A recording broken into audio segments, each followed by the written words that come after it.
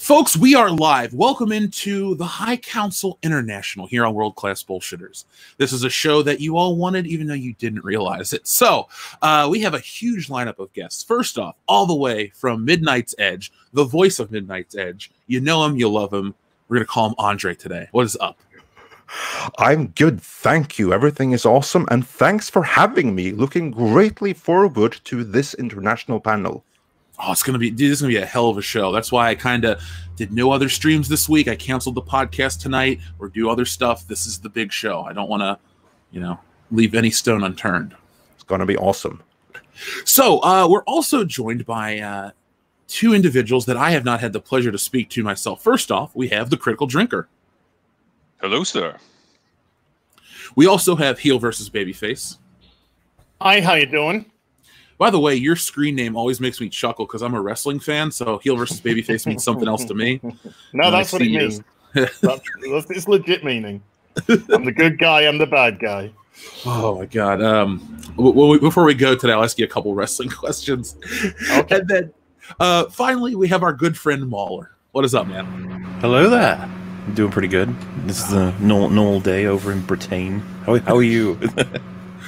Uh, I am barely awake. People in the chat are like, Jeff sounds differently. Look, folks, it is only 8 10 a.m., which is like, well, 8 10, you should be up.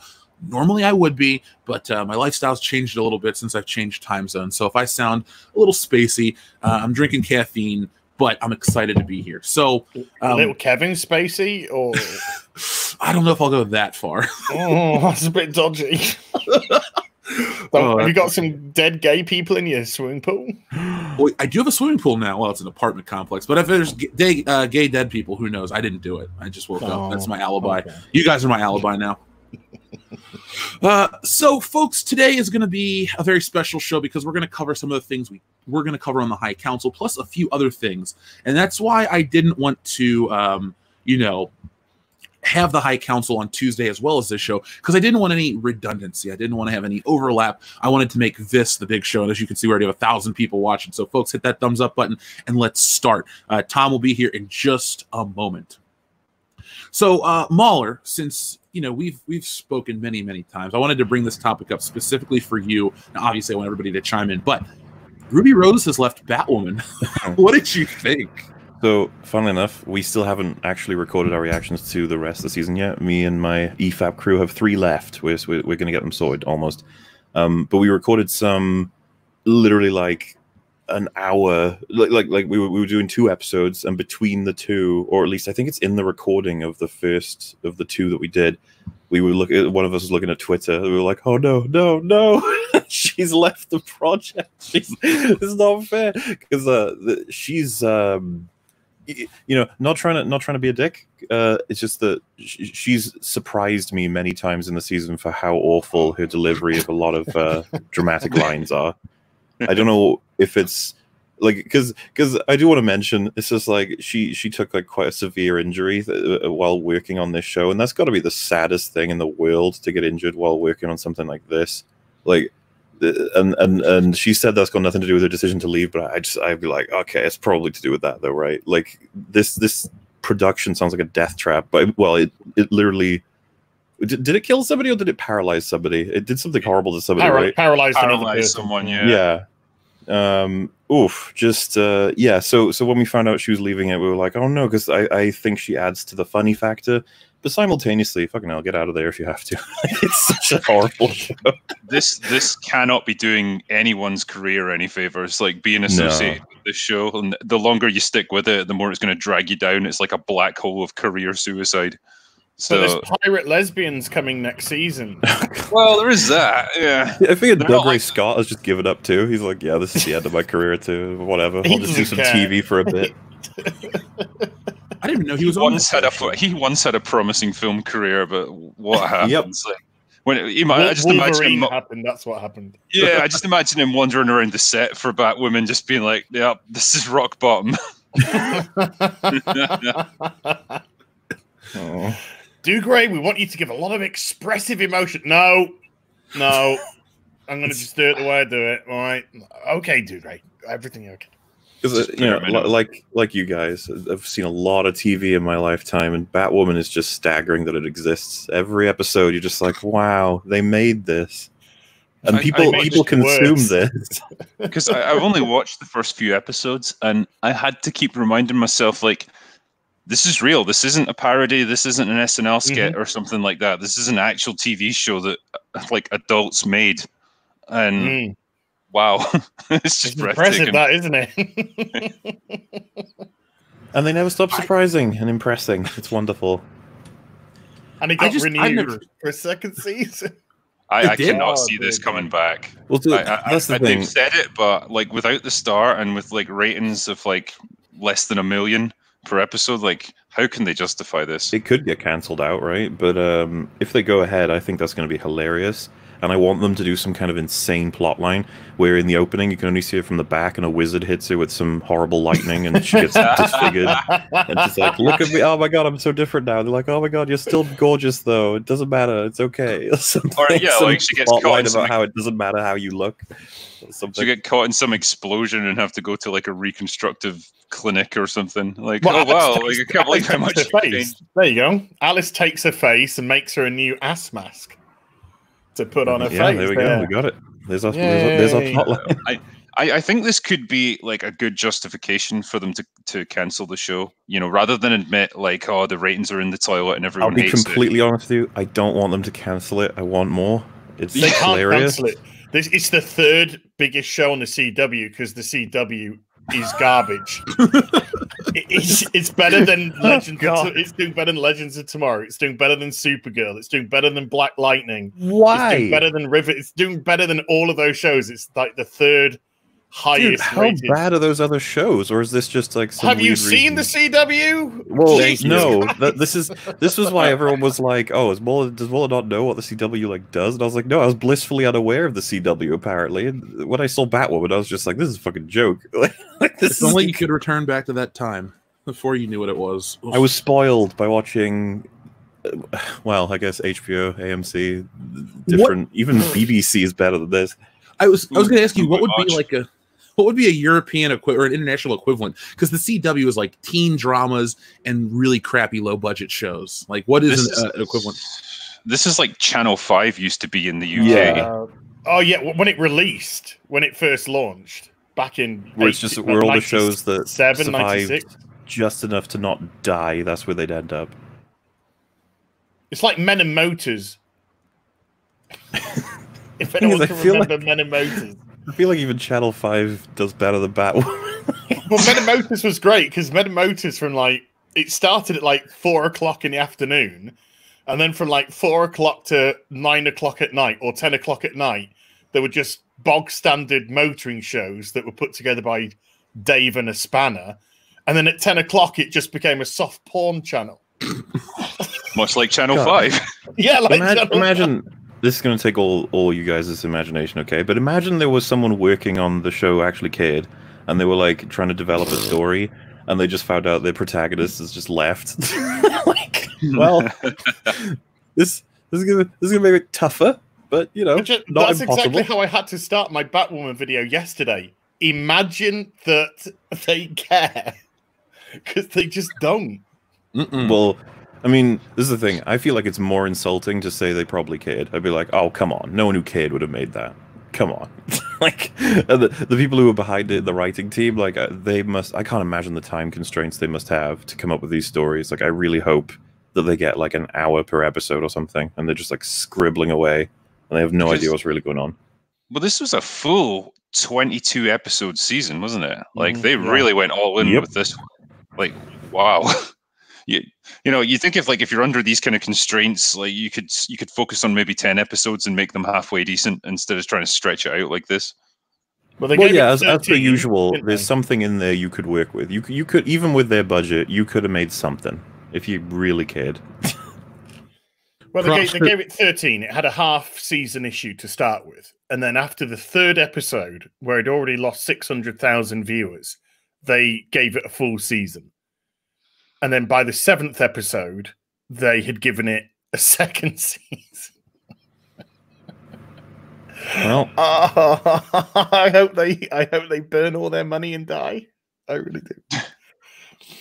I just yeah, it's going to be hilarious if they do manage to stagger out some second season like with a completely different main character and Because they've got to have the budget slash. They, they've got to slash it for season two. There's no way they're going to give it the same budget in season one.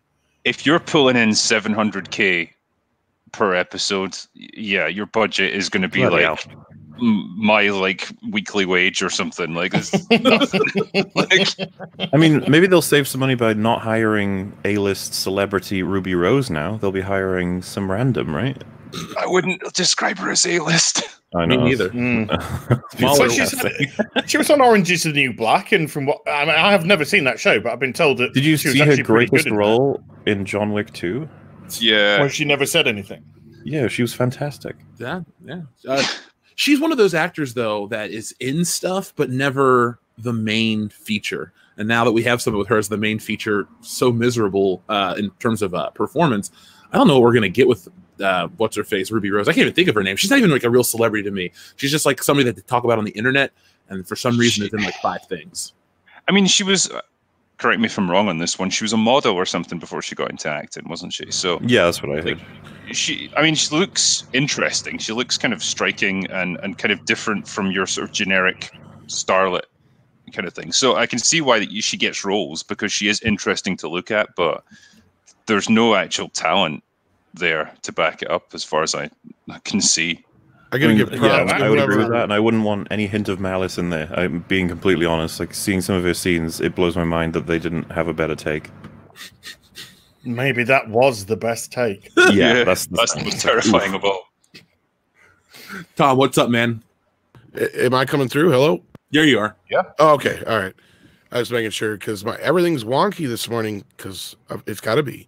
Uh, I was just gonna say I want to give props to whoever put this picture together because I realized last night that ninety percent of the pictures out there of her in the costume aren't her in the costume. That's right. clearly because a she's, stunt she's double. allergic to the Yeah. costume, right? Yeah, I've been hearing stuff all night. I've been getting tons and tons of reports about how she was nothing but a pain in the ass to work with. yeah. Okay, so fill us in on some of the juicier bits about this show. I mean, obviously it's a garbage show.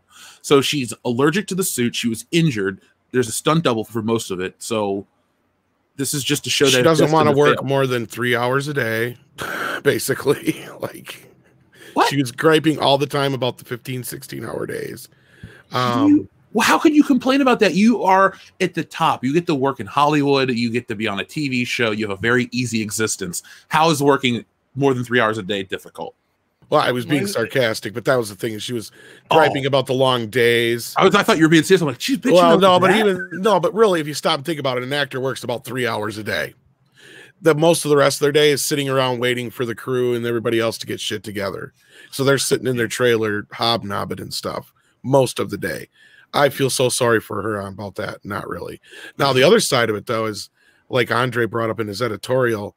I mean, when you've got uh, you know her getting injured in a stunt and uh, uh, was a production assistant literally getting paralyzed Mhm. somebody's not doing their job on this show too so i mean there probably is another side to this where the mutual thing i'm starting to hear here was a little bit more accurate in the sense that she was more than willing to leave because she Sounds just didn't Mickey want to be there Mouse. You- yeah You get two big injuries like that. That is a Mickey Mouse outfit that are not that are not catering to. What's funny is and there it's the that's the only show in the group that's had any problems that I, I know of. I'm, I'm not 100% on that, but I you know, I've not heard of any major inju- injuries on any of the other shows, so So Mauler, Probably what because about, there's more care.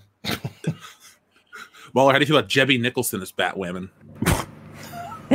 I feel like it would be a uh, a bad move for her career wise, but I mean, I'll I would I would laugh. I would I would happily. This is the thing, man. I'm looking forward to season two. We got three episodes of season one left to react to. Me and the EFAP lads are all very excited. Can't wait to to see where this goes.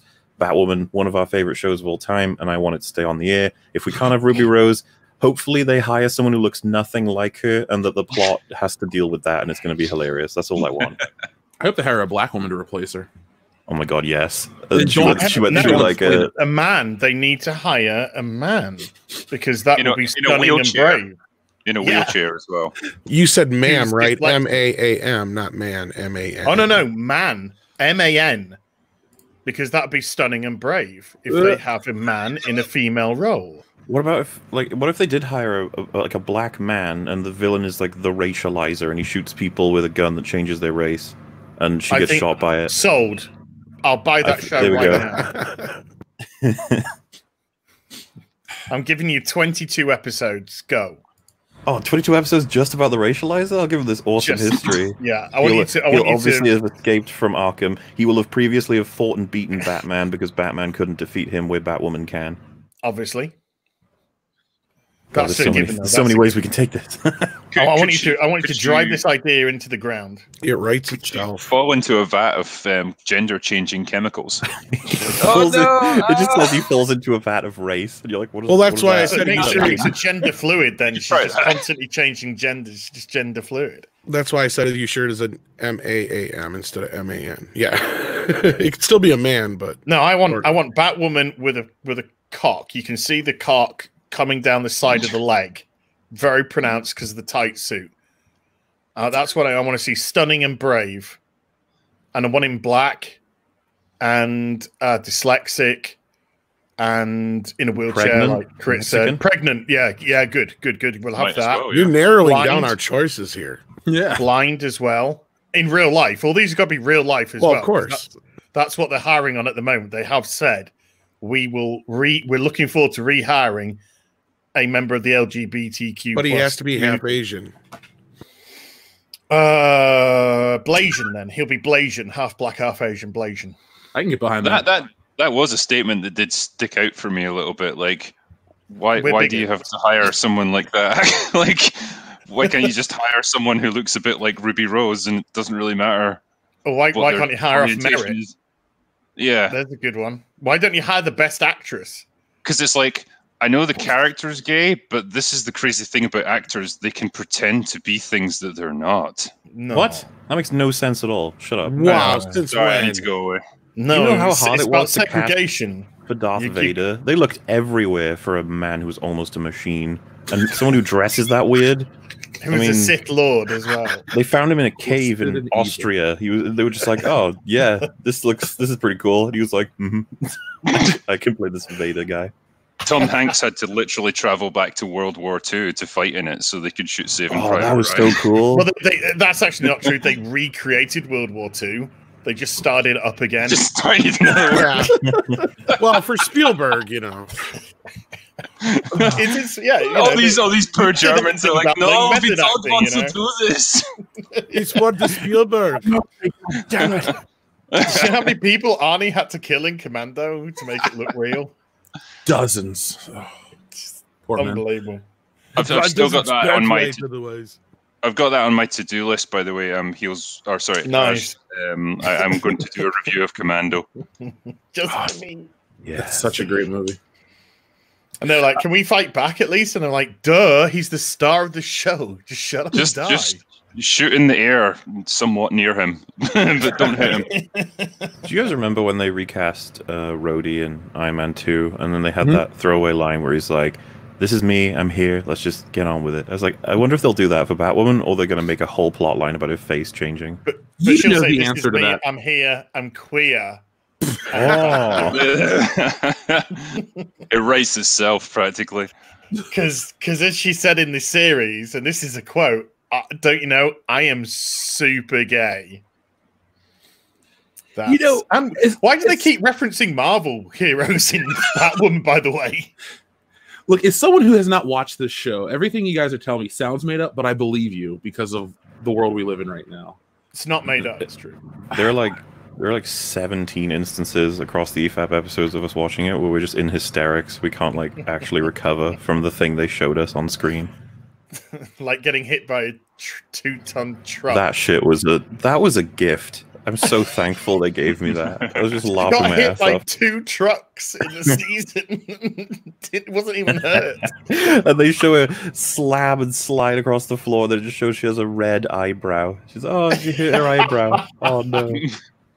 And she wasn't in the the impact. The, the great Deus Ex Machina they had was her her suit absorbs everything apart from when the plot Yes. doesn't want it to. And so she wasn't even in that. She was just So- in her regular civvies and got hit by a two ton truck going at about 40 miles an hour. oh, I love this show. I don't. I hate it. I want it to turn, die.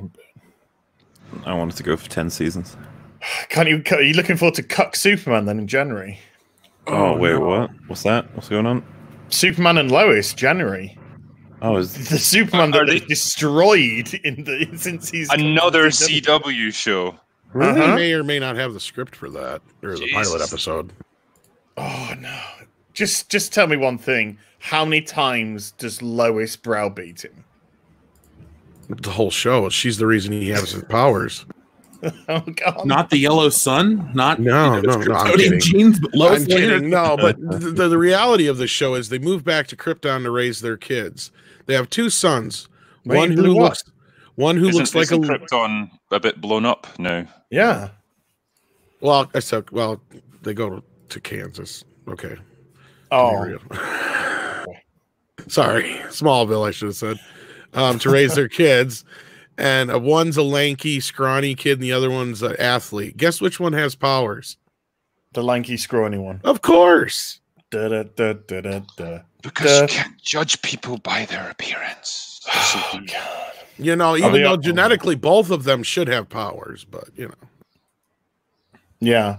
Is the lanky one female as well and the athletic one male? No, they're both males. Surprisingly, that's what I Oh, can't wow. believe is they're both sons. It's like wow, they didn't give Superman twin daughters. Yeah. I was going to say twin trans, but maybe not. All I want to say is I don't like this guy for Superman. There's something about the chin or the jaw or the whole face. He's good. felt This like is he- this is Tyler Hoechlin. This is good. This is the guy that played Sephiroth in the recent Final Fantasy VII remake. He's he's he's good actor. He's- Oh, okay. and he's got a good look about him. But they have annihilated this guy already. Absolutely destroyed him. He is an he is a bitch, a super bitch. He's cuck now. What what is the Every point? single- He needs to be more like um, Homelander, I think. Just Oh, start yeah. lasering people in half and stuff. like, starting give with him an edge. Yeah, it's just like straight through her head. Sorry. You're too I think- annoying. I think the best superhero shows are coming from not Marvel or DC right now. Like The Boys is fantastic. I wish the, the ticket didn't get canceled. There's all these wonderful things, yet these shows are like cockroaches. They survive Yeah. everything. And I wanted to ask you guys, eh, let's say Ruby Rose wasn't injured. How long do you think this show would go on for? Well, these shows are pretty much prepaid for. They're a lot like the uh, CBS All Access stuff with Star Trek, because they have a deal through the CW with Netflix.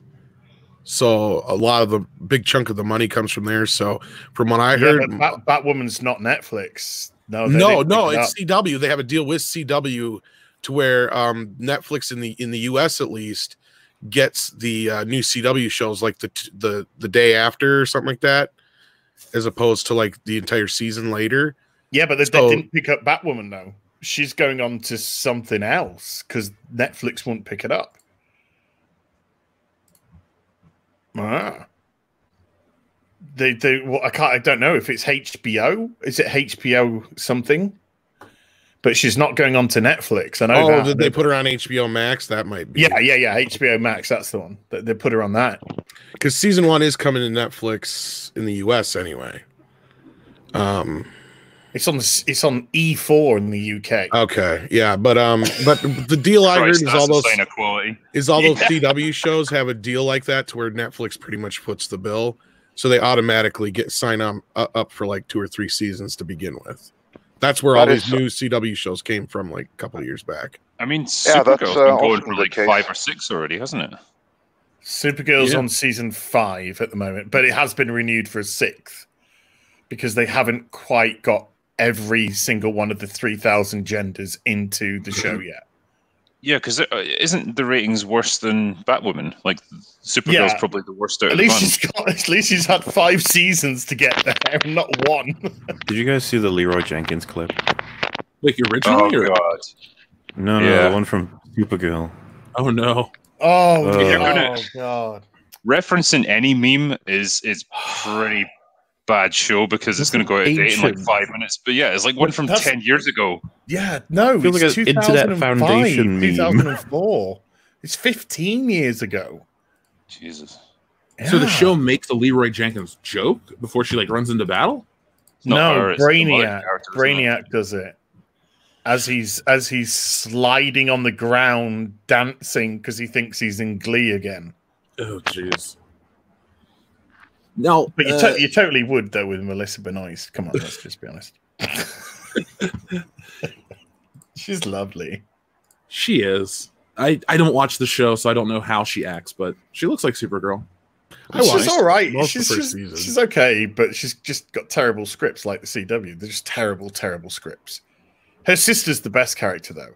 She went from from naught to one hundred lesbian in less than three seconds. It was Yeah. great. Didn't they recast her at some point too? No, they just they just gave her lesbian haircut six three two. I'm trying to remember. Didn't they recast somebody in the show between everything? I only I only watched it when it was on CBS here, and then I quit watching Um, it. They haven't. I don't think they've recast. They've they've people have come and gone, but I don't think they've recast anyone. Okay. Maybe I just thought she was recast because, like you said, they gave her such a hair. No, she was just straight in season one, but in season two she Okay. just became gay. Well, thank goodness she's not a part of Batwoman's lore, because then Sophie's mum would rip into her for being gay, or the Morley, restaurant owner. You have an episode to come where they manage to get six lesbians into the episode. Oh my god, I'm so excited. Because that's what Um, I call that is diversity. That's like a I'd like video to say there's Pornhub, more to it, but yeah, but that's the episode. That was, I think the episode was actually called "How many lesbians can we get into this episode?" And that was actually So, like, it is, was. six is is pretty good, of pretty good. set in a world where it's like you know seventy percent of people are gay or something? yeah. I, I'm Well, not only surprised that, there's so, but so everybody much of a population. too. Like the the politicians, restaurant owners, and boomers all hate the gays. Wouldn't, wouldn't the in the CW world though? Wouldn't it be the heterosexual people who are repressed? Because they would be the minority.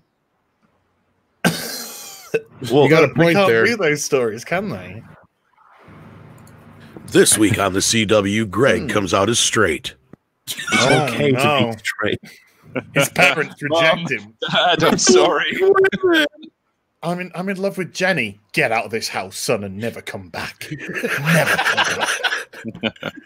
but Dad, get out. I don't want to see you come back here again unless you've got a boyfriend. That would be an interesting twist, now wouldn't it? yes. I would watch it. I've, I'd watch I've the series just for that. Then I actually break my rule about not watching any of the CW shows. you know you want to. Even I'm curious to watch these shows now. By Curious, because that's the only way you can watch the CW. Well, I guess if I gotta. No, not you can't watch Batwoman if you're not lesbian enough. Oh well, You Jesse also likes Ruby can't Rose. star in it if you're not lesbian enough. So there's that. Yeah, let's bring that up for a moment. I know we've kind of brushed over it, made a joke about it, but let's face it, this is legitimately discrimination. In any Hmm. other job, if I walked into Burger King and they said, "Are you lesbian?" Oh, you're you're a guy. Get the fuck out. I could sue the hell out of them. Well, was it Pedowitz, who's the uh, that's his name as well? Pedowitz, who's uh, one of the heads Yeah, you're not the making that up. Uh, he said that uh, what's it? They had a split of like fifty-five percent women to forty-five percent men. No, no, sorry. The CW's audience was fifty percent men, fifty percent women, and he came out and said, "We want to change that. We want fifty-five percent women and forty-five percent men audience." They're gonna get zero percent male audience if they produce more shit like this. They're gonna get zero percent female. Females don't want to watch this shit either. They don't watch the. They want to watch the Winchester brothers kick ass. I think Yeah. if you, uh, you know, if you half your audience, which is what they've done with Batwoman, then you probably can adjust the, the ratio quite easily because you've dropped so Isn't, many um, people to begin with. Supernatural's ending as well, right? Yeah, fifteen seasons though, and it's absolutely pissing over all of the Arrowverse shows apart from the Flash. It's the second most viewed uh, show God, on the CW. 15 years. I remember And talking about that 15 in early years of high school, Supernatural. Whew. It's fun. It's a fun It is. show. I just got into it recently. I'm like four four seasons in, so I really like it. I just I First catch five the seasons are great of Supernatural. better. Fun fact: uh, Jared Padalecki of uh, or whatever he's called Yeah. uh, of Supernatural fame, he was actually the first choice for Conan the Barbarian at one point for the 2011 movie, but the uh, commitment to uh, Supernatural was what prevented him from getting the role, and Wow. then they were left with either Jason Momoa or. Um, What's his name? Uh, the guy from Twilight. He went into star in some like cheap uh, Hercules movie, not the Rock, but like the blonde guy, who's also been like uh, in the running for He-Man. So then it was like one of the two. That's how they ended up with with them. Uh, Padalecki was the seen look for Conan the Barbarian uh, for the 2011 movie. So boy, did he dodge a bullet! Bullet. Well, I have good news for you. He's going to play Walker Texas Ranger in the remake. So there we go. Except it's Well, not called. I've got even better news for you. His brother's gay in it. I got even better news. It's, news. It's no longer called Walker. It's called Wheelchair. I love it. I kicks love it. I'm gonna watch it. I'm gonna buy the He box kicks ass right now. on his ass. Will he be singing the intro tune as well? Yes. Will he? I have no idea. Oh, I'm making shit up there. I was excited about that. Uh, show that picture real quick I got there, Jeff. But Will this is Jared exactly be what- sober? This is exactly what you guys were talking about. How the look at how they're trying to separate this audience, and look at the god awful thing they did to Supergirl's outfit as well. I I was going to comment on that. It doesn't look Now as good she's as it. Superman. That is Superman. Yeah. And she's ready to talk to the manager of Luther Court. And he can flick it's like- arrow off there because he's no longer there or whatever. No, he's dead. uh, White Canary's there. She's um, the only bisexual who's only into women. Where So I did come she, from, she started off in, in Legends of Tomorrow, didn't she? No, she Yes. started off in Arrow. Or no, she was yeah, she was in really? Arrow. Yeah, Sarah Oh, Lance. Uh, Right. Yeah, Sarah Lance in in Arrow, and uh, she was uh, having an affair with Oliver, who was dating her sister. She was actually recast because I remember when in the original show it wasn't her that played the part, if I'm not mistaken. Yeah, the the the person who played Sarah in season one was recast to Caity Lotz for season that's two right. Yes. Yeah. And I still have a private message on Twitter from Caity Lotz to me. Uh-huh. Mm-hmm. True facts. True facts. She said, "Thanks for following me." I got one from Weinstein, but I don't want to open it. I feel like you're safe at this point, Tom. I just want to know what your value to him was. What does he want out of you? Tell me. I have no idea. I'm too afraid to open it. So, um, Mauler, I just wanted to bring this up specifically for you because I know you guys cover uh, over on EFAP the Batwoman stuff, and I was dying to hear your take on it. Is there anything else you guys want to talk about in regards to Batgirl, or sorry, Batgirl? I keep the, the good ones, Batgirl, Batwoman, excuse me, Batwoman. um, is there anything else you guys want to say about this CW stuff? Because we're still going to talk about Warner Brothers and DC stuff for a minute with our next uh, topic. It's just amazing that um, it exists and it is so staggeringly bad, and there's all these horrible production elements, and it's a part of this network of horrible TV shows that, as you, I forget who said it, I think it might have been you, Jeff, but the cockroaches of TV. They just keep multiplying, and no one can actually stamp them down to death. They'll just keep. For all we know, Batwoman will end up with like ten seasons by the end of it, and they'll recast Batwoman like four times or something because they keep breaking the backs of these poor actresses. It'll probably get like three spin-offs as well. And oh god. Oh no, it's spawning more shows. Stop like, it. people are getting injured in these stunts, and you watch the show and you're like, what? What stunts? Like what? the- But they all look so terrible. Like what is it that people are suffering for? Like just Uh, how ridiculous is that? I mean, you end up paralyzed, and what epic thing? What was the hill that you got paralyzed for? Production assistant on Batwoman. ugh. How's that for a war story? No, what actually happened to this lady? She got hit with like something hit her on her back. Or Yeah. hit, hit her on her head, I think it was. that's okay. I I did. I remember reading that one. I, I apologize. Yeah, because I just I look at some of these articles about these shows and I chuckle from the sidelines. But I'm like, I'm not giving it my time. was it a cherry picker van or whatever? I Something like that. reading Yeah. Mm. Yeah. There was a stunt going on and explosions, and they didn't hear her for God knows how long or whatever. And yeah, so Lord knows what happened. Like That was Andres, they, absolutely tragic, though. yeah. Yeah. It, it makes you Mickey wonder what kind of production assistant or whoever else's job it was to make sure that this shit was in order on that show. Now, um, I so I'm gonna start out the next segment by saying I was wrong. I never thought this would happen in a million years, but yesterday I woke up to this news, and I know a lot of you guys have uh, commented on it or talked about it, but not none of us together have. The Snyder Cut of Justice League. Uh, has there ever been a more, or I should say, a less uh, actually desired film? Like I'm, I thought the movie was fine. I don't hate Justice League. I think it's better than a good chunk of DC films. But even I, somebody who's very kind to the film, was like, "Why? Why is this happening?" So, uh, you know what? Uh, Critical Drinker, you go first. What was your thoughts of, uh, or thoughts on this when you heard the news that the Zack Snyder cut of Justice League is coming next year? I, I'm I was very happy about it because I want it to be amazing and go down way better than the actual theatrical cut, so that like DC are left with this horrible question of like, oh shit, what did we do? Like, which one, which one is canon now?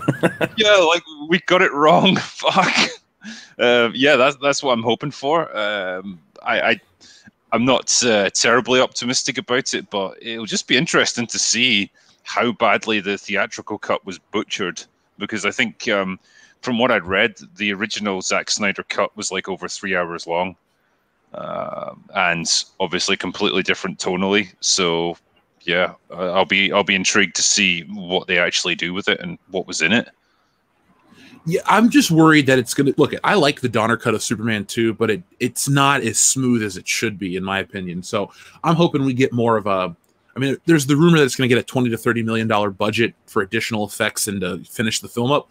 All I want is a nice cohesive thing. I'm I'm okay with some of the plots that aren't ever going to get developed further on, but it's got to look uniform to me. I'm one of those people like if shit doesn't match up in a film, I get mad because I'm like, you have a continuity editor's job. Why is this so vastly different? Either way, I'll I'll, I'll rant in a minute. Um, I was going to say as well that you know obviously the CGI that they actually used in the finished cut was um, horrific, and it was very much you know leftover budget that they pumped into this this you know abortion of a movie, uh, and that's why it looks as bad as it does. So presumably, and I'm just hoping that this is right, like the original CGI that they did would have looked a lot better, and it's just that they had to discard most of it and you know rush out some new stuff. Yeah, that's pretty much it. Because you have to keep in mind that they were filming, reshooting right up until like weeks before the movie was out. So, like for instance, with the, with the villain of the movie Steppenwolf, they never finished his effects. What you're seeing is unfinished. They basically made like the decision that okay, we're only gonna do like half his face, and the rest is just gonna be pretty much static. And they had to do loads of things like that because they didn't lock the thing until like literally weeks before and then they just had to like make it somewhat presentable. And there's no finished effects anywhere. Not in the snyder cut that there is either. There's only temp effects. That is why it's going to take like 20 30 million to finish the movie. And of course Yeah. it's not going to be a movie. It's going to be a miniseries. But uh, but yeah even that just getting it to releasable condition is going to be 20 30 million I think it'll be money well spent. I, I, they'll definitely recoup it with the amount of interest that there is in this. I, I like Um, the precedent it sets. oh absolutely absolutely it could be, yeah. I mean, you look at something like the Sonic movie as well. Um, again, something that they, they released the trailer, they got this horrendous um, fan feedback from it, and they just went ahead and changed it, and it Best was well received decision ever. result. Yeah, so it, this could be leading us into sort of a, a, a new sort of period of fan-led productions, almost. You know, people get to have their say on what what kind of changes they want to see made to a movie, and studios act on it because your the internet is there. It's like your biggest focus group you could ever ask for. You But know, let's and have one thing it, clear, though. well. Yeah, but one thing needs to be emphasized. The fan uh, demand, that's what triggered this, but the fan demand alone wouldn't have done this. No. The reason this is happening is one only, and that is AT&T, not Warner, not DC, but AT&T wants to promote HBO Max. And they looked at the success of The Mandalorian and they wondered, what can we do in response to this? What do we have that we that can get like fan traction behind it and get like this hype behind it and that we can have in a year and a half? What do we have that can be that? That's why this happened. Yeah. Van Demand alone, had it not been for that, would never have gotten this movie made. So there were two things that happened there that coincided to get this released. It could, uh, if it does well, though, presumably it, it could set that precedent of, you know, doing things that the fans want. You know, and garnering that positive support. Like what, what whatever the reasons were for this happening, it, it could potentially do well as long as it's successful. It start it, It could set a would, new uh, precedent. It would uh, sit right next to Sonic the Hedgehog in whoa listen to the fans because like in uh, in Sonic the Hedgehog they they got a warning and they course corrected and everything turned out great. With the Justice League they overreacted to begin with they hit the Titanic and then they got a second chance or second leaf on life afterwards. And They then were you competing two with, um, very Civil War, powerful weren't they? studies in listen to the fans. Kind of, but uh, Civil War I think came out just before it. Before Or- what? I just remember BVS? people comparing Oh, Justice League and so. yeah. Oh, was it BVS actually? Yeah. Yeah. There Or were a couple. versa. I can't remember which one It- came out B- first. now. BVS was first in March, and then it goes Civil War because there's like, Okay, the- yeah. those were the big 2016, and then Doctor Strange closes the year out, and nobody cared. Well, it's a good film, but nobody cares when you compare those. no that's true Uh, uh, heel versus babyface. What are your thoughts on this news? Um, I I wanna I wanna be in Critical's corner here, and and and have something that is actually really good, and so it, it winds everyone up. But there's just the, a mischievous part of me that says I want it to be absolute garbage, and they've wasted another thirty million dollars, and all the people that have been uh, asking for the Snyder cut for you know however many years it's been now uh, can just be like, oh, yeah, we we realize why they changed everything now. But I think I think it's actually going to be more coherent. I think the the Snyder cut's actually going to be more coherent than uh, the the release cut. I actually think there's going to be a story that makes sense in this. Uh, From what I read you- as well, you- there's a there's an awful lot more world building in it.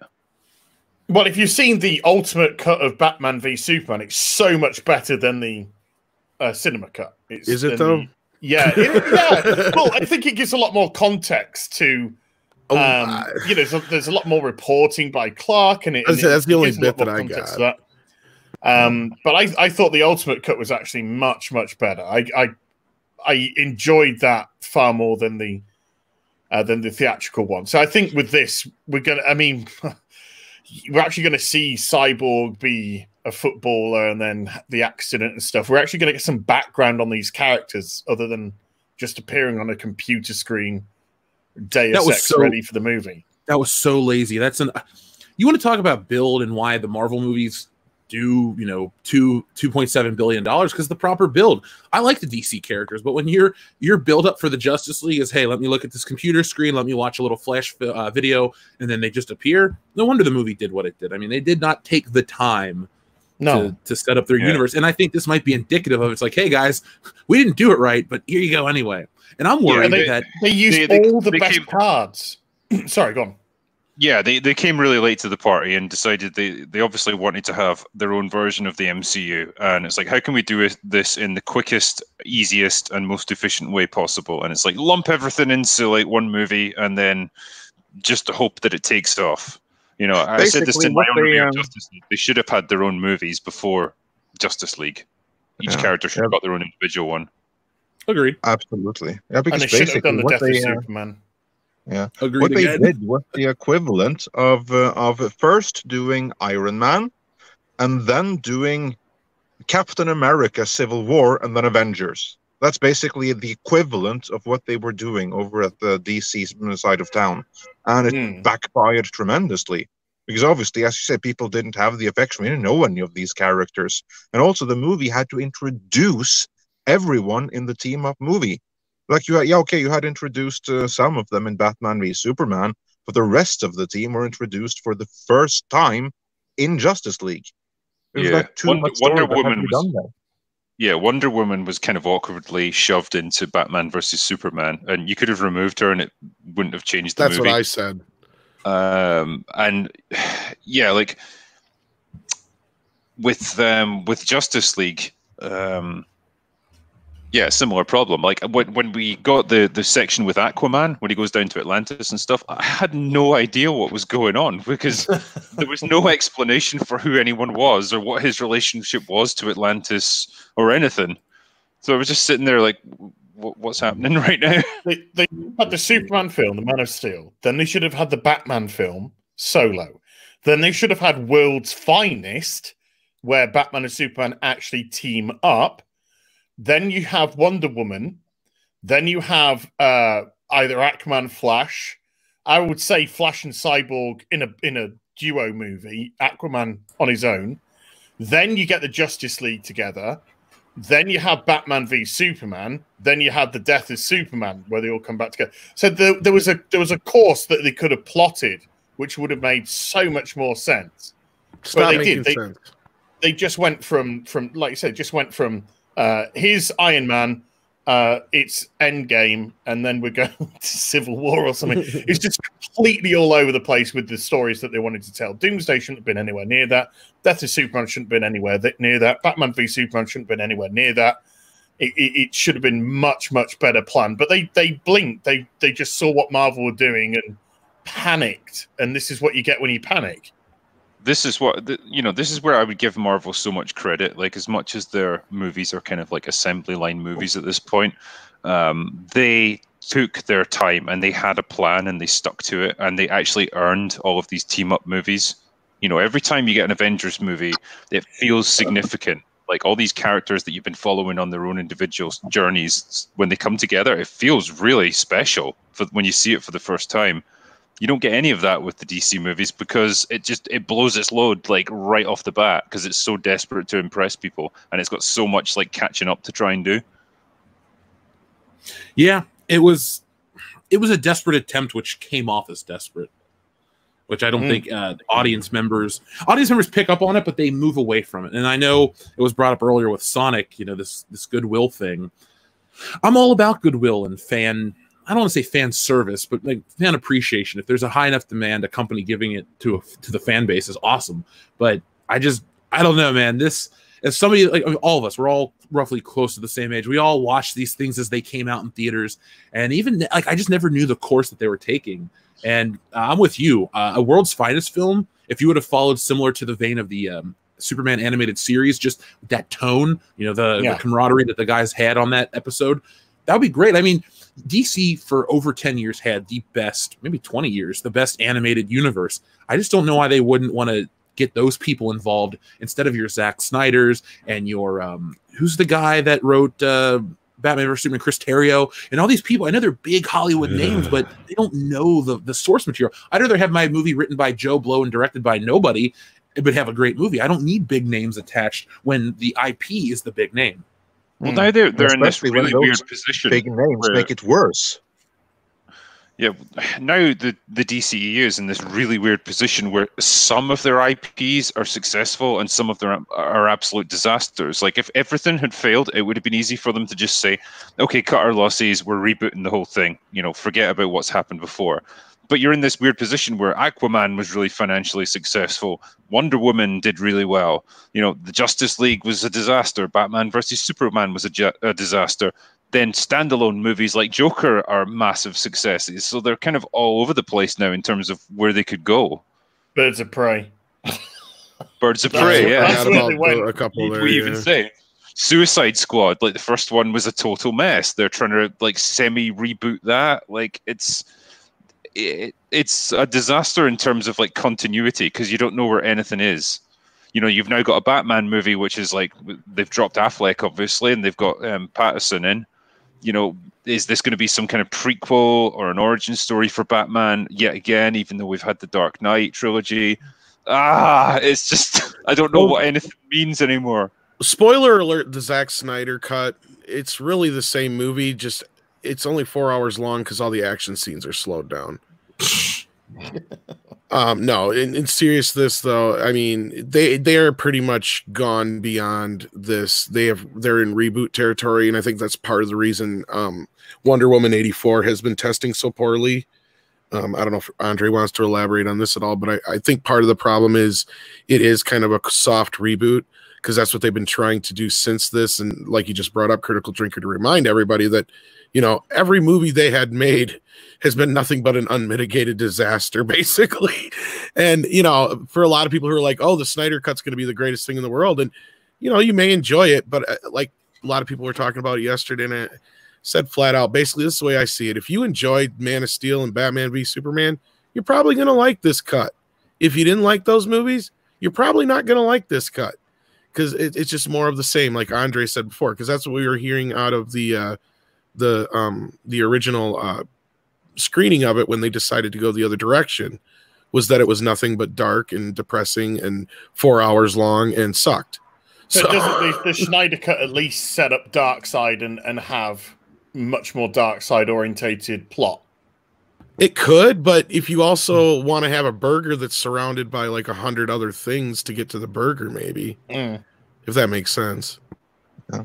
No, because that was kind of like the issue that um, that the original plan, of course, was uh, for for Snyder wasn't just to do one Justice League movie, but two. There was Justice League Part One and Justice mm. League Part 2.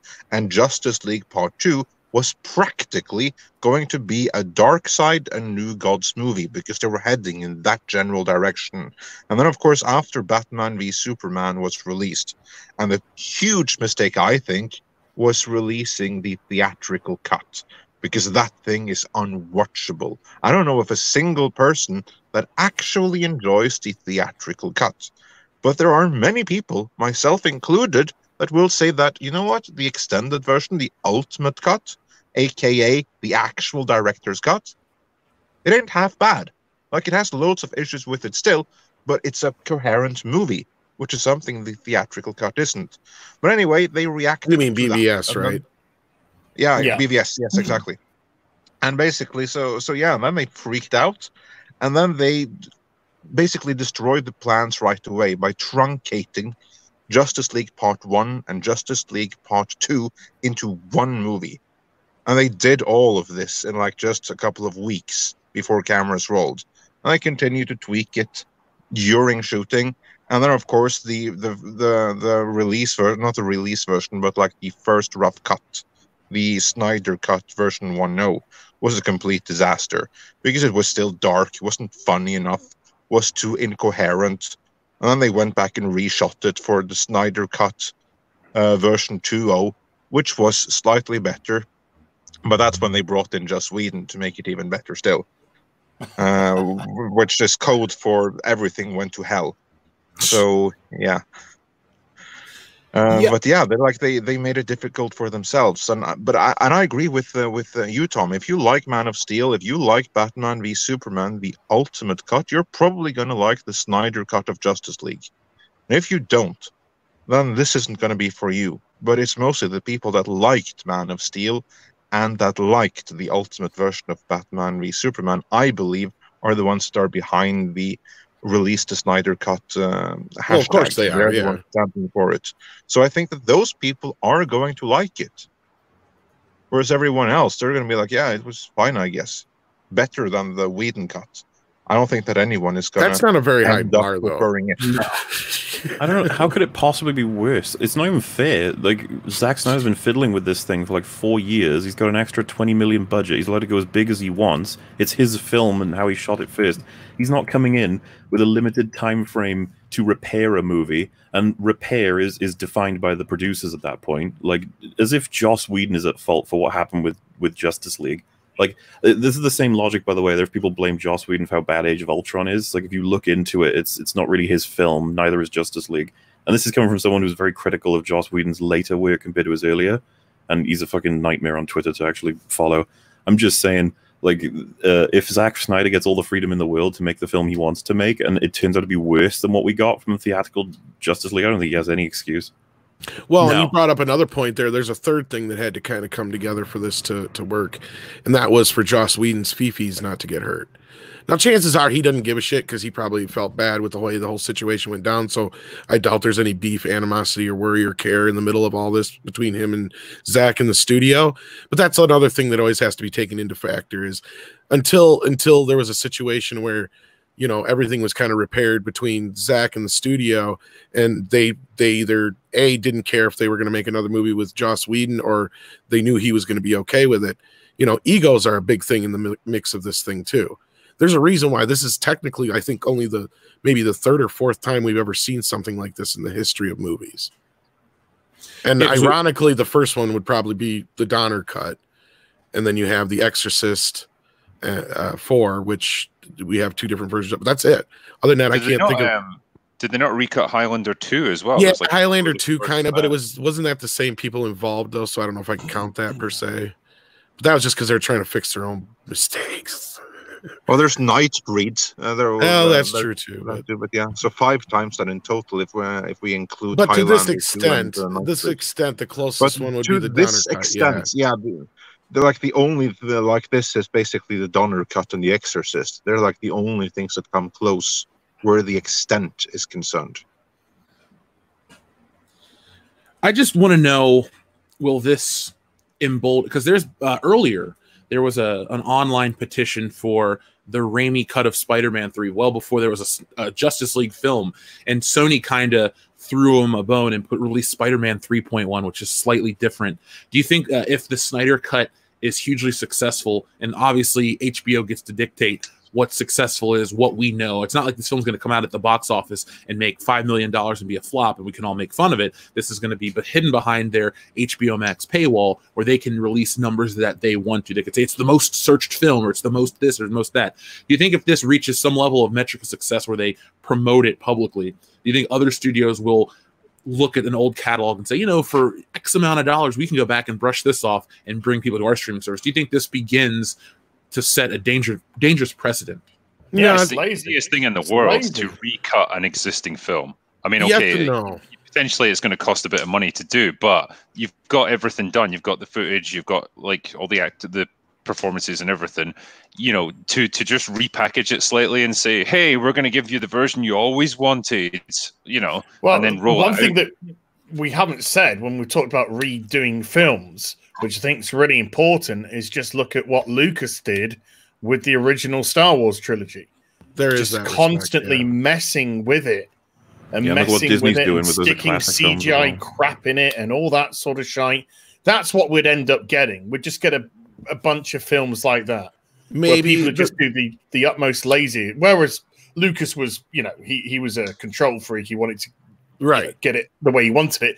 These people would just be like, oh, there it is. Stick a few of these in, stick a few of that in, call it the ultimate cut. Bank. It would just we'd just get the lazy. Hollywood is lazy. Well, we've already seen this. We've already been through this. You know what this is? This is probably the beginning of the unrated versions on streaming instead of DVD. Do you guys Or they're going to remember? go the other direction. I mean, Yeah. uh, removing the ooh la la cover in Back to the Future too. Yeah. I mean, Oh, we we'll talk about that that. Well, yeah, yeah, we'll get to that, but no, like, um, you guys, yeah, that's the thing, and they would do that. They would tell a director, "Don't worry, we'll put it in the DVD." So they do a version that was for the DVD, and they would cut that back for the theatrical version, knowing full well the unrated version or whatever was going to be thrown out on DVD. When Oh, it but came they're, do- they're doing that now in Disney. They're taking all the gay people out of Chinese movies and then putting them putting them out to China because that's that's how can you know how behind uh, the courage of their conviction Disney is. Um, but we also had ET where they took the guns out of the FBI and they replaced them with walkie-talkies. yeah, but Spielberg fixed that again too, though.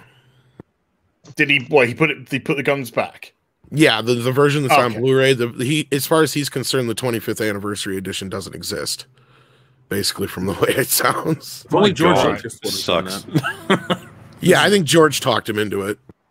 Oh, of course. I mean, I think George Lucas has talked Steven Spielberg into a lot of things, especially with Indiana Jones 4. He's but like, just imagine what you could do with the Jaws shark.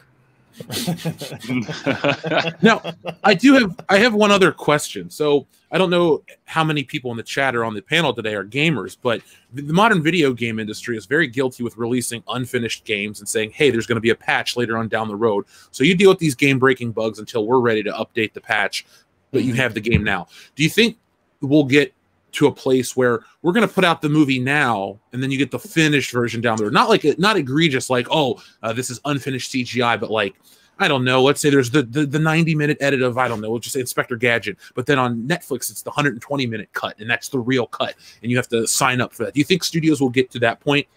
I joked about this in a video I made once about how pissed off I was with um, with updates and downloads and stuff for, for video games. How it takes like two days to play the fucking thing after you first buy it because there's so many updates you have to do.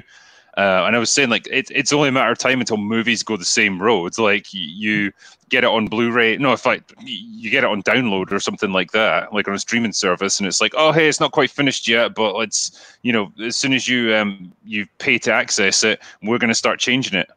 And when you don't have access to physical media where it's locked in and you're dependent on what people can download to your your TV, yeah, they can change anything they want, and I wouldn't be surprised if they start doing it. This is why, like, I love just having DVDs or Blu-rays. It's like, you know what? I can just put that in. It's never going to change. Like, no one can like revoke my rights to to use it or watch it or whatever. The problem is, I think we got two conflicting things here. Because as far as like I, I, said, it's like if they continue to see like this as an advantage, it, it's a good thing for directors in a sense. Like I said, with the whole um, the boom of DVD, where they were allowing directors to just go crazy and do what they wanted for the the DVDs and Blu-rays eventually you know eventually blu-ray came along but uh and then you know they knew that was their definitive version as opposed to the theatrical cut which was just a little bit slimmed down version. Um the other part we're talking about is actual censorship of movies that are already out as opposed to a director being allowed to you know have his freedom of choice and and voice making a film just knowing that yeah the version that goes out in theaters may not be 100% what i want but i know the version that's going to exist forever afterwards is as opposed to this where you're talking about they're actually coming and this is not something new this has been going on for years where digital versions have been replaced. I've heard of speaking of director's cuts being replaced with theatrical versions on digital versions because they'll upgrade it to an hd copy but the hd copy is only the theatrical cut. So people will just they won't be alerted to it. They'll just go in to watch their movie all of a sudden on itunes or amazon and it's the other version um, and then we got the, the, the the Disney deal, which is a whole nother deal. Well, that's just pure Terry editing. You know, they're just trying to take out all the boobs and the butts and the and the stuff that they find offensive. Because let's you just know, let's just burn all the books, shall we? Exactly. Yeah. So I mean, I think we're kind of talking about two different things here in a way, if that makes sense, guys. But no, I get what you're saying, though, and I, I'm not sure where this is going to head as far as the the other side of it. But I think this is a good thing for fans. I think this is a good thing for studios to know that there is a possibility to to be able to get fans back on board with something. But I wouldn't get anybody's hopes up like this is going to resurge the Snyderverse or anything like it that. can't. either. That's that's my biggest problem. This could be the greatest movie ever made, but it's also going to be the saddest movie ever made because DC's going in a new direction, and you, I, I would bet money that they're not going to all of a sudden go back and say, well. Yeah, Joker was a billion dollar hit and Wonder Woman's a success, but we're going to go back to this shit just because we had good numbers on streaming. That'll never happen unless they're not going to go to theaters anymore and they rely on the streaming versions. And that's, uh, you know, a whole darker path that I don't want to go down. But yeah, I mean, if this is great, at the end of the day, this is it. This is the end. There's no more to go on. This is this is why I like my physical media because, as, as Critical said, you, you can't tamper with it. This is why I want my games on disc. This is why I want to be able to play offline. This is why I want my Blu-rays because I don't want to have somebody change their mind and tell me what I should be watching in the film that I've had or a film that has been out for 10, 20, 30 years because it doesn't uh, marry up with their current day sensibilities. Art is Yeah. art. Yeah. Leave yeah it. the this um going back to what you were saying about the back to the future how they censored it and like in in splash where they they did a really shit edit of daryl hannah's Oh, hair so it covers her ass cheeks like why this this is just like if, if you don't have physical media and you don't have a hard copy of, of a movie that's locked in, they can just go and change anything they want. And it's just so, it, it's kind of creepy. It, that, for your uh, own good. Yeah. Yeah. We don't want to offend someone. That's probably a Yeah. good segue then, isn't it, Jeff? Probably to start talking about the other stuff, I suppose, the the Back to the Future business. That's that's perfect. I actually had an article pulled up because uh, I know uh, I talk. I don't know if everyone in the chat obviously knows this, but Back to the Future is my absolute favorite movie, and I like Part Two and Three's okay. So the other day I was on a stream with Jesse, and our friend Proper Justin messaged me. He goes, "Did you see?" And I go, "What?"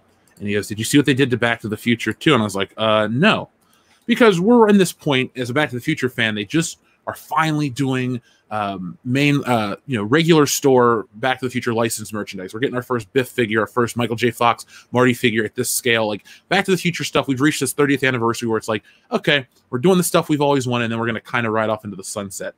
And then he's like, no, uh, they censored Back to the Future too. And I go, why would you censor Back to the Future too? There's nothing in it that's even remotely objectionable.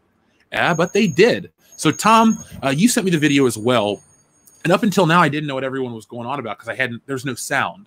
So, uh, Tom, could you tell the uh, audience what actually was censored Back to the Future 2 now?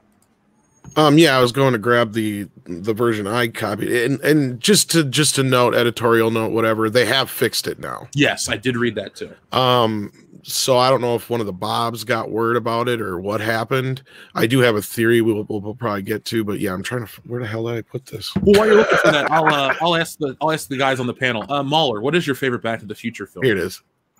Uh, it always swaps between a lot of them, but one is usually the safe choice. One is just a fantastic fucking movie. But I haven't seen them in a while now, so um, that's something that's probably worth uh, checking out again. It uh, I, I know that Jay in in the in the EFAP collective uh, recently saw Back to the Future Part Two for the first time, and he said it was overrated. I'm so sorry. We'll talk, we'll, we'll talk about that in a minute. Uh, Jay, Jay's only seen like five movies in his entire No, I know. Bear in mind, Jay hasn't seen Lord of the Rings yet, so hey, I, I just saw Lord of the Rings about uh, two months that's the ago, thing. You've seen it now, so it's fine.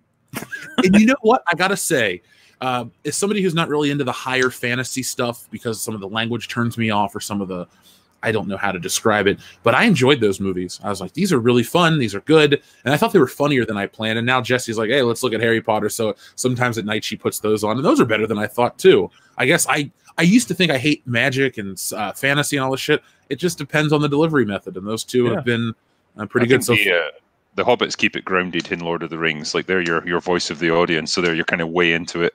Otherwise, Yeah. I think it'd be quite overwhelming. I really dug. Was it Merry and Pippin? Those two that stuck together the whole time that weren't Yeah. Sam and Frodo. I, I thought they were hilarious. Them yeah, and, my uh, favorite part is when they kept saying they had to go to the bathroom for the last hour of the movie. um, That was quick, a joke, obviously. I Sorry. know. Uh, there were no toilets in Middle Earth. Uh, drinker, you, wow, cat. Whoa. The that cat, was you? um, that was the cat. The damn shit pancake cat. Oh, shit man. pancake. He, we have a popcorn machine, like a nice full size one that we keep in the other room, and he jumped on it and knocked it the fuck over. Oh no. Sorry, folks. Anyway, uh, drinker, what is your favorite Back to the Future film? Yeah, sorry, I hate to play it safe, but it's got to be one uh, for me. In ter- uh, it tells a nice, complete story. Um, I love the finale. Like that clock tower scene is just perfectly paced. I love the the kind of interplay between Marty and Doc just when he's getting ready to leave. Um, I love seeing him interact with his parents. It's just yeah, such a such a perfect movie. Like I can't I can't really fault it.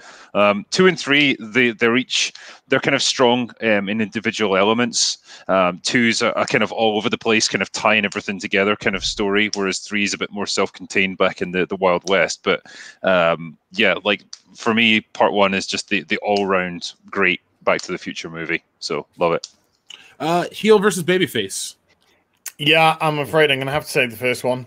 Um, I just thought it was it was just a, a, a wonderful tale. The the first film was just great. It could have been self-contained. Never, you know, no films ever made afterwards. I, I do like two as well. Uh, I only ever seen three once, and I just recalled not not liking it at all. Um, I don't know if that's because I'm British and the the Western thing didn't click with us or what. I don't know, but um, yeah, the second the second one's got some fun elements in it. It's got some goofy stuff in it, but the, the, the first one I think is a, is a masterpiece of a movie, just absolute masterpiece of a movie uh, in terms of character and plot and pacing. Um, the whole thing just works incredibly. I mean, you're preaching to the choir. It is my all-time favorite movie, so I'm happy uh, to talk about it. Andre, uh, it will give you a second. Tom, favorite Back to the Future film? Um, well, of course, the first one, um, because like these guys were just saying, I mean, it's a master class in filmmaking. They literally used it, and they probably still do in writing classes to to teach um, perfect writing, basically how a story is set up and pays off.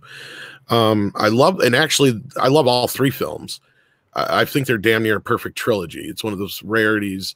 Um, and the third film, I think, gets overlooked as a great western on its own. Um, uh, as far as it goes, uh, the only problems I have with the movie is just the introduction in the second film of, and it's just a minor quibble, but it pays off and plays through the next two films, and that is because they had to give Marty an arc because he didn't have one in the first film because you know his father's the one who has the arc. Uh, so they had to give him the whole chicken deal. Other than that, I mean, I think they're great movies, and I love how dark the second film is, and it really twists and takes a lot of the the time time elements and plays with it and gets into paradoxes and shit. Uh, I have two points I want to make. I'll make the second one after we talk about this, but I will say I'm a little biased towards Back to the Future 2 because it does take place on my birthday. Anyway, Tom, could you tell us about Back to the Future 2's censorship? Yeah, I guess uh, between Justin and or uh, Salty Nerd Podcast, one of the gentlemen over there noticed that there was this strange cut in the film, and I'll play it a couple times here as you notice. Um, in the original version, he goes through the book, and then he looks at the cover a few times and goes, "Ooh la la, ooh la la," and then he starts backing up. Well, as you see, there's this weird jump cut here, and you only get to hear him say "ooh la la" once, and uh, it doesn't show the cover at all. Not to be that guy, but this legitimately might, might be my favorite part of the movie. Just the way he delivers that second "ooh la la" after he realizes what he's looking at. I'm, I always chuckle, and that's for a comedy to consistently make me laugh at the same joke over and over. Always, it means it works for me. Um, now, I think this sets a dangerous precedent. I don't, like I said, we I haven't spoken to all you guys uh, directly, but I can as, assume that we all hate movie censorship, especially when it's by a third party that doesn't have any creative interest in the film outside of making it fit uh, some standards and practices of said platform. Yeah, I mean, I think one of the, you know, taken back to the future as an example, like one of the great draws of these older movies from like the 80s and, and 90s to some extent is how they they were non-PC and you know they weren't afraid to to put things in that would be considered slightly controversial nowadays, but it was part of the fun. And mm. I think in in terms of something like Back to the Future, it's like generally the most inoffensive trilogy of movies you could ask for. Like, what are you seeing there? A little bit of TNA. Like that's it, and it's uh, like generally wholesome, like good-natured movies. Um, but the fact that you know they're, they're taking stuff like this out now just comes across as really kind of sinister and mean-spirited. Yeah. I mean, unless they're just trying not to offend the French. I don't know. Ooh la la. Ooh la la. Because it is. It's very Puritan. Um, like Jeff was just saying, the movies are all PG. I mean, the the the funny story about the the first film was every studio said no, but their reaction to it was take it to Disney. It's too much of a family movie for us. Yeah. And then Disney goes, Are you insane? We can't make this movie. There's incest in here. So well, I, generally, I you know, the, the, generally the criteria for like what is a PG has been relaxed over the years. Of anything, you get more swearing and stuff in PG movies now than you did. Mm, no, actually, it's gone the other then, way. Actually, in the, yeah. the TV version of Back to the Future here in the UK, at the end, uh, where the doc's saying, "Oh, it's your kids, it's your kids, Marty," and he's like, "What? Do they become like assholes or something?" But in the TV version here, they changed assholes to jerks. Yeah, same yeah, they, I remember they, that. They dubbed the jerks over the top of it. Yeah, the first movie only had some minor edits. That edit, um, and every time he said Jesus Christ, they changed it to Jesus Louise. Um, and then shit, they just take out. I don't know, remember what they changed it to, but those are the only minor edits that are throughout the entire film. Same thing with the second film. That's the only minor edits as any of just the minor language. Um, and it used to be in a PG movie, you could get away with an F word even when PG 13 existed. Um, that that goalpost kept moving throughout the years to where you could used to be able to get away with with bare breasts as long as they weren't in a sexual connotation and up to a few f words as long as they weren't in a sexual connotation in pg-13 and that changed too so we're at a point where pg-13 has gotten more and more puritan and they keep pushing all that kind of stuff off to r but you can kill hundreds of people on screen and it don't matter like that part has changed. The violence aspect, they've allowed a lot more violence on screen than they ever have before in PG 13. Yeah, and you know my stance. I mean, I don't care either way, but I figure I think it's weirder to be uptight about sex than it is violence. But that's just me. But to go off that, that was just going to say. A lot of people were thinking, oh, maybe this is a TV edit that accidentally got that I accidentally got uh, um, upload and I'm like, no, what it reminds me of, oddly enough, is the other like two weeks ago on my Vudu. I don't know how it happened, but there was a setting on there you can flip it over to family. And so anything that's above a G rating, it'll edit out stuff, but it'll do it in a really strange digital way. So like if I if a character is going, well, this is insane, this is crazy bullshit, they'll cut the whole line out. So you'll have this strange digital edit in the middle of a scene. That's what this reminded me of. So I don't know if Netflix is messing with like a new family feature and this just accidentally got stuck on this version of this movie or what happened. That's the only thing I can think of, but because it doesn't, it, it's not a TV edit. It's definitely not a TV edit. One thing I will say too, I don't have proof unless you want to go back and check an old email I wrote, but they did this with Men in Black like 10 years ago. They took out one line of dialogue or something. And I, the only reason I specifically have an email, excuse the racetrack behind me, is because at the time I listened to this podcast and I, I sent them an email. I said, Did you guys hear they censored uh, Men in Black on Netflix? And that was just like, whatever. But I'm like, all right, I'm not crazy because I have the film. We're talking about physical media.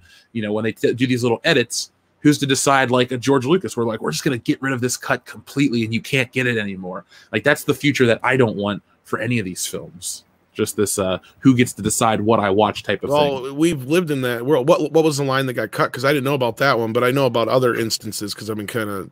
It was honestly, it was like some. I think they just cut the word shit out or something. But I remember, uh you know what I'll do? Let me see if it's in my uh, Gmail account. I will look. Okay. Well, I, I don't know if anybody remembers the movie The Program from almost twenty some years back. It was, a, it. it was a high school football movie released by Disney, ironically um, through uh, Touchstone, I think it was, or Hollywood Pictures, one of their subsidiary things. And there's a scene in the movie where the kids get drunk and they lay down in the middle of the road in a high on a busy highway, and it was like this rite of passage thing, and you know, tr- to try not to get hit by a car. And they cut that whole bit out of the movie because these kids went and did it, and one of the kids got hit by a car. So to this day, that scene is not in the movie, even though it was in the theatrical cut. Oh. Um, so we've there's a that, that's just one instance of a and there's lots of times where you're just bringing up uh, where lines have been cut out of movies here and there periodically, just just vanish. Yeah, I don't. I, I hate that. Um, yeah, I, am not even gonna try to find this. Uh... No, I was just curious. You can tell me later, but no, that was just another one to add to the pile. Oh wait, I, I actually found it. It's from uh, January 30th, 2014. Um, what? Um, you talk for a second. Let me read this email, and I'll I'll tell you what I meant.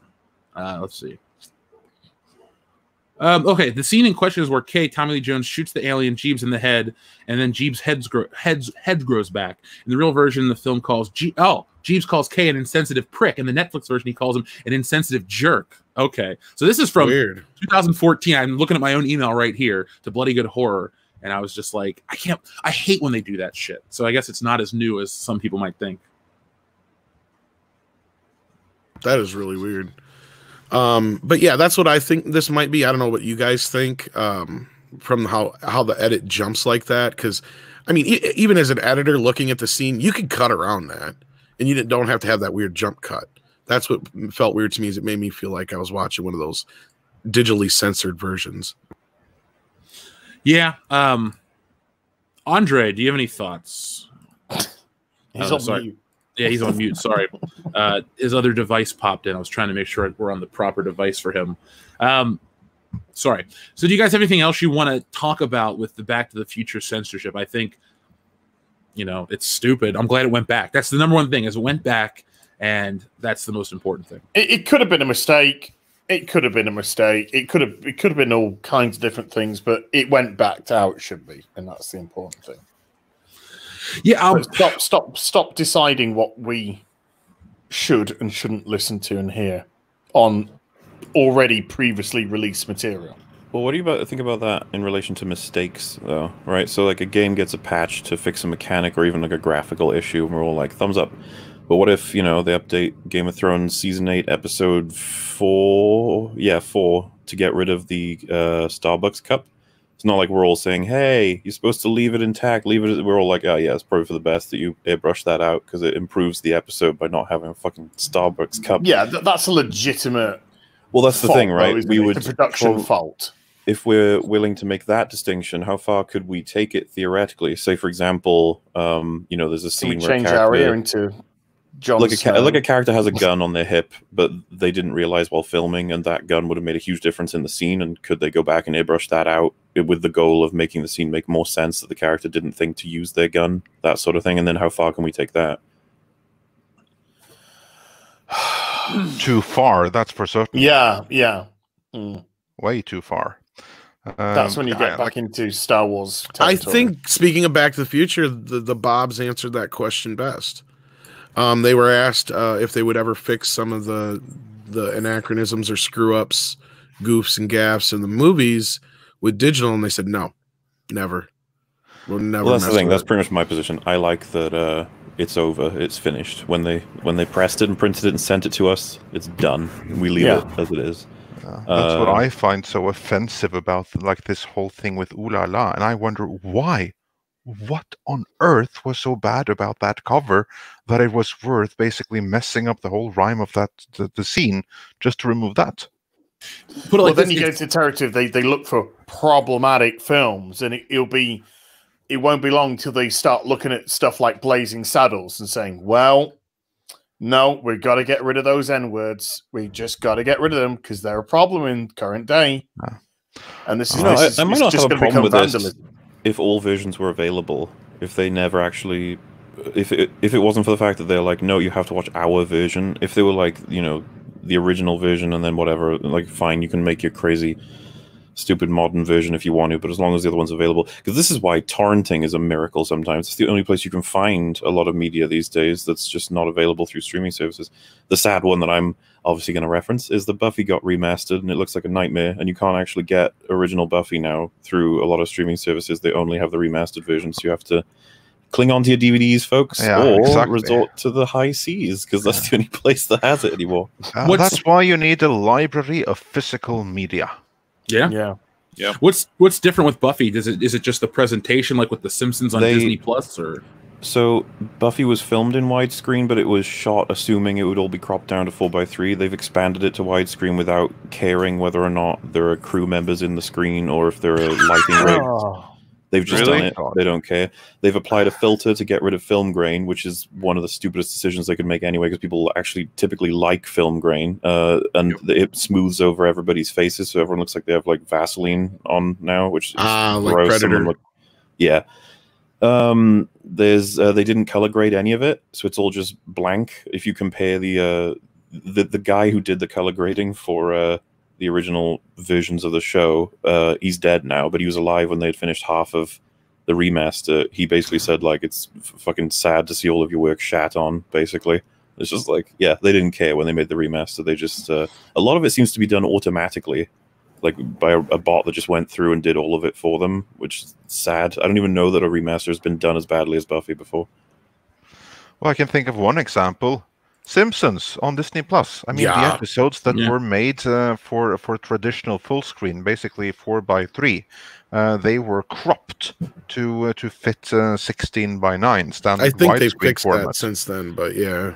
But still, it just goes to show that uh, that for stuff like that, you need physical media. Oh, yeah. Or failing that, backups straight from physical media. They did the same thing to high the first seas, couple seasons of Highlander. They cropped it off too, and a few other shows I've seen. And that makes it unwatchable because I don't know which is worse, cropping up part of the image or having all the camera people on the side. I guess like having all the yeah, they're think- equally bad.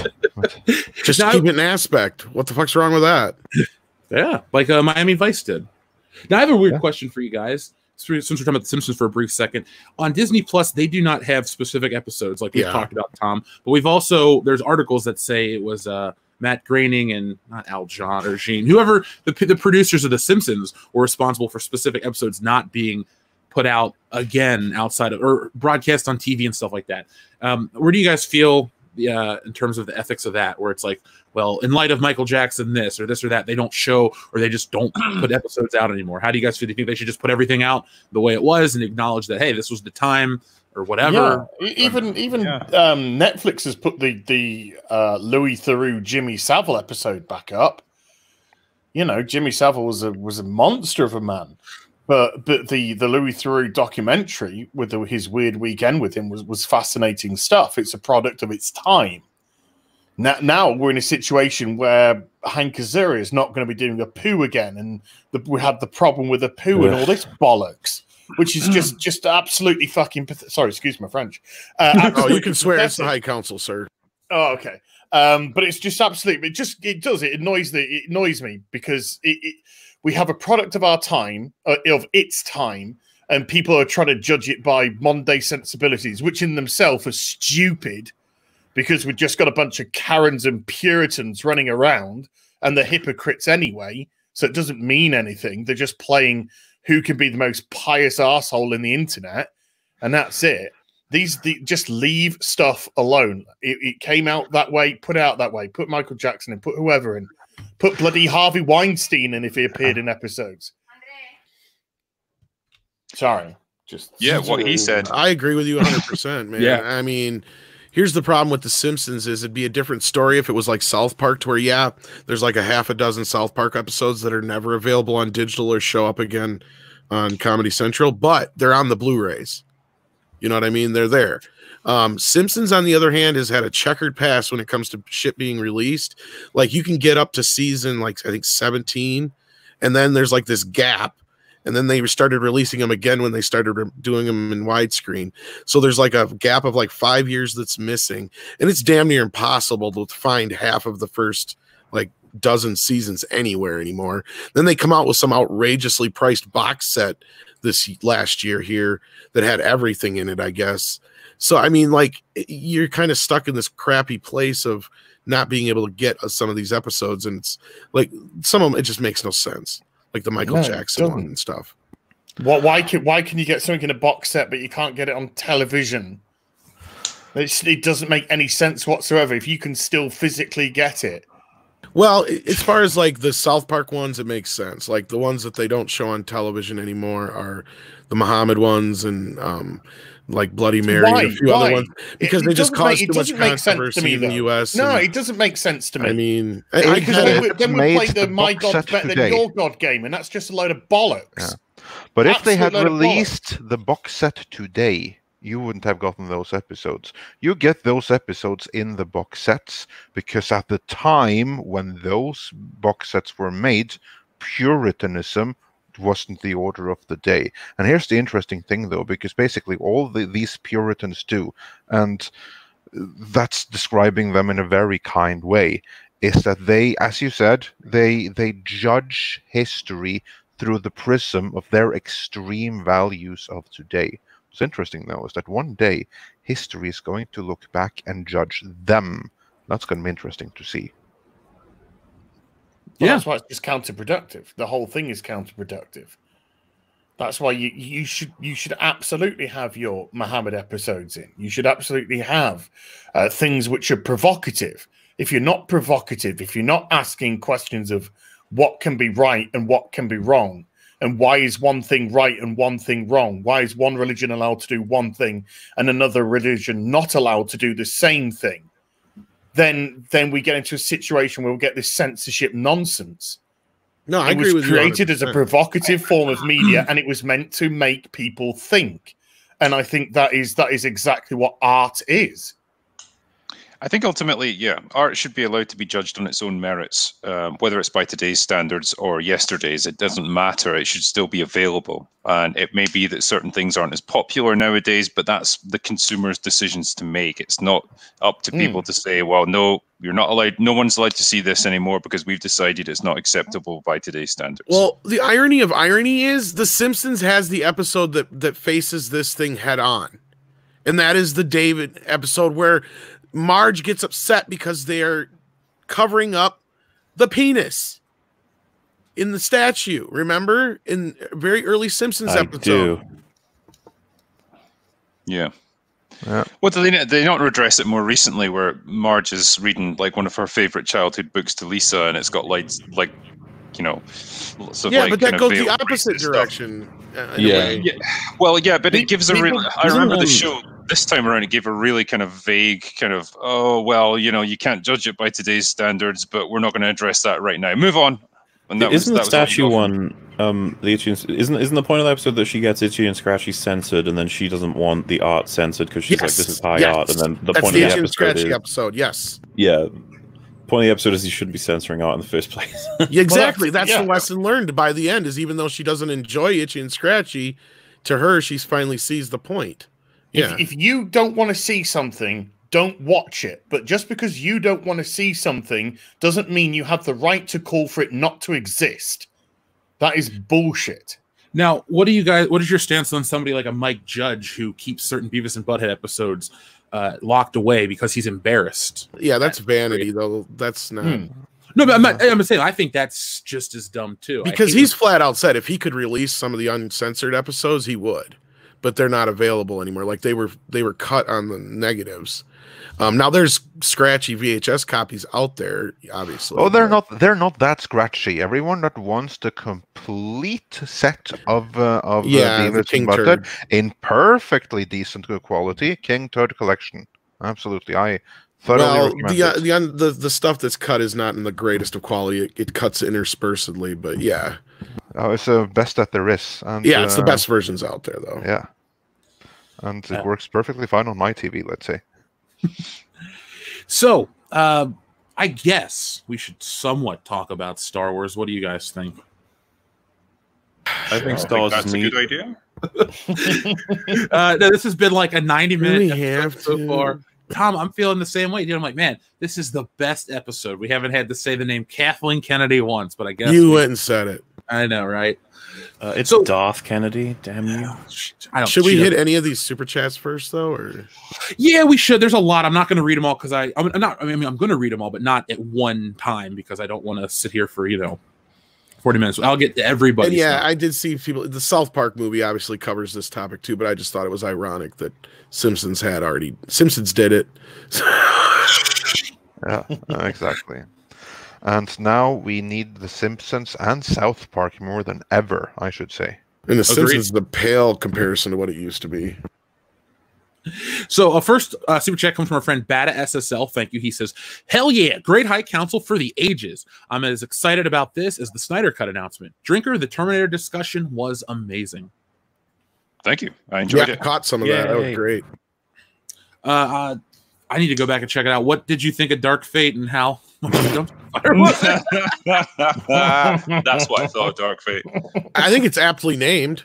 Yeah. That's the thing. Like, Yes. I'm I'm hardcore into Terminator. I fucking hate that in Genisys. I want to kill them both, but I will concede Dark Fate is probably worse. That Same. opening scene, man. There, there- there's there's three distinct eras to Terminator, isn't there? Like there's one and two when it was excellent. Then there's like three and four when it was really mediocre, and then there's like Dark Fate and Genisys when it just completely dropped off the map. Well, no, it's it's where it was like, hey, let's piss them off, these fans, because you know why not? Let's just fucking annoy them. we watched it for a drunk commentary, and I couldn't believe how dumb this movie was. I, as much as I like the first two Terminator films, well, I put love the first two. I think that's a dead franchise, and they should never touch it again. Well, I think Andre said it best when he said it's not a franchise. It's Exactly. not. It's never been. It's two movies. There's no franchise there. Mm, and To be there's honest no with you, it way was you one can movie. it into it. It was Yeah. a miracle they got Yeah. the second movie to work. Oh, please! I was gonna say. I was gonna say. Please, somebody here. I'm sure Mauler understands what I'm saying. When basically the second movie is a remake of the first movie, just better. Yes. Yeah, it just builds on. This is what I mean. It's a It's miracle. down to of a the same sequel. lines and everything. So yeah, it kind of proves it sort of proves the point that like you can only really do one thing with the Terminator movie. You know, it's a Terminator has been sent back in time to kill someone, and you have But to they protect. had women in it, and they're stunning and brave. I will say that there is one thing that they could do with the franchise, and that's the one thing that they're never going to do. They could simply do Future War, Yeah, Future leading up, War, yeah. le- exactly, leading up to uh, to um, uh, to I forgot his Kyle uh, Reese, name. Kyle Reese going Kyle back. Reese being well, sent back, what. and no the- the twist, no they can do. nothing. Just just leading straight into the original 1984 movie with no timelines, Mhm. no no ifs, no twists, just straight future war leading into the 84 movie. Boom. That's the one Yeah. thing they could do. They, I mean, Well, they that's what tried to do Salvation tried. Yeah. uh, no, but the, but there, quite but there's uh, but there was There's no like wall. twisting and changing, and everything is different now. And the T800 appeared so many years earlier, and no, they messed it up. Oh, I agree they messed it up, but I'm just saying they they already went that route and they still Yeah, messed because it up. they- That's but they the point couldn't I help- they to. couldn't help And I think from, that's what like- Drinker was trying to say. From from They should remake it with. Robert Pattinson as the Terminator. Get the That's- fuck out of here, what they Az. should- That's I what don't they give should them do. ideas. And it's going to be called Rose Terminator Terminator. Tinder, and he's going to he swipe refuses- right. I just, I'd, I'd like if he did it, but he refused to work out again, and he just comes out like fat and out of Yeah, shape. I The problem want- is I want the movie's only five minutes string long because he microwaves himself and blows himself up within five minutes of the movie I because he thought it was an oven. With a coat that's four sizes too big for him, and it weighs him down, and he has to like hunch over for most of the movie because it's too heavy. And then Oh, uh, I want out. somebody from the CW to play Sarah Connor. Um, who Well, they already had can't what's her face from Game of Thrones or whatever. Uh, That was bad enough. I know. Emily, Trying to Wait, wait, wait, her I've- name. I've- Emily. I've got it. I've got it right. So they send back a female Terminator. Sarah Connor's in it, played by someone from the CW. I Sarah want a trans. Terminator. Yeah, Sarah Connor's trans gay now, and she falls in love with the Terminator that's been sent to kill her. Yes, do it. then we've got it it. nailed. That's the movie. and then and then they have John Connor in a Miracle on Seventy Fourth Street between them, and then they have a, an emotional scene where she has to go back to the future to come back to the past to hunt John Connor down. Well, you're missing one important part is where the Terminator, or whatever we're calling it, the the LGBTQ one thousand point one. Um, it's got to kill her first girlfriend, and but then Sarah understands why the, the Terminator had to do it because you got to have somebody murder somebody and then somebody get away with it. Only, only the patriarchy modern. can die. Yeah, only yeah, the yeah. patriarchy can die. Okay, it was her husband then, and, and then that's when she realizes she's lesbian. No, there you go. You just heterosexuality wrote is the devil. You can't have a husband that would be A boyfriend. patriarchal. That would be. Well, that's why the Terminator No, thingy killed him. It's got to be Well, wait, wait, non-binary. yeah, no, no, non-binary. He could be an abusive husband, and then the Terminator. That's what I'm saying. Yeah, yeah, Oh, yeah. That's what I'm right. saying. Yeah, yeah, yeah. You got to set it up that way because you know you got to have some carnage, and then you got to inexplic- inexplicably let the main character go and get away with murder because that's like a murder. Of course, you're going to have too. carnage. There are plenty of white people to kill, Of course, so this is going to be carnage regardless. just go to a disco. Just, just go to any any KKK march because that's all white people do nowadays. Apparently, we just Discos and KKK marches. huddle yeah. up in our in our white supremacist meetings and go. Oh, You forgot church." diversity. Me, ooh, it's a poopy thing. And then just kill them all. No, Well, you got to spread it out throughout the movie. God damn it! I, I feel that people aren't into this movie anymore. No, I think it's falling apart. yeah, I think that the box office says the same thing too. So But it's but it does better than Terminator Genisys. I just feel bad for Arnold Schwarzenegger at this point. yeah, that's the one thing I feel bad for. I feel I, it's so depressing, and especially like to see like how basically he's being humiliated on screen, doesn't especially care. in the last one. Well, You know what he- I, you know what he cares don't- I about? don't give a shit about Well, I didn't- I didn't you know realize what he cares he'd had- about? I can tell you what he cares about. He cares about getting another Conan movie off the ground. And the Mm. both last Terminators movies have killed Conan movies in development. I would have. I would have loved an old man Conan movie. You know. And you Now would have gotten just- that twice were it not for the Terminator movies. Yeah. Now he's just he's not even going to be physically capable of like swinging a sword at this Nope. point. See, I didn't realize like he'd uh, he'd had major open heart surgery just Yeah, shortly did. before Dark Fate started filming, and Yeah. that kind of explains why he's so kind of out of shape and sluggish and like tired looking. He's An he's still interior recovering from decorator? It. He's Yeah, said it like three times now, hasn't he? He said like quadruple bite through like three quadruple bite. Yeah, marks. Yeah. Batman uh, uh, during Batman, and what was the other time, Andre? Well, the first time was in 1997. That was the first time. During then he had, Batman, like, yeah. yeah. yeah, that was the worst because then he they had to do it um, uh, twice because it failed the first time, and after that, Oh. I'm not entirely sure uh, when was the next time he had to do it. I think it was right after End of Days or just before then, if that's about right. That's Yeah, when they 'cause it was, realized it uh, didn't take or whatever. Yeah. Yeah, because it's like a congenital condition he had, wasn't it? And it was like you knew he was going to have to have it fixed at some point, and he kind of kept it putting it off until he was a certain age, and then it's like, right, you're going to have to get this done, and yeah, they just kind of kept screwing it up. I didn't realize Arnold had all these issues or that issue. I just knew he had a heart surgery before Terminator. So I didn't know it went back.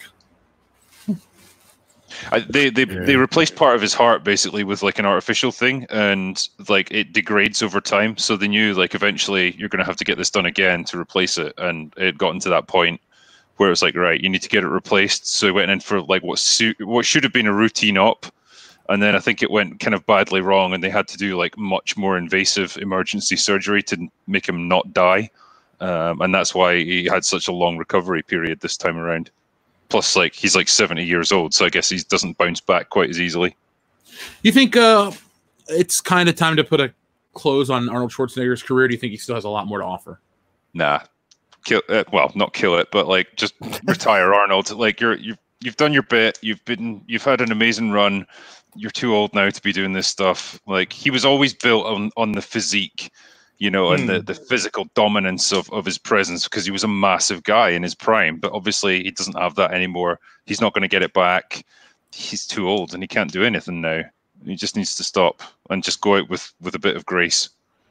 Yeah, I thought that. What was it? Cl- Not Chloe. What was the name of that movie he was in with the zombie girl? Uh, it was like a, a female Oh, name. Maggie. Maggie. Maggie. Oh, that's- Maggie, yeah. I thought that was going to be his his finale because everyone was giving him all this praise, and then I think he did Terminator the following year, and it was just kind of like, oh, I had to turn it off. It was so fucking boring. I haven't seen it, so I, I love tried Arnold, to- but man, I gave up at like 25 minutes. I was bored off my tits. I had to stop. I mean, I'm sorry, Arnie. I love you, but it was no. I thought it was going to be an interesting sort of like uh, you know, father daughter. She's turning into a zombie, but it's no. It was just nothing happens in the film at all. No, Maybe I'm glad I missed that one. but it Uh, came so- out after the Last of Us. Yeah, I so people remember it, like, but that was Oh, it's like The Last of Us. That's it. No, no. and now we got the Last of Us game controversy. Which do you think the controversy is going to affect the sales at all? Uh, no.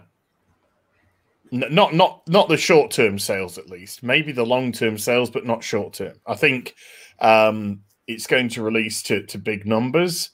Uh, I'm sure it's going to probably do better than the first game in terms of initial release. But when the story's available, then it's going to become quite divisive. I think the way that they've treated the characters, so it might actually curtail longer term sales of the of the game. So it'd be interesting seeing because I think it took um, four years, I think, for it to get to 17 million, the first game in sales. It'd be interesting to see after four years how many copies of The Last of Us Part Two are sold at full value. you know, uh, Neil Druckmann won't even be at the company at that point, so he'll just be like, ah, whatever. But I, I will say, I think when you have a game like that, and people talk about the wokeness and the response and who is this for, I think a game like this and this type of story is for the critics who then will give it a high score, who will then get the fans, the people, the consumers to go out and buy it. I think you know, if people for say, saying, Anita Sarkeesian, that's, what it's. That's who it's for. She's the absolute worst. It's for her because this is this is built off her teachings, which he's now a disciple of, according to his own uh, uh, presentations, which he's done. He, he she she crafted his mind as to how he, women should be treated and how the franchise should develop.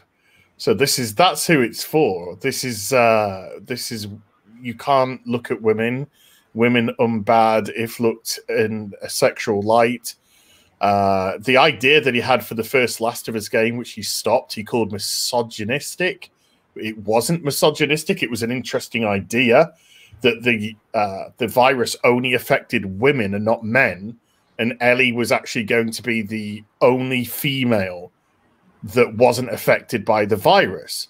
So that actually would have been an interesting concept in itself. I've got no problems with the first Last of Us game. I thought it was excellent. Uh, but I thought that's still a, an interesting concept to explore.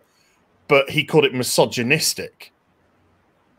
Okay, uh, not so much. And the the DLC was where he inserted the identity politics, and it was clear now that it was done on purpose because the vast majority of people who picked up the game won't play the DLC.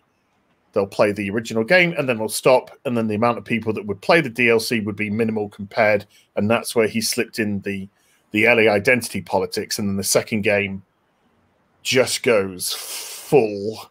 When you've read through all the leaks like I have, uh, I am I am really confused as to why a AAA game company is putting a game out like this, which even the own cast have warned is uh, you you require an open mind to play. Open mind to me means divisive. That's what it means to me. I'm just worried that uh, we're going to have because you talked about long term sales. I'm just worried that people are going to look at short term sales and go, "This is the future. This is the direction we need." Kind of like the remake craze or the 3D craze or all these things. And I'm hoping that the woke craze isn't really a thing. I'm dreading that in video games. I'm, I'm looking. We earlier we were talking about you know I think Mauler made the point about you know putting out a patch to fix a, gl- a glitch and all these other things. I think we're moving to a point with remakes are the new trend. And I think once we start doing game remakes, but then put modern shit in it, then I think all is lost. Well, remakes are only a trend because, as we were just talking about, like Arnold and all that kind of stuff, movie stars are a thing of the past.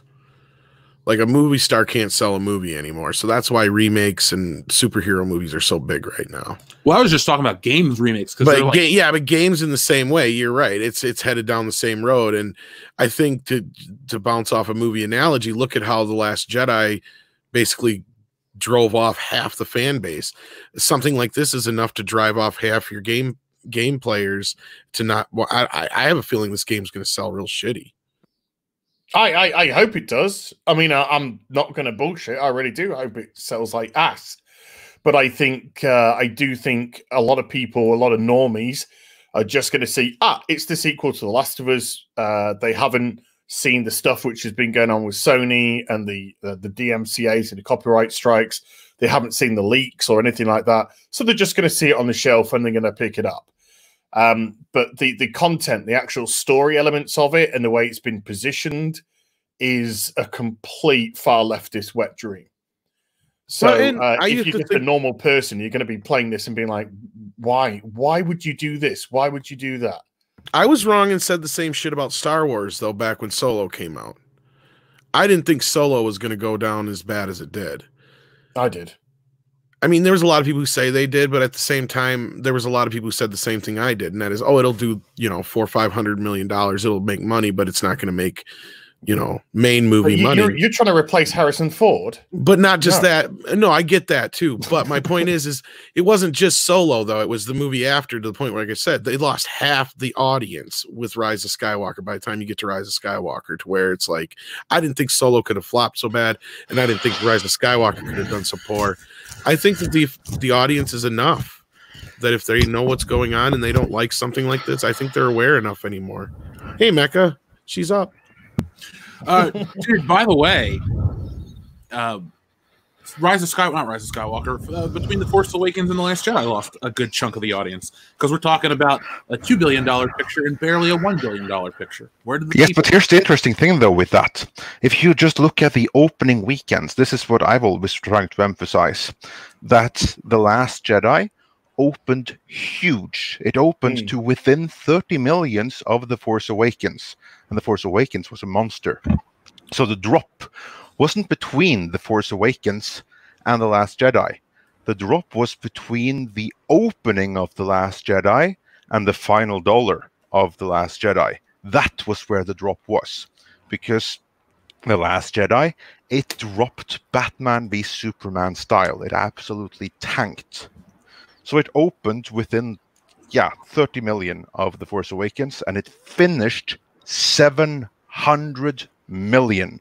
Think about that. That's Oh, the yeah. whole gross of a normal Star Wars movie or normal any big budget movie. 700 million below. now, that what do you was think? within the for in the, the last Jedi. Sorry.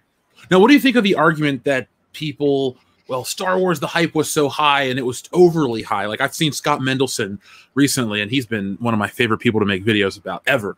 But I've seen recently how he said, well, The Force Awakens was just too big and they they overestimated and all that stuff. I think they accurately estimated for The Force Awakens and then just it didn't deliver for a ton of people. I know I've been saying it for five years, but I hate that movie. That to me damaged Star Wars and a lot and movie making in general. I think The Force Awakens damaged it because I call it the Force Awakens formula. I don't know if it's a thing that other people you guys have talked about on your channel, but Halloween 2018 is very guilty of that, where they sell you a movie before it ever comes out on. We got the original cinematographer, we got this guy, we got that guy, we got this person, we got this cast person. We're using the lenses, we have John Carpenter to do the music. And then you kind of see the movie and you're like, there really isn't a whole lot of movie here. They sold me on the, the shit of the past. Star Wars to me was the first big film to do that, where it's like, we're selling you Harrison Ford, Harry, uh, Carrie Fisher, and Mark Hamill, and there really wasn't much of a movie. Have you guys ever noticed that formula? Kind of, The yeah. bait and switch. Yeah, the bait and switch. There's a different name for it. But I, I Yeah. personally didn't have too much of a problem with The Force Awakens. I, I thought it was fine. It was a soft reboot. Eh, but I thought that the second movie would actually explore at least the storylines which were set up. But Rian Johnson purposely just cut them all off. Yeah. and Mm-hmm. that was the problem. That was the massive problem for me. I thought there was an interesting story to to uh, to look at with Finn. Uh, to to look at him being an ex stormtrooper. Was he force sensitive? Was he too going to develop into a Jedi? Was he going to develop a relationship with Rey? Because they seem to be the two protagonists that were going to, if anything. And so I just thought, you know, Rey herself, when she got the Force at the end, was it like an O, you know, kind of like a an OD. She got like a, an adrenaline surge of force, but then it would have to calm down. Then she would have to to deal with it, learn, develop. Uh, who was Snoke? Was Snoke Darth City? You know, there's lots of nice little threads leading to to where stuff could go. But Johnson purposely, maliciously cut them off, and and he just cut the whole stem of the the flow. And then, so by the end of the Last Jedi, I left the Last Jedi thinking, where does this go? There's like eight rebels left. Yeah, that was Andre's review too. Uh, I don't see where any of the threads have all been killed. There's no um, rebels left. No one's come to help. Luke's Uh, dead. We all knew Palpatine was still alive, so we knew that was going to happen.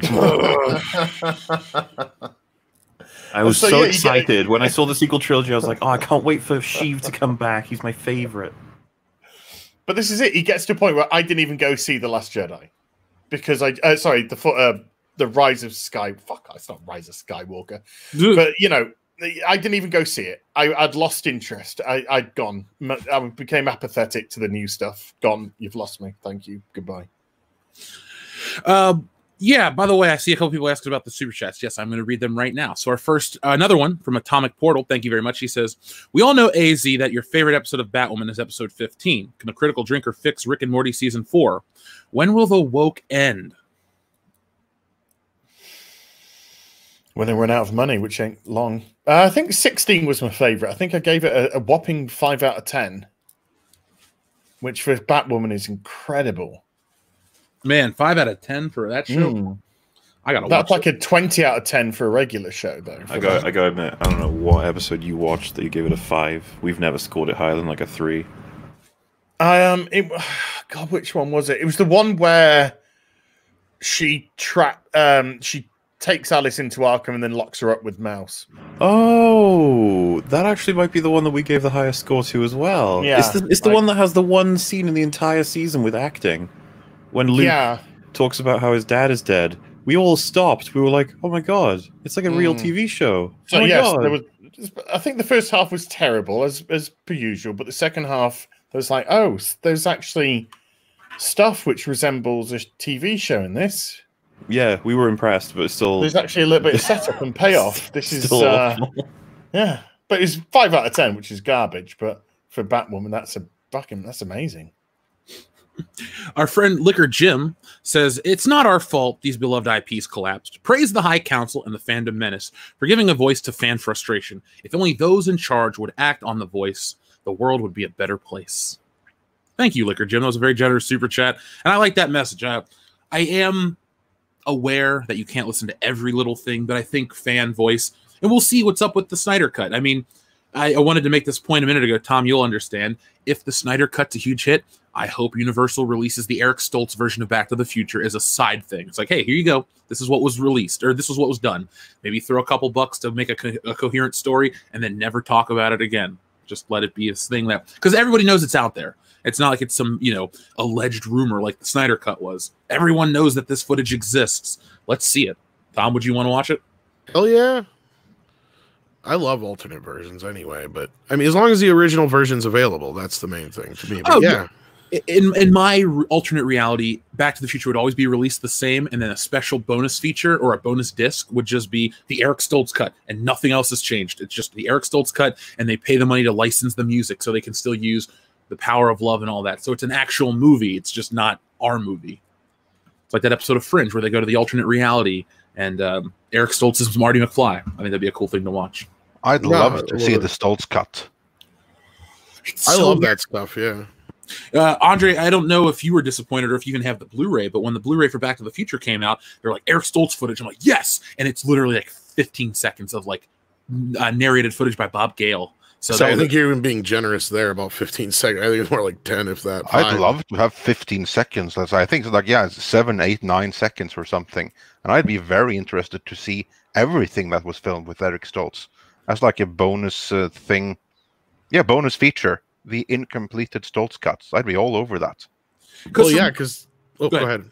I was gonna say, from what I can surmise, there's just so much done that they went. I think they filmed what five or six weeks.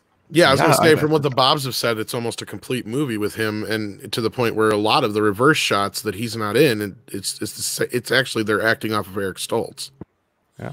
Now, does Universal have any ties to any streaming services? Uh, yeah, Peacock, don't they? Oh, the Mhm. Peacock. I guess. Yeah, they they done fucked up that. That was so stupid. that's free, but it's ad based, correct? They're starting out like Hulu did originally. Oh, You're getting limited access to things for free, and then yeah, then you can subscribe to get the more access. But what were they thinking? Universal's their big pushing point here. Comcast has all these things, and Universal's got, you know, the Fast and Furious movies, the Jurassic Park movies, the Back to the Future movies. I mean, we can go here, sit here for on and on. All the Spielberg movies, Fletch. um, Fletch is amazing. I love and it. then just get into their television. Yeah, but I mean, who? What the Peacock is the dumbest effing name for all these streaming services we got right now. That is the dumbest one. uh, uh, you're preaching to the choir, Tom, on this one. At least for me personally, Peacock. You want a cool streaming name, even Hulu, which isn't even a real word.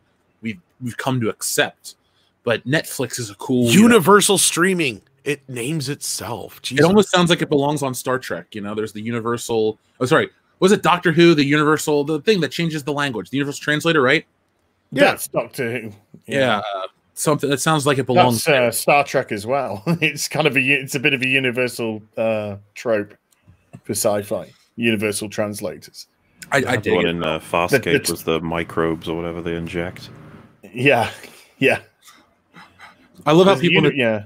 Star the- Trek is the universal translator, and then in Doctor Who, the TARDIS translates uh, for you. I'm I'm I think two or three years behind on Doctor Who, and I don't think I'll ever catch up. Don't I'll don't, leave it don't where. touch the Whittaker stuff. It's, it's it's garbage. The Whittaker stuff. They got Lady Mork now. They got Karen. Yeah. they got Karen, and she wants to speak to your intergalactic manager about you being a bigot. she runs around with a vibrator ass mecha. I, made out of teaspoons that she should fucking had when she's in the kitchen. Uh, it's a joke. It's a joke. It's a joke. I just want to give a shout out to the chat, all the love for Fletch. Yeah, I, I there could have been a third Fletch movie. Yeah, dude, it is. It's one of my all-time favorite flicks. Ooh. Yeah, it's one of my favorite films of all time. Yeah, I absolutely love Fletch. It's because I'm a um, I I love like film noir, I love detective and stuff like that. And and this is like an amalgamation of film noir and comedy, and it's just perfect. It sucks for me because I'm a huge fan, and then you are too. But they don't have the score released. They released the score for Fletch Lives, and I'm like, oh, I Tell me love, about it. yeah, I love Harold Faltermeyer's music, and I'm like ready for Fletch one, and I check La La Land records probably every month. like, where's the Fletch release? Where's the Fletch release? Nothing. So Fletch Lives is a fun movie, but Fletch one is just head and shoulders above it Oh yeah. every way, every way. Yeah, yeah, it's just great mystery. It's a great Well, mystery and a Fletch- great comedy. Fletch 2 actually did surprisingly well considering all the competition it had at the time. But yeah.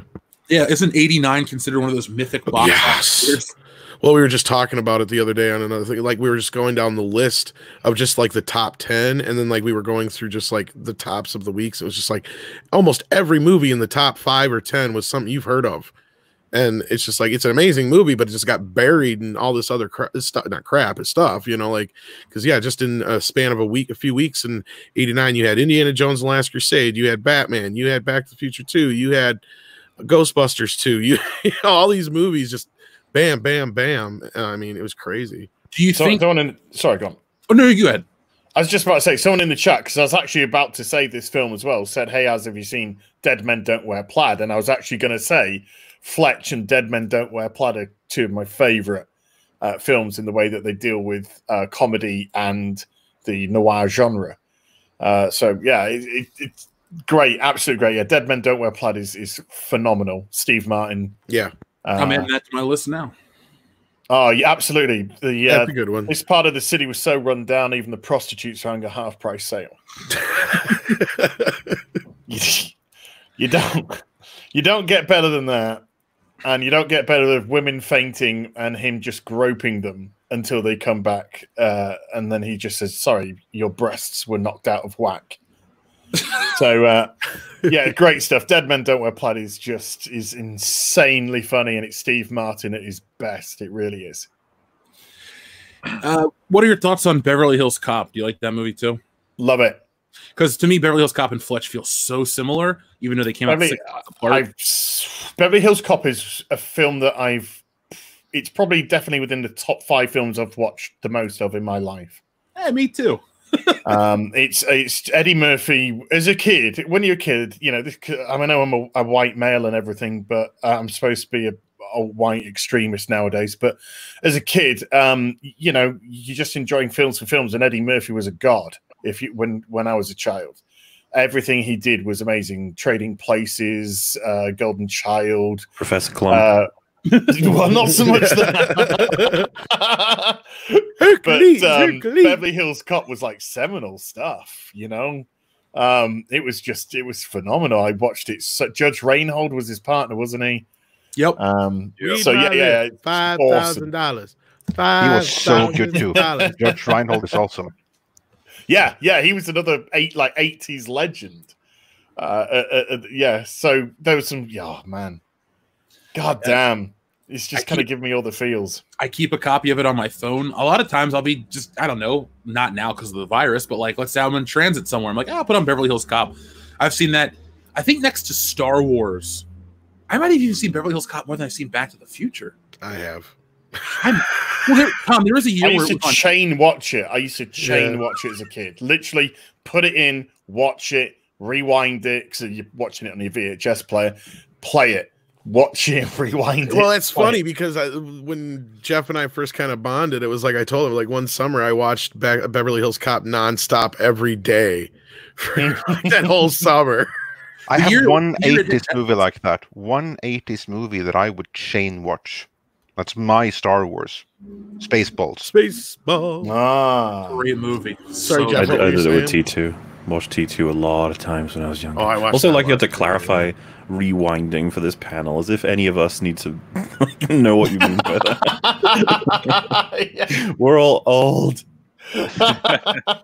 Yeah, you had to rewind tapes, kids, and if you didn't, you got docked fifty cents by the video store. Trust me, I know. And you know what? I'm actually being nice because I said on the on the VHS, but we had a Betamax. Oh, beta? Well, at least you Yeah. had a beta. That's Jesus. better than VHS. What were you saying, Jeff? You were going to say something there. I'm sorry. Oh, I will. I'm just going to jump off of Az, uh, AZ's point. I do have Beverly Hills Cop on beta if you ever need to borrow it. But there you go. Um, yeah, no, it's just I was I would chain watch it too. Part of it was the music for me, but now that it's Mm. you know released officially, I'm cool with that. But I mean, I used to rock a bootleg. I had an iPod in 2013. I bought one. I had a bootleg of the Beverly Hills Cop score, and it had sound effects from the movies and shit. But I wanted to listen to the music so much that I just I dealt with it. I mean. I even I have an have the actual same Foley costume. That's one of the. I don't even cosplay, but I have the fucking jacket, the shirt. I even bought shoes that are close to the part two shoes because they don't If really make blackface, then I'm going to report. I just want you to think Johnny Wishbone, and I'll come running. Your name is I know that's Johnson, part right? two. Part two is great. the, Um, the 80s was it was uh, Eddie Murphy and Tom Hanks for me. That- That's that- my that was, wife's car. Bitch. That was my 80s. Tom, Han- I love again. I respect Tom Hanks as an actor, but all my favorite Tom Hanks flicks come from the '80s. Uh, Money Pit, uh, fucking The Burbs, and oh god, why am I drawing a blank on Bachelor Party. Yeah. Bachelor Party's great. Hell yeah. How am I not thinking of that one? No, I Big, Dragnet. Big was I've seen Big so many times.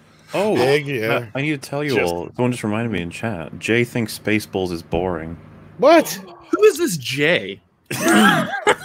And why do you bring that Somebody negativity into your life? His his hot takes need to be addressed. Okay, No, I see you guys giving him Through shit all the noise. on. Yeah. Jay challenged me to a drinking contest, so that's on the cards once the lockdown's Ooh. lifted. You should also debate Spaceballs. Do it. I wish, I wish we weren't all so far apart. I'd want to take part of that drinking contest. I, uh, critical drinker, are you either Jackman? Is that what's in your bottle? Uh, usually, uh, that's the general purpose drinking impl- implement. Uh, I don't really have a preferred liquor, but I just drink whatever. So I'm down. I'll uh, I'll Captain bring I'll bring some man nice specialty from Norway if Ooh, we ever do that. Bring some Linjakevitt or something. That'll um that'll do wonders. They even spoke about that in The Simpsons actually. It Ooh. sounds fancy. sounds like I've never had it, so it means I want to try it. Yeah, uh, I'm sure that uh, can be arranged at some point. Yeah, um, we keep over here on this end. We're all working on this like fandom menace meetup. So maybe we, if it gets even bigger, it'll be an international one one day. That'd be fucking Uh, I'll, I'll I'll bring some bottles. Ooh. And I, if, if we have one of those next year, I probably won't be sober for most of it. So, folks, if you meet me and I'm in a very good mood, I probably drank a lot that day, but I'm happy to meet everyone. Uh, let's see. Atomic Portal, thank you very much for Unicorn Super Chat sticker. Atomic Portal also says, All your thoughts on Rick and Morty season four. I haven't seen it, so I can't comment. You guys? Uh, I haven't seen it yet. Not I've seen, seen the it. first three, but uh, it's weird. Like it was so long in coming, and now that it's finally here, I'm like, nah, uh, don't care. yeah, I kind of forgot it actually dropped. I haven't seen it yet. Am I the only person who's been watching it? Yeah. You all the entire planet. sick. It's just you. know. Uh, I How's mean, it it's stack been- up against season one to three. I don't mind having a hot take here. I don't know what's going on with if, if people think Rick and Morty sucks or, or not, but I thought I think the new season's been pretty good. The uh, the the narrative literal train episode that was the one before the new one, or two before the new one, uh, really impressed me in terms of writing. It's it's hilarious that that they, like screw with the idea of the hero's journey in like a literal sense as it controls them in this giant train that they're trying to get out of, and uh, they're trying to make it to the control room, but there's a thematic seal and it means like they have to create a story that is off theme compared to what they would normally do. And Rick tells Morty to uh, generate a story that would pass the Bechdel test, and um, it's it, it, it's just like I would I would recommend that episode if you're unsure if Rick and Morty still got some uh, fire left in it from season four. It's uh, I can't remember what it's called. You would just search for the train episode; that'll probably get it. It's uh, it's pretty good. Do you um do you have a favorite Rick and Morty episode, like an all time one? Um, I really like the parasite one uh, when they're all trapped in the house. And all those That's different good one. creatures keep getting generated, and like I'm reverse giraffe. I have a short naked legs. that's that's the character, reverse giraffe. I think it's uh, for me. It's got to be Pickle Rick. Like Oh, They- they- that's a so- controversial one to pick. People either love or so hate that much. episode. Well, for me, I just absolutely loved it. Like they crammed Yeah. so much into that episode. Like just the fact that he's got this complete like move action movie plot going on with him and like the dude who's been sent to kill him. That's amazing. It's, it's Rick at his most resourceful as well. yeah, Like, just he's he got bored, so he turned himself into a pickle. yeah, and he's been reduced to a fucking pickle, and he's still No, he managed said to it feels come out difficult on to top. avoid therapy. Yeah. Uh, I- I'll pick a basic one. I really like the Scary Terry episode because it's what sold me on the whole show. But uh, the one with the exo battle suits where they go to that planet and fight to that Tony Tony Tony song, that always makes me laugh too. oh, that's like oh the purge yeah, yeah, episode. yeah, Oh, the purge. Yeah. Yeah, like that. Yeah, like the American Idol universe. Yeah, I, just, I, I love that. I love that Rick gets tired of it. He's like, "Oh, I'm all purged out at this point. Starting to feel a little excessive now." Ah, yeah, there's some great episodes in this seat. Yeah, yeah. I like the dog one as well, where the dog gets the the uh, you know the IQ boost, and then it's where are my balls? where What have you done with my balls? Now, uh, Atomic Portal says, I told AZ I think he's Red Lantern. What Corps are the rest of you? It's as. It's as, not Az. Oh, Az, sorry, Az. It's all right. Fine. Uh, so I told Az he's, I think he's Red Lantern uh, Corps. What do Mhm. you, the rest of you guys think? Uh, Is there a long lantern? Can I be that? I'll be the drunk, drunk lantern. Now Jeremy already took that one. It's above average lantern. Uh, yeah. I'm I'm actually gonna. I don't. I was gonna pick the Yellow Lantern Corps as a joke because I think Ethan created Larfleeze, the that character. But I guess what what is? I don't know. I don't know where I fit. I'm pretty. The yellow Mild lanterns are the Sinestro Corps, basically. So Yeah. I'll, yeah, I'll just be Sinestro. you're the they're the bad guy. Is there a frozen lantern? Because if so, I'll be it. There's a, Frozen. there's a blue one. Is it still pretty cold over there? Uh, it's it's getting warmer right now. It's a little bit chilly today. Oh yeah. And Atomic Portal also sends in a super chat sticker of a cat. Thank you very much, Atomic Portal.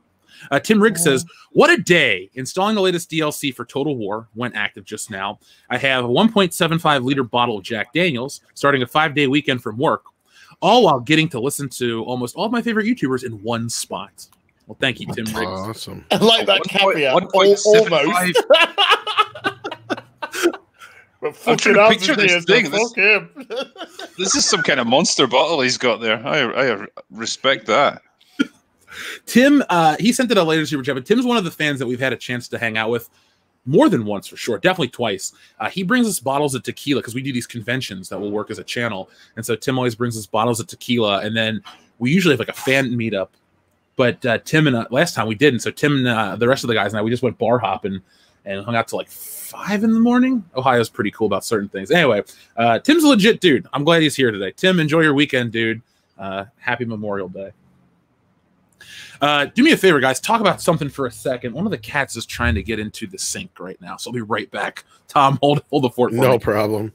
Um, I know uh, the next thing we were going to talk about was the old. Pro- I think we're going to jump into the Luke business. Um, yeah. So uh, other than that, I was like totally at loss for what the hell to talk about for a moment there. So, who hates cats here? I have one. He's called asshole, and I'm not kidding. That's his name. My cat just comes to me for treats now because I'm too soft. And whenever she comes in, I give her treats. And now I've actually taught her to come in just for treats. so now I'm now having to try and teach her that if she comes in, she doesn't necessarily get treats. And now she hates me. Too late. We sometimes get visits from the neighbor's cat, which is also nice, uh, always nice and cozy. Nice. I um, I unfortunately missed the chat about Last of Us 2. Um, I take it the consensus is that everyone's excited about the game and it's probably going to be a big success. Huge success. Huge. So, it's stunningly brave. Uh, I'm, I'm very excited about it. Yeah. Yeah. Yeah. Uh, the I wonder- games wonder if like it's that makes me Dedication the happy about not being a gamer. So yeah, I kind of like I want to review it, but I don't want to pay for it and give Naughty Dog money, so I'm stuck a little bit on this one. If I can steal yeah. it off someone, then that'll be better. But somebody said what they're going to do is because there's probably going to be a lot of people who are going to get rid of their copies quickly.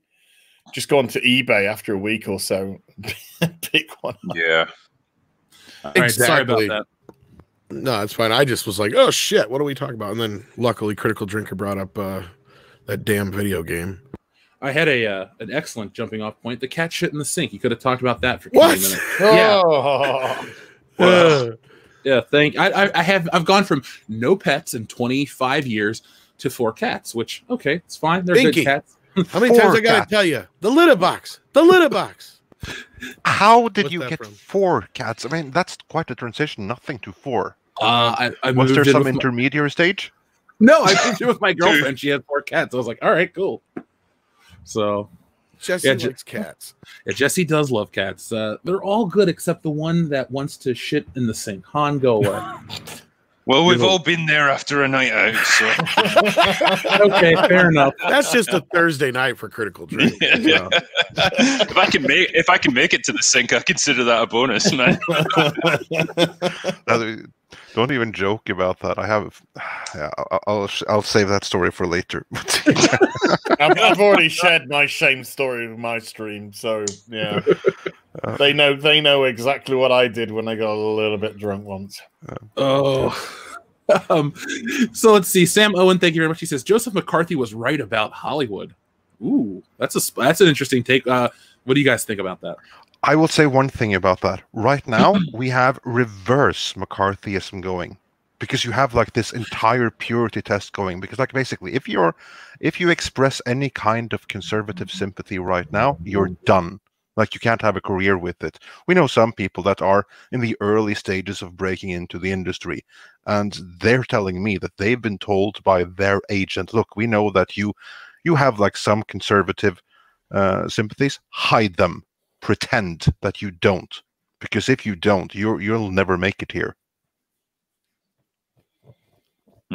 It's uh, so okay. yeah it's self-censorship McCarthy- Back in the day, was McCarthy's, um, you know, whole point that uh, Hollywood is kind of infested with, with, well, back then they would have seen it as communism, and like it's a, a very left wing kind of uh, organization or, or kind of culture there. Um, in which case, yes, that's exactly what Hollywood seems to be. Yeah, yeah, it is just communism at the moment. Do you think i wouldn't ever- say communism uh, because like it's it's basically it's that line of thought. Like it's neo-marxism is a term that i would uh, would use. Like they're not exactly communists. And what's going on in hollywood right now the, right now with the whole identity politics and stuff that they never had that in in soviet russia or anything like that but it's an ideological offspring of marxism so i call it neo-marxism Do you think we'll ever have a uh, a Hail Caesar type of film where we look back jokingly at this type of uh, political influence in Hollywood, and then the Hollywood system, or nah, they'll just be like, ah, we're embarrassed by that. We're just going to move on.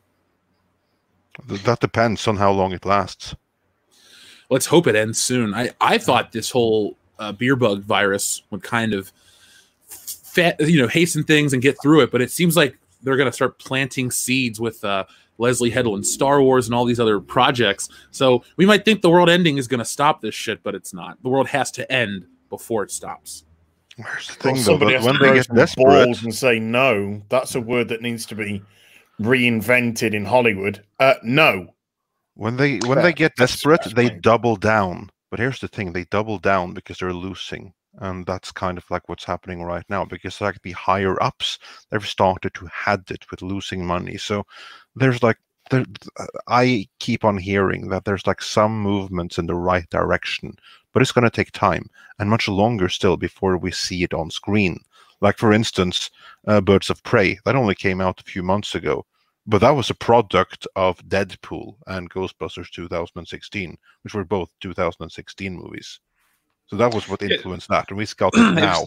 Three It was the same with. Charlie. It was the same with Charlie's Angels, wasn't it? Like that was commissioned like way back in the day when uh, yeah. during Ghostbusters era.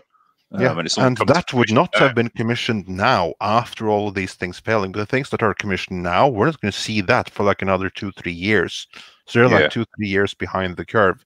And all this uber woke thing that we're getting right now, those are things that came in 2016 when things really went off the rails.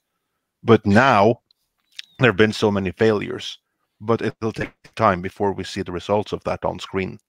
The the microcosm of this kind of thing seems to be like Lucasfilm and Disney, where you've got you know Bob Iger running things, and I think you know you got Kathleen Kennedy, who's obviously very much about the message and the the political ideology, and Iger was probably quite content to tolerate that as long as she was able to produce movies that made money.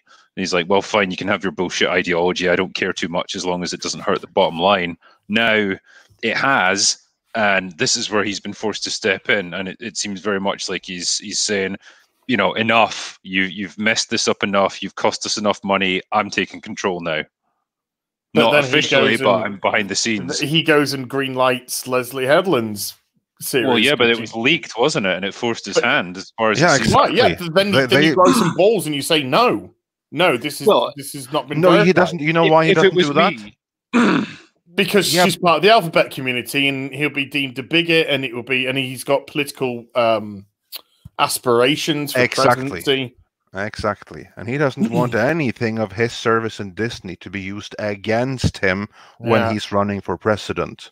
So he's very willing for all of us to suffer a little bit. So no one can use against him that he was against uh, the alphabet people or that he fired a female executive who was championing the good cause and stuff like that. He doesn't want any of that to be able to be used against him. And The thing we're is, I- for it. I, I don't care if they make it because it'll almost certainly fail, which is fine. But what I was worried about is that they would mess with the Mandalorian, which has been like their one success story so far. Mm. You know, they they start like bringing in different writers for that and take it into a new creative direction where it's all about the message again. Then I actually, uh, sorry, carry on. Yeah, No, I no, actually.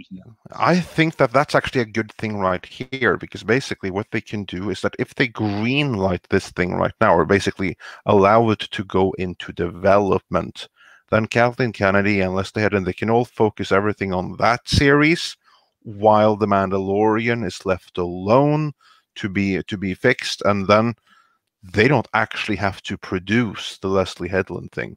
There's a big difference between putting it into development and actually going through with filming it. They can plug pull pull the plug on that at any time. They can pull Well, the you- plug on it after Kathleen Kennedy's out.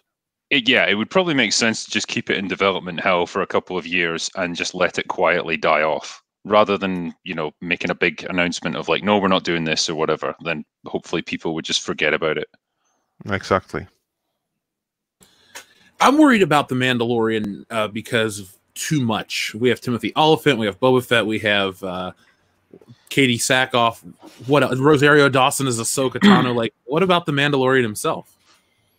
It's possible that these people are just going to get little cameos. Um, I think with Ahsoka, you could potentially use this as a jumping off point for her to get her own spin off show. Hmm. It could be You one know, episode per character, honestly. Yeah. Would you? Are you interested in an Ahsoka show? Me personally, as much as I enjoy the character, she should be dead, and there really shouldn't be too much of her. I think she should have died in Order sixty six. But whatever. That was just you know my take back in the day. I haven't been watching Rebels, so I don't know what she does. I haven't been watching too many of these shows, so personally, I don't care what they do with her. it's a I don't know. It's it's a hard time to be a Star Wars fan. It's I wouldn't say it's harder than when it was, you know, when the Last Jedi was the newest film, but it's definitely been a series of disappointments. And then sometimes there's a silver lining, but then there's a caveat with each thing. Each silver lining comes with the asterisk next to it. It's like you like this, but it's this version. You're like, fuck. So I don't know. As a Star Wars fan, I'm just watching this and I'm kind of Dreading Yeah, it. I mean, they they've definitely made the right moves with the Mandalorian. They've brought in people who are actually good at what they do. You know, you've got Dave Filoni and um, Jon Favreau. These are good guys who are creative and, and competent. Um, and what worries me is that they've they've done this thing which probably not much not many people had much confidence in within Lucasfilm and Disney, and it's been this unexpected success. And they're like, okay, now we need to get our claws into it, and you know, bring in all these extra characters and all this other stuff that we want to do. It's like, okay, just the the strength of it was kind of in the simplicity of it. I'd really worry about Filoni without uh, Favreau, though, because he's another preponderant of the message. So I think it's Favreau that's keeping Filoni in check. Right. Um, so if, if if Filoni was left to his own devices, I think we would get something akin to the kind of shit that we've we've had today. I um well no I can't. Never mind. Never mind. Mandalorian Anyway. season one isn't very good. Oh, you didn't like it too much. it's fun and undemanding, but it's not it's not high quality TV, really. It's just It's better in comparison. production what- values. It's got that. I thought it was great. I love the Mandalorian season one. I thought it was great. Ooh, I represent the true Star Wars fan. I thought it told simple stories in a very Simple. good way. Oh, I will say that even I, as someone that's not really a Star Wars fan, actually greatly enjoyed The Mandalorian, and I'm looking forward to season two. And that's like the first Star Wars project I've looked forward to since, well, ever, to be honest. Isn't it a nice feeling though, Andre? Like to have something that you're like, oh, I'm looking forward to this. Yeah, absolutely. I missed that feeling. Because it's funny. I think a lot of us that are YouTube creators, because we voice our criticisms, our displeasures, X, Y, and Z, everyone thinks we're just a bunch of uh, misanthropic assholes. We don't like anything, which is not the case. We actually love a lot of this stuff.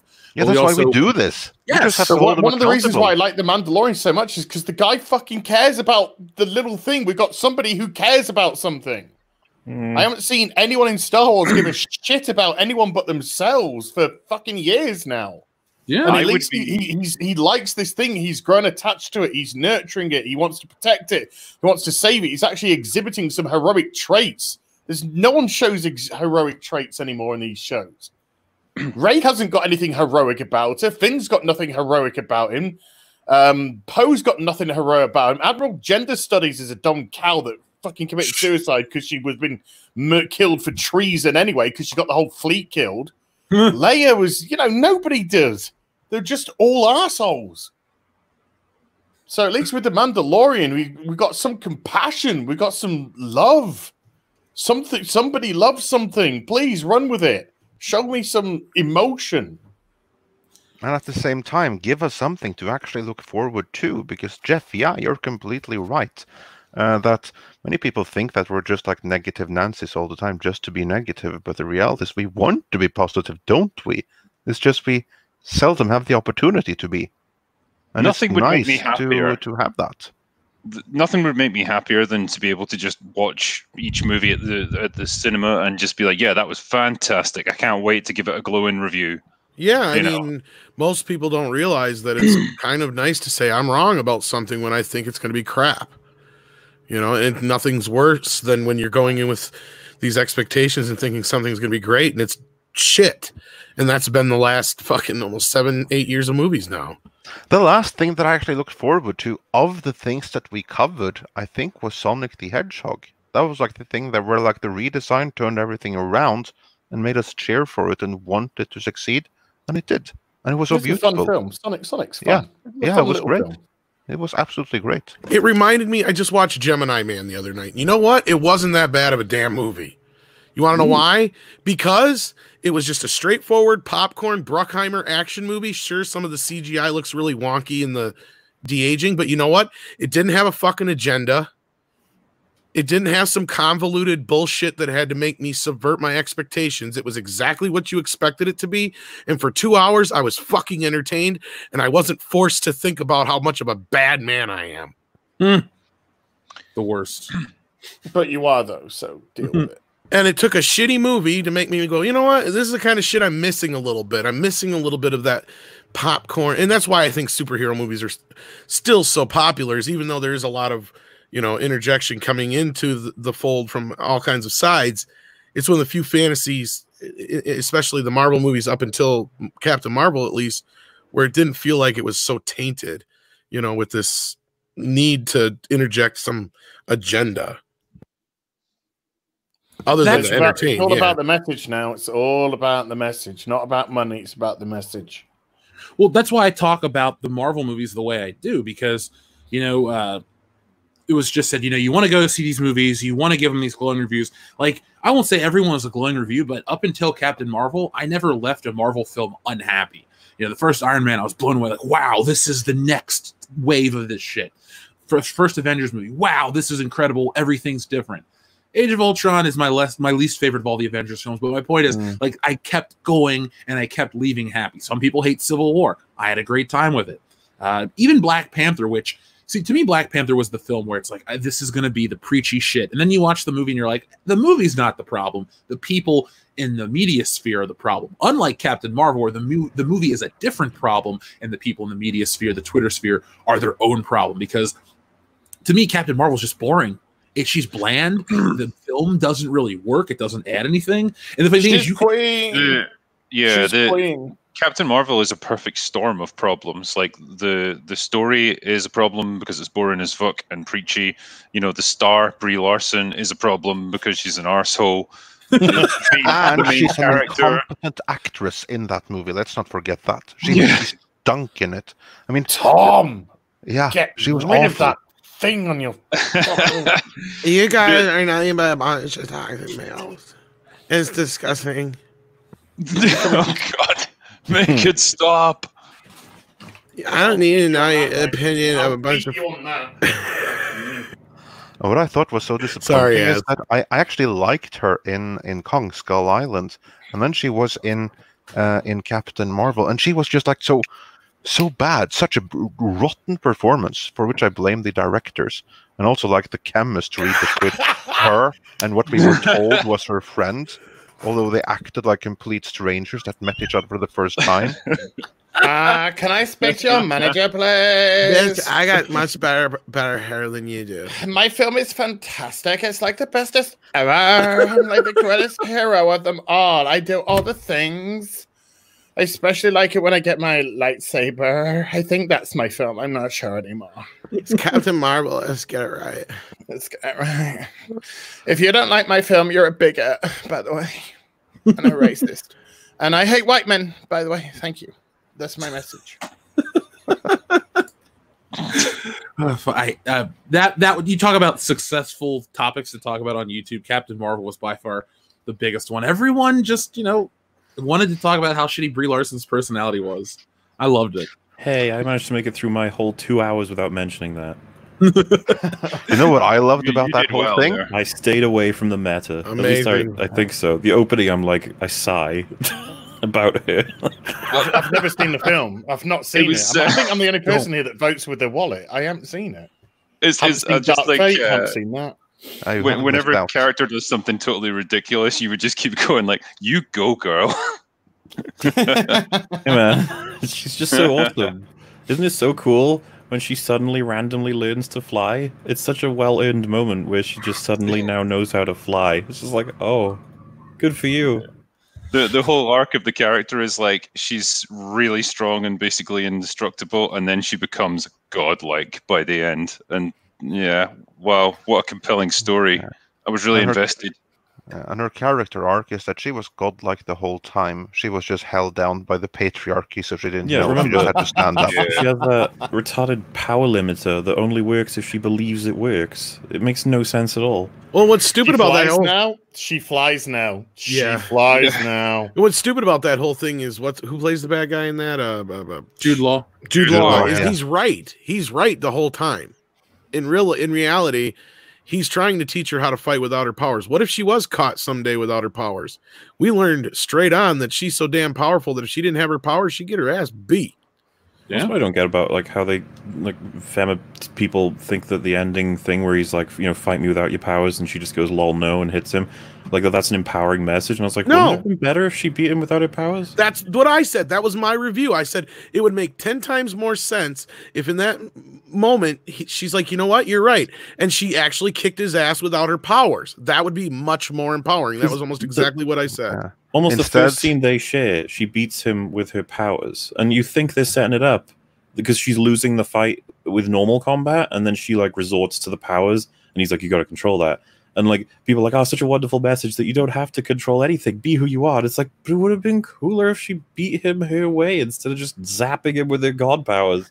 I don't know. Well, instead, she had the most powerful thing ever, or empowering rather, when she could Is that a tell him, "I don't have to hmm. Oh. prove anything to you."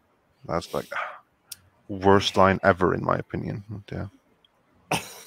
I, I hate her. I hate her. I really do. I hate her. Oh, that movie's so an much. I can't wait for. Captain Right. Marvel 2 and Avengers 5 where she's leading the team because she's earned it. Yeah, this is going to be incredible review fodder.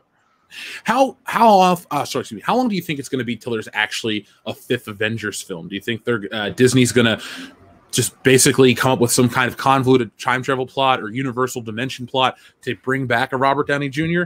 Because I mean, I don't think they're going to make a two billion dollar box office with her in the lead. The, the brand only goes so far. I really Yeah. hope they do. I Phase- really do hope they do.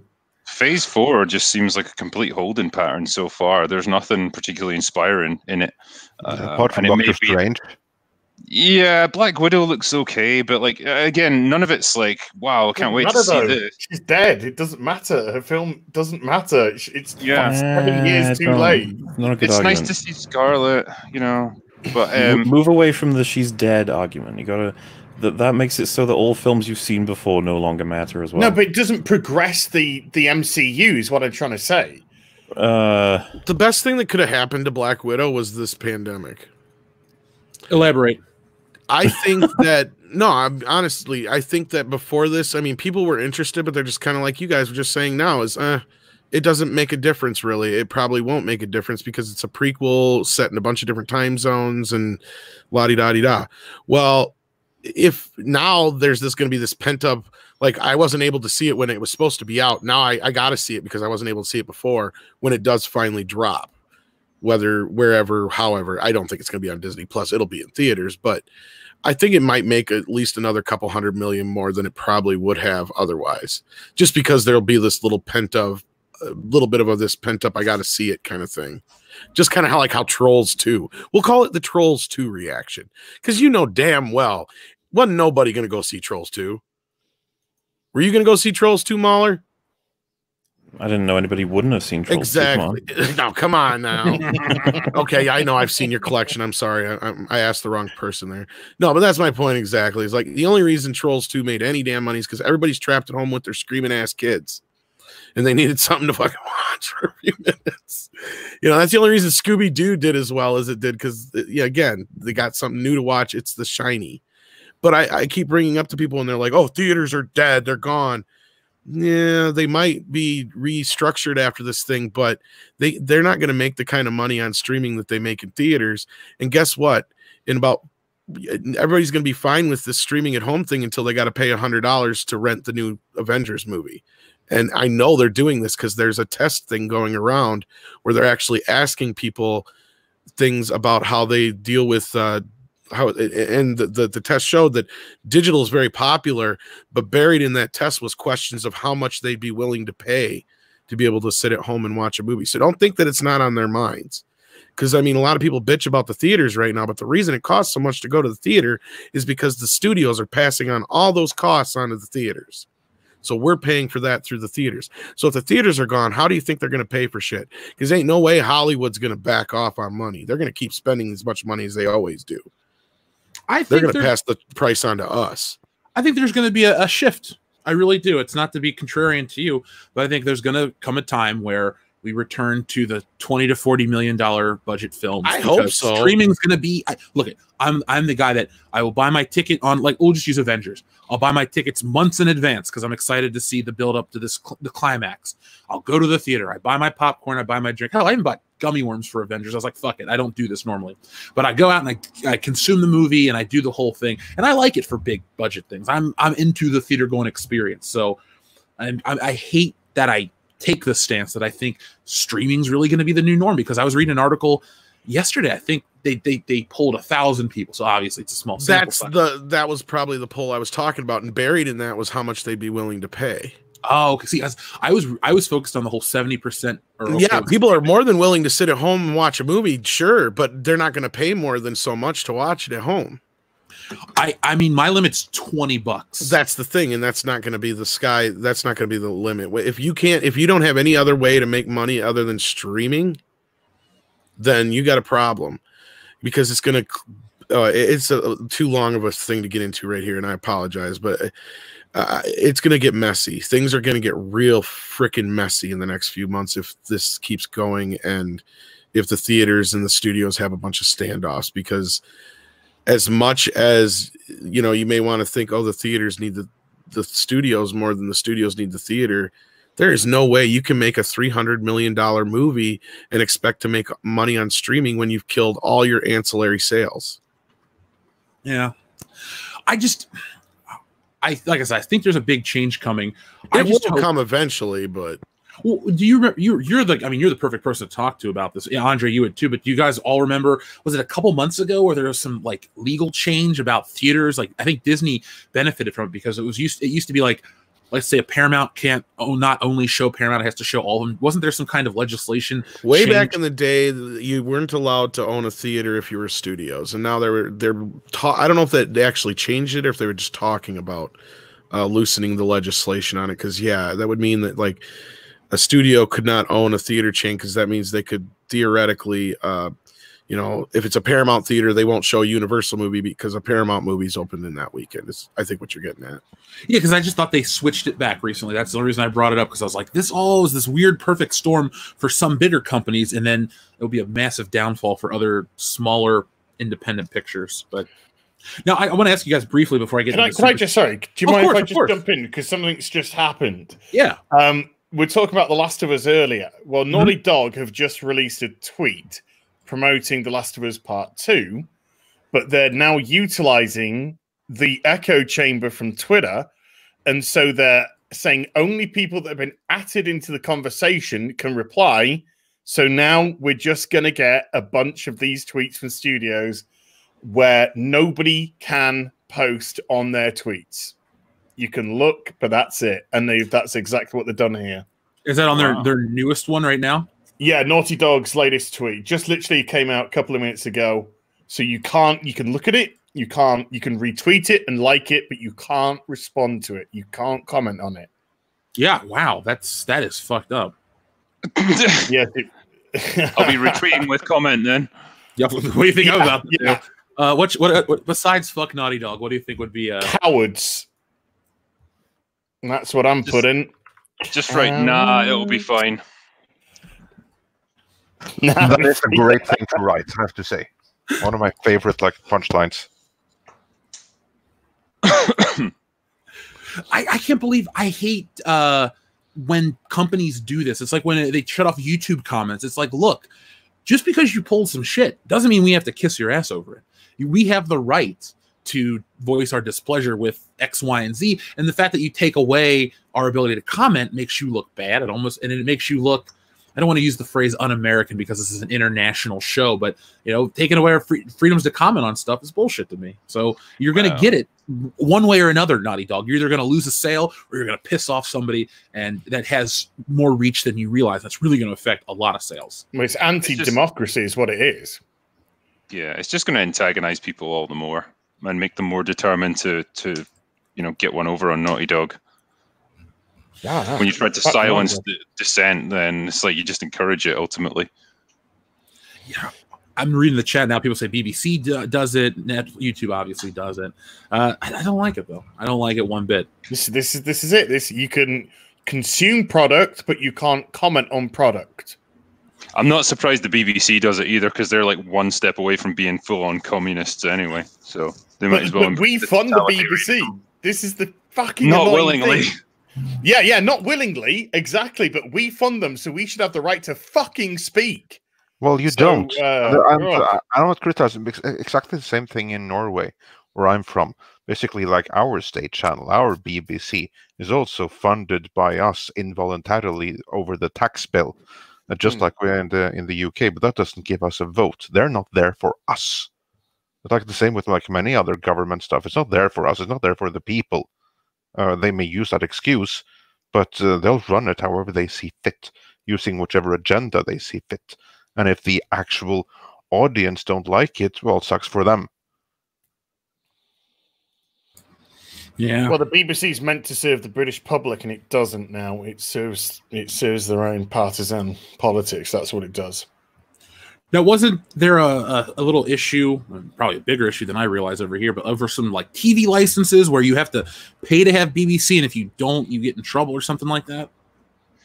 Yeah, yeah, that's I the don't- situation at the moment. So you there's a mandatory license fee that everyone who owns a TV has to pay each month, and uh, theoretically, if you refuse to pay it, then you can be prosecuted. What the? And if you don't use the service anyway, you still are expected to pay for it? Well, no, I- you I've- could make the paying argument. Yeah, there's an art you can um, refuse to pay and make the argument. I never use BBC products. I never watch any of their shows or whatever, and potentially get out of it that way. I think it's kind of a convoluted process, though. Yeah, you got to you got to go. They place you onto a register, so you have to you have to contact the BBC. You have to say, "I do not consume the BBC.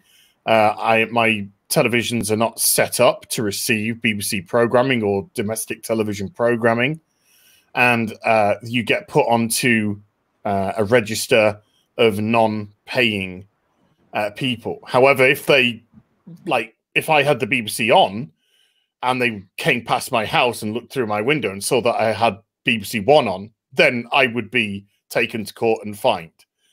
Um, but you can refuse the right of access to your property. You can refuse the right of access to your to your house uh, for them to check. Uh, but I I have le- legitimately stopped paying my TV license and stopped consuming terrestrial television. It just seems like such an archaic thing, you know. Oh, you have to pay to. It's like what? Because I we have a TV and an antenna. I turn on the TV with the antenna maybe twice a month. I mean, streaming's everything right now. Or if you have cable, which that's a whole other Yeah. rabbit hole. I refuse to get cable. I mean, I don't want to pay for It's a throwback um, to to like the 1950s and 60s in the UK when we didn't have satellite TV, we didn't have cable, uh, we obviously didn't have streaming or anything like that, and there was literally the BBC and like one other channel, um, and that was all you had access to. Um, and it's just one of those weird things that's kind of persisted over the decades. But the, there's been more and more moves now from the government to like decriminalize it if you don't pay the license fee, which would basically Mhm. just open the door for everyone not paying. Uh, whether that will get through Parliament, I don't know, but that's what they're looking at right now. Yeah, Well, I'm trying to push that in by 2023. Well, I think yeah, because the BBC's Decriminalisation. been yeah they've been quite hostile to the government as well. So like it's kind of a reciprocal thing. Yeah. But, the, I mean- but yeah, that's what you get when you go partisan, though. You know, oops, daisy. if the people you don't want in power are in power, uh, then yeah, they're gonna they're gonna screw you over because you've been trying to screw them over. Now, uh, let's see. Our friend uh, Cruising Through Time says, Hail the High Council, all my favorite YouTubers in one place. So, uh, Cruising Through Time is one step ahead of our, what is it, Tim Riggs that said, you know, almost all my favorite ones are here. So, uh, Cruising Through Time is uh, 100% on this show. Thank you. Uh, Well, to be fair, there's a few people that are missing that we'd love to have here. Just you know, well, you can only have six people on. I was, at a I was just about to say, so that's the problem. StreamYard's six person limit. Why is why haven't they moved that up yet? What's taking so long? I don't know. I'm paying for the premium one too. You'd think it'd be more, but whatever. I have to say that this is a really uh, this is a fun panel. We have a really good chemistry rolling. So I mean, more people are always welcome. I think this is a perfect way to like do an international branching out episode. Tom, what do you think? I love it. Even if we just do it like once a month or something like that, I'm I'm all for it.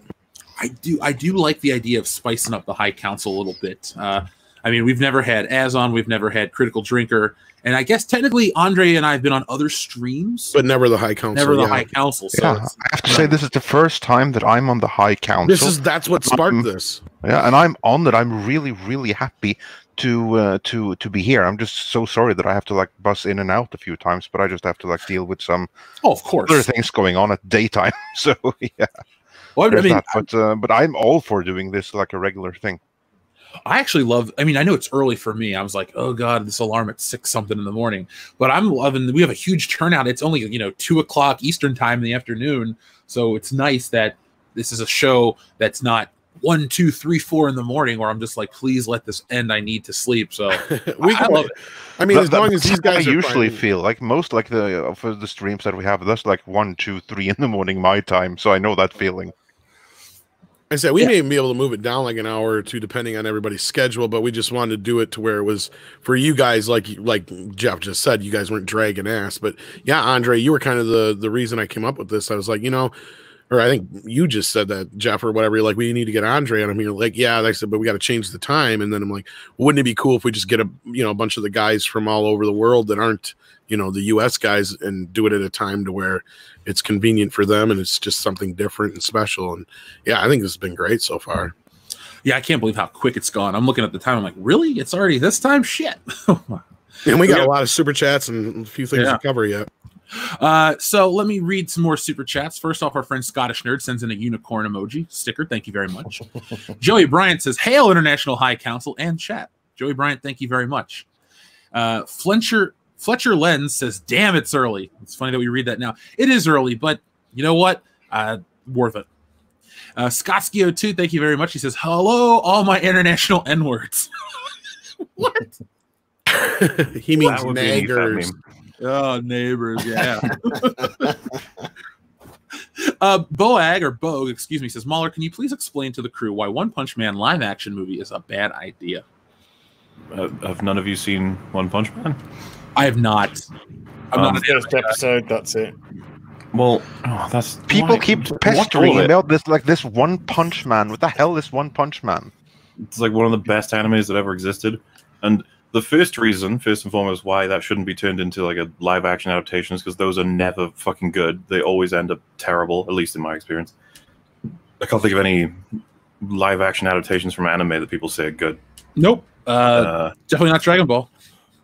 I feel like the, the, whoever they hire to play any of those characters, it's the, every reason you could imagine that would go wrong, it'll go wrong. I guarantee it. Um, community frames a pause. Says, "Is this supposed to be Mooper Housewolf?" Ah, he's doing well. He's still preferred that you know he's like the. We try and discourage any questions about him because he's like he wants to be off the internet permanently now. Just he's he's he, but he's he's good. He's fine. I believe I had the pleasure of streaming with you, him, and Rags once, and it was a lot of fun. So, Hmm. I wish- I wish- Early EFAP days. yeah, because I think I was on EFAP twice, once with Gary and once with Jeremy. So, or no, yeah, and I think was I on a third time with just myself? Maybe. I all I know is that uh, all I know is that the show went on so long. I was like, I had, I was living at home still, and my mom's like, "Here's dinner," and I just ate it, and I muted my mic the whole time. So, um, let's see, uh, Dar. Daroon Albane, thank you very much for your generous super chat. He says, "Coin for pain meds due to needing to watch crap." Thank you. um, do we have anything that is um, obviously outside of like prescription meds? Do, is booze our preferred way to numb the pain of a lot of bad pop culture? No, cr- smashing stuff, Okay. punching stuff. I just want to highlight stuff. Rags is in the chat and he has the correct take on the Mandalorian. No, he did you didn't. say? Uh, let's see. I'm going to pull it up on the screen for everybody. I see a bunch of high rags, ragus. Um, I, oh, there, Anna's here too. What's up, Anna? I didn't notice she was in the chat. Yeah, she You're up. popped in a little earlier. Yeah, man, she's up super. early. I guess she wanted to hear this. She was pissed she didn't get an alert, so I was telling people, yeah, be sure to be sure to share this out, folks. So, Yeah, I, I don't know about you guys, but I've noticed more people are getting alerted to videos, but the live streams are getting harder to let people know. So, um, where is Rags? I was going to put him on the screen. Um, Demogeni's here too. What's up, Demogeni? What up, everybody? Ah, hate mongers, the verbal terrorists of the toxic brood. Toxic brood that started uh when we were together. That was, that was the episode you and Jeremy were on, yeah. that was a lot of fun. Um, so let's see. We also have our friend Diego. Oh, sorry, Can't or Count Camps says submit to the High Council. How long has this been happening? How have I not been aware? And with Drinker too. Hey, buddy. Well, Count Camps, this is Drinker's first appearance on the council. Hopefully, not the last. Uh, but the High Council's been on. I think this is year two for us, Tom. We passed what 100 episodes last week or the week before that. So yeah, the High Council's been around for quite a while. It's definitely evolved from its original iteration, but I kind of like this ever, you know, this this like flowing like guest rotation. It's it adds something fun. Variety is what I am trying to get at. Uh, we also have our friend Diego Flores who says, Mauler, does this mean that Batwoman reviews are essentially dead after you finish the season? No. We're just gonna have to wait for a while. I've heard that we won't get season two now until like possibly like midway through 2021. So Yeah, it's it's, it's There'll gonna a bit come a out sometime next year. Uh, I gotta say, for even if we didn't have Ruby Rose, you know, with all the stuff she's going through and the leaving, uh, I think next year's television production schedule is gonna be so backlogged. And have you noticed, Tom, and everyone else? Sorry, Tom, I just keep jump- jumping to you because I know you talk about, or you and I are in this uh, same wheelhouse for some of these things, like how they're re-releasing old films again. I think I've seen a couple articles talking about like 2001: A Space Odyssey was getting a local release, something else, and something else. Like they're jumping back to these old classics. I think next year is going to be the most barren time for entertainment. So hopefully people come to YouTube and other things and check out independent creators because we don't none of us are taken off because of the virus. We're just still producing the content. So well, and that's another reason why they can't just dump everything on streaming. Like you know, everybody's like, "Oh, they'll just dump that all on streaming." You know, eventually, it's gonna. They can't. They ain't got nothing for next year. that's why Ghostbusters and everything else has been pushed off to next year because they ain't making nothing right now. Like the, there's very few things that are in like very minimal production right now that I know of, and the most the biggest one that I uh, the, being like Avatar two, I guess, is under some kind of production that I heard of. Exactly. Yeah. Eggs. And I watched, yeah, watched your. Well, it's funny enough. I don't know if you noticed, critical drinker, in that Back to the Future thing I shared earlier. I was watching your video when I got alerted to that. that was good timing then. I know it was really weird, and like yeah, and I, and I know I was not one who was a huge fan of Avatar when it came out. I don't think the second one is going to be that big. Nope. Um, No, the, the the novelty value of the first one is well and truly gone, and you know, even the kind of just general excitement of the movie is is gone. It was 11 years ago that the thing came out. You know, people have moved Oh, on. God. It was terrible. It's so boring. It's funny though that the movie that was so big, it was like the biggest movie on the planet, and everyone had to see it, and it left zero imprint in popular culture. None yeah, most people don't even all. remember the No plot. They're like, uh, Trees like an good, alien man planet. bad. It was Dances with Wolves and Fern Gully in space. Who Yeah, pretty much. Pretty Um, much. see, up next we have our friend Liquor Jim who says, "Superhero comics fans consider supporting uh, Peregrine, Peregrine Wings of the Falcon on Indiegogo. The campaign is funded, but only a short time to get your copy." Well, Liquor Jim, thank you for uh, letting us know. We'll, we're spreading the word for you. And uh, Anna's shit. Anna's got shit taste in movies. Anna does. Yeah. What is she saying? You just likes Avatar. See, Yeah, I, but you like Mandalorian, so Oh, damn it. shots fired. This means war. we did we did like a collective 16 hours breaking down all of Mandalorian season one. It's bad. is Mandalorian season one even 16 hours long? That's the well, it's it's me. So Thank you. I just wanted you to say Was that just the first episode? Hannah as said the same thing, but I think she said it about the same time or before because there's the delay. Did you see that? Mando good. Um, Anna, that's okay though. Ava- I mean, I haven't watched Avatar in ten. Well, it came out ten years ago. I think I caught it one year on Blu-ray. I never saw it in theaters. Underwhelming because it's the spectacle. Once the spectacle's out of the equation, you got nothing. The Remember only reason people kept putting out blue alien porn for the next two years because of Avatar? The world's a weird place. It was. Was it weirder back then, or is it weirder now? I'm gonna go weirder Now. now. now, the only the only reason I own that movie is because it came with my 3D TV. Oh God, you your 3D TV's that old? I forgot they don't really make 3D TVs anymore. No, it's they actually stopped pretty good making shape, them, though. unfortunately. Yeah, it's basically an antique now. Now, obviously, this is a tongue-in-cheek tweet. I just want to share it briefly. Uh, does everyone here know and hate the work of Paul Feig, or at least know you don't have to hate it? That's a little mean, but uh, he put this out today. Uh, Ghostbusters reboot director. He's a three-hour. dude, if there's anything I've ever wanted, it's a three-hour cut of Ghostbusters 2016. That's Paul, that's peak life. At least 40 minutes of that is just going to be dancing. on behalf it's of just be Andre and I, fucking- thank you. The It's improv another takes film that got about left on the with my cutting room with- floor. Never seen it. Never intend to see it. Don't. I gotta say, uh, Andre, this isn't uh, you know the kiss your ass tour, but you guys, your Ghostbusters coverage, holy shit! I couldn't miss a minute of anything. That movie was so interesting because I think it was.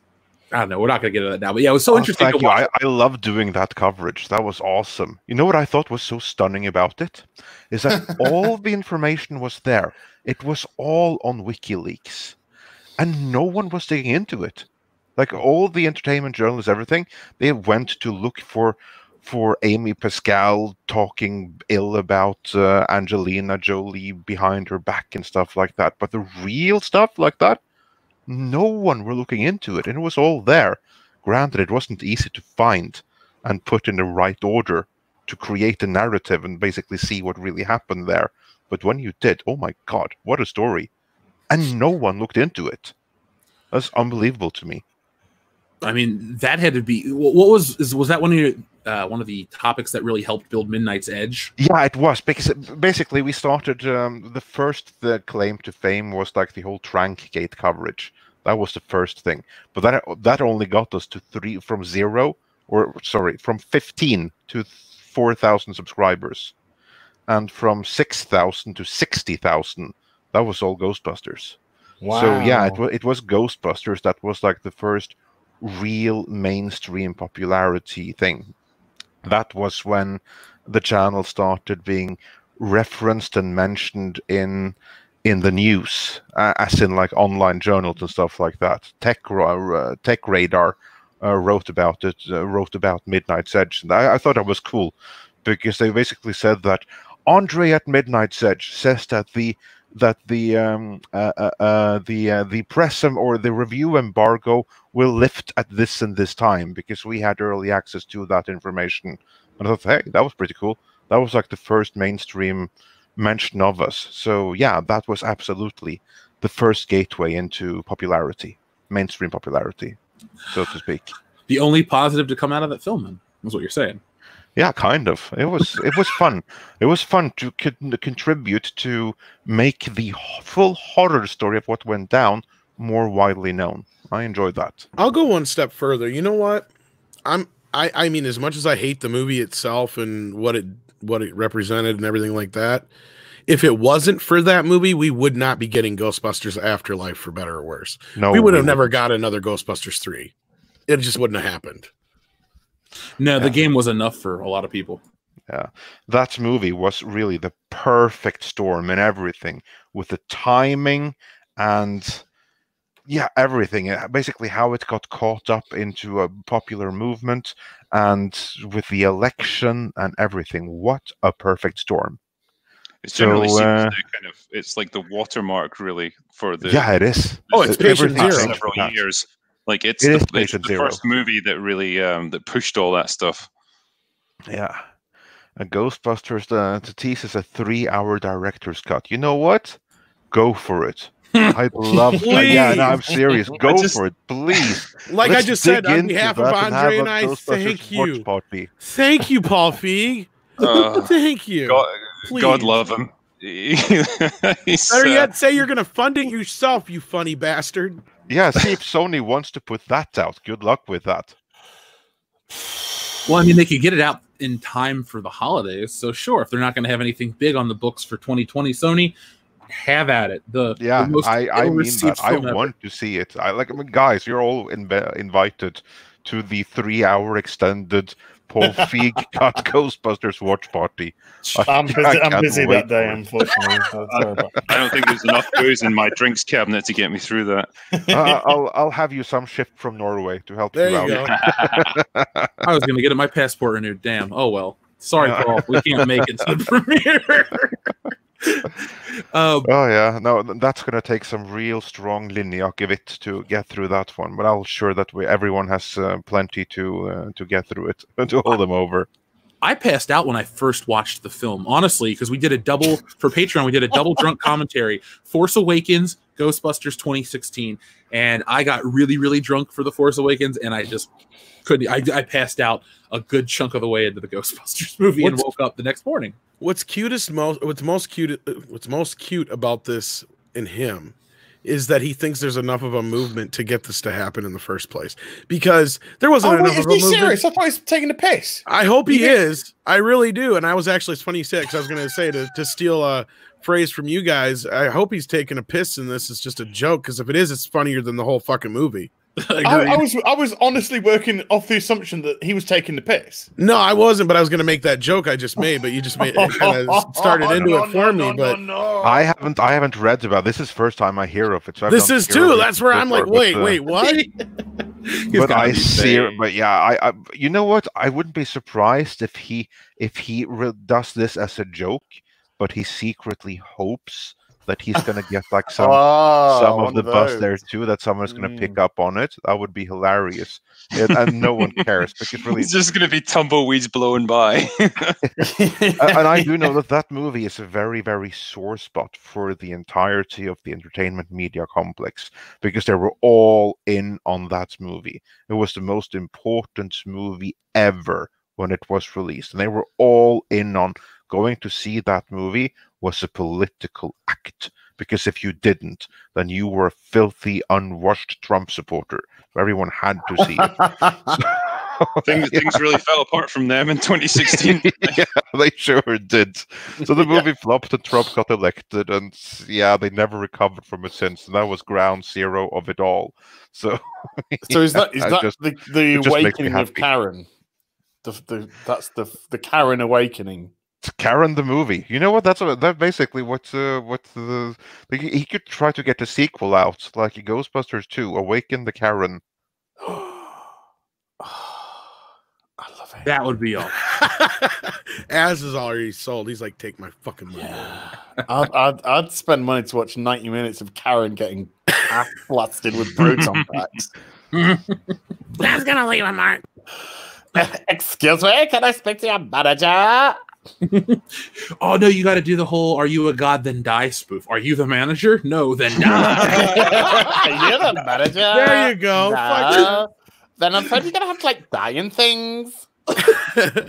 Choose the form of the destructor. Karen. I want to see a big Karen walking through New York. to see your manager. You know Oh what? I, I'd love, I'd love to, uh, to for for them to do that, uh, to, to do like a sequel and have someone say, choose the form of your destructor, and then choose the form of like that uh, Trump blow up doll, like the. the one that's gonna appear. I mean, I'm Paul Feig would huge. totally do that. I'm huge. Is it is it true at the end of that Ghostbusters movie that they defeat the um the Stay Puft or whatever it is in this one by shooting him in his in his dick? Yeah. oh yeah, of course. Yeah. Well, not Yeah, that of Stay. Puff. They, they kill the bad guy by shooting him in his dick. The the Stay Puft is wasted as a balloon Ah, in this one that they all Yeah. get trapped under inexplicably for like fucking 10 minutes. Like I can believe there's a there I know there's a 4-hour cut of this movie.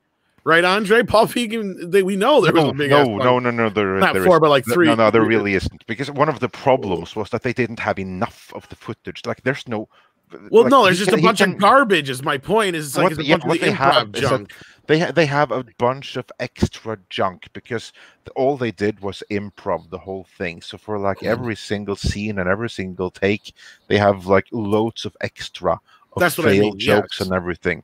But there's no loads of unreleased scenes. Like he doesn't have like no. a three hours worth of movie. I mean, they even have to go back and shoot scenes that they needed because they didn't have them. So that's kind of like the uh, the, part, uh, yes. the But what there. I mean is, there's enough ancillary junk on the cutting room floor from them just improvising that I guarantee you he's got a four-hour cut already put together. Yeah, That's but it's going to be like the same scene played over and over Exa- again well, with different jokes. No, it's just the one scene that was 20 minutes in the original movie is going to be 40 minutes now. That's what it is. Yeah. yeah, pretty much. So really, that's uh, yeah. That, it's as uh, as uh, Sinitzer said uh, said uh, in the comments. The terrible terrible jokes were cut.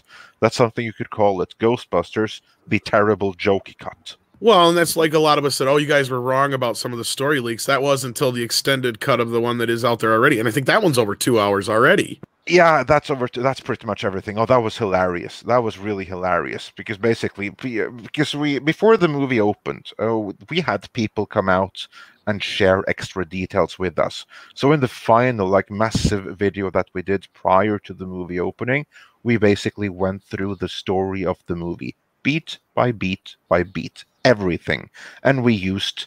Uh, pictures from the trailers where the where that was appropriate, and some random other things that fit the the the, the scene approximately where where we didn't. And we got everything almost right and the few things we didn't people like well ah you were wrong. That didn't happen. That didn't happen. And then the extended version came and everything lined up perfectly.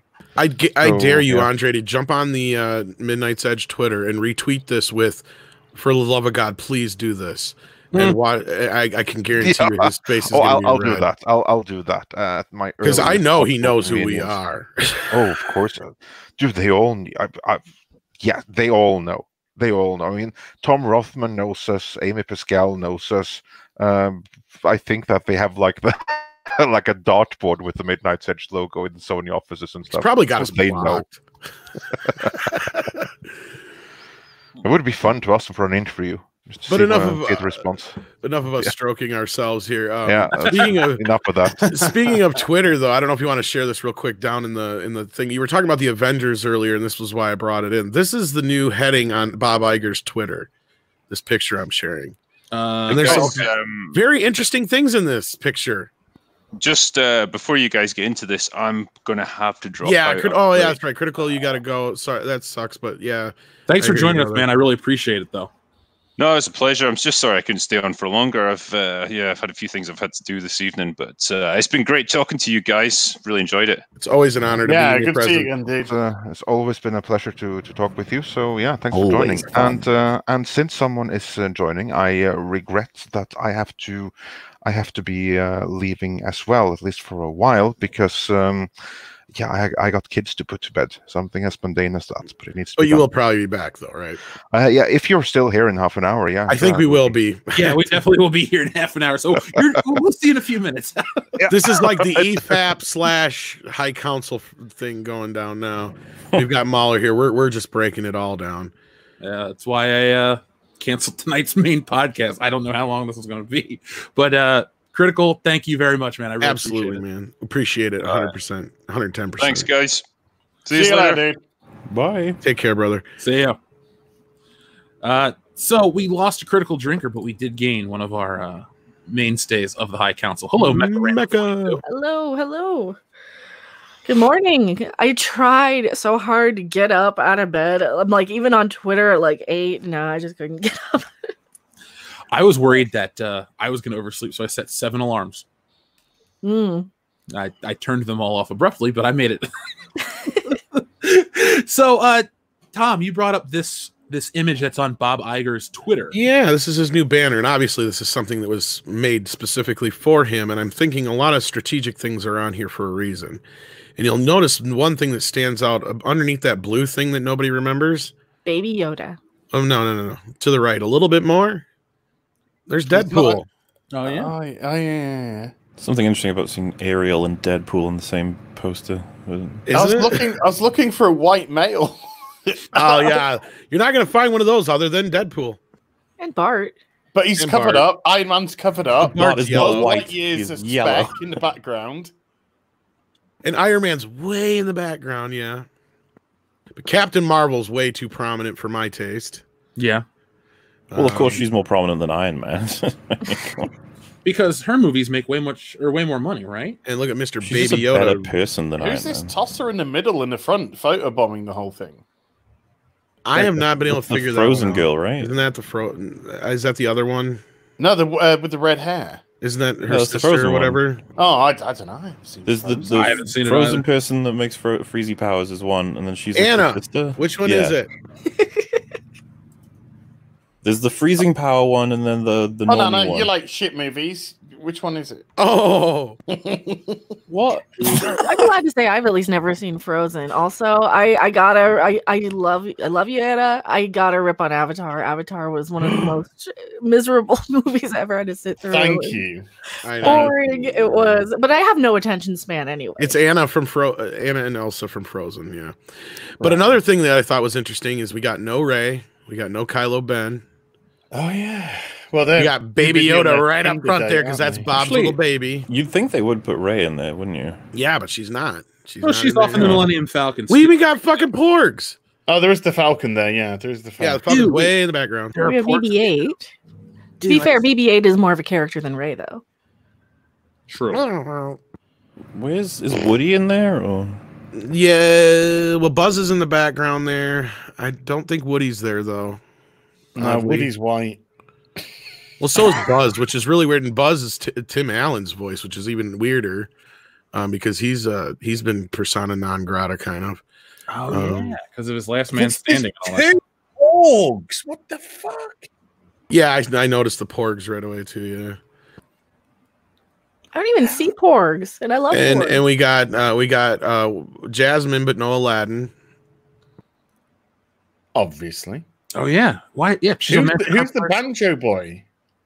That's the one from uh, uh what the hell was the name of that movie that just came out? you're like, not El two, three Mariachi, but you know what Oh, you're talking about. Coco? No, no, no. Coco, thank you. Yeah. Whatever. is that your review? And there's no so, yeah, whatever. and I'm surprised they've got Donald but not Daisy. Which is kinda surprising. Um, but yeah.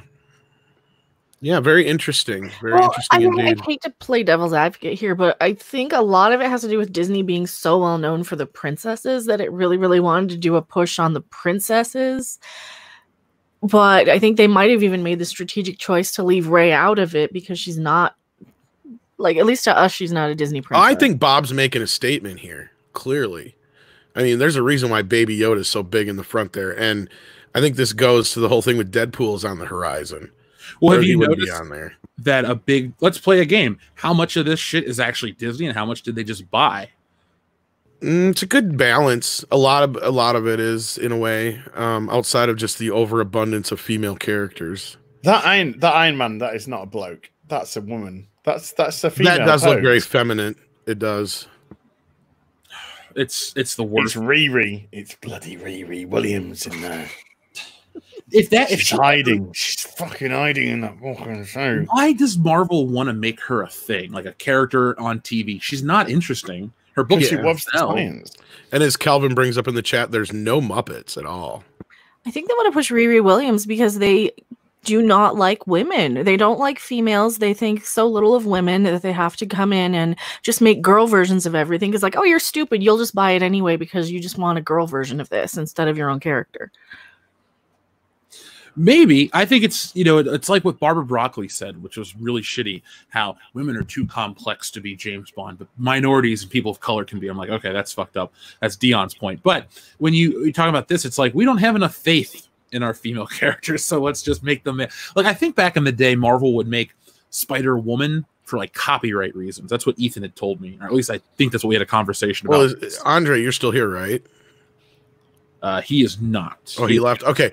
Um, my understanding is that since Spider Woman was co-created or something like that by somebody that owns part of the copyright, that that's not in the Sony deal. The uh, um, what's her face version of it? Uh, Jessica Drew. Jessica Drew version is owned by Disney now, and always has been owned by Marvel. That was one that didn't go with the Sony Sony deal. Oh, okay. I just either way. But that's this- my understanding of it. It's something to that effect, anyway. Sorry, Oh no, don't apologize at all. Uh, the Empire trolls itself. That's a good name. Andre knows. Uh, let me read a couple more of these super chats because then I really wanted to touch on. Today is a very special day. Today is the 40th anniversary of The Empire Strikes Back, and I wanted to talk about it because there's a BBC article that calls it overrated, and I wanted to hear everyone's thoughts on, on this hot take. So, um, let's see. Our friend SeedFan85 says no, she did as good a job as anyone could have done with the trash for a script. I guess that's talking about Ruby Rose for Batwoman. Or No, no, she didn't. No, she didn't. Sorry. Thank you so Yeah, much no. for the super chat. No, she didn't. She was fucking abysmal. She couldn't what I was act. referenced is when she first finds out that her sister is back, and she has to deliver the line, "Who are you?" Who are you? So you, you can think of all the different ways you could deliver that as an actress, and and she just decided to combine all of the words and grab the person, and go, "Who are you?" I think she was whacked up on What pain meds. Her face was was paralyzed. It didn't move. Nothing moved on her face. Not even her lips. Her, it's like a ventriloquist trying to talk. Who are you? Who are you? Yeah, she, She's throughout the whole trying to hide her she's- accent. that's how she does her anger. She just goes, "You shouldn't be doing this." Ugh." It's really bad.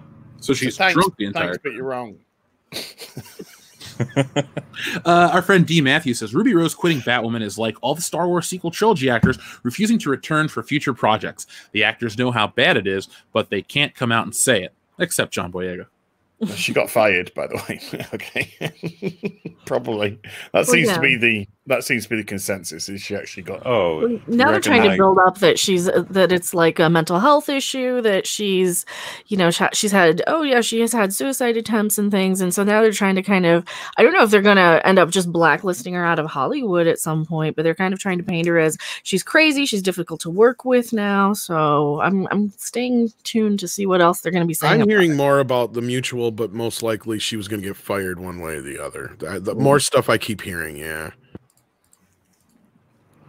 Uh, like she was she was told to retire, sort of thing, from the role. yeah we'll, we'll just let you quit how about that I, I, all the stuff I've heard in the last 24 hours supports the report that Andre put out yesterday. I have to go back and check it out. I've been either preparing for this show, working on stuff behind the scenes, so I'm kind of out of the loop this week in terms of the big stuff. Because when Tom, when you shared all that stuff to me, you're like, we could have done a secondary show. I spent a couple hours thinking to myself, "Fuck, we could have." Yeah, that's why I was kind of curious why we just didn't do a regular, a regular one too. But no, it, yeah, we just had a big news dump in the early part of this week. yeah, it's it's good for all of us. Oh yeah. Uh, let's see. Up next, our friend Crazy Loon says, uh, "Can I just donate OxyContin? Because Lord knows y'all will need it." Um, we can't say yes, but But I do have I a PO can. box. I can. if it I shows can up, say yes. I'll say yes. I don't know. I'll if give you my address and my home address as well. Uh, our friend Joey Bryant says, "If half the reports about Ruby's work ethic are true, no wonder CW candor." That's what I've been hearing. Is a lot of it had to do with the simple fact that she was just unbearable to work with. She didn't want to wear the suit. Um, she thought the days were too long. She was used to working on like movies in smaller bit parts, and uh, uh, her her longest stint was uh, like an eight episode stint, I believe it was on Orange Is the New Black. So she wasn't used to the the schedule of a twenty plus episode shoot and they're grueling hours on these shows. I mean, they they churn them out. I mean, the CW is like basically the new soap operas in a weird way. Well, and they didn't they cancel Comic Con last year because of reshoots? Was well, that was their official story, right? Well, yeah, and I mean, you got to look at it from her perspective too. Yeah, she did get hurt, and obviously, we brought up there's got to be some safety issues on that show for some reason specifically. Oh yeah. Um, so I mean, if I was looking at it from a health perspective, I mean, I can't blame her in that aspect, but there's too much of the other stuff coming out, and we heard, or I heard anyway, yesterday also that the crew was just ecstatic that she was gone. Like they're so happy she's gone that she's been nothing but a nightmare to work with, is what I heard. Now we've got to get Caroline Dries out and the writing staff, and then we've got a starting point. But no, there's some truth to that because, like, yes, last night I was on with Wes Moody and we were going the picture that was on the article that he brought up. I'm like, that's not her. He's like, what? He's like, you're right. I don't think it is. And we compared it, and like, there was no way it was her. The nose was completely different, and she was a different skin color and all these other things. Because I'm thinking her stand-in in one part, she's obviously uh, either Asian or some other ethnicity that's not just you know Anglo, and you can tell it's not her in most of the shots. And we started looking on the internet, and yeah, nine times out of ten, if you find a picture of her in the costume, it's not her in the costume; it's her stunt double or whatever. Oh God. Um, I wanted to bring up two points. First off, the Orange is the New Black. Yeah, she was barely in the show. Like like Princess here says, uh, she's in a cumulative half hour or so, which I, I was thinking that every time somebody brought up that show, I'm like, she's just like in that bathroom for a minute. Anyway, point I want to make though too is like you're um as you're talking about how to fix the show Batwoman, I don't think this is a character that really warrants a show. I I mean I know there are CW fans out there, but with the exception of like the Flash and Supergirl, I can't really think of these characters that Arrow. I'm sorry, Arrow is actually the one I like. I can't think of all these characters just warranting of the show. It's just like we need a superhero to fill in this agenda for this time slot at this day or on this day. And that's what Batwoman's always felt like to me. She's just meh at best. I, I Are you don't kidding? All we need to do is just generate some, you know, like the, just get some villains out there who hate gay people, throw them in. We we got like seasons worth of content. all- There were six lesbians in the episode before the season finale. That takes class and There's a girl who almost killed Tiffany. like an entire train full of people. She and was one of Batwoman them. confronts her bad. about it, and she reveals that she's gay, and then Batwoman lets her go. 'Cause, yeah, really. Of course, it's felt Fox News. Well- special treatment. That's what the Yeah. show's telling me, right? And see, Anna you're, you're wanted probably like, what? this. What happened next? And then- and what happened next is the season villain beat Oh, and then, them of up with a trumpet. I yeah.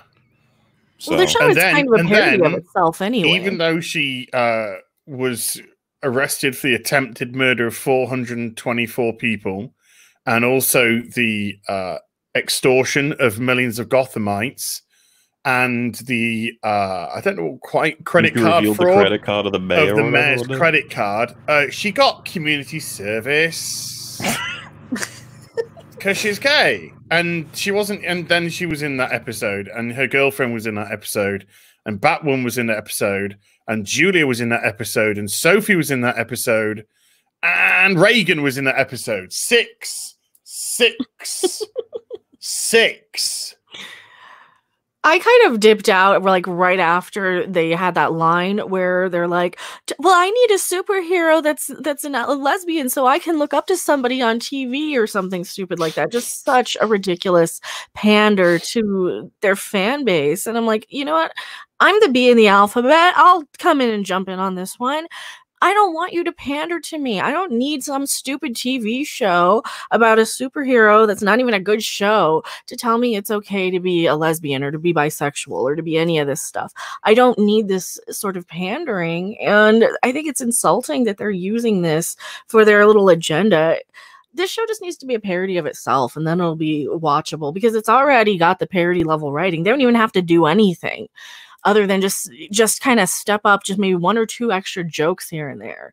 Just Yeah, in the- that's in the it. credits of the last episode, just say yes, we were self-aware. Oh, uh, uh, oh my god! Sorry, Rags is right. I don't know if in that episode Rachel Maddow made her voice appearance as Vesper Fairchild.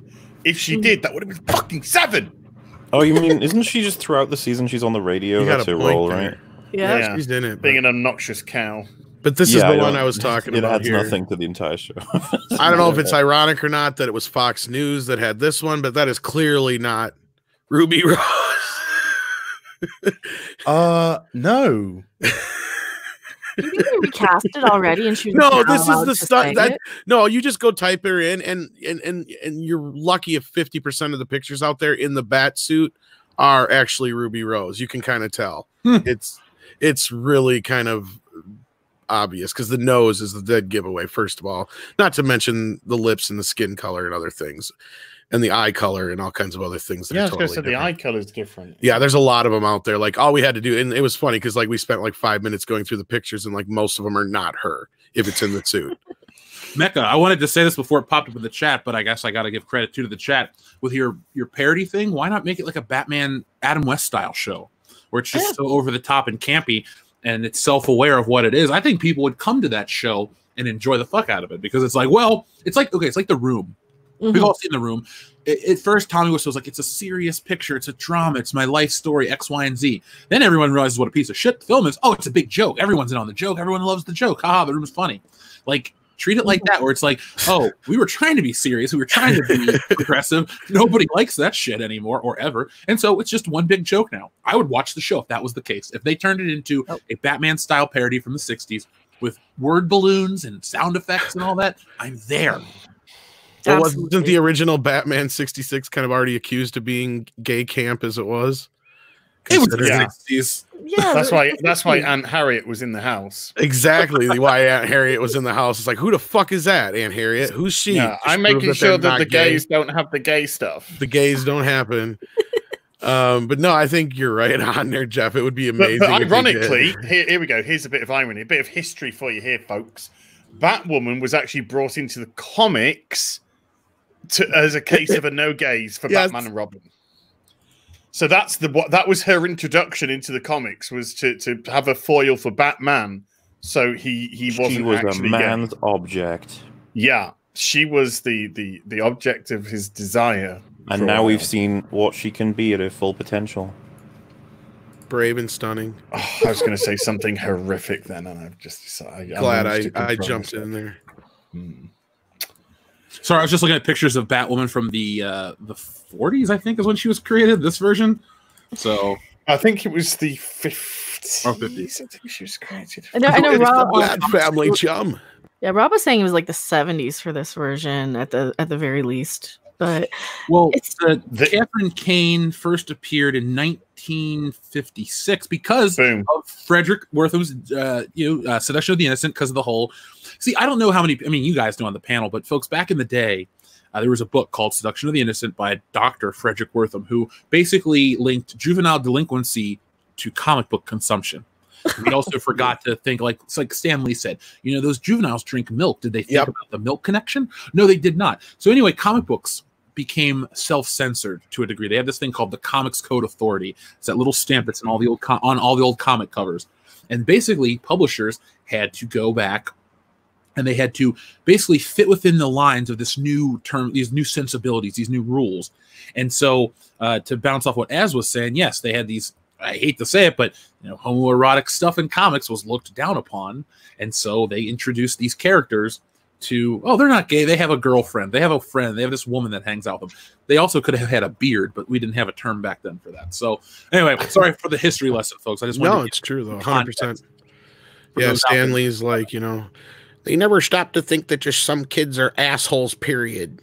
I think this Excelsior. this iteration of Batwoman returned in I think 2008, 2009. Something like that. Yeah. Yeah, uh, and that's the this is the new and improved. Ah, the new and improved Kate Kane. All new, all better. all Mm, different yeah, and all cancelled.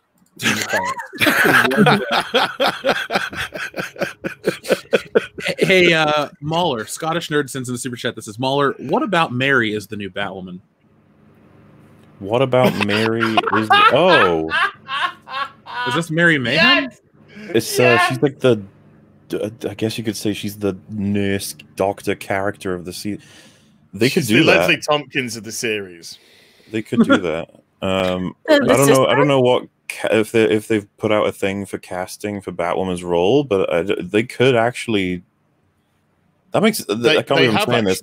That makes more sense than um, than hiring someone and pretending that they're the same person. Honestly, narratively wise, though, I don't know what that does for them in terms of like comic adaptation. They just have to basically throw away Kate Kane as a character if they do that. Well, they, they have put a casting uh, call out. She must be part of the LGBTQ plus community. That's That true. is- Say you are. that I is just be what like, they yeah, have I'm totally biased. You should. That's that's so wrong. like, you, you do the job perfectly, then you go, actually. I'm not actually bi. Then they go, no, get out. But All it's right, just I'll be I love the bigotry. Batwoman. That's that is a bigoted thing to say. It kind of is. It kind of. It's kind of. Well, how how well of an actress uh, are, are can you actually be if you're just playing yourself? They already failed with Ruby Rose because she couldn't act. They hired her because she has the look and she's of the alphabet community, so to speak. You know. I remember I that when that was big butch- discrimination. I want a big but- butch lesbian. That's what. As well as a black man. Danny DeVito or Riot. Oh, I'm Batwoman. That I would totally. Yeah, stop blasting. Uh, let's Danny, see. Danny DeVito playing his character from Only Sunny in Philly. Oh, Frank Reynolds. Yeah. Frank Reynolds is Batwoman. Fuck yeah. I that is. It used to be my all-time favorite show. It's still up there though. The last season, not so much. Uh, but I'll, I'll I'll spare everyone that diatribe. Anyway, Trencher thirteen seventy five says I heard they had put up an Indiegogo for the production assistant that got her back broken. I They- believe I saw that. GoFundMe or something. I think it's GoFundMe. GoFundMe. I mean, it, look, it, it's like the woman who passed away. There's a woman killed making Transformers, I think three, because they And wanted- Deadpool too. Yeah, wasn't it because the, the Deadpool two one was the most interesting slash damning slash angering because they they we need to have this stunt woman because of her her race or whatever when they could have done a different way and she would have still been alive. Wasn't she? CGI, folks. Yes. They just wanted to have her because of oh we got to have you know black stunt people and all this other shit. It's like you know what? I don't care if it's a dude in a wig doing the stunt. I just want everyone to be to walk away. It's just a movie. No They one do that plenty. Yeah, I mean, do do that Goldeneye. plenty. I don't think there's any excuse when they use CGI to cover up the stupid, lamest crap in movies. I'm willing to take a CGI stunt any day, knowing that somebody or something, you know, like an animal or a person wasn't hurt. Let me ask over, you know, something like that. let me ask you an odd question real quick since Mauler you love uh, terminator we, we're all we all respect the terminator franchise how did you guys feel about the i think it was the 25th anniversary of t2 where they cgi'd over the stuntman's face with arnold's Oh, again, kind of what we were talking about earlier. I'm I'm very much in the camp of just like leave everything alone. Uh, but um, I don't know. It's something I could easily forgive in terms of it doesn't doesn't bo- bother me that much. And um, I mean, I. It's better than what uh, Lucas did to the originals, right? oh agreed uh, agreed 100% i was just wondering because this was such an odd thing that no one really talked about but then you can go pull up articles that show like remember the part where the motorcycle comes down right before it goes into the Yeah. car that's the they cgi i was like wait that was always a stunt man i mean it does help for the immersion but at the same time you know it is what it is leave it be The well, problem yeah, with and it that, makes you concerned. You're like, what, what? Did you do anything else? And they're like, nope. And you're like, didn't? Did, mm, you sure? you wouldn't tell us though, would you? well, not just that. The the biggest problem with that version wasn't even them covering up the stuntman's face. It was just how piss poor of a remaster that was. That's I saw it in theaters, so I was just like, "Oh, cool! Terminator 2 is amazing." And then I mean, the 3D version's okay, but they snafu'd that 4K so badly.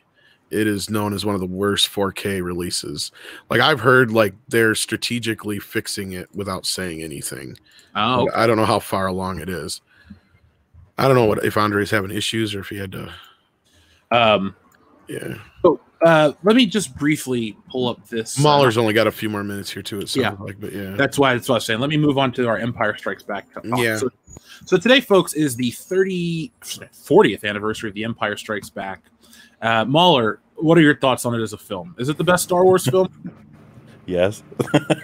is the Empire is glorious. Empire is the one where uh, after seeing A New Hope and being incredibly impressed, I was like, how did they do it twice? How did you get me to like adore this again? And since I was super young when I saw the first three, I thought that they all like did amazingly. But obviously, as an adult, uh, Return of the Jedi has issues. Uh, the emotional payoffs are still fantastic, but it's just like the writing in uh, A New Hope and Empire are both really, really, really solid. And then um, there's of course just the the journeys, the risks that Empire takes. It's quite a bold movie considering um, how like you know, uh, I don't know how this was pitched. I don't know how they went. Yeah, we're gonna have like a green hobbit teach Luke for a decent portion of the movie about a mystical magic thing that can help him defeat the evil robot. It's like what? That just sounds like nonsense. He speaks backwards, by the way. It's like what? And they made it work. Um, and so uh, like because uh, it, it comes back to that uh because this article will be tied in with with what Rian Johnson said about how he's like, oh, if, if Empire came out these days, people would shred it. It's like, no, they wouldn't. No. they would have loved it. We would have loved the shit out of this film. We still do. Uh, you know, because a lot of people uh, referred to Infinity War. They were like, how come we didn't hate that then? That was a pretty bold film. Like, most people seem to love that. You'd think that would be the film that would be hated on if Empire would have been as well. Not to say they're on the same level in terms of writing quality, just that um, similar beats are hit because he's trying to say, "Oh, the Last Jedi is so bold and does lots of things that change up the trilogy, just like Empire did." It's like, get away from Empire. Are you doing? The same. Well, uh, there's uh, this BBC article that came out recently. What was it last? The end of last month, April 30th, that says The Empire Strikes Back is overrated.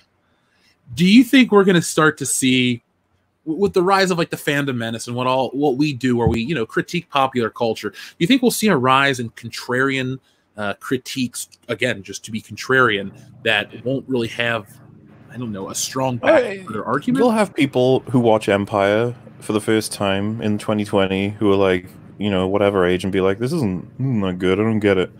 Um, it- it's it's possible, and the idea that it's overrated, like if we're getting really strict with that definition, is like possibly. It doesn't mean it's not a great film, though. It's just that it's considered like one of the greatest films of all time. So of course, any film that's considered that is probably overrated to some small degree, because it's gonna be like, holy shit, could any film really be that? highly rated but yeah like it does it does feel like it's just there to annoy people it's like hey remember this this thing you like jurassic park overrated back to the future overrated alien overrated terminator overrated you're like why are you doing this you're just trying to piss everyone off I just, I, you know, is, you know, we're all in the geek culture community, and Empire seems to be like this untouchable, uncritiquable film for a lot of people. I'm definitely not in the camp that it's overrated. I just think the first Star Wars film is a much tighter uh, topic. Or not, sorry, not topic, a much tighter film. I don't go into that asking questions. I think Empire Strikes Back rises or raises a lot of questions as opposed to A New Hope, which is its own complete story and doesn't have, you know, I, I mean, I'm getting into the geek minutia here, but there are little bitty things where I go, "How long is this? Wait, what?" And then I don't have that disconnect with the first Star Wars film. Um, so Mauler, you said you got to head out, correct? uh yeah unfortunately i, I need, I need to make Well- some food Oh, it's, believe me, it's fine. I've been eating peanut butter pretzels with my mic on. yeah. I was gonna say I was in the background munching. But uh, Mauler, I want to thank you for being on, man. It's been a while. Hopefully, we uh, get to talk before you know the end of the year. Oh yeah, yeah, yeah. When it, whatever. This is the thing. There's no big events on the way now. But as soon as there is, as soon as something big happens, a new film comes out, whatever, somebody shakes it up, we'll always have someone else to talk about. Yeah, well, sadly, the way things are going, it's like, oh, this person went outside today. That's the big news. So, Yep. but uh, it's always a pleasure, man. So I will. Uh, I'll talk to you soon. Yeah, man. Thank you for having me on, and uh, it's been a lot of fun. It's always nice to catch up on these different topics, and it was uh, nice to meet. Uh, I, I, well, I've met I've met Az before. I've met Critical Drink before. Met you before. I believe I've been on a stream with Midnight's Edge before. I don't believe I've met Andre before. So hello. Yeah, I think he Uh, had to drop if out. there But yeah, yeah. I'll tell him he said, "Hey, um, he's he he he should he should be back here in a little bit, I think." But uh, yeah, you and I have been on a couple streams together, but we definitely Hmm. got to have you on the main channel and some other things here soon when we get a chance. I'm gonna And, uh, try and find a way to get a hold of you. I think I've been on a stream with Mecha Random before, but either way, hello. It's hello. um, but yeah, I, I guess I'll uh, catch you all the next time I catch you, and of course, goodbye to chat as well. Be well behaved while I'm gone now, guys. All right. Take care. It was an honor. Yeah. See, See you you guys. later, dude. Thanks. Bye. So, as what are your thoughts on Empire? Um, well, I, I watched it this morning because I wanted to do I wanted to do my homework because I'm a good boy, and it's been a little while since I'd seen it as well. So I thought it'd be interesting to see after because I, I probably it's probably been a good ten years since I saw Empire last. So I thought it'd be good uh, a good sort of gauge to see how it holds up. You know, kind of like a decade after seeing it last, and it was the quickest two hours of my life. It was a thing of absolute beauty. It's a cinematic masterpiece. Um, I thought the story was incredibly tight. Uh, I thought it seen it flowed seamlessly, um, and the questions that it asks are very are, are incredibly bold because instead of giving you the contained element of the uh, New Hope, um, it really does take the risk of, of like if you were to pitch. I mean, we're talking about the pictures. If you'd say Luke fails at everything in this movie. you know, he fails at the st- he he gets uh, knocked off by the Wampa at the start. He has to get saved by Han. Uh, when he's in the snow speeder, um, he loses his wingman and he gets shot down. Uh, when he goes to Dagobah and starts his training, he fails and leaves it unfinished. And then when he goes to Bespin and confronts Darth Vader, he loses and loses his hand. So it's, it's such a brave thing to do, but through even through all his adversity, it was it was you knew that you were setting Luke up for the the final the final part in the in the trilogy itself. So um I thought it's just absolutely beautiful to watch. I I couldn't I don't think uh, I could have enjoyed it more. And I was I was actually upset. I know it sounds bizarre, but I was actually upset while watching it because I was enjoying it so much and I was loving it so much, and then I just thought of the the the sequel, you know, prequel, se- oh fucking whatever, the, the last shit three, and I was just saying, and it just it made me sad. It just made me upset that it, they felt like we've been speaking about earlier. It feels like parodies. They just felt like parodies of Star Wars, as if somebody was saying, "Right, this these are the Star Wars movies." Now, just sort of parody uh, parody them, but without the humor. And and so that's where you get this soulless. They fly now. They fly now. They fly now. Just absolute drivel. None of the characters having any arcs. None of them having to go through any adversity. Everything just working out, even when it doesn't make sense. Uh, and so I was kind of getting upset because I was like, this is what Star Wars was, and this is what I fell in love with. And this is what became such a, a huge thing of my chat about my childhood that it, it's gone with me all my life. And this is the th- shite that we have today. Uh, so there was a little bit of bittersweet there. It's I can't believe you said it's been almost ten years since you've watched it last. Mm, Oh, man, I yeah. I don't watch Empire as much as A New Hope, but I I definitely get uh two annual viewings where I'm giving it my like tonight. I'm going to do that for the 40th anniversary because I remember 10 years ago when they hit the 30th anniversary, it was for some reason it was the first day I ever got Netflix. And I was so excited. I was like, I have Netflix now. I can do all this streaming. But I was like, Empire Strikes Back has to come first. It's it's such an important film. And I think you make an interest well, not it's interesting in the point that it's sad, but like you watch that and this is what once was. And now we're here. And I think you sum up what a lot of people in the fandom menace and people outside of it, like you, they're doing.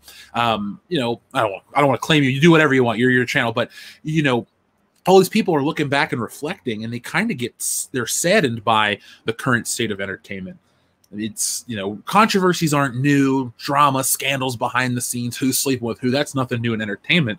But what's new in entertainment is just this uh, adverse backlash towards consumers it almost i mean tom you remember golan globus and all those guys it Oh, yeah. it makes me pine for the days of them where it's like hey we need to make all this money i hate the whole mentality of you know the fans are wrong we need to teach them a lesson like like rian johnson intentionally killed threads do you think uh, well technically it's richard marquand but we'll just give george lucas credit because it's rumored he directed return of the jedi but could you imagine if they killed the thread set up in Empire and in the next film they're all back on Tatooine? Han Solo's there. Luke has a, a new hand that we never talk about being robotic. And it's like, what happened? Ah, don't worry about it. Let's just watch this movie. Like, I can't believe that that's the type of shit we get away with. Well, all the rebel fleet had been decimated at the end of uh, Empire Strikes Back, and then there was tons of them in the next film. Just they're all there, just absolute tons, no problem. The, the whole point, the whole point of Empire was to to to make everyone fail. Hoth was a, a nightmare for the rebels. It was a, it was a, a rout. They got routed by the Empire. But as a kid, you're looking back to when they take down the attack with the I say attack I'm a kid. Uh, when here. they take down the attack with the snow speeder, and you, that's what you remember as a kid. But when you when you watch it as an adult, you're like, oh my god, they got absolutely annihilated. They got routed. Um, everything got destroyed. They were always on the retreat, just trying to get out and get out and get out. And uh, that that flows through the whole of the film. And um, it, it was just like the first half of yeah, Jedi's got its problems with the Ewoks and shit. But the first half in, in with Jabba on Tatooine is immense, immense for for those arcs to be to be uh, paid off, for Han Solo to be returned, that paying off. Leia coming into her own as a as a as a warrior, not just a leader. Lando on his redemption arc uh, with um, bowing the knee, bending the knee to the uh, Empire, and then at the end, you know, at the end of Empire, changing his mind. And Luke uh, being a Jedi, uh, being actually being a Jedi, and seeing how he's grown in that time. So it, it paid it paid everything off. Nothing was was uh, forgotten about. Nothing was uh, left unanswered. Um, everything was resolved brilliantly. And this is and you know, they fly now. They fly now. They suck now. They blow now. They Lethal blow now. lightning coming in from down under. Good morning. Yes, it's 4:30 in the morning. I woke up about an hour ago. At least it's How Friday for you. Ah, oh shit, what day is it, man? Um It's Friday. Yeah, yeah, it's Friday. It's Friday. So at least you can say that. yeah, thank God it's Friday. Well, you know, with this whole um pandemic going around, every day is a Friday lately. But these these articles here, they're they're made for no reason but to to be um contrarian. They're they're made what what these articles are made for is is to anger people that love this.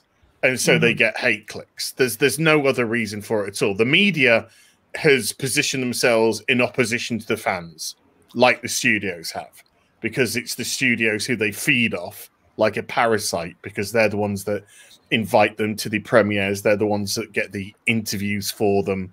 Uh, so that's where they think their bread's buttered on. But as we see from Vox and Verge and all that, they're all falling down. They're all absolutely crashing because the- ultimately these sites can't survive without fan support and they're driving fans away with crap like this. That's why YouTube's thriving as a medium for people like us. You're Yeah. right. I mean, I, I don't remember articles like this 30, 40 years ago. Like, I guarantee you there probably wasn't 20 articles when King Kong remake come out in 76 saying why the original King Kong is overrated.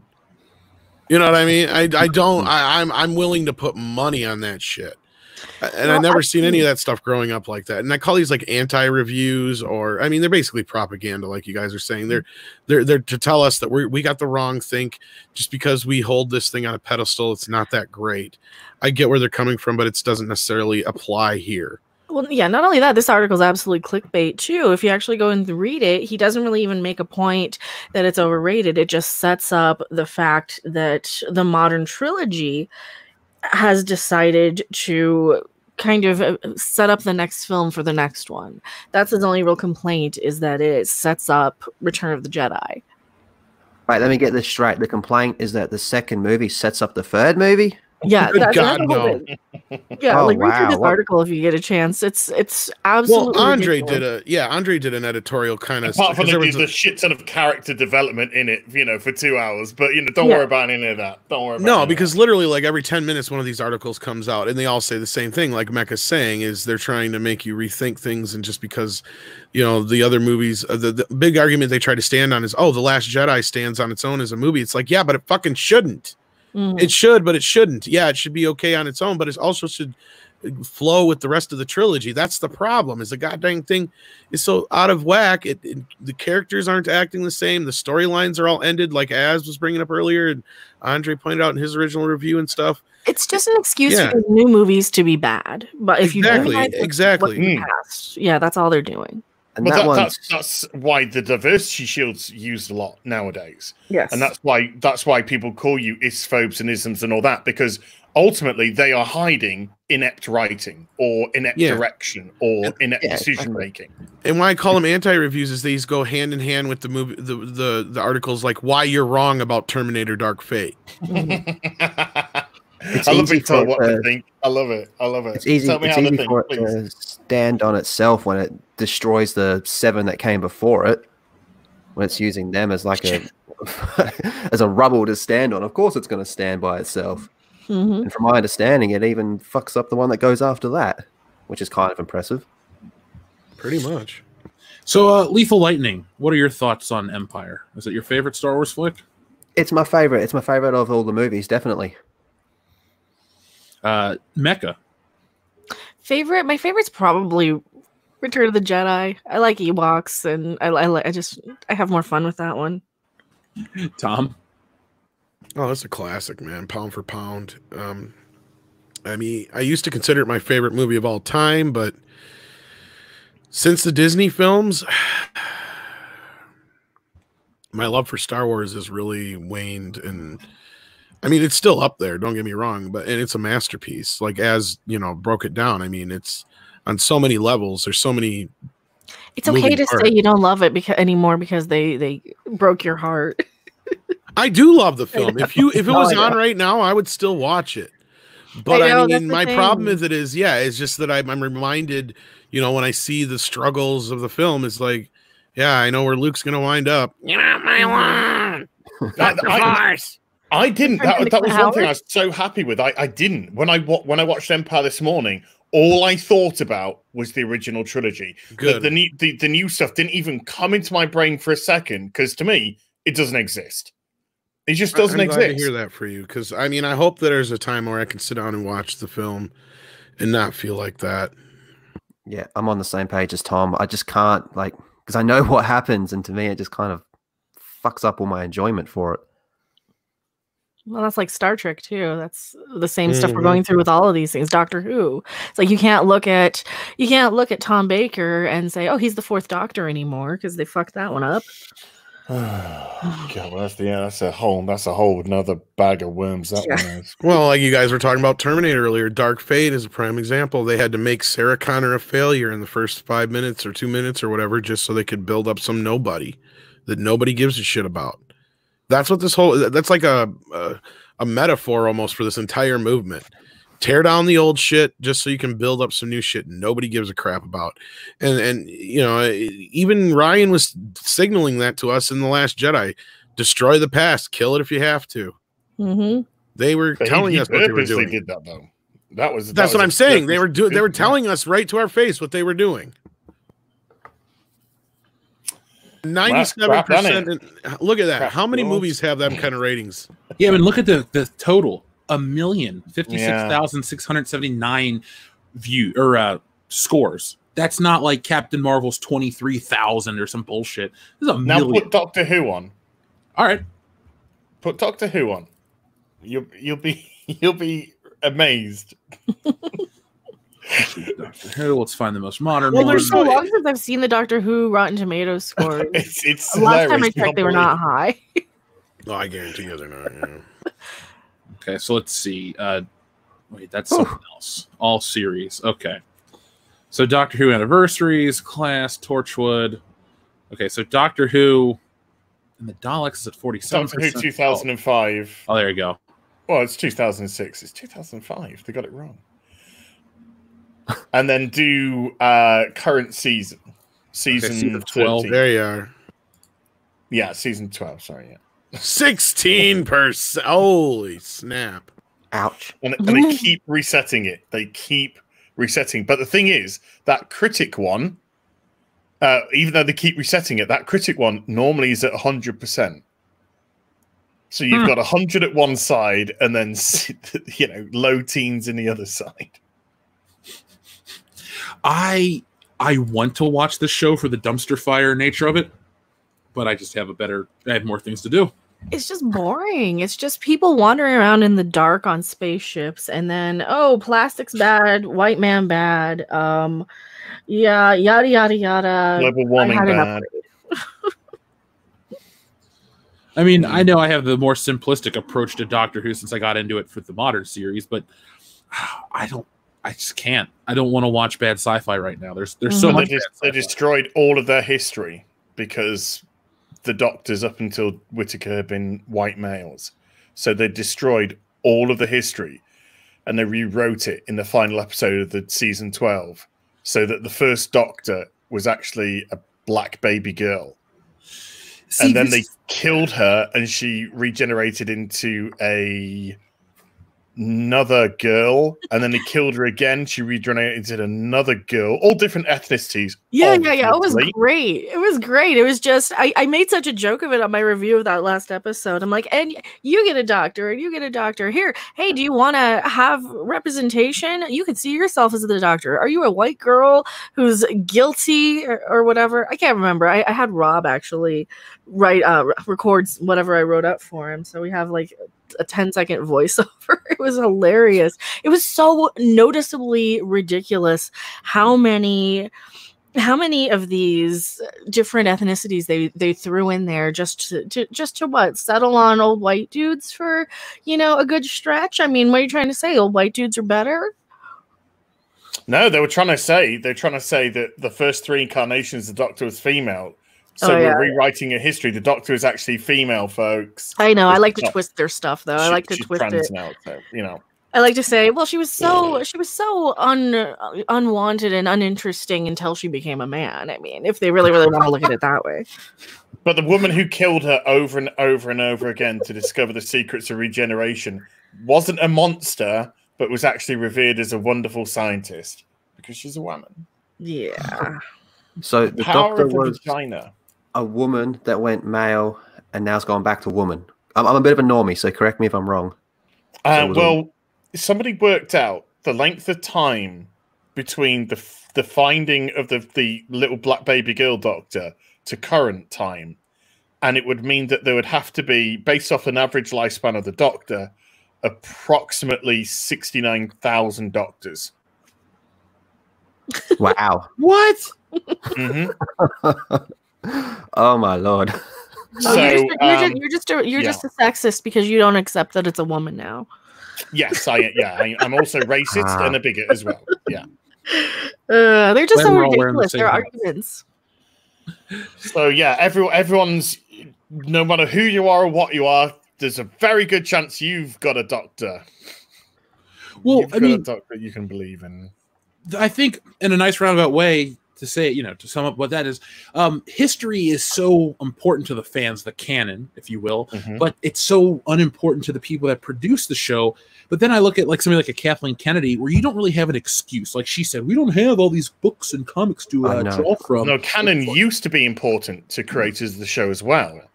Um, it's just a modern thing because if they have to rely on canon, they have to accept what has come before, and they don't want to accept what's come before because they want to create their own history. They want to rewrite the history in today's sensibilities. So that's why we have the destruction of all these fandoms because a lot of these fandoms, whether it be comics, whether it be Doctor Who, etc., were created by white people, starred predominantly white people, or in the in the in the terms of the comics, were white heroes, and that's why Marvel wiped their slate with uh, the heroes and tried to to push them. Iron Man became fifteen year old Riri Williams, a black girl. Hulk became Asian Hulk. Thor became female Thor. Hawkeye became female Hawkeye. It was it was a, a destruction of everything because they wanted to wipe that whiteness away. You have to understand these people are racists and bigots and phobes. They are the people who are the Mhm. problem. They can the they can't kind. see past race. They can't see past gender. They can't see past sexuality. It bugs them. It's their be all and end all. They can't say, right, that's how things are. We're going to create new characters. We're going to go forward creating these characters. These are the characters that we want to create. If they do that, they have to find their audience. They have to do the hard work. They don't want to do the hard work. That's why they they take out Iron Man, Tony Stark, and replace it with 15 round Riri Williams, Black Girl, because they're saying, well, it's still Iron Man. You must ergo like. And it doesn't work that way because they can't create, they can only destroy. No, you're 100 percent correct. And Doomcock has said the same thing. Gary and I and Mecha and all, we've all said it. And Well, I say Catherine I, I say it goes one too, step yeah. further. Sorry. In some cases, no. Go ahead. Continue. Sorry. Yeah, no, I, I I always say it goes one step further that not only are they the actual sexist and racists, but they also have to further oppress people of color, women, LGBT people by feeling the need to speak on their behalf. And one of the things I've been doing on my videos is saying, you know what, my audience is way more diverse than even I can realize.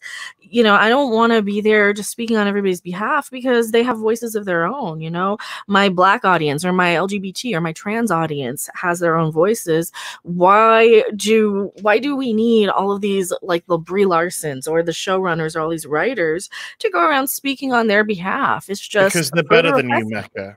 They're better than you. yeah i know and i'm tired and i'm tired of them thinking like they're better That's how they see themselves. You are a pleb. You need to be taught. You need to be lectured to. You need to be told how to think.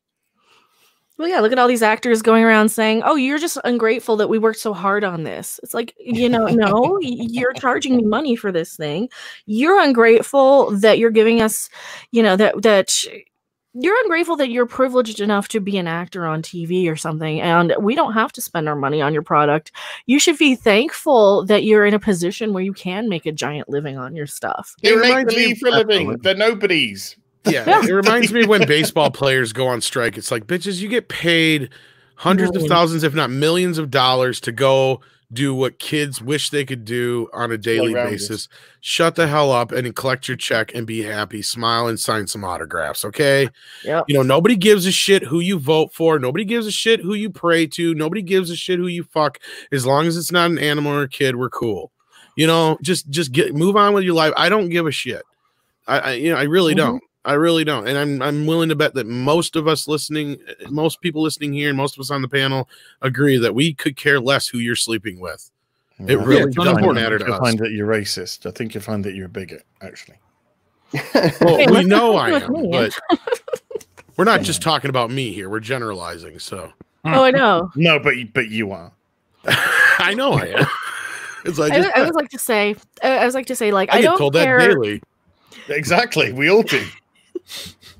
Yeah, I don't Every care what person's gen- genitals are. The only the only time I care about what gender you are is if I'm in bed with you and I need to know whether to lick or suck. I mean, come on, what's the what's the big deal here? Why do I care about their gender? Why do I care about their identity? Why do I care about their pronouns? When did we uh, care and start focusing so much on the superficial bullshit and not worry about being okay and happy as a human being with who you are? How you know where's what happened to it's what's inside that counts? You know what happened to how good of a person you are is judged and not this all this super you know there there was a guy in the 60s who said that i guess maybe he was wrong because they shot him or something i don't him. know They- yeah, they shot by him. their But standards Don't today, you that remember be- that James Dean didn't work out in the 70s? Yeah, Because he was dead. don't. You know, I mean, I'm sure that the pieces of him from this part of the road and the pieces of him from that part of the road would have. Is that when James Dean was uh, trying That's to what- be Batman? Did you hear? Yeah, yeah. James Dean was always meant to play Batman in the 70s, but it just didn't work out. he was too busy just you know cruising on his motorcycle, smoking some cigarettes.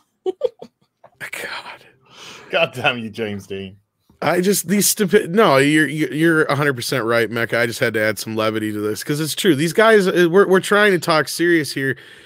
We actually have more common sense in our pinky toes than most of these idiots in Hollywood have, Uh, and, and Pattinson's a prime example of how stupid and out of touch some of these people are. And I don't mean to be rude and mean by calling them stupid, but they literally are stupid in a sense that they can't even function, and that's why they're all losing their shit right now I, I because think they're he's unimportant.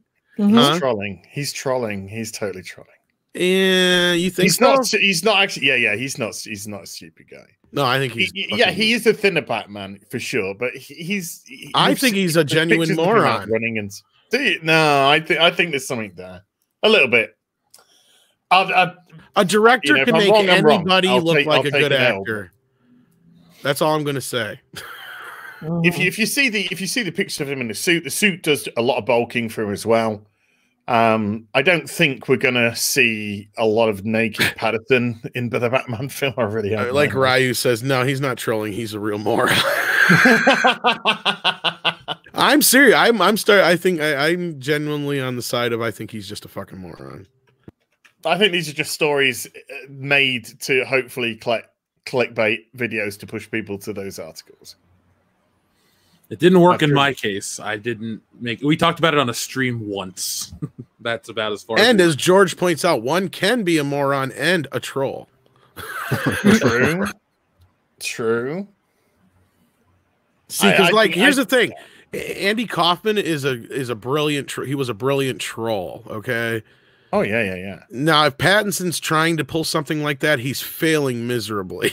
Let's put it No, I, I, I, don't- even think he's got anything to do with it. I don't think he's he's said anything or done anything. I think these are just fabricated stories.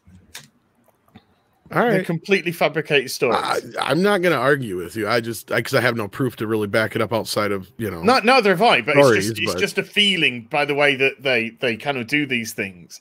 It just feels completely fabricated. One minute he's not working out for Batman. Two days later he's blowing up his microwave because he's. It was all the same retarded. interview though from GQ. That's yeah, it just got split up into other stories. Is what Yeah. happened. Yeah. it was all from the same interview though. So I I, don't think know. I you think could be uh, right. it's all of it. I think he was just stoned and forgot that his microwave oven wasn't an oven oven. That's what it really sounds like. He sounds No, so you guys got to remember, he's never cooked for himself before. Probably, he's been a movie star since he was a kid, basically. Well, his mother was a, a model, right? Yeah, and not only that, he's had a silver spoon up his ass. Yeah, uh, yeah. He was he was pretty well off. So Or I she highly worked doubt he's ever cooked for himself till he's been trapped in this. Well, hotel maybe he put the silver spoon I'm gonna look into the up right now. microwave. That's and what he that- did, but There you go. he was trying to make a portable pasta yeah, what the hell? because he never heard a cup of noodles, evidently. But I guess not. But you know, I I don't know where I fall on the whole troll thing. I just think he's. I don't need. I can't. I can't give. I don't the think he's a benefit of good choice doubt. for Batman though. But I got to see the movie, so anybody who's stupid enough to think that James Dean was alive in the seventies. I'm they're a moron in my books. yeah, and that's also where I with draw the to be line. Batman.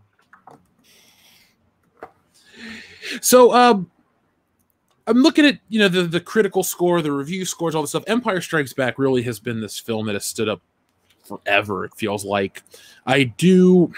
Since today is the 40th anniversary, I do like to ask the basic pedestrian questions. So, as first off, what is your favorite moment of Empire? Uh there's some there's some wonderful little subtle moments in Empire actually, which uh, the humor in Empire is actually very subtle and not you know they fly now. Oh, la- laugh please. We repeated it four times. Um, there's just funny little things with the way that they compl- always constantly dismiss 3PO and um, he goes one way and then they're running the other way. And because he's such a slow, lumbering wreck anyway. Uh, but uh, it's, uh, I think my favorite moment comes from a favorite shot. And it's where you have that image of uh, Vader looming over Luke. And he's as he's just come through the round the corner of the um, corridor, and he got Luke there with his lightsaber out, and Vader coming through, and just that that physicality that it shows off, the dominance of of uh, Vader, which is not just physically but metaphorically showing you that Vader is way above Luke, is way above Luke in in his uh, training, is way above Luke in his knowledge of the Force, etc. Uh, it's foreboding as well, and it I think it just provide it's slightly it's very reminiscent really of that Scott McQuarrie um, drawing where you see you know Vader, the old style Yeah. Vader and Luke fighting. It's sort of very, uh, and I think it quite possibly is purposely done as well. But just that imagery, it still sent a shiver down my spine when I saw it. When he, it was just oh beautiful. Mecha, what about you? You know, I love all the Yoda stuff in Empire. He, you know, spe- speaking of humor and speaking of trolling, Yoda's kind of, kind of trolling Luke a little. That's my favorite bit too. I, I was love it. say, it's yeah. so cute. And remember, this is something I grew up with as a little kid. So that's like my biggest memory was in the 80s watching watching the cute Yoda stuff. And I loved that. It just the whole movie is so is so I, I, I kind of prefer it to the first one. I, I kind of do because it's uh, that much more broad and that much more um I guess deep as a universe. The story, like the the, the- the whole universe, Mm. feels so much bigger in Empire than it does in A New Hope. Is that the one you mean as or was Yeah, one- yeah, yeah, yeah. Star Killer. I agree with you, Mecha. Though this is where Star Wars felt like a universe. Maybe Mhm. that's where I kind of why I kind of I don't I don't can't say I dislike Empire at all, but that's maybe why I prefer the first one still because it's this is it. This is Star Wars, and that's it. There's no more. I Oh, think yeah. once you get into this, it, it builds on this wonderful universe that I'm you know glad to be a part of as a fan. But I mean that's just a weird uh, thing I have to add. Uh, uh, Lethal Lightning, excuse me. Uh, what's your favorite moment of Empire? I love pretty much anything with Darth Vader in that movie, but I think my favorite parts are towards the start of the movie, uh, like when they first discover Hoth, and he's like, "Yep, that's where we're going," and you got all like all like the officers being like, "Are you sure about that?" And he starts force choking him through the screen. Just shows off that he is, he's like dead set serious because like in the first one, we kind of just told that Vader's a badass. We see him kill Obi Wan, but Obi Wan let him kill him. Um, we see him kill a few rebel pilots. Pretty badass stuff, but nothing like this, where we see him as like everyone is scared of Vader. It's like Palpatine runs the show, but Vader's the one they're scared of. But what I really like about Empire is what you touched on just before was as an EU fan, I got to give it up to Empire because Empire is the one that said, "Hey, this is an actual galaxy. You know, there's anything you can dream of is basically out there," and that's what really opened the doors for all these stories from the EU that I love. That the EU is Star Wars to me, and it wouldn't be there without Empire, and that's why I love Empire. Uh, Tom, Yeah, I mean, pretty much y'all are saying some of the best bits, and I agree with you all one hundred and ten percent. And like with Mecha, my but my favorite bit in the movie has got to be when we are introduced to Yoda. The magic of Frank Oz in that scene is just amazing, and how he's able to take that character and bring it to life, and the humor that's injected into it. It works, and it's it works within the scene, and it's what the newer films are missing. It's what the prequels were missing. Um, it's the humor that comes out of the moments and not just some random bullshit, you know, like yo mama jokes or this is such a drag. You know, it's Yoda being Yoda in this great bit and and like lethal i love like he's saying just the, the fact that we finally get to see vader being a badass and but yoda is hands down my favorite character and i just love the idea of that you know he says it all when he says judge me by my size do you i mean the fact that he's the strongest jedi and you know he's this little guy you know he's just this Yeah. little imp that Mm. that has all the power of the universe in his little hands you know it, it's it's that mystical magical fantastical story and it's the one good thing that came out of george lucas killing obi-wan kenobi is that he had to create this secondary character to, to fill in the gap um, in the story and it, it was it was uh, a necessity spawned arguably besides maybe r2 and or the droids and darth vader the most iconic character in the series Yeah, uh, I, I'll agree One at that point. sorry, one thing that stood out for me in Empire, which I thought in today's day and age they would have not done it this way, is when Luke is fighting Vader at the end. Uh, Vader actually says, Obi Wan has taught you well. Now, he's been training with Yoda for an undisclosed amount of time. Not too long, but he's definitely been there for probably a few weeks um, with Yoda. And if it was, and then Luke doesn't say anything, they just carry on their fight. But you, you know that if it was today's day and age, oh, Obi Wan's taught you well, you would have had this.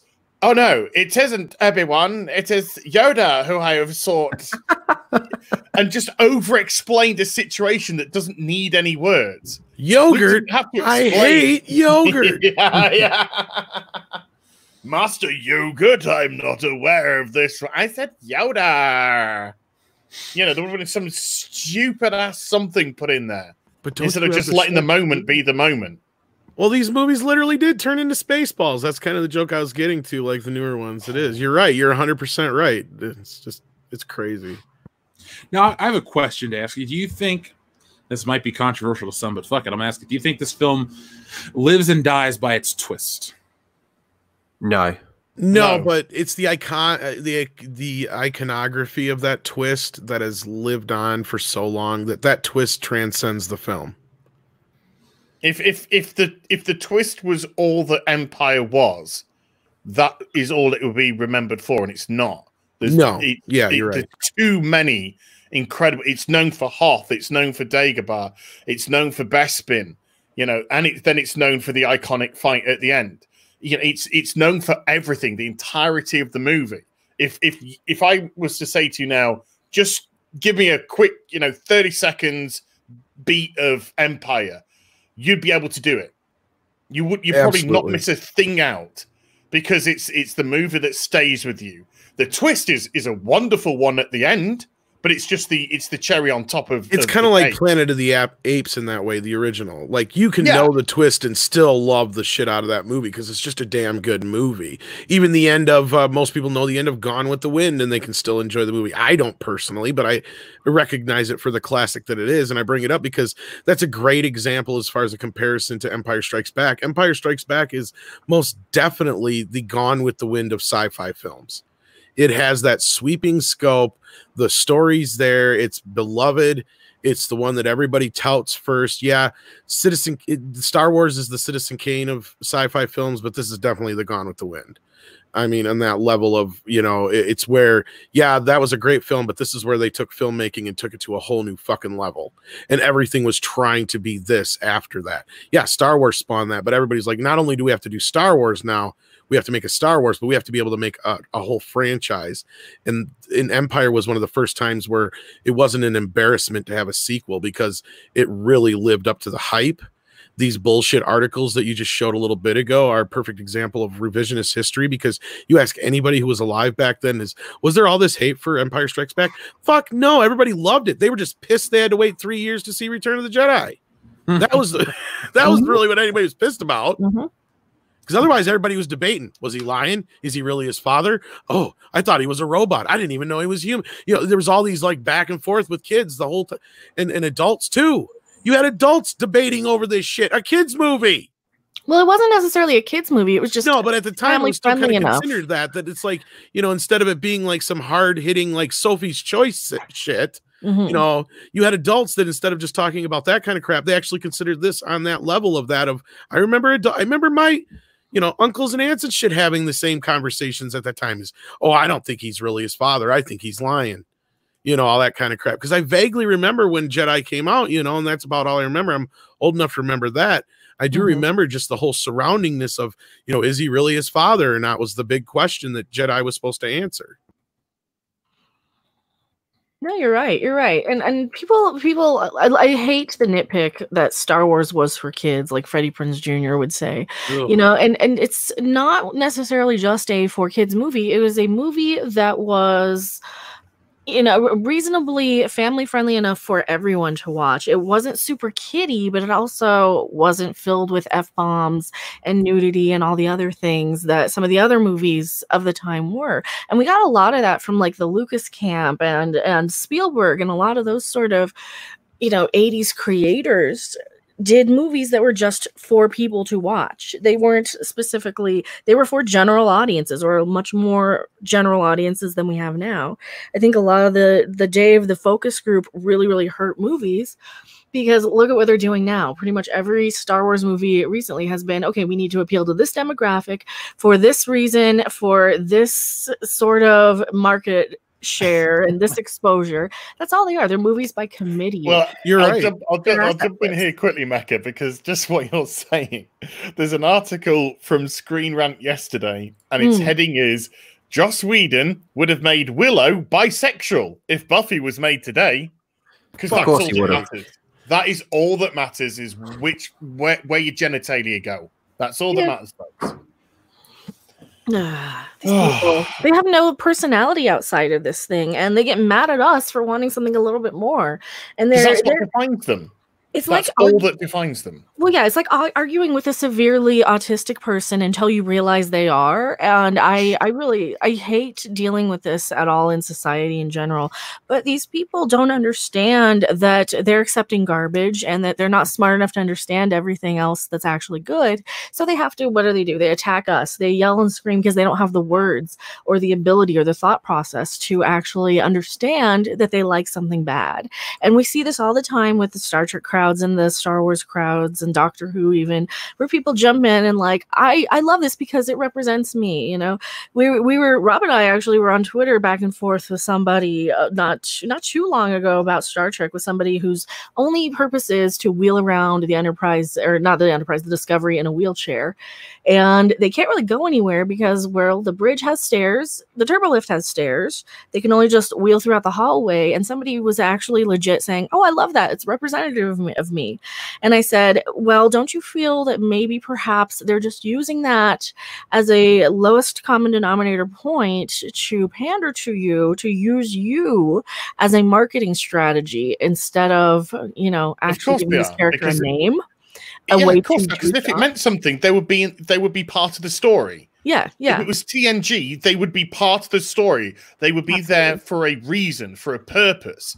But in Discovery, they're not. They're there to be shown off. They're trophies. Mhm. No, they're The circus medal. freaks. That's what we say. Yeah, Yeah, we say this but, is the, but the the, circus equivalent freaks of the that you circus pat yourself on freak. the back on and say, "Aren't we so great?" Exactly, Hey, hey, exactly. we, we had a real life, a real life, folks, not a fakey, a real life disabled person. Aren't we amazing? Exactly Let's give my me a point. clap. Let's give me a clap for that. Fuck Yeah, and. Deep Space Nine did it better with the character. What was her name, Mal- Melora or something? Where she was actually they gave her a reason to be in a wheelchair. They gave her a choice. uh, Same thing. Same thing in uh, the Orville too. They gave these characters a reason and a choice and a story arc where one of one of them, um, actually, I think in both instances, they both decided to stay rather than have some disability where they can't function, or rather than change who they are. They decided to stay where they were and be the ability that they you know were naturally inclined for i, I suppose is i The, guess the the- DS9 one was she was an alien, yeah wasn't it? And, Yeah. and her gravity, the gravity on her planet or whatever, was completely different. yeah and therefore in in our atmosphere which they were adhering to uh, it was much heavier so she i think she had uh, crutches i think she had to go around on like on like crutches but when she went into her quarters she could adjust the environmental settings so she floated. Exactly and it was just a very way a very clever way because you know once upon a time they did clever things like this. They didn't just ram it down your throat and be obvious and blatant. Uh, it was a Mhm. very clever way of showing off disability in in a in a way that people would not see it as being heavy-handed, uh, still be entertaining, but still show how there is nothing to prevent people from functioning like everybody else, even though they would have what would be perceived as a disability. Well, how But that's where you get clever writing, and this is what doesn't exist anymore. No, no, and and I, I like to say I like to say this too. How else could they be the victim if they were actually uplifted by something? Because Mm. this day and age, they just want to be the victim. They just want to get everything handed to them. They just want to be, you know, the the oh poor me, I had this happen to me, and it's all because you. It's all because of you. Mm. No, you're right. You're absolutely right. It is victimhood. Victimhood is is such a thing at the Mhm. moment. Pe- people are fighting. They're, they're literally fighting for their right to be a victim. Yeah, pretty much. Um, Well, I have I have a cartoon that pretty much says that. It shows, and I'm not going to show it because it shows a Yahtzee on one side, and you know, Heaven actually, forbid you actually showed that. yeah, I know, and, and a It's like gun a to a to a Jewish girl's fit head, and it said persecution back in the day, and then it has on the other side, it's got a white guy saying, "I'm just a white guy," in a red haired fucking SJW screaming, "I'm being persecuted." on the other side, and it's like persecution today. And it's true. It's it is. It's very true. It's how they they, they view the world, and I hate this mentality that there is this sec, this secular notion, eh, but there is is these identity politics, and they're Yeah. singling white men out, and individuals like these Mecha don't have a voice, and yeah, Oh, look at that Picard article where it's just basically an excuse Oh. for Raffi to be a piece of shit while they say, "See, old man Picard got what he deserved," and should very well be be appreciative of everybody lecturing him for saying and, and for humbling. I'm sorry. What am I Humbling, yeah. apologizing for now? You're just no don't- yeah. white dude. You earned your position. on Oh, the never for mind. I'm sorry. Can I die now? Oh, it was horrible. Can. I please fucking die now? But I said, I said when he when they killed him off in the last episode, I was just like, this is him shedding his white privilege and going into a body of victimhood, so he can now be a victim like everyone else. Yeah, because that's the that's the message nowadays. That's, that's the story arc. Yeah, is you've you've you've shed your uh your privilege, and now you can be a victim like us and go on to platforms of free speech and say exactly what you want without fear of any repercussions whatsoever, without getting dragged out of your bed in the middle of the night and taken to camps, and you'll never be seen again. That you can rant and rave and demean people all day long by Yeah, saying you're a victim and being repressed. And identify as a deer. I don't understand what's with this mentality of wanting to be a victim these days. Like, just the word victim is inherently a bad thing. because it's so you don't have to work for anything. It's so you get hmm. everything handed to you. and you get Still- pity and you get attention and you get all the things Well, that's which why, yeah, they I'm don't really, have the personality to have. I'm willing to believe that Ruby Rose was just as bad as all the rumors were healing, hearing. And yeah, I'm sure she had a good reason to quit, but I'm more willing to believe that she was just such a entitled little whatever that, you know, yeah, I'm sure they were glad to see her go. And I'm sure a lot of young actors and stuff like that are like that. They expect it all because we see it in the writing all the time. Uh, To Mhm. go back to Star Trek, look at what happened to uh, um, Walter Mosley. Oh yeah. I mean, I don't know if you guys know who he is or not, but he's a prolific writer, and they had him in the writers' room for Star Trek, and they turned around and basically had him reprimanded because he used the N word when reiterating a story that happened to him when he was younger. Oh yeah, yeah, yeah, yeah, and then he got the phone call, and he's like, "But wait a minute, I am the N word in the writers' room." and they're like, "Yeah, but you shouldn't be using that word," and and he he got so pissed that he quit, and I don't blame him. No. And I'm happy at least he has the money to not need the job. Exactly. Hmm. And he even had the decency not to mention the show. They were the dumbasses that came out and took the fucking they they owned it. And then Mhm. not only did they own it, they tried making some lame ass excuse in the end. And it was like, why did you just keep your mouth shut? Nobody would have ever him. known. Yeah, didn't they didn't they try victim blaming him? Yeah, then? they tried victim blaming it, like, oh, we didn't tell him he was fired. He could have kept his job. I don't think he actually was Fandom. really fired though. It's awesome. No, he wasn't fired. He quit, and rightfully so. Would you want to work in an environment like that? No. Not in the slightest bit. don't look at me. I wouldn't even be there. And he's bitched. place. He said the worst part was is the showrunners never called him nothing. He didn't show up for a week before somebody got a hold of him. Now, by the way, folks in the chat, people were wondering why I was quiet. Actually, they released a new article about The Empire Strikes Back, and I was just reading up a little on it. So, Told you every ten minutes they release one. yeah, well, this is from StarWars.com officially. It's a Oh, new God. interview Done wrong with this time. The oh, what'd you say? What have we done wrong this time? They're- That's probably about us. To be fair, this is actually like a you know, it's an anniversary article, but it's interesting how much George Lucas had to finance it himself. I mean, I knew this, but we're talking like bank loans were denied and all this crazy shit. And I'm like, for as much as I rail on George Lucas and a lot of his changes and dumb shit, I'm like, ah, this dude really though was a pioneer in so many ways. So this article's making me respect him more. And I already loved the movie, so it just makes me love the movie even more. You just got to remember, my stories are just you know they're stories. The- He is still George Lucas. Well, he, honestly, my opinion of George Lucas is actually formed outside of the stories you've told me because as a guy that you know I create stuff. To me, it just seems so very antagonistic with his McClunkies and all these other little things that you know as a as a people person like I am. I'm just like I can't imagine anything else. I can't imagine you being so uh, lacking in self awareness that the things you do are treated as a you know a straight up offense. And so reading this, I go, well, at least the guy was you know this dedicated filmmaker. I don't you don't see a lot of people today willing to put their own money on the line or be that dedicated. I mean, you got a guy like J.J. Abrams, who I guess is the highest grossing director of a wall. No, no, not really. That's the Russo brothers beat him technically, right? Because he's got they got more J- billion dollar JJ, pictures. JJ is, is a hack. JJ. A hack. Well, you don't you don't really mean to insinuate that George would ever do anything to antagonize the fans, do you? You mean like he would never do such a thing ever to antagonize the fan. He would never do something like that. He's not that kind of a person at all. No. Is it wrong that the first thing I notice about that shirt is Han Solo's using his wrong hand? like seriously, I'm like your gun belt's I on the didn't other even leg. notice that till you No, said that's that. good. No. That's a good thing. That's a good thing. I, that's not that's my favorite Star Wars character. But um, they're just this. You know, J.J. Abrams is coming in and playing with other people's toys. Uh, to be fair, so are the Russo brothers, but it's also this first iteration of Avengers movie, so they're not coming in and redoing what somebody else has done. But J.J. There's no originality with the man. It's let me But- play with Star Trek. The Russo brothers are playing with Marvel's toys and they're making Marvel stories.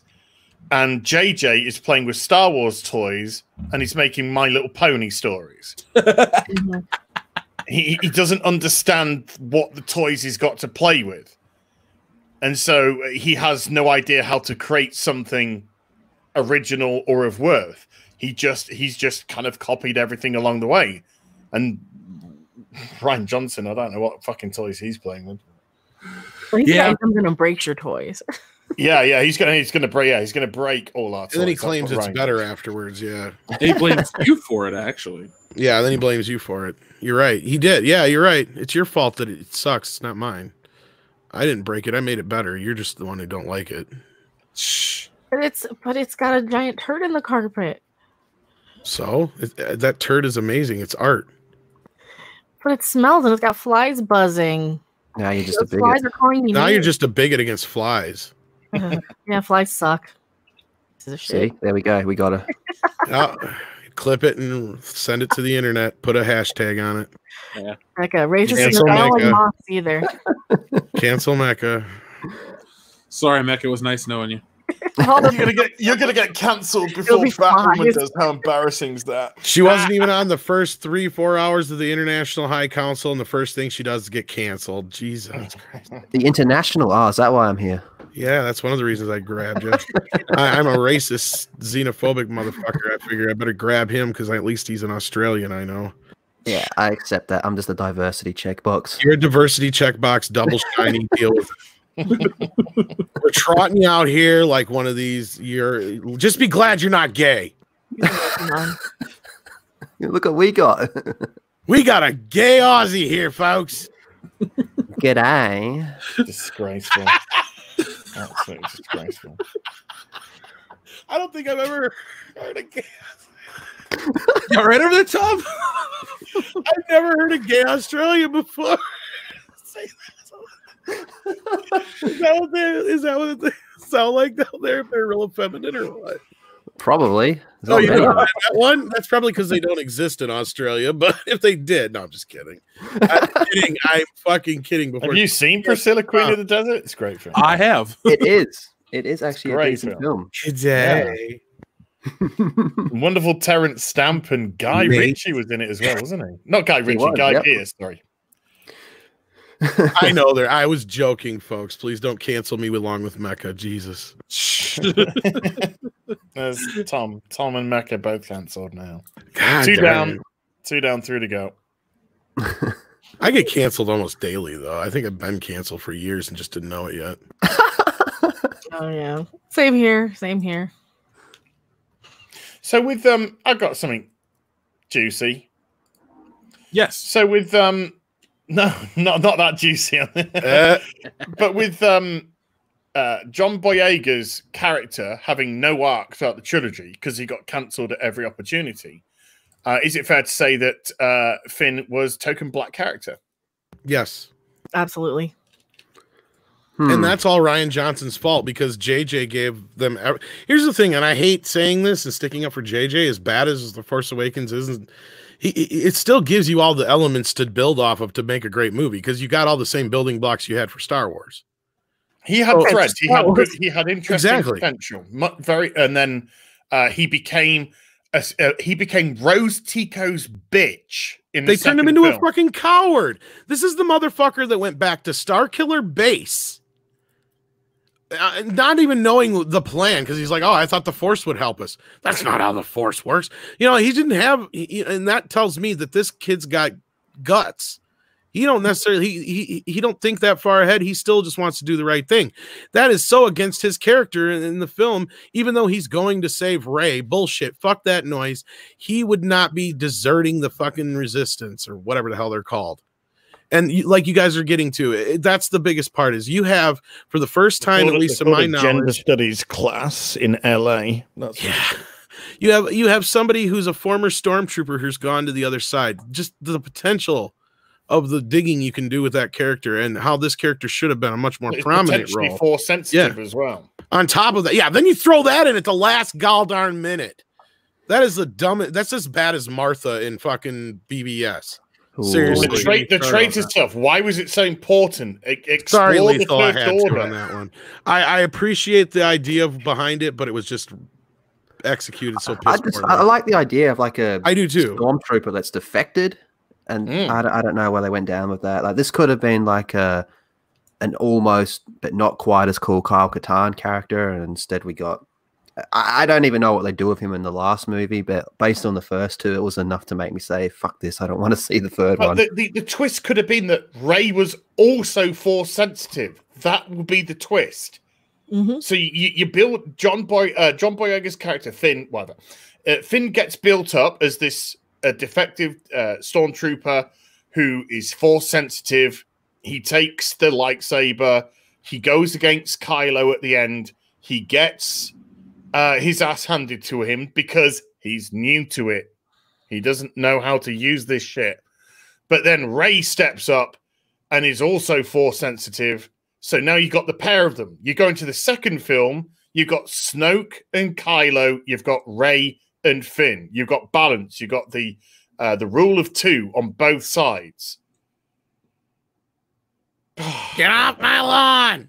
Fuck it. He went to a fucking casino Take your and boyfriend. with freed you. a bloody horse.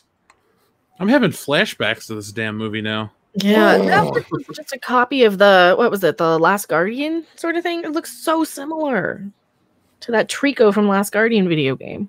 Oh, Finn was wasted to shit in the Last Jedi. 'Cause even those defenders of the Last Jedi can't defend the Canto Bight shit. No. Yeah, because it's always like, yeah, I'll give you that part, and then they just move on to, you know, you're a racist. It- oh, fuck, Yeah. you. fuck Rian Johnson. Fuck you. Mhm. Just fuck you, you absolute wanker. Go work for Naughty Dog. Yeah. yeah. Go work for fucking nothing. That's that's where you belong. Do you still have your strikes? No, gone, all gone, all wiped. But now what happened yesterday with Jeremy on Twitter? Now they're still going after him on Twitter, I thought. They- yeah, they, are they it's still A's. get rid of memes on Twitter. Yeah, Yeah, I've chalked up a few of them lately. Wait, they, They, want him um, to get rid of his meat. I'm sorry. Go ahead, Lethal Lightning. They um I sat down to fill out the report to claim my strike. Uh, you know, the whole counter thing. And then when I did it, I saw that it was gone. And I had that email from uh, YouTube saying that when the strike was put against me, like it wasn't filled out properly, it didn't Hmm. have enough legal stuff, like all that caca, man. So fucking Naughty Dog, man. Naughty Dog, Lucasfilm, I don't know. Why don't they just get in a partnership and make a, a game about a a Jedi that might be a trans with a golf club running around fucking beating people's heads and. They got a light golf club. I'd, I'd probably I'd probably play that to be honest with you. I'll I'd have rather play five lightsaber, please. Why is Cartman on the screen? Oh, never mind. That's Rian Johnson. Hey, Hey, my Cartman clacker? I just love how Rian uh, Johnson clacker. I just put him up to see how many how long it takes for people to go take it off the screen. Rian Johnson and Kathleen Kennedy always get that reaction of get him off my screen, Jeff. He's got, a go." col- he's got a collider microscope as well. No, I literally, literally have the Rian Johnson thwacker. Boy. Oh, And a porg. Hey Mecha, what's that red thing behind you that looks like a Devo hat? It's It- a it is a- Evo hat. It's an energy dome from yeah, and it's got a tomato under it. Oh, okay. I was gonna say it's a Devo hat. Yeah. Oh, That's the angle. I'm hiding behind a porg because I have no makeup on. sorry, I just was like, ooh, Devo. Yeah, That's our actually file a- photo of Ryan Car- uh, Ryan Cartman right there.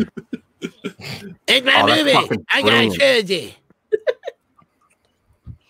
Miss Kennedy, am I gonna get my trilogy still?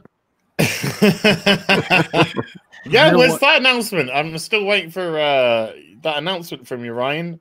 When's your trilogy, buddy? You said Yeah. it's going ahead still. Where, where's where's your trilogy, dude? You don't like my movie? Screw you, I'm going home. I'll eat my hat when that happens. Oh, there's no way we're getting that. Or it would have been Hell mentioned no. in all the dozen things that we've heard in the last two, three weeks. Like if they're gonna cop to the fucking Leslie shit and not mention Rian Johnson in that article, guess what, Rian? Your movies ain't happening, buddy. I don't think he No. cares. No, no, I think you and I are been right all this time, Mecha, and I'm sure Jeff said similar things, and probably you guys have too. Where eventually, what's going to happen is you'll you have an interview with Rian Johnson two, three years down the road, and somebody will bring it up, and he'll go, "No, you know, I just kind of thought after the success of Knives Out, I just wanted to kind of concentrate more on my original stuff and smaller movies, and I just I'm not into the whole blockbuster thing and blah blah blah. I love the movie and it's great and da da da da da, but I just thought it was best to move on from Star Wars and leave that part of my career behind me. I'm doing You should have never much joined better it. now. Oh yeah, I agree with you. I'm just saying that's what his excuse is going to be. Didn't didn't the sequel get announced for Knives Out? Yeah, that's what I'm saying. He's so busy with that shit. When is he going to have time for Star Wars? Never. No. because he's he's because he's not wanted anyway. He he's got plenty of time. There you go, guys. I said it, but you can go tweet it to him. Go work for Naughty Dog. Now, uh, I want to read a couple of super chats before we go into our uh, more one of our, I guess, our final segment. Really, uh, Trencher.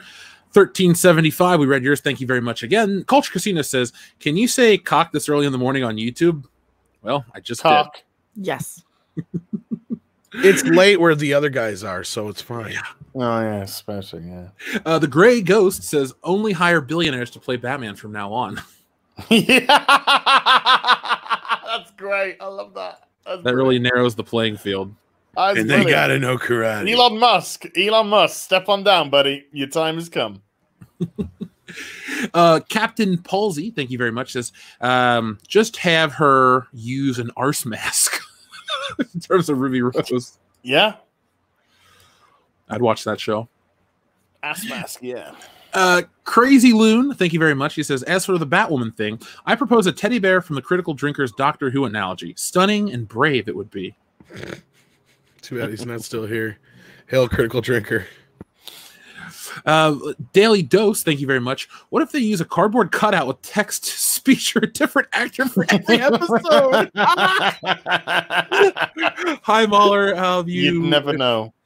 You'd never know. Oh my god. Um, I'm gonna take a picture of that super chat because that's a fantastic fucking concept. I just want to parody that myself. Uh, Daily Dose also said, "Hi Mauler, have you been able to watch Elseworlds to get the Ruby?" Uh, well, Mauler has left Daily Dose. Thank you very much. I will ask him though. Uh, Miranda Sinistra or Sinistra says his sons will end up being trans, then he'll have two daughters. oh, they're talking about Superman. I think is when we That's what it was. Okay. Ah, that, we were that far back in the super chats. Holy shit! I put it like this, dude. Uh, the show was going so well. Why kill the flow of conversation? You know. Oh, I know, I know. I'm here with you though, as long as I can hang out with you. So Well, I, I, appreciate everybody uh, sticking around. Like I said, I, I want to give the props to the audience, but I mean, we we just we started out really hot, so I was like, I don't want to stop. I want to, you know, let the conversation build. Um, our friend, some weird guy, says, "Oh, hi, Molly. You said that you were going to tell everyone why you thought Iron Man three was a top MCU kino. Well, It's film in German. Uh, well, we're waiting. Also, hi, you guys. Uh, some weird guy. Thank you very much.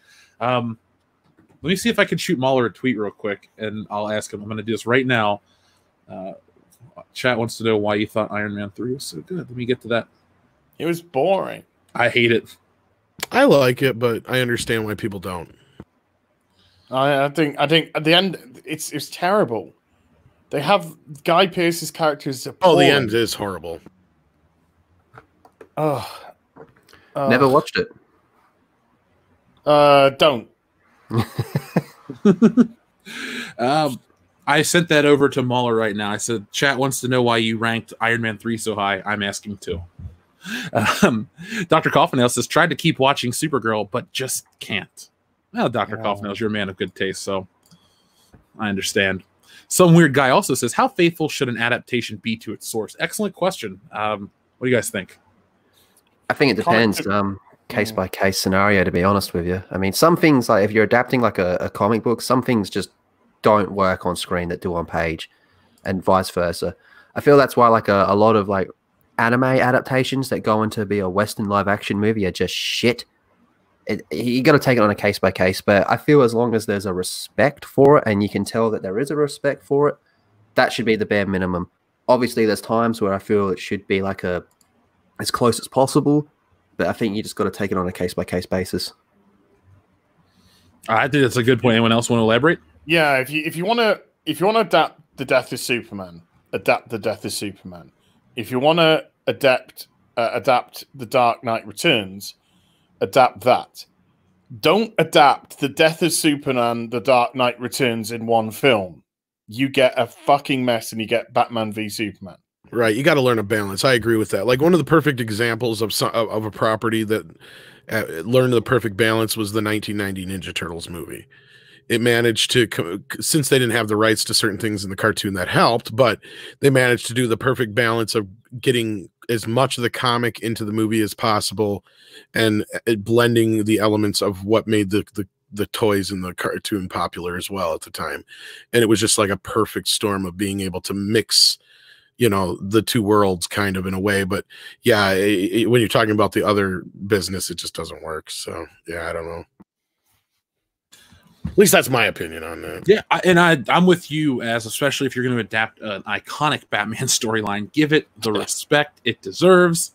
They Mhm. tacked on the death of Superman at the end of a very bad film, and I don't. The only not the only problem, but a problem I have is how long are they going to wait to readapt the storyline? Look at X Men. They did Dark Phoenix in 2006. They They've done again. two cartoon versions of death of superman already Yep. Imagine if they had built up though the individual characters: Superman film, Batman film, Wonder Woman film. You got you do the Trinity first, then you do maybe a, a team up movie between you know the others or whatever. It's probably Aquaman on his own. You build them up. You have your world's finest film as well. Then you get your Justice League film. Then you get your Death of Superman film where Doomsday goes through the Justice League ending with the culminating with the fight with Superman. You've set it up, you've built it up, you're going to pay it off. But when you just have the Dark Knight Returns and then you stick Doomsday in it, it's a mess. It's stupid. It is. And you know, you're telling you're talking about uh, what you should that they should have done. I'm sitting here thinking, man, that's a world I want to live in with good DC build-up films. Like, I can't imagine what a great Superman movie would be like in my lifetime. It's like doing the killing joke and then having Bane come and break Batman's back at the end of it. That, that's a great analogy. I would be equally pissed. As far as adapting books and stuff, I mean, it's a like, yeah, I mean, Lethal's right. It's a case by case basis. Same thing with everything else too, though. I agree on that. And I mean, you can do something like Jaws where it streamlines the the the book in, in a good way, like getting rid of the crap you don't need. Jurassic Park's another great example too. Um, but sometimes you just do it all wrong. So, like, you know, there's a hundred more examples from where that came from. So, Well, I mean, look at Die Hard. Die Hard's technically a adaptation. And, yeah, and a lot. sequel, kind of in a way. Yeah. yeah. Uh, so up next, our friend, some weird guy. We read his zero duality says Karen Lantern Corps fighting management daily. Tom, should that be an SJW card? The Karen Corps. Yeah, well, we're getting to that point. Like, we almost have to have the League of Karens or something. Yeah, I um, well, I told you I got all the the book stuff worked out. So that now the next phase will be these cards, and um, we'll have to sit down. I have to print up the master list. I tell you, I don't know if I told you this. Well, because like, oh, go ahead. Oh no, I was gonna say I got Anna and John Malin on board. I don't know if I told you that personally yet. No, So- but sweet, sweet, sweet, sweet. But yeah, like, like, like, like the one point of personal privilege when you rework that one or something, she could totally be in like a Karen, uh, one of the Karens. Like, there's a whole bunch of them that could be in the Council of Karens. Council of Karens. There we go. That's what it's got to be. The Council of Karens. They want to speak to your manager. I'm offended by that. Oh my god. Come Oh, yeah. I'm offended. You're offended. You're just a bunch You're of white disgusting. dudes. What do you know? Um, Ro- Rob Altus, thank you very much. He says, "Hail, Council! Six of the best all together, fighting untruth, injustice, injustice, and the un-American way. Thank you for great entertainment." Rob, thank you very much for that um, very nice super chat. We all appreciate the sentiment. I- It's kind of funny how sometimes people are like, "You guys are fighting the good fight," and I'm just like, "It's Tuesday," but I get it though. You know, I, I look, I love it. I love what we do. I wouldn't trade it for anything in the world. Well, You- a great you- example is what we made happen with Back to the Future overnight. I want to say we we had to have had a hand in that. Well, how couldn't we have? Oh, of course. I do like the thing. Um, what Andre's in the back, by the way. Oh, he's back. Yep. Oh, cool. All right, there he is. I- What do you guys think though about uh, the culture war? Do you think we're nearing the end, or do you think the new phase is getting ready? I ramp hope so. I mean, at least hopefully within our media. I mean, I don't know. I can't speak for the you know. I think general you're world. very optimistic there. And by the way, I sorry hope. for the, for the half hour dragging out for so long. But hey, No, it's all right. We lost a few people along the way, but we picked up an Aussie, so uh, I think we're doing all right. Uh, we got a Mecha here too. I don't think she was here when you sh- we were here last. Maybe she was. in, the, in the comments only, hey Mecha. Hey. Uh, I, I sorry for. I don't like, think you've met Lisa Lightning yet either. Lisa Lightning, Andre. Oh yeah, we spoke last night. Oh, that's right. Yeah, yeah. Yeah, so we did. Greetings. What'd you guys stream last night? Uh, Snyder Cut released. Yeah. Oh, okay. I couldn't stop smiling from ear to ear. I forgot you were on there because you were just sitting there, just like yeah, like just a, just a kid, just sitting in the corner on Christmas who got what he wanted. Yeah, I was happy. All the adults were fighting, and I was sitting there just happy, going, "Yep, it doesn't matter. Fight all you want." All right, so um, up next, our friend Corey Timmons said, "Guys, Supergirl's sister was the lead in not another teen movie parody movie. It looks like, it looks to me, or sorry, it took me a while to see it. I just watched not another teen movie the other day. Um, I really do like that movie. Have you guys seen it? What was that? Sorry, I missed the first bit. Uh, sorry, I was I was trying to eat like a protein bar in the interim. I'll reread that one because I kind of just fucked it all up. Anyway, Corey Timmons says, "Guys, Supergirl's sister was the lead in not another teen movie. It looked. Oh. It took me a while to see it. I haven't seen it in years, man. All I, I remember from that that is the movie. the old girl kissing the teenager or some shit. That's all I remember. And I absolutely hate all of those not another movies, so they all blend Yeah. together for me. I, I have Yeah. one memory from it. I've never seen the movie itself, but I've seen like the the Tainted Love music video by Marilyn Manson. So I got like the summary. I have of- seen that. Yeah. Well, that girl in the music video is the the actress they're talking about, Yeah. Oh, okay. Chyler Leigh. Yeah, she was popular for a minute. She was on that '80s show, I think. If anyone remembers that '80s show, it wasn't very good, but Oh, was she the one who stepped in for Donna for a while there? No, Not no, no. played the part, but actually was the one that was going out with what's his face.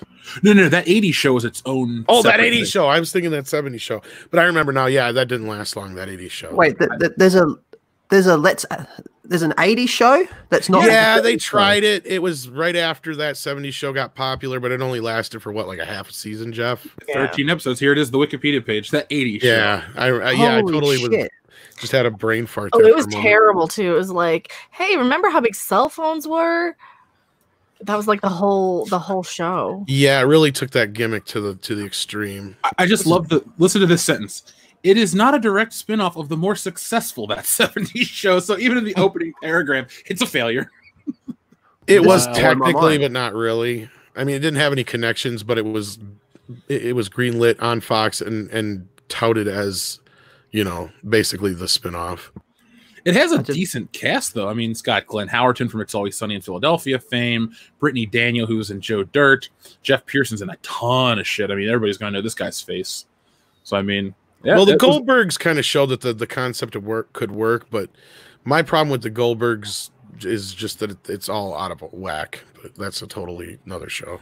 oh, I love the Goldbergs. I've seen every episode. I do, but I just don't like how they fuck with time. I agree. 1980 something. There's to be a nerd for a minute. There's an episode where he talked about getting Super Mario Brothers for the Nintendo. I'm like, that game came out in the 90s in America. 1990 is when Super Mario Brothers 3 dropped on the NES for the in the US. So I was just like, you you're kind of fucking your timelines up. But either way, it doesn't ruin the show for me. No, Man, my mind is yeah. just blown. I did not know this was a thing. Yeah, go back and watch it. It's on It's YouTube. probably on YouTube. I was gonna say, yeah, it's probably on YouTube. Sorry. All right, I'm gonna look that up. It's just the 80s show? I don't Yes. think it ever came to the UK. I've never Uh, heard of it. Never even yeah. Oh, neither have I ever. heard of the 70s show, but never heard of the 80s show. It didn't last, like he said, 13 episodes, like half a season. It it got it was it was bad. I bet it had better fucking ratings than all of these. Oh, I'm CW sure it did. I'm sure Pauly Shore's fucking show had better ratings than some of the shit we got now. And that's Oh. notoriously one of the shortest lived shows in friggin' history. I think they canceled that show before the third act of the show started. Holy shit, it's on YouTube. Yeah, I figured it Oh was. Oh my yeah. god, wow. 80 show complete series. There is Yep. 13 videos in the playlist. Boom. You're, you're not you going to enjoy any of those episodes, though. I'm just letting you know. if, if like that 70s show was the perfect cast, everything worked. That 80s show is just trying too hard. It's Well, like the other problem was it was too close to the 80s yet to even bother. Like I think that's why the Goldbergs works now, and is that it was just way too close yet to the 80s for any of that stuff to be a nostalgic or even kind of humorous yet. I don't, I don't know if you get what I'm saying or if you agree with me, but that was I think the problem with Yeah, the the show. nostalgia was like it was too close. So you're right. You're right about that because the Yeah. 70s show at least was like, you know, the people who was who it is appealing to had kids. Like for the 80s show that came out in what like 90 uh, It was no, right on the heels of that 70s show being big. yeah, yeah. 2002 is when it, it Oh. last- lasted from January to May of 2002. Yeah. But no, it was it was just too and, it, the writing wasn't there. The characters weren't there. It was more of a show about references to the 80s than because like the 70s show worked because it wasn't just a reference to hey, remember the 70s thing of this thing and hey, remember that. It wasn't just a bunch of Rubik's cubes and my pet rock jokes. You know, you had characters and you had it was still a family sitcom. The Yeah, 80s show wasn't. that's an excellent point too, because it dealt with like the uh, recession and Red was losing his job and how Kitty was going to take over the role as the sole breadwinner and all these other things that the 80s show, like you said, it's just a commercial for remember the Rubik's cube, remember the Mhm. DeLorean. Basically, yeah. It that wants to be- 70s show, yeah. Was oh go ahead. You're, you're was right, it was, it was just trying to be like um a Miami Vice, but without actual substance. Yeah. So uh, we also have our friend uh, Fred the Cosmic Chicken. That's a great name. He says canon is just fan stuff, big ideas. Also, hi Long Man. Uh, the Long Man has um, has exited the building, Fred. But thank you very much. I think canon's the most important thing, though.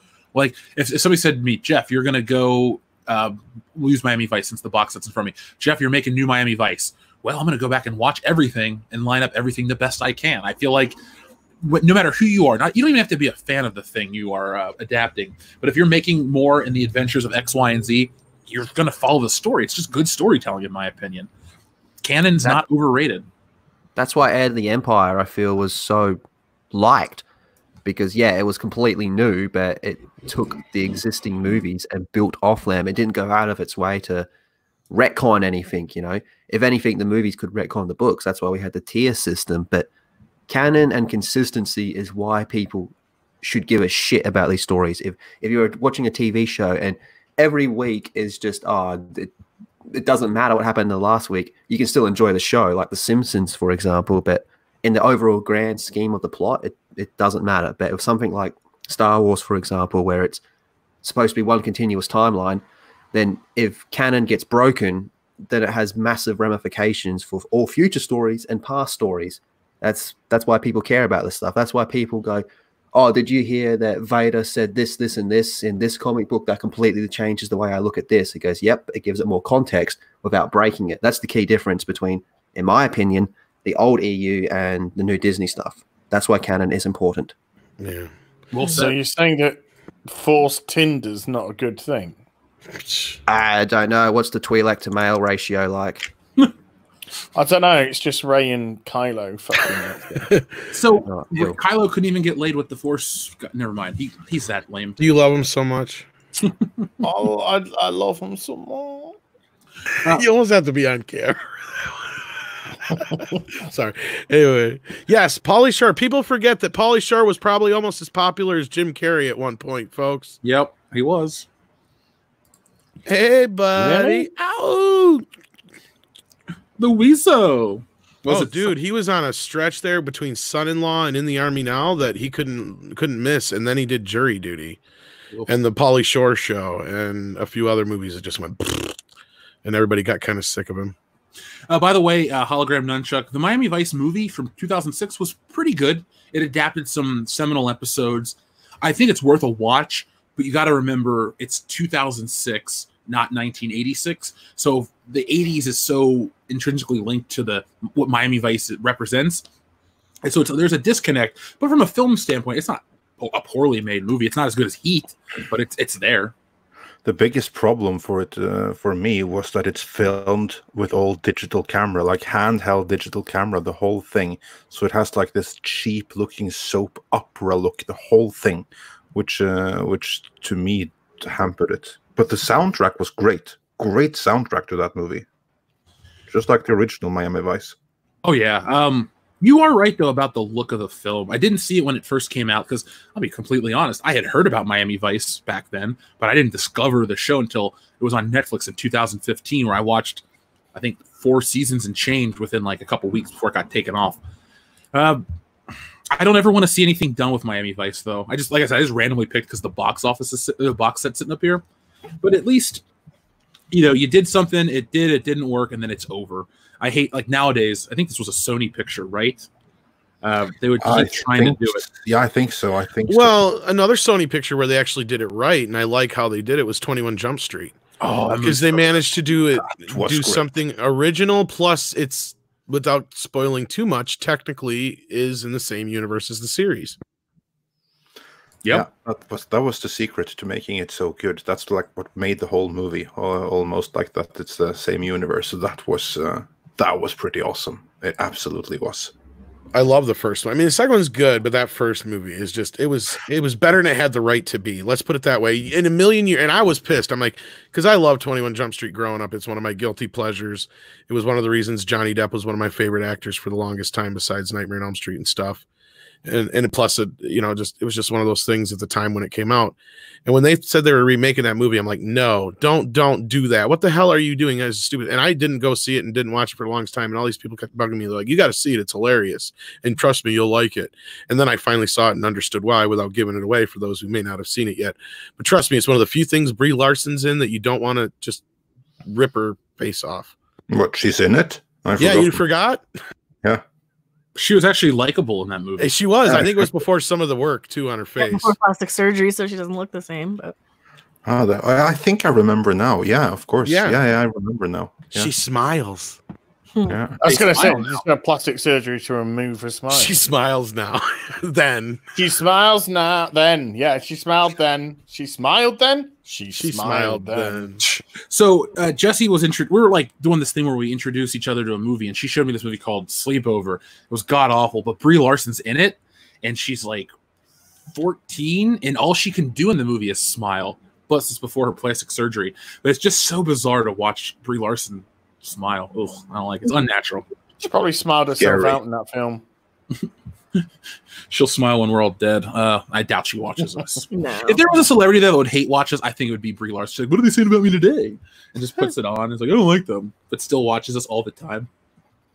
Hey, um, I gotta get going. It's like quarter to six in the morning. I'm gonna start making some breakfast and get on with all my bullshit. But, uh, thank you for having me on. I really appreciate it. Uh, It's our thanks for pleasure. the- Thanks for joining us, Lethal. Two weeks in a row. I must be doing something right. uh, everyone in the chat, thank you. Be kind to each other. Stay safe, and I'll No. talk to you all later. Take care. What if, no, Fuck what if, Naughty I'm, Dog. what if I'm not? What if I'm not kind to people? Fuck Naughty Dog. If you're not kind No. to people, then make sure you're overly aggressive to the point where you force other people to be kind All to you. right, it's fine. I Lethal's will. just in a good mood because he's getting his Snyder cut. Otherwise, he'd be like, "Be as toxic and manly as you can." Yeah. Whip that dong around. Let her know who's boss. All right. I'll talk to you later. See you later, dude. Uh, we have our friend Connor Doherty that says, "Hello, all my Ewoks. Now go away." Okay. Um, Novo Brainek says, "Game of Thrones remade from season five onwards. A man can dream." Uh, you can dream. I don't, I don't problem think anyone cares anymore. yeah, that's the thing. It it wrecked the brand so significantly that no one cares anymore. That's the thing. That's the that's the significance of the damage. That if you say right now we're going to redo season eight, no one cares. The No. damage was that great. Mm-hmm. How long do you think it'll take until it subsides and they can touch Game of Thrones again? Or If the they? book if the book comes out and it's good, then that might like kin- rekindle something, and you might get some movie down the road to kind of kind of haphazardly make up for it. But I doubt it.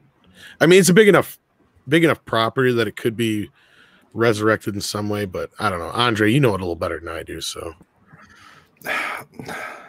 I think that the only thing that's going to happen is that when the book comes, the book fans are going to read it out of obligation.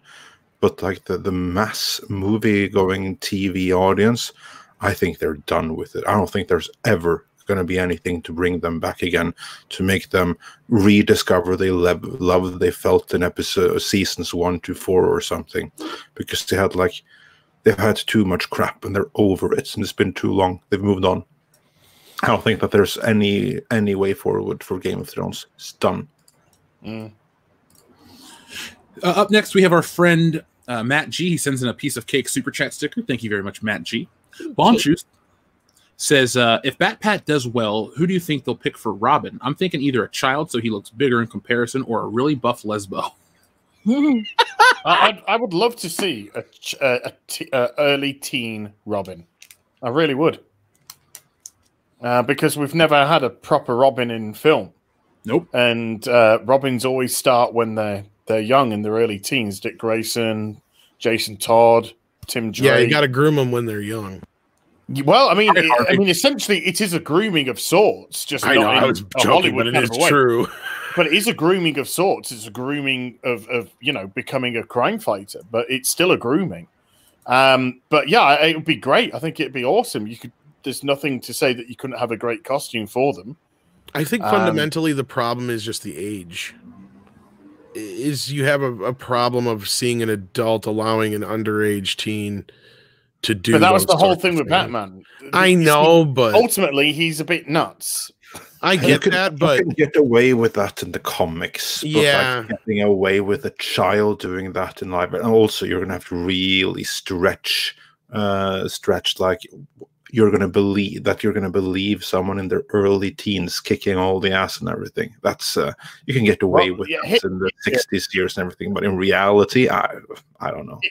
Hit girl.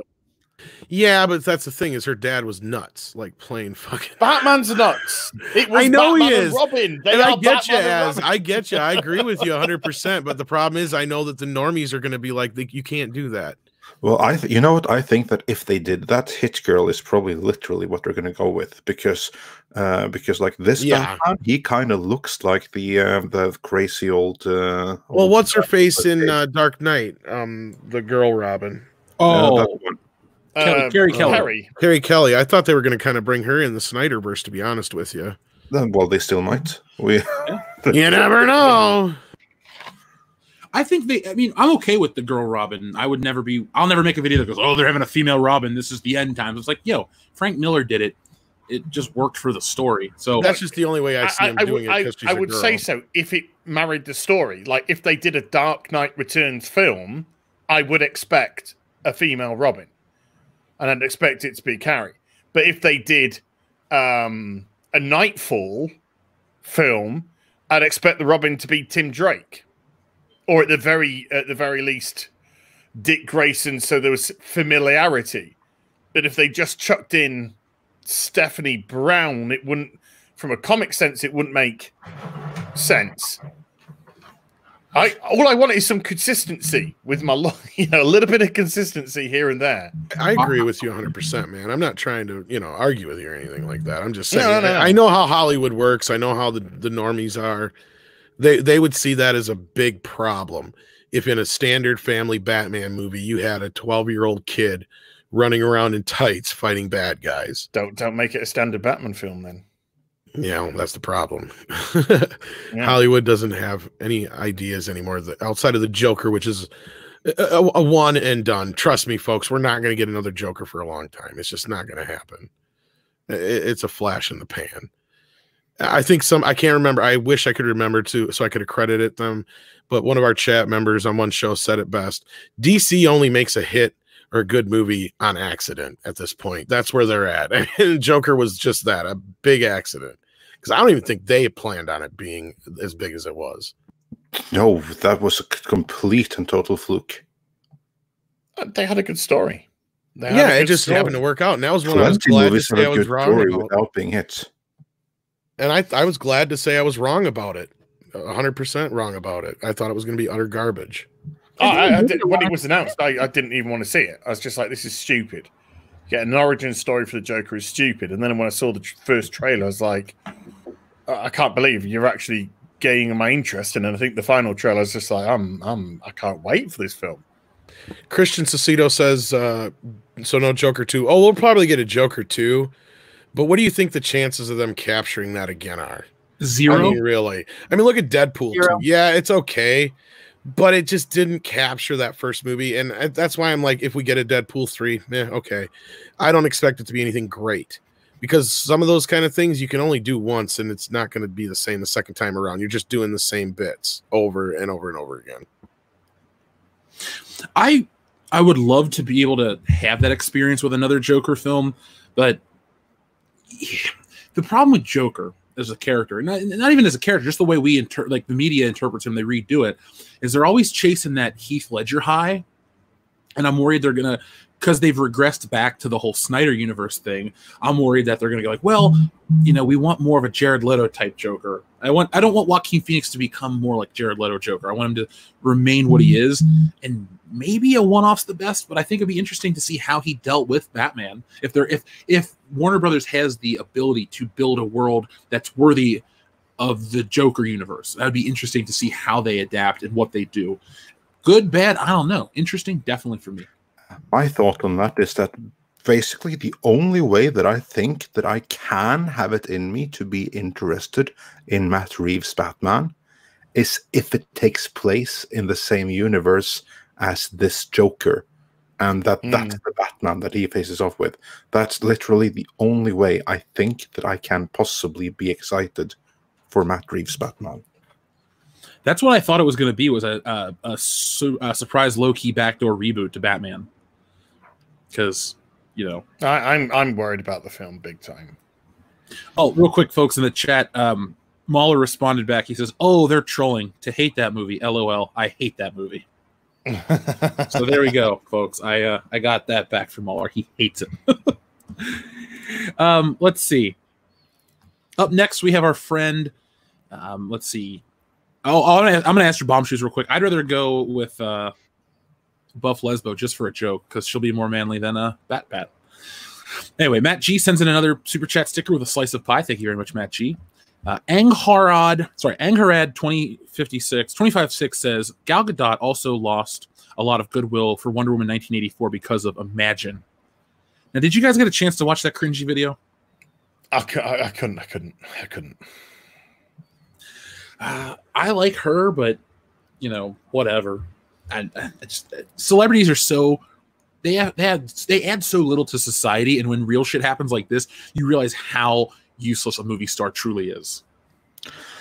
I would go further and say that they don't add so little, or it's- yeah, they add less than less than nothing. Hmm. Honestly, like for all like the the celebrity things that we've had like in the last month and a half, we'd be better off without any of them. Absolutely. They're, they're just making jokes out of themselves and proving that we don't need them as society right now. Well, they're proving that they need us. They're proving Yeah. that they, they're, they're desperate for attention. They're Well, not only that, look at attention. yeah, look at the privilege they get.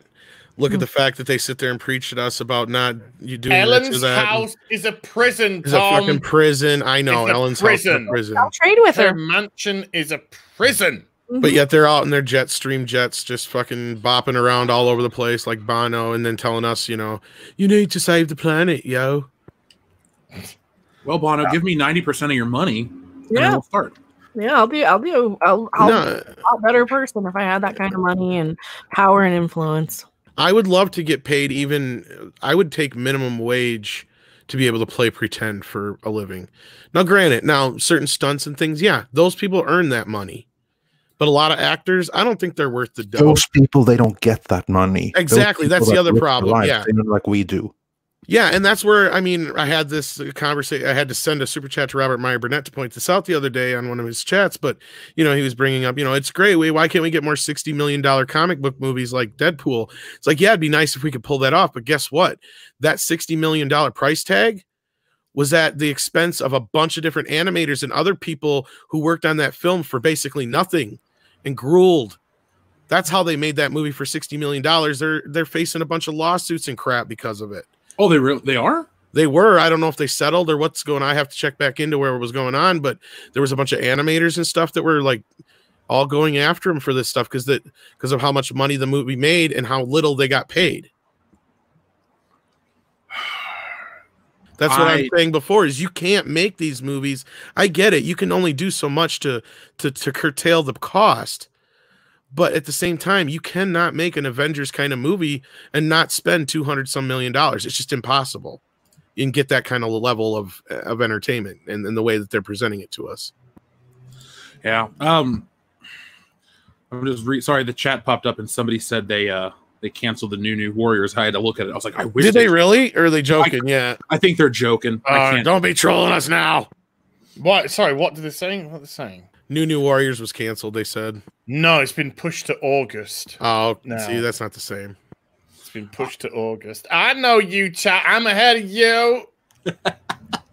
I'm sitting over here dreaming, like, come on, please be canceled.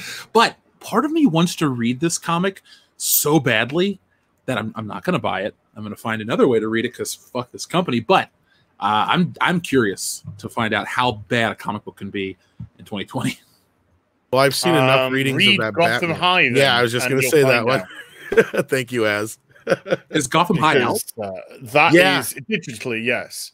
And it is uh, trash of the utmost. It is- I wouldn't wipe my ass with it. My asshole is too good. He fears for his asshole to be destroyed by it. It is it is a, an exercise in not just pathetic writing, but it's an exercise in what happens when you let somebody uh, tear your franchise apart because they know nothing about it and they want to pander to an audience. What audience? I ain't got a fucking clue. But it is uh, it's yeah, it's a travesty. It's so important to you, as Phantom Menace says in the chat. You call it your asshole. My asshole, which, will, which will not see. But no, I'm not even going to go here. I think we've heard enough. I think we get it, and it's amazing, sir. Uh, This is why you're here. myself an asshole. No, sir, this is why you're here. Trust me. Now, um, Andre might understand this one. It's from Bjorn. It says, "Release the Surströmming cut." The sewer Release the, release the Surströmming cut. Surströmming. Yeah, Nice. it's a Swedish thing. It's uh, basically a Swedish canned fisk, uh, fish that they only have in Sweden, and Oh, it's glorious, I- it's oh, smelling no. complete and utter rubbish. I mean, like if you have like a bloodhound nearby or something, you better take them far away, or they're gonna like choke on the spot. I saw um the Trailer Park Boys European thing, and they, as part of one of their challenges, they had to eat. Surströmming. Yeah, and they were vomiting, like vomiting. I don't. I think they were already vomiting before they'd even taken a bite. I have to say I have never tried it because for those that are, that don't know or, or from outside, uh, Scandinavian countries are pretty much exactly the same, uh, but there's like some minor minor differences. And surströmming is a Swedish thing that we Norwegians and Danes like to have fun with because we don't have any equivalent like that. Thank God, oh. we have we have other disgusting stuff. I'm not saying otherwise. we don't have that. Do you have lutefisk? Oh yeah, that's Norwegian. Okay. I just think of the uh, episode of King of the Hill where Bobby eats all the lutefisk and gets sick. Yeah that's that would be uh, the thing that we have. Uh, and he i will have to say that he ate so much of it because uh, it was delicious and he couldn't stop himself. Um lutefisk that i that uh, that i have had obviously um and it's interesting because it tastes like jello. It's completely tasteless. So the taste that you have is with all the bacon that you have next to it and of course the Linie akevitt that you drink it down with. I know i'm not joking. I'm serious about that so that's basically the trick to eating lutefisk. Drink it down with real heavy liquor and bacon. I'm gonna be sick just listening to you. that's uh that's uh Scandinavian cooking for you. Oh, And I thought gefilte fish was going to be weird. Andre, I love you. Look at this shit. Hang on here. Sorry. I'll stick with my fish and chips. He did it. Yeah, of course. of course I did. I'm gonna. I'll retweet that after our show. Oh, we, we need that for our entertainment. oh, I love that. I'd love it. Seriously, I'd love it too. I'd love to do like a commentary track to it. oh god. Oh my You know, that'd be amazing if they actually had the sense of humor to actually let us do that. I'd do it for free, you know? Uh, Same.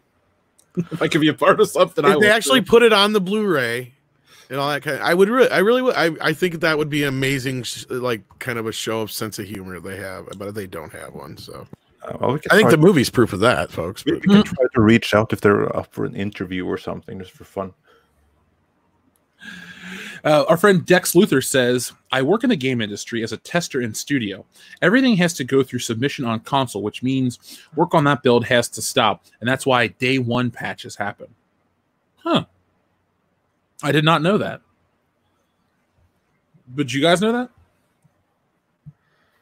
Uh, I Not think really. I've heard something about that actually, but uh, I can't claim any detailed knowledge of the of the re- release strategy of the gaming industry. Well, I mean, it's interesting to hear this point of view because a lot of us, we'll just, I'll use my example as my, my myself, but it's like I get my gaming information from places like an IGN, or maybe I'll go to Reddit and hear a Oh few my things, or go over to um, what's the what's the one um, NeoGaf or something like that. But you know, you know, some people say, "Well, I work here," and they, they don't really go into that. I didn't know that's how the build thing worked, but I mean, it doesn't help modern gaming, but at least now I that I know think why, day, day one patches I know why aren't, a aren't a big issue. What is a big issue is games like Anthem and Fallout 76 and shit like that, which are released as AAA full price $60 titles and they have nothing to them. There's no actual substance to the game. It's not something that can be fixed with a day one patch.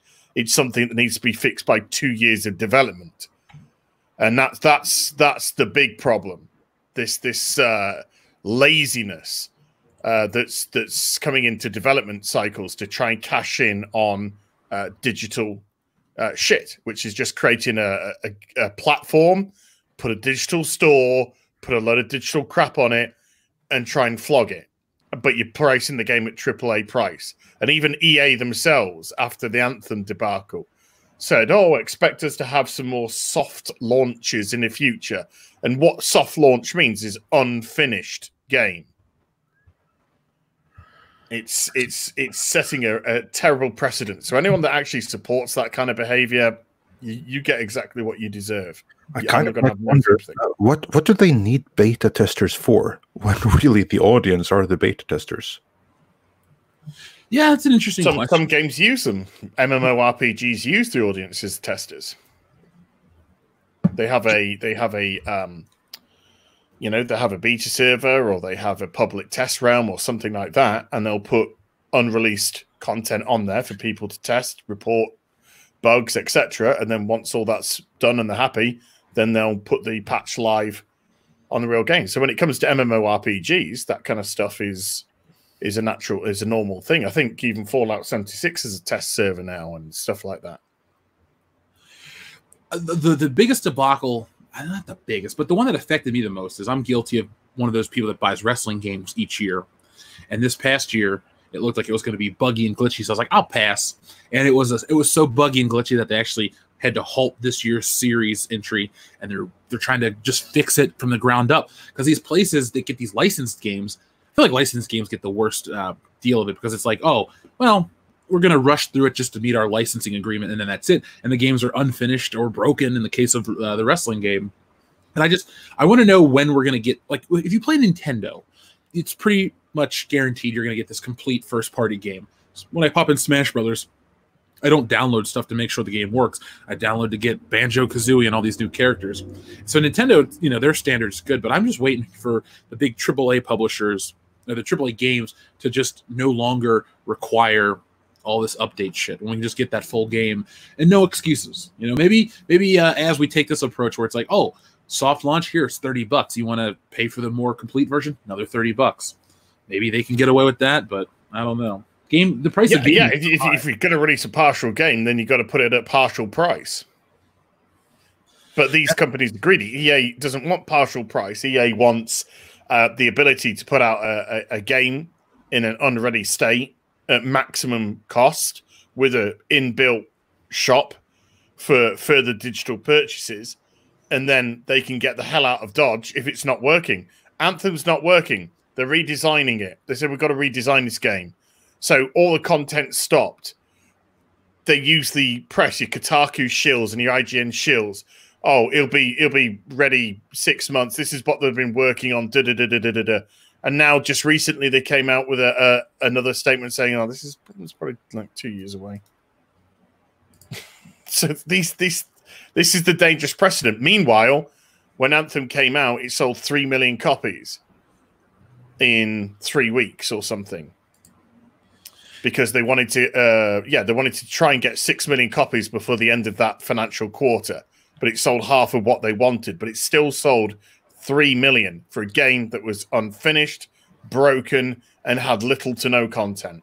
And now it's not even going to get updated. And that game looked so cool from that initial trailer. I was like it's easy well yeah but it was an on the rails. That wasn't even being played. That was a programmed uh on the rails showing of the game so it wasn't people Oh. playing it it was it was actually created by programmers to make it look like they were and the features that it showed off weren't actually in the game itself well i've stopped buying ea games so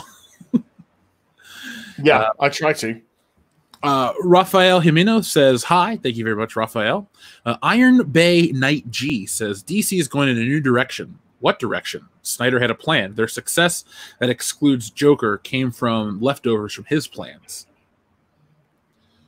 It's a pretty strong take. Um, Aquaman, yes, and Wonder Woman. But we also have to look at all the failures that came from his plans. That includes Birds of Prey, Suicide Squad, BVS, and Justice League. As much as I think Justice League is a fine in quotations film, it was a failure. BVS. And I still argue that Wonder Woman's a decent mess. Decent. That third ass, third ass, third ass, third act is almost unwatchable. If she had a third ass, I couldn't watch that film. I don't know, but I'm thinking about shit now. Well, three asses. Wonder Woman was very much so saved in the edits. There's the thing though with with Snyder, there were some hits and miss in there. Some of the things that he did worked very very well. Other things not so much. I mean, like he cast Gal Gadot, and she worked pretty decent. He cast Jason Momoa, and when we got the full Aquaman movie, he worked pretty good as well. But then again, he also cast Ezra Miller. That didn't work out too well, now did it? Oh no. but uh, Yeah, they buried that story. That story's been buried. Oh, the Ezra Miller choked. What you want to Yeah. fight? You want to fight? That's where's that? That's all quiet. Gone. Bye. Paid off money, money, money, money. Mhm. I don't know. I, I don't speculatively. No, I Right, they've been, think they've they been paid off. lost interest in it because there was nothing else to it. It was just Well, not only that, the court system's slow, and it's probably even slower in some places. Because where, where was this that this happened? Well, they'd be kicking up a fuss still. They'd be they'd be vocal, the other party, but they've been really quiet as well. So That's what I'm saying. I'm sure there was either some kind of settlement that came Yeah. about, or yeah, he probably just paid them off, but or if people did, but uh, But as you're right, it did disappear pretty damn quick. But we, uh, to be fair, also a lot of the main outlets weren't really covering it. no, Some were, but not many. And Well, yeah, no, we- because Ezra Miller is part of the alphabet community. and Exactly. protected. And you got to you got to protect these according to their. because we're them, so weak, we can't do anything on our own. oh, if and that it- was Jason, if that was Jason Momoa that did that, whew, Oh, yeah, and you're right, I'd watch 100%. him all day long. Do you know how many arguments I got in with people that are just like, oh, I don't know, I, there, we don't know all the, uh, we don't know all the, uh, um, the facts and what happened. It's like, dude, he got arrested. Every fucking witness said that he did this, and it was not obviously a joke. He was outside ranting and raving in his bare feet in the snow for 20 minutes till the cops showed up. He's obviously not all there. Something's wrong with him. He did, you know, like no matter which way you try to spin it. And you're right, as the next day, if it would have been something else like, you know, like uh, Aqu- Sons Henry of Aquamanarchy Cavill or, Henry Cavill, exactly. Yep. Yeah, it would have been like, oh, well, of course he beat his wife because he's a, he's a white man or whatever. You know, exactly. I mean, I'm not trying to pin anything on anybody, but I mean, Henry Cavill's not even married, so there you go. Well, But- yeah, and he won't get. He's afraid of women. And he's afraid of women for that fact, Oh, right yeah, there. for good reason. Uh, because basically, he said like he, he he's too famous. He can't go and date a normal woman, and then they go tweet about it or something, and he says something bad and say, "Oh, he was a total creep." Something of what's he going to do? Like he has to find another celebrity and get hooked up through an agent, or it's not going to happen. Mm. Uh, up next, we have our friend Grimjoy, who says Conan. Sorry, Conan. Yeah, like, well, not to interrupt you, but like Anna said in the chat here, she look what they did to Vic with no evidence, but Ezra is caught on video. Exactly. Absolutely. Speaking of the devil, Hello. And what a Hi. lovely devil she is. Avatar sucks. Greetings. think It's so opinion on sexist. Mando sucks. Whatever. Hey, Baby Avatar, Yoda's love. He's life. Avatar is Pocahontas with aliens in outer space. I love all three of those things. It's get out of my face, is what it is. Well, I thought you meant her picture for a second there. I was like, oh, then That was I forgot you were talking about the movie. Brie Larson out my face. Uh, uh, Brie Larson doesn't belong in anyone's face. Anna, what's up with you? Ah, work. What's up with you? Same, just uh, We've been here all Bored. morning. bored bored in this apartment, but uh, life is good overall, so I can't complain. Ah, well, isn't I feel like LA is more open than down here. Yeah, but Jesse and I have also taken to hey, things are pretty awesome. We just hang out, do our work, and then do whatever the hell we want afterwards. So we haven't even tried to go out anymore. We're just like, eh. Um, our friend Grimjoy says Conan visited Lucasfilm, and there was no reference to the sequel trilogy. All the displays they showed were the original and Indiana Jones. All the toys on the desks were prequel, originals, and WWE. I haven't seen that video, Grimjoy. Could you point it, uh, point me to it? Because I'd like to use it in the next video I'm working on. Well, they don't have toys for the sequel. They don't have what? Yeah. They don't have toys for Rise of Skywalker. Nope, just the um what you call it, the uh, vintage collection has a couple off figures, but yeah, they do not have a proper toy line. But it's such a success. It's so dense too. It's just wrought with great stuff. Is it though? as as the Diamond Toy president said, Yeah. are they that popular? That was my favorite No, thing that's come out this That's what they keep telling me. Who's they? Lucasfilm, Disney. Huh? No, I know. Nope. Did you see No. that as? Sorry, mm-hmm. Anna, mm-hmm. go ahead. I don't know. They knew Solo was gonna flop. I remember even like seeing marketing paperwork saying like, just put it up in front. It's not gonna sell. This is the date it's going on sale, and this is before the movie even came out. Oh yeah, yeah. Same thing with like Ghostbusters 2016 figures were on clearance before. They the- made toys. yeah, they made a they made a Sadly, Yeah. Why? They did make toys and they did go on sale. Here's Solo what you toys. had. They actually simultaneously Really? Mattel released um, the OG Ghostbusters aside with the new Ghostbusters in the same scale and everything.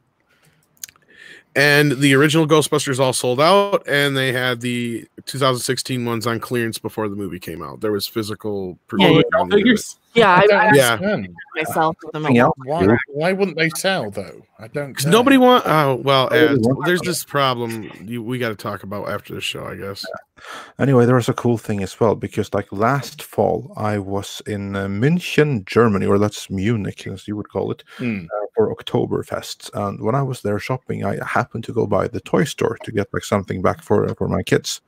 And uh, then I happened to walk past uh, a Ghostbusters Lego playset, and it was only the OG Ghostbusters, Oh. nothing from the new movie.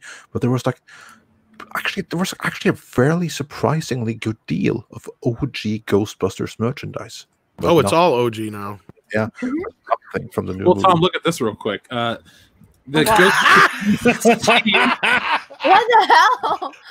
Two dollars and ten cents it was before it sold out finally. save ninety percent. Is that an Ellen oh, DeGeneres Ghostbuster figure? It is. That That's Ellen. DeGeneres as a Ghostbuster. Wow. She was edited from the film. She's going to be in the three and a half hour cut. Hey, Uh, women can do anything, you know. You know? anything. Ghostbusters movie apparently. Ugh. No, Charlie's in fact, Angels told me. in fact, to, to ramp up for the new movie, Walmart Oh. still released a bunch of their stuff. And she's only well, at least she was five. Yeah. Oh my god! But to ramp up for the new movie, Walmart actually released a bunch of Ghostbuster shit, and they can't keep it on the shelves. They Mhm. re-released all the real Ghostbuster figures. Go on eBay right now and see what Egon goes for. It's like sixty bucks. Well, I mean, They're look at still this. available on Amazon though. Okay, yeah. Does Amazon finally got some of the real Ghostbuster imagine. ones? Let me go check my wish list. Uh, Because they were Walmart exclusives. So I like the, I like the real Ghostbusters. you can find everything. the, the movie. Well, look at this. If you if you go by best selling, it's a three hundred dollar pack of Ghostbusters figures. It's the best selling thing.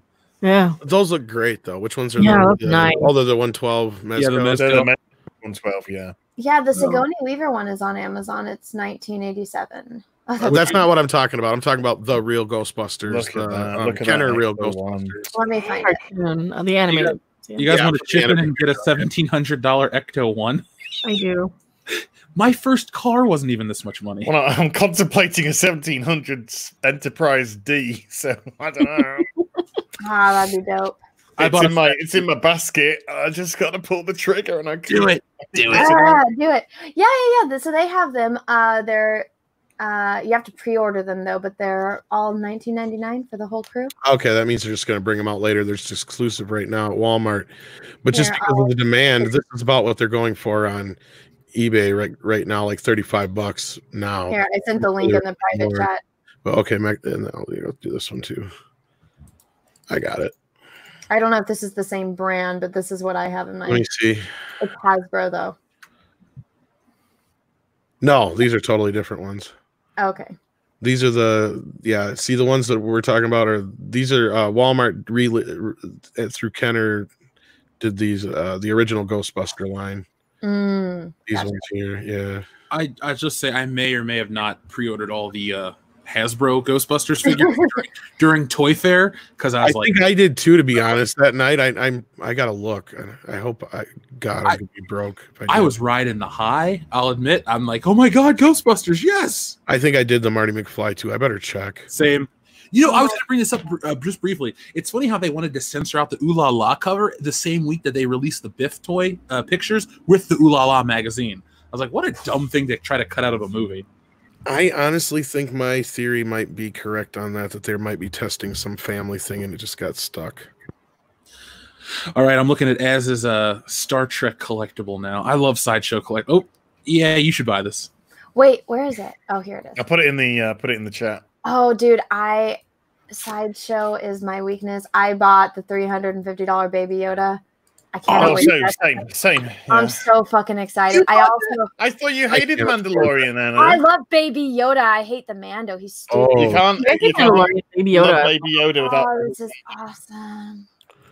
We got to show this. I want this. Show it, show. I I actually got the uh, the statue of David Bowie from Labyrinth. That's like twelve hundred dollars.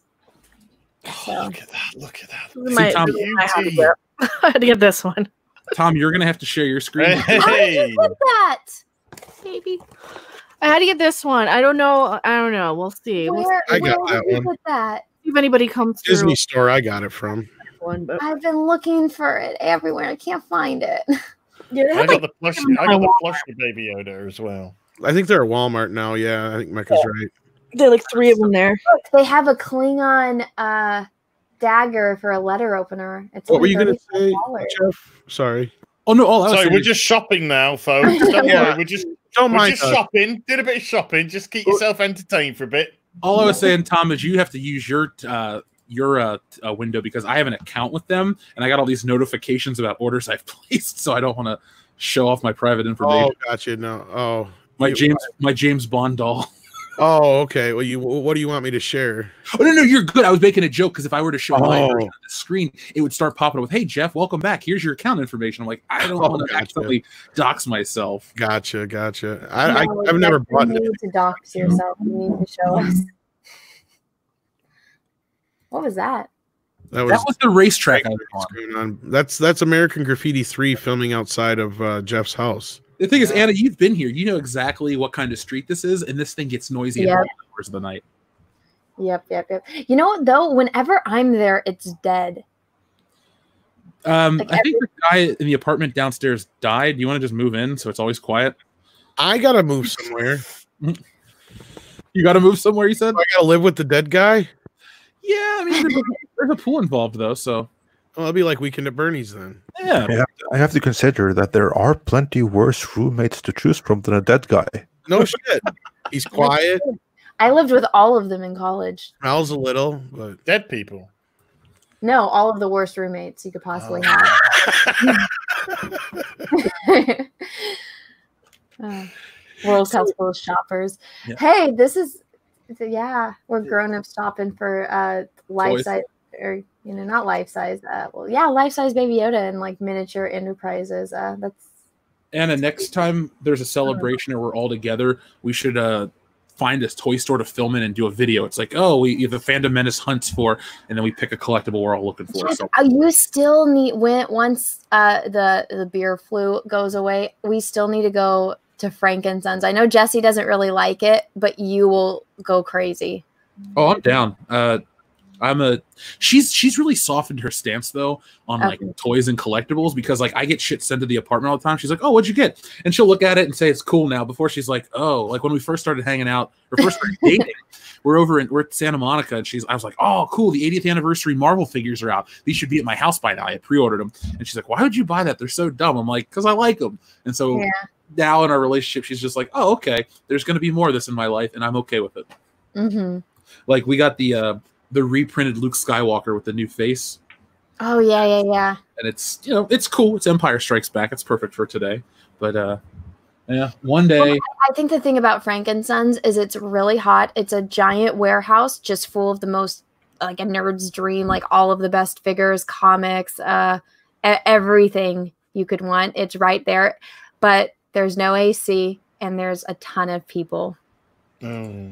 Oh, So well, um, and we're in Southern California. So um that that I think is uh because Jessie said that she would go. It's just that's kind of a hard sell.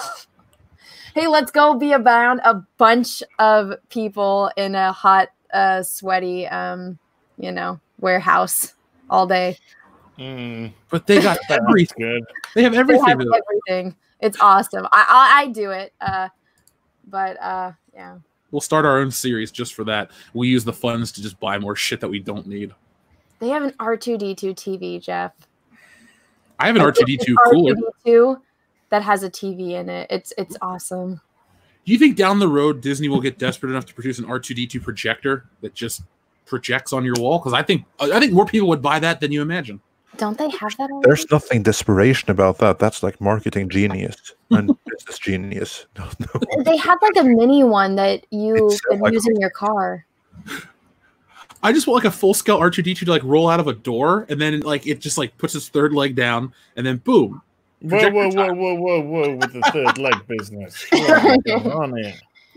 Easy now. You're describing fucking Reylo levels of porno here, dude. Oh god.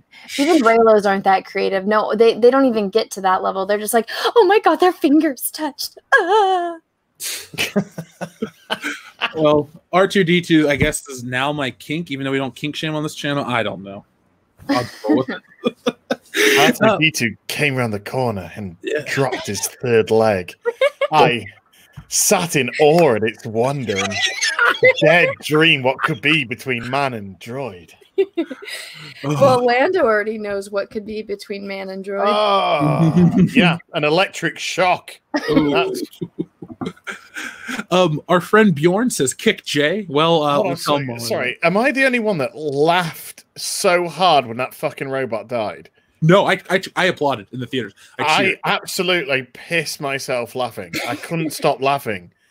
And then Lando's crying and like dragging half of her body back, and I'm in tears laughing. I was like, oh, thank fuck. Robot right. Droid lives matter. yes, indeed. That's the message of the day.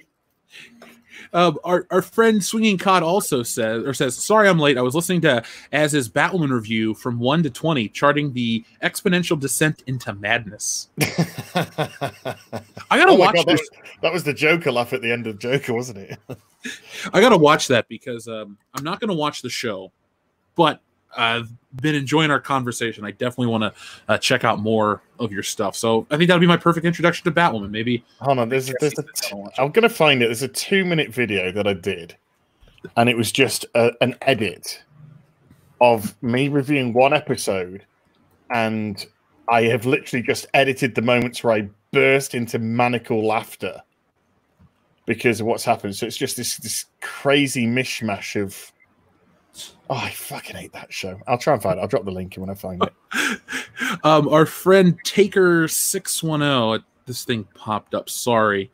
Uh, you know what it's like. The new update. I'm not a fan. Anyway, uh, Taker six one zero. Where are you at, my friend? Rolling back. Oh, he says put Colin Trevorrow's Duel of Fates on HBO Max. Oh god, no. That would take so much. That, that would require just a whole new film shoot. Well, I mean, I Yeah. sorry to everyone that likes it, but even that script is shit. Yeah, I. Why is better it- than what we got though? I I know, but that's like saying uh, the the dog shit outside or the dog shit on my carpet. We got dog shit on the carpet, but shit outside isn't better. It's still shit.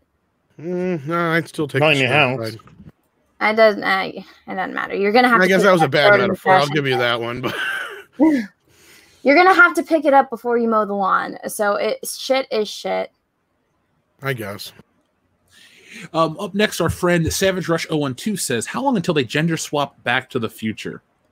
Not long. Tomorrow. You dare say that ever again? They're, they're already working on it. There's already a script on somebody's desk somewhere. I'm sending people to your house as we speak. It's true. You know it's true. You know it's true. How about they do this? They make it take place after Back to the Future 2, where it's Marty McFly's daughter. But because it's Michael J. Fox cross dressing to play the character, it represents an even smaller minority. Therefore, it's even more progressive. There we go. The the CW doing kung fu, but with a, an Asian female. Oh, that's gonna be a great train wreck. That's gonna be hilarious. That kung fu one. I think I think Walker Texas Ranger with Jared Padalecki is going to be even more of a dumpster fire, but there's nostalgia attached to Walker. Wheelchair Texas Ranger. Get it right. I apologize. I'm I'm ableist right now. Oh my god. Um, our friend Andrew Clark says, "Remember the nice boat ending? If not, Google it." Uh, I, nice don't, boat ending. I don't even know what that is. It's porn. Uh, oh, I thought it was Dawn of the Dead, but the No, I was just making a joke. oh oh no, it says uh, nice boat ending. It's from a Japanese. This is what is the But nice how boat the hell ending? would you fuck a boat for it to have an ending, man? Shin I'm Megami lost. Tensei. oh god, you've got one person wanting to fuck a boat, you got another person wanting to fucking have a look at R2D2's third leg. Are you sure you're not Reylo's a lot of you? Crap. I've seen it. It's just average. We we we, we draw the line at Reylos, man. We we're into a lot of weird stuff in the fandom menace, but Reylos, no. Uh, uh, let's see the But I Jacobite. love thing- him so much. You do? I love him so much. Oh, All right, I'll let it slide this time. Our friend the Jacobite says Blazing Saddles is cut. Sheriff Bart actually caught Mongo by tricking him to go down to Rockridge Water well for treasure, and Bart cut off his air. Mongo pawn in Game of Life. Here comes Mongo. Oh, it's been a while since I've seen. I that can, I like to say, all I can think of when you said that was uh, Blazing Saddles. Yeah. Um, that I, I do love how that has become the standard though. When we talk about comedies you can't make today and things you can't make today, everyone just jumps to Blazing Saddles, which is true, but it's also sad because we might be cutting ourselves off from another comedy classic because we're so uptight about literally everything. No, we're not uptight. Twelve people on Twitter are uptight. True. And Hollywood are listening to And the half of echo them are chamber. named Karen. Yeah, and the other half are their boyfriend's boyfriend. Re- regular people in everyday life that we speak to all day, we still have the same jokes, we still have the same conversations. Uh, but you know, we need to be told. Remember, we need to be told. Um, Kjan Soban says we're entering a 1984 situation now, but being dictated by corporations, not totalitarian superstates. I don't know which is worse. P.S. Hi Jeff, Mauler, Drinker, Andre, Tom, as love all your work, and hi Rags. Uh, KJ, thank you very much. What uh, what do you guys take on this? It's a 1984 situation with corporations instead of totalitarian governments. Well, we're not far away. It's not wrong. honest.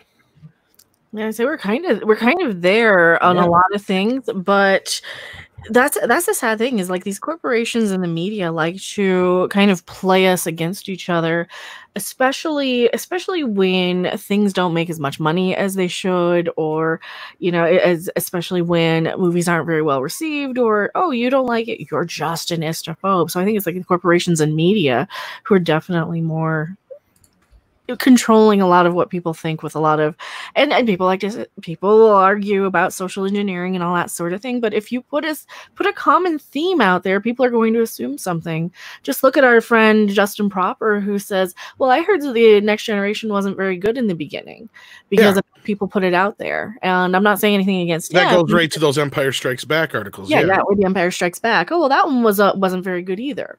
Like uh, people hated that back in the day. No, they didn't. they really, really I- did. yeah. Reciting back this nonsense. So I we, I've how been many watching times? Next gen as well, and, and the first the first couple of seasons of next gen, sure, it, it gets uh, better in- from season three onwards. That's where Mhm. you know the things fall into place. But the first two seasons compared to TV today, fucking masterpieces. Phenomenal. And as I always say, wouldn't you want a show to get better? Yeah, exactly. Well, I hate Ah. that when people are like, "Oh, but the first few seasons," like, well, yeah, that means the show got better. That means they they they learned. Because when Yeah. most shows go downhill, is about that third season. If you They really go back and look feet, at they most found of the them, yeah. characters, they found the personalities, they found what to do with Geordi instead of just having as a helmsman. You know, they found all these different things, and it took a little while to sort out. And then when season three kicked in, it's actually about halfway through season two, it really kicks into gear when they do the first uh, introduction with the Borg. Uh, but about halfway through season two, it just goes. I actually say Measure of a Man, I think, is the big turning point. To Oh, the that's point where that's where they even called it back to in Picard. It's the major pivoting. well, that was that first season Show. episode too, though. Measure. Of that's for what Me. I'm saying. Like, I mean, that was really, I think, where they really kind of started to find their footing. But I mean, you're right. It took them that long to get there. But it's that progression. It's the fact that they took the time to make the change, and they admit, you know, they needed to. Yeah, it's You about know. halfway through season two. Yeah. yeah. Uh, up next, we had our friend Matthew Anderson who says even SpongeBob was censored. Example: one more bite. Oh yeah, a lot of kids' cartoons have been over the years. There's even YouTube videos just uh, with the the censored bits and stuff. Yeah. Oh, I love those. Uh, blame it on George or blame it on Jorge, however he pronounces it. Uh, that guy, his channel is exclusively to cut and remove stuff. That's honestly, if you want to, like, what does Jeff watch on YouTube? Yes, I have my favorites, but I also get like deep into these like edited version, these these um not wormholes, these rabbit holes. I'll fall down the rabbit hole of what was cut from children's television or things that are like Buffalo Gals. Anybody remember the cartoon Cow and Chicken? They like Mhm. moved a whole Yeah. Yeah. episode called Buffalo That's Gals. great. It was a great show. But the reason the episode has been cut or you know removed from the history is it's about these bikers called Buffalo Gals, and they ride. They come into your house and they eat the carpet. That's the joke. There was a lot of subversive shit in '90s cartoons that they got away with at the I time. bet Ren and Stimpy's one of them as well. Then it's Yes, been yeah. butchered, yeah. that guy was a piece of shit though that john Kricfalusi or however you pronounce his name like he was trying to groom underage girls and do all this Oh. stuff. Yeah he was really a trashy guy underneath it all and he was terrible to work with. Like he's the reason why that show turned out the way it did because he was this weird perfectionist and he was hard to work with and violent not like physically but like emotionally. And it turns out that like the stuff that just took forever to get done it was too much um production time so they moved to a different studio i think they're called games studio or something was the name and then the for the rest of uh, ren and stimpy was produced so if there's a weird shift that's why you, we'll recognize it um, our friend Osmosis says, "Best birthday gift ever." Thanks, guys. Well, Osmosis, happy birthday from all Happy of us. birthday to you. Move from a higher low, uh, higher gradient to uh, a lower concentration gradient. Um, our friend Taker six one zero says, "Those goddamn time traveling robots." And I would have got away with it too if it wasn't for your damn time traveling robots. Our friend Darth Armo says, I hope you guys read the new BS article Collider wrote on the Snyder Cut today. People are ripping them in the comments. I definitely am going to uh, look up your that article. I'm going to take a picture of that because, I mean, f- I hate this racetrack. Anyway, um, Collider has always been, for me at least, the example of well, the gold standard or the brown standard of like the worst because it's always about like you know, um, as you brought up the whole shill thing the whole website has always been about access. We want access to this, Yeah. we want access to that. And I mean, Christian Harloff was busting his ass, busting his five ass being years. a Star, for five years being a Star Wars fan. you know, Wow. right? You loved it so much. Oh God, that's- oh, How terrible. I no, know. sorry, I had to steal that ass for a second there. Oh, that is that is one of the most embarrassing things you could probably. Oh, say. I love that moment. That's the moment that the top blew off. That It was like, eh, well, we've had a few, you know, people speak out and say, "Oh yeah, you got the Access Media that are giving the Last Jedi good reviews and sticking up for it because of, you know, diversity." And then finally, you had somebody like Harloff who literally just said, "Look, we're fucking doing this for access, folks, and I didn't get Yeah, my I've access, for five years. For and now, now I'm gonna piss and moan like a little baby."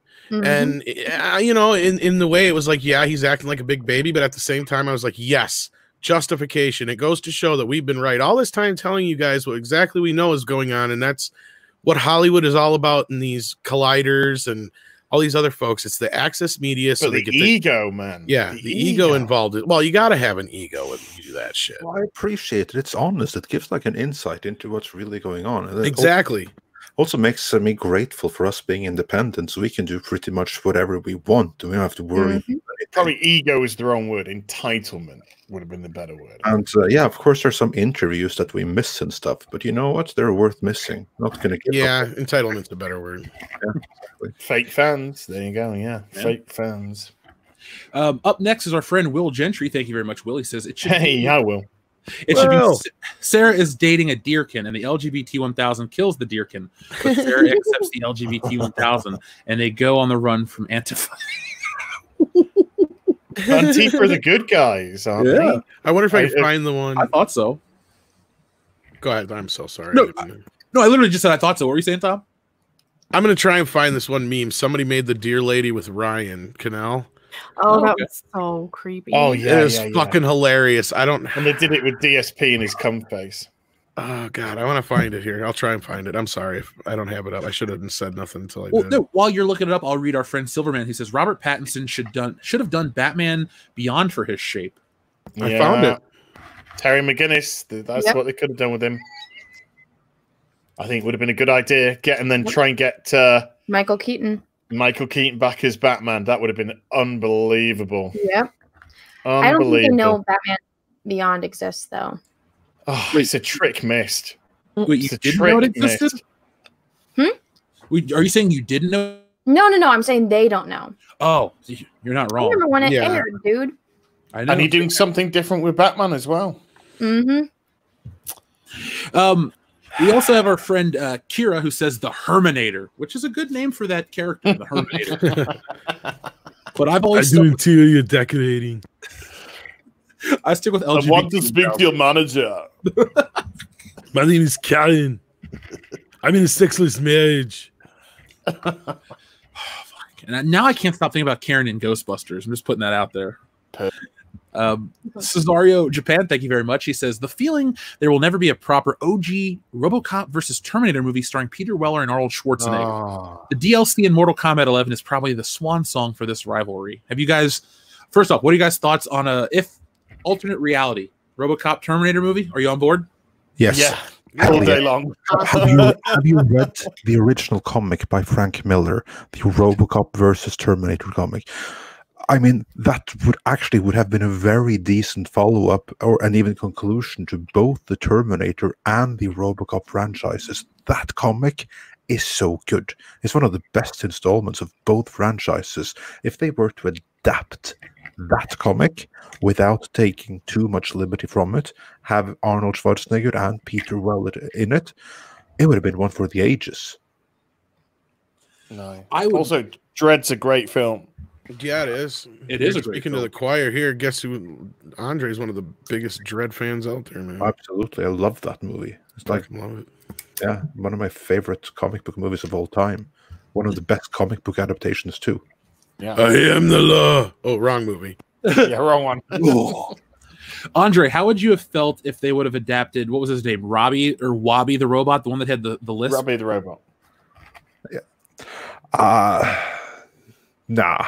Nah, yeah, all the craziness from the from the like many things work well on the page, uh, but I don't need to see all of the craziness on the page on uh, on screen. I would have been very happy without uh, Robbie the robot, just like Robin for, with Batman. I'm quite happy for him not to be in the movies, and loads of stuff in the in the Dredd comics that uh, that uh, I'd be perfectly content not having in the movies, and Robbie the robot is definitely among those things. I got I got a question for you. Who has the story arc? Who has the character arc in Dredd? Anderson, Judge Anderson does.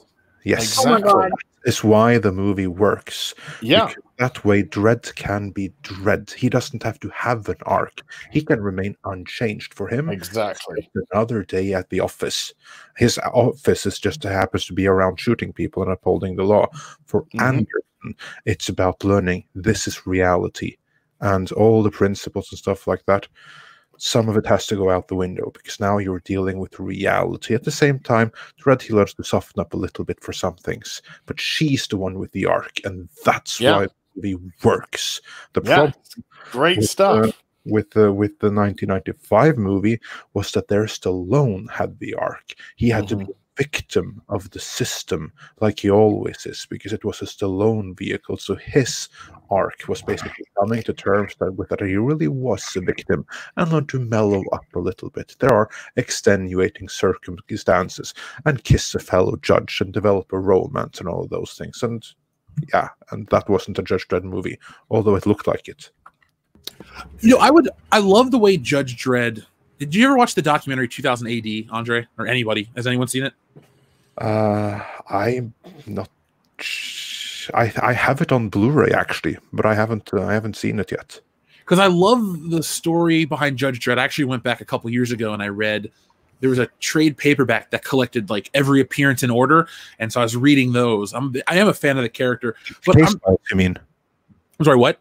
The case files, the Judge Dredd case files. If like everything in order is the case files. Okay, that, that's what it was. I was reading it on this website and I was like, I need to buy this. So I went out and bought, I did buy a Judge Dredd figure because I was like, this is my way to support it. And it was whatever. Anyway, the point is, I would, I wish we would get more comics and stuff produced in a 2000 AD manner, like the bigger magazines, the shorter stories, and just more out there. I love how Judge Dredd was smaller yet, you know, serial, not serialized, but it was a continuous story, but it was also not 30 pages a month. It was whatever the page was for that couple ish part of the issues of 2000 AD. I wish we'd go back to that and not worry about, you know, every month 30 new pages of Spider-Man, just smaller, better st- stories. And the stories, for the most part, are so good, depending on writing and depending on editorial team. But like the quality level on a whole is insanely high with those stories, depending on the nature of it, but generally super high. We should probably show this. People are freaking out in the chat. Yeah, what is this? This is uh the, the deer lady, but with Ryan Canal instead. All right. Oh my god. Jeez, man. A big thanks I hate for everything that's happened. What is this, uh, dude? Fucking boomerang! God damn it! what is this, dude? I'm just not cool with white supremacy, y'all. It's really not that. I think a lot of What is- are actually dude. white supremacists. What the absolute fuck? Somebody put the link to that so I that? Absolutely, man. This is Wait a minute, look, if you just trace the lines, that would be an that be Ryan would have an NPC face. Poor guy. I knew this motherfucker before he had a YouTube channel. He's this meek little kid sitting in the corner at the bar. Hi, I'm Ryan Canal. I love your stuff. He was super nice. I think he bought me a beer. He was cool. Yeah, he was awesome. And then uh that whole that whole convention, even though we didn't really have like a fandom menace convention thing, that whole meetup at that bar was fantastic. I can't wait to Wait. get all together. Ryan was in Chicago? No, uh, No, Vegas. in Vegas. In Vegas, yeah. Oh, I wish I could have been there so badly, but uh, me was- too. Yeah, it was fun. Yeah, I was well- streaming at Jesse. Jesse was streaming at me. The streaming was crazy. I think I was streaming too. And you were streaming at us. So much streaming.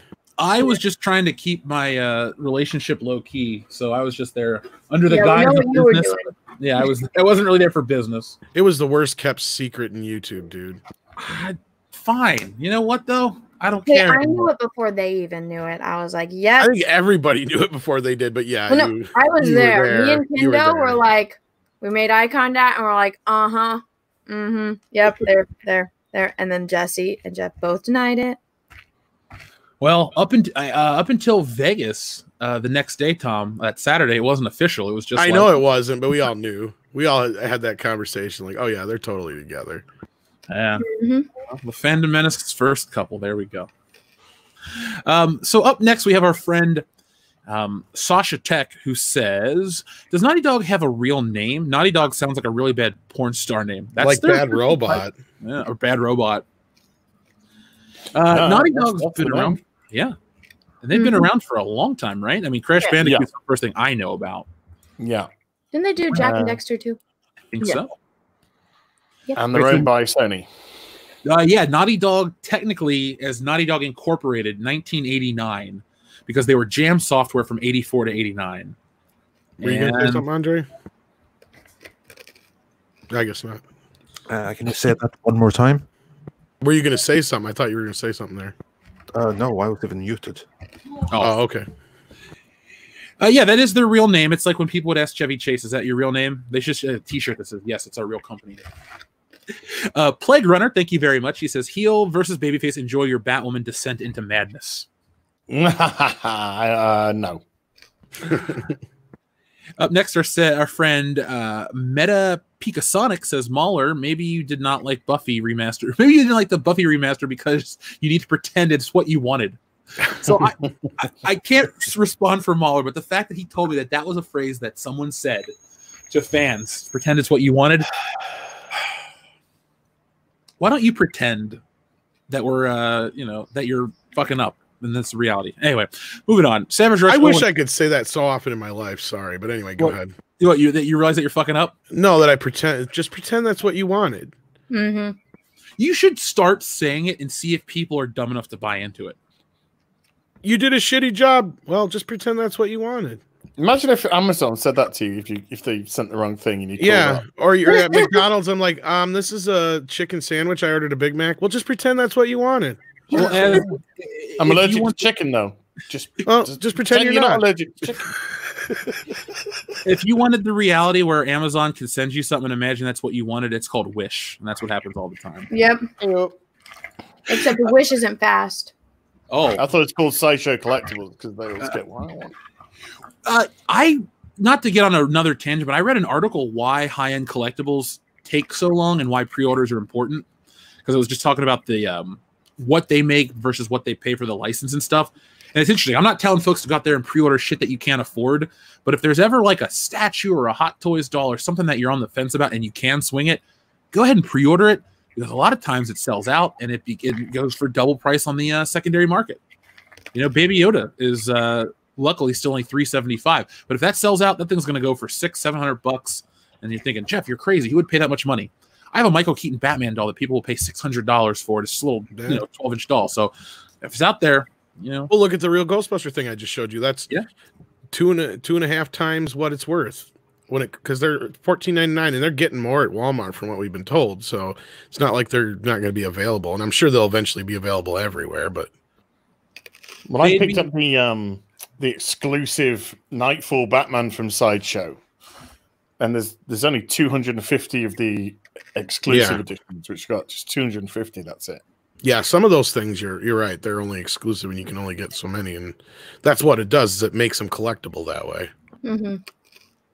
And then there's 500 of the collectors, so there's only 500. Uh, sorry, 300 of collectors, so there's only 550 of the whole thing. Right. one day I will have uh, a room dedicated in my house to just hide collectibles that I don't need, but I definitely want. Jesse, I'm are gonna you- buried in mine. All I'm gonna four get married cats with will them, be trying to get into that room. Anna, we've actually had this discussion. Uh, we're going to give the cats their own room so they don't touch any of our shit. Oh, because they have their own room. They're going to want to go into every single room except for that room. Exactly. it's a cat for you. Yeah, You're lost. If I catch Yeah. shit pancake touching my Mjolnir or something like that, that's going to be the last time you ever hear of shit pancake. How do you say it, Andre? Because Mecha was asking. Uh, the correct pronunciation is uh, Mjolnir. Mjolnir. Mjolnir. Mjolnir. We just need him on the soundboard to say that when we when we're you know not not able to have him right there with us because yeah, none of us can try it. Mjolnir. I, Uh, I just was going by the old Stan Lee pronunciation on that Kevin Smith documentary. It's Mjolnir. Yeah, that was way, way off. If anything, it's Excelsior. I- the I is mute. It's like typically drowned out by the rolling R. Oh, okay. Yeah. So, so if you were to write it, you would just uh, you would skip the I altogether and go straight from the R from the um, uh, from the uh, N to the R. Mjolnir. Now I know. that huntress behind me is only five. There's only 500 rings. And uh, Yeah, I see. That uh, was nice. And it and what it means is basically uh, the crusher or grinder or even mauler. Actually, that's what it uh, what the name means. Those are the most high end ones I have right there. Um, and I bought that shelf thinking I could fit all four of them on there. Boy, was I stupid. But yeah, Well, I mean, that just means you can buy more shelving, and then you'll need new stuff to populate the rest of the shelving. So I mean, it's really not a bad thing that you did. and then I ran out of shelving too. And it's all the way up to my ceiling. On there's the other two, and then that has my other highest end collectible with it. I have that same clock. Well, I wasn't Nice. talking about the clock. Oh, but- well, I have that clock. I think everyone has had that clock at some Yeah. time. In the Uh, I had to leave an entire like, I don't know, house full of shit. But one day I'll get to reunite my collection. It'll be the happiest day, and then I'll just realize that life's life moves on without your shit. Anyway, um, All I learned from these two though is that Robert Englund has a tiny fucking hand. is that glad the you went Matchbox there. Freddy doll? Well, here, yeah, there's a couple Freddy dolls mixed in there, but uh, this is a replica here on the left of from the first movie, and that was just made before he was even involved, and that fits just fine, no problem. This one on the right is the replica from part three when they rebuilt it, and that was built to his hand. I cannot get that on my hand. It is tiny as shit. Well, he's only five ten. Yeah, he's not a very big guy from what I heard. No, and he's uh, you He's from kink shaming again. That's terrible. he's only and then he, he'll be he'll uh, Az sent us something here in the chat too. Let me get this up. I was reading. This, this is a this is a thing of beauty that's been created Oh, by what the uh, hell did I do here? somebody that follows, follows us. and sums up Oh, it's that 'cause one put it- oh, perfectly. okay. I copied the whole darn thing. All right, uh, let's. Oh, you got it, or I got it right here. oh, you got it. Okay, I was on it. Oh my! All right. Oh, oh, sorry. That's out of context. Ready? fix his suit. The suit is literal perfection.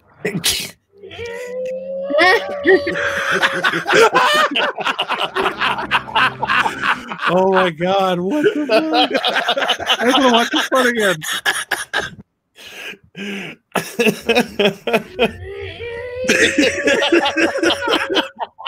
I almost thought that was you for a second there, Az. But the- It is. It is. oh, it that's is you. Okay, Yeah. I thought so. That is me doing bat my battery character. Oh wow, I didn't know that was you at first. No, I thought like that sounds like him. That's a perfect. It looks way like to- him. That's the first thing that Let's just up. be honest. It is bit him. sexier than, bit sexier than Ruby Rose as well. Cartman, that looks like your mom. Wait a minute, dude. It is your mom. was it German Scheitzer porn or whatever that Cartman's mom was Man, involved if with? you ever did German size porn, you'd tell me, right? Oh my god, that was so good. That scene was absolutely awesome. I, I I I love like their their German in it. Es mein Scheiße. He's in my size. Uh, we have our friend Savage Rush 012 that says Hollywood is so progressive, yet they are scared to have black stormtroopers kiss the white woman. Right? That's been a thing for a long time. I we brought up Beverly Hills Cop. The reason Axel and Jenny are friends and not lovers is because that was going to be a Stallone movie, and you know that Stallone was white. Yeah, and I brought up the point a few times where I I'm not, and a few people saying, "Oh, maybe you're right."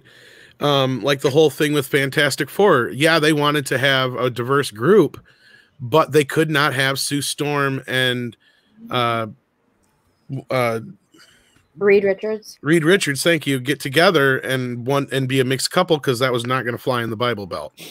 I've just dropped a, an image in of um a If one of them was black, I mean, yeah. Of uh, Rey, uh, Finn and Rey kissing, and I actually think it's a really good. The top picture's actually really good. This is what it could Uh, have. let I've dropped it it into the thing that this is what it could have looked like. Is this porn? No, no, it's not. I promise it's porn. No, no, no. I, I just had to say it. It is There you Tony go. Ryer. Um, yeah, I mean, the first thing he asks her is like, "You got a boyfriend?" You got You know? boyfriend? Yeah, yeah. He's trying to get them digits. Oh, their little baby is BB-8. That's so cute. So this is an actual couple that did a photo. That's so cute. The little baby in the little BB-8 costume and the Sam with the little dress and the little feet. Uh, while Anna is fawning over that, let's check out Scottish Nerd who says, I want to.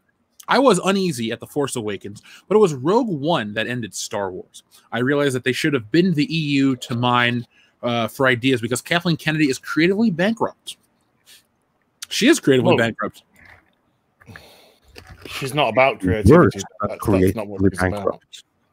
Worse than creatively bankrupt. I mean, if she's creatively bankrupt and she is aware of it and she can get out of the way and let creative people do their jobs.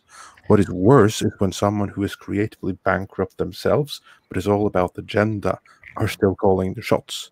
And then that's worse situation. And that's what we have right there. She could just retire. She's 66 years old. Like, uh, uh, just retire, go live your life. She's got a message to deliver. She's got a message to deliver. Probably Well, in her head, she's tw- probably 25 still, and she has a message to deliver. Mm.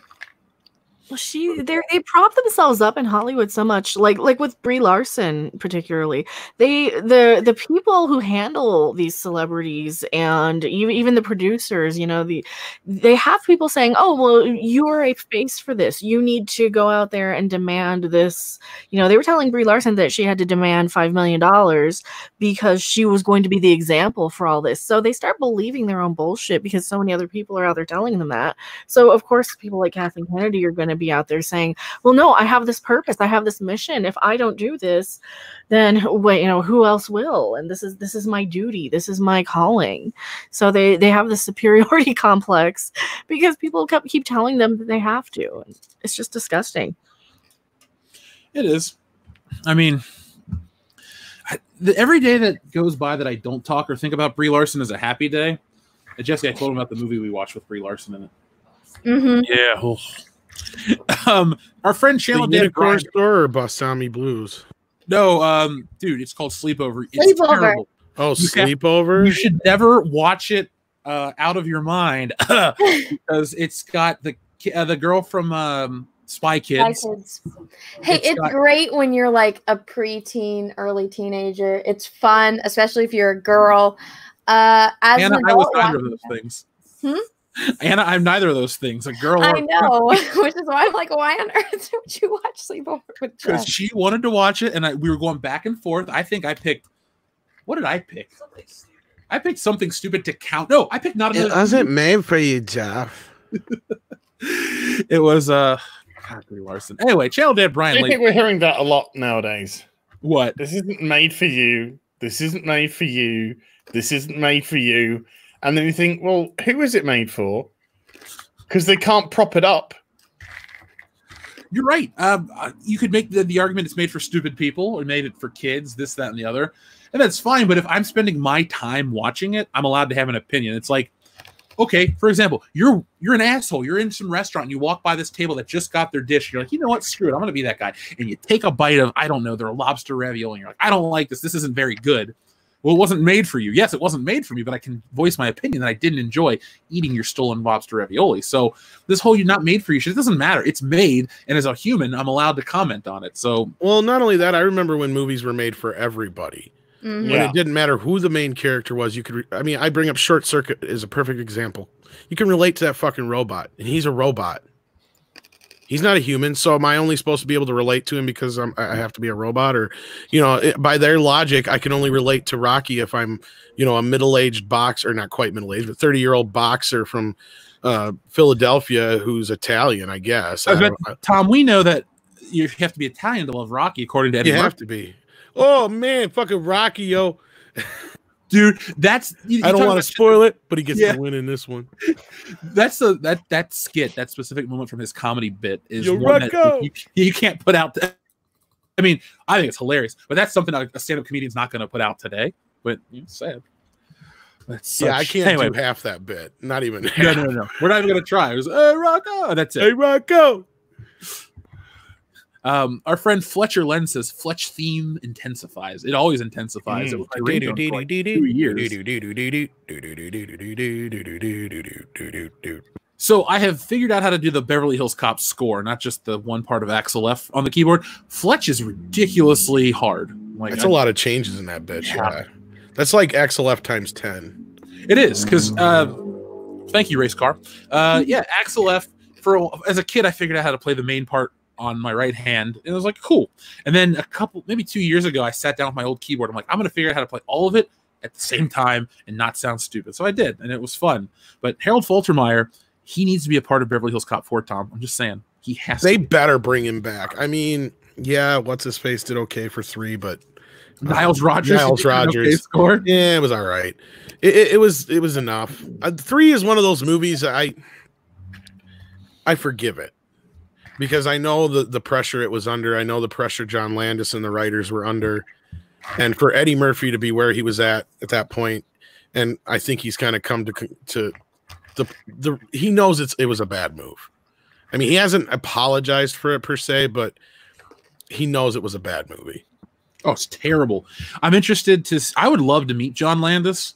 I know most people would think, oh, I'd ask him about the Twilight Zone movie. No, I just want to ask him what's the fuck up with Beverly Hills Cop 4 that, or 3. That was just. Ask him No, I'll tell you what was up with Beverly Hills Cop 3. I think I told you this, but for those who hadn't caught that show, maybe was that uh, the studio and or, or uh, not the studio, but uh, Eddie's managers told him Eddie doesn't want to do funny shit anymore. He wants to do more serious stuff. So take all the funny out of the script. And so John Landis was challenged with not only taking all the jokes out of the script, but finding a way to make Eddie Murphy funny without him knowing it. Yeah, he failed. Yeah, what what were you gonna do? I mean, it was doomed from the start, basically. You, what you do, Tom, is you do what they do in Tropic Thunder. You just take these actors and you spank them. Like, uh, you know, we watched that the other night. He's like, "Where is the grip? I want you to punch him really hard in the fucking face." Sorry, Boom. that's what you need to do. You need to get some ballsy producer or some. Well, ballsy- you can't have guys like that anymore. You can't have people like uh, what's his face who made uh, Die Hard. Uh, oh, Joel Silver. Well, not just Joel Silver, but the director. Oh, he was also McTiernan? hard as McTiernan or Kubrick or uh, um, gosh, and I'm, I'm my brain's just Well, not and I working now. say that that is Tom Cruise's best ever performance, bar none. That is what he needs to go down in history for. Is Les Grossman. We need a Les Grossman. solo. Yes. Um, our friend, the Super Smash Brothers candidate, says, Jeff, can please rewind ever return? Also, Mauler, can you have please rewind, uh, please, in one of your streams? Fletch lives. Uh, Super Smash Brothers candidates, I cannot speak for Mauler, but I, I his name was Pat from Please Rewind. He was a really cool dude.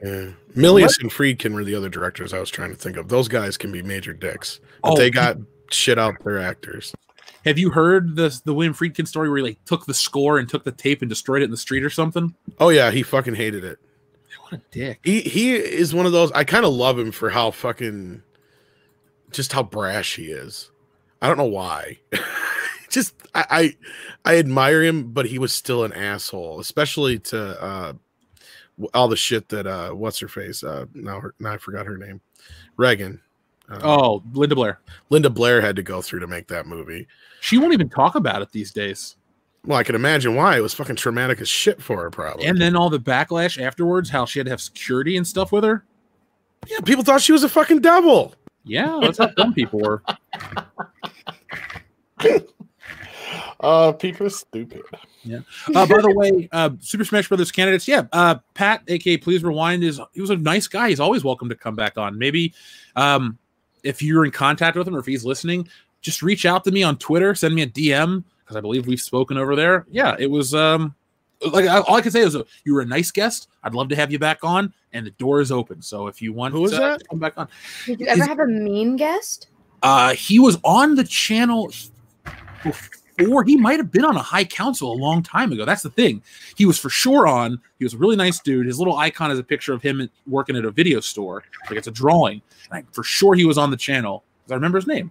But um, it's I been a didn't while. catch the name. I'm sorry. Uh, please rewind is the name Oh, of the okay. channel. I've seen him But I think it's Okay. I think his name's Pat. Is like you know what he went by on the thing. So yeah, um, he can come back anytime. Reach out to me too. We love to have people on Mead that are like to, you know, new people to the, to the community and stuff that may not have necessarily been had a chance to be brought to the to the limelight and shit yet. So there you go. Get a hold of me too. Um, you just me too. You said. Ex- Dude, you Me read my too. mind. Me I was literally going to say that. Um, I do that shit on purpose. uh, Mohammed So Film Ramadan- God can- Film Oh. God's gonna make a video on me someday. I'm sure. No, I'm kidding.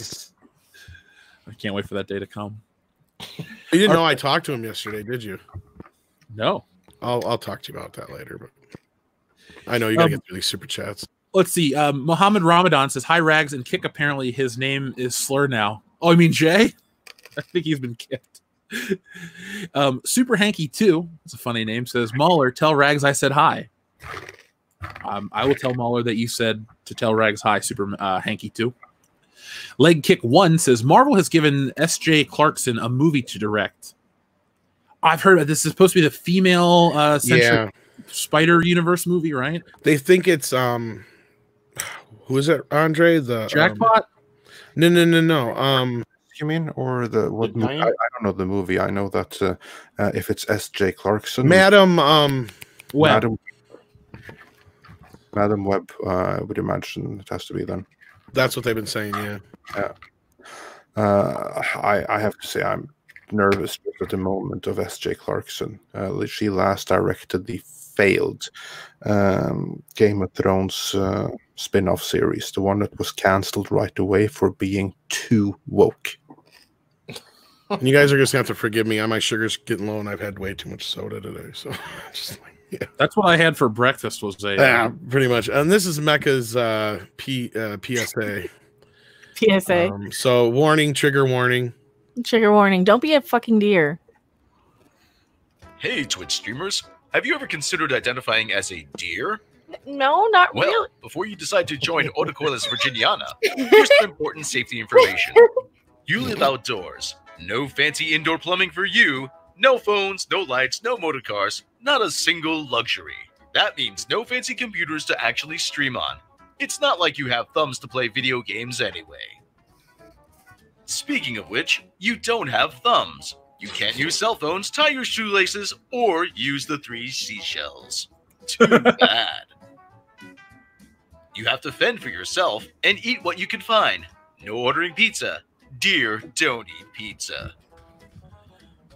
You now need to pay attention to when deer season is. But bad news, deer can't read. It's coming right for us! wow, didn't know being a deer was so hard. So, you're glad you're a human. Stay that way. This has been a public service announcement in the interest of public safety, paid for by the committee to stop people from wanting to become f***ing deer.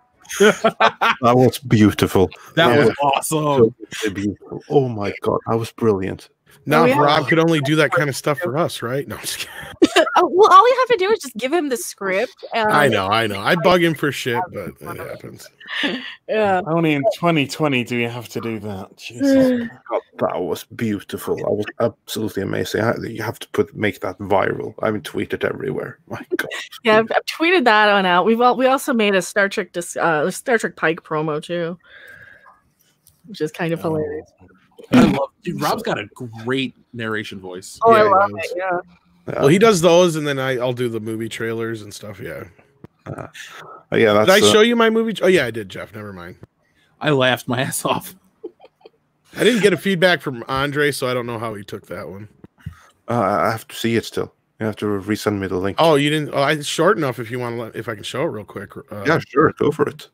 I, I'm asking Jeff, but yeah, dude. Yes. No, I you know, but I'm just it's. Oh, there we go. Sorry, I thought you clicked on the thing. I was like, "Here, show it." Now I just removed you from the stream totally. No, I got booted and canceled again. Oh, How dare What? you? How, how dare you? How dare you? I love you so much. There we go. I'll stop sharing. Uh, Tom, you I can think share it Greta anytime you want. Thunberg's gonna. Yeah, I'm bringing it up right super now. villain. Who is girl Greta Greta Thunberg? Thunberg. She's gonna become a super villain. Well, how how mu- how, how much longer till she's 18? Because sooner or later, then she can be one of our cards if we wanted to. A year. A year. Or a year.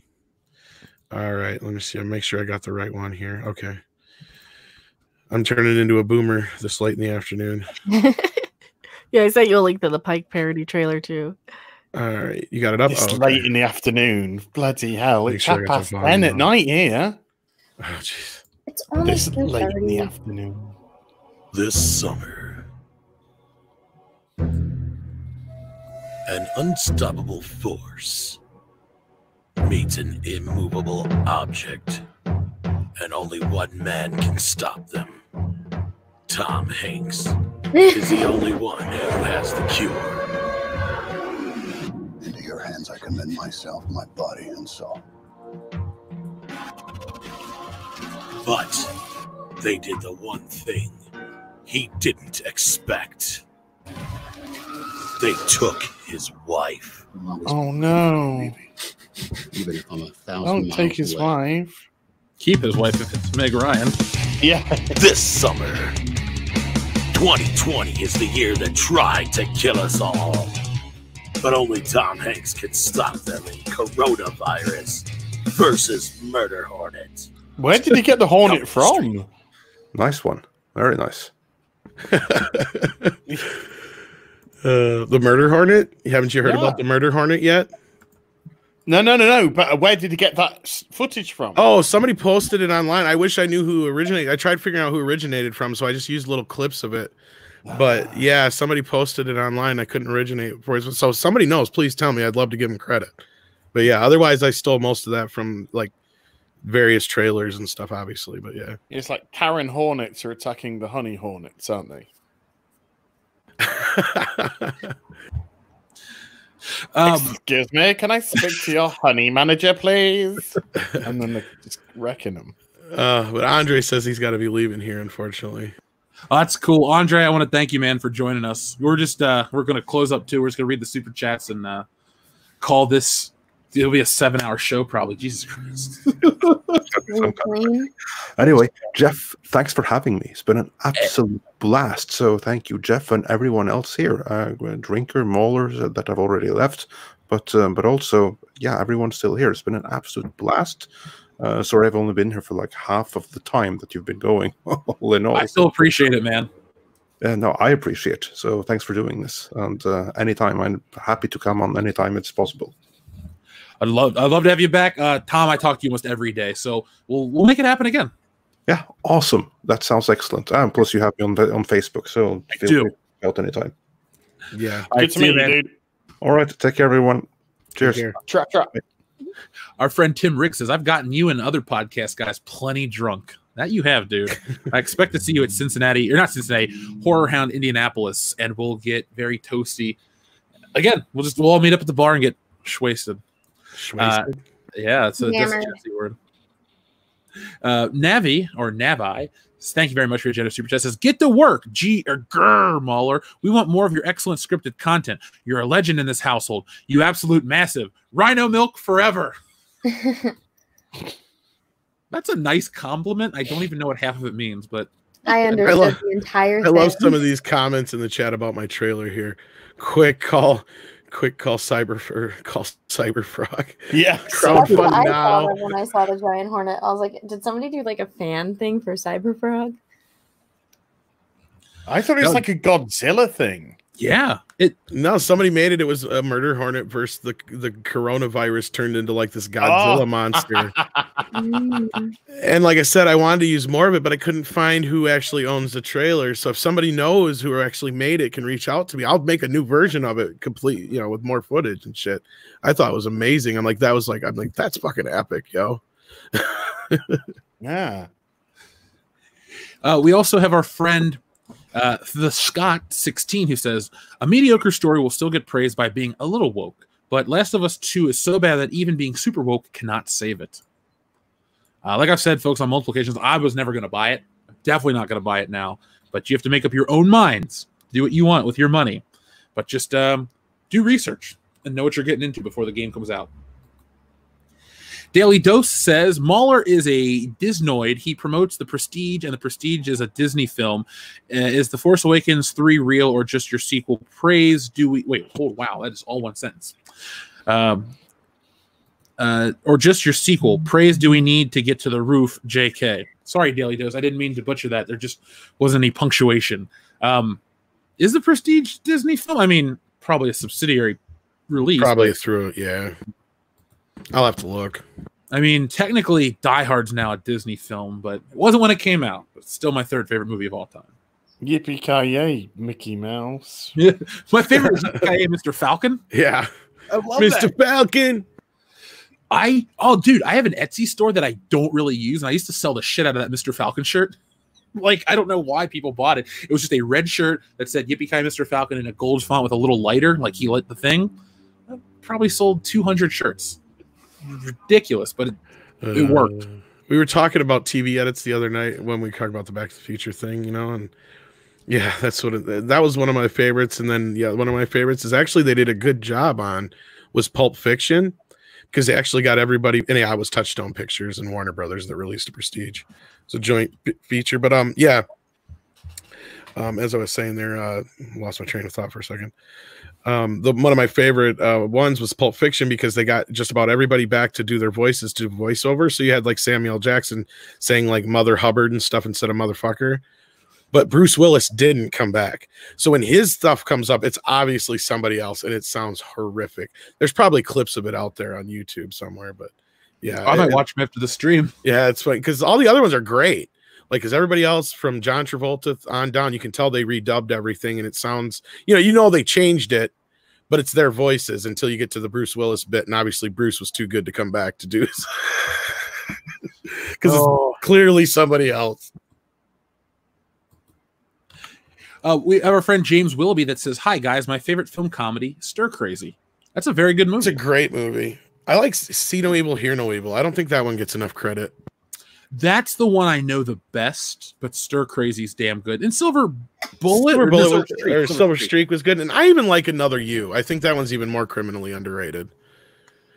I don't know I'm if all, you remember I'm that all one. about the Richard Pryor, Gene Wilder connection. Uh, rest in peace, Gene Wilder and Richard Pryor. Both of them. Now, yeah.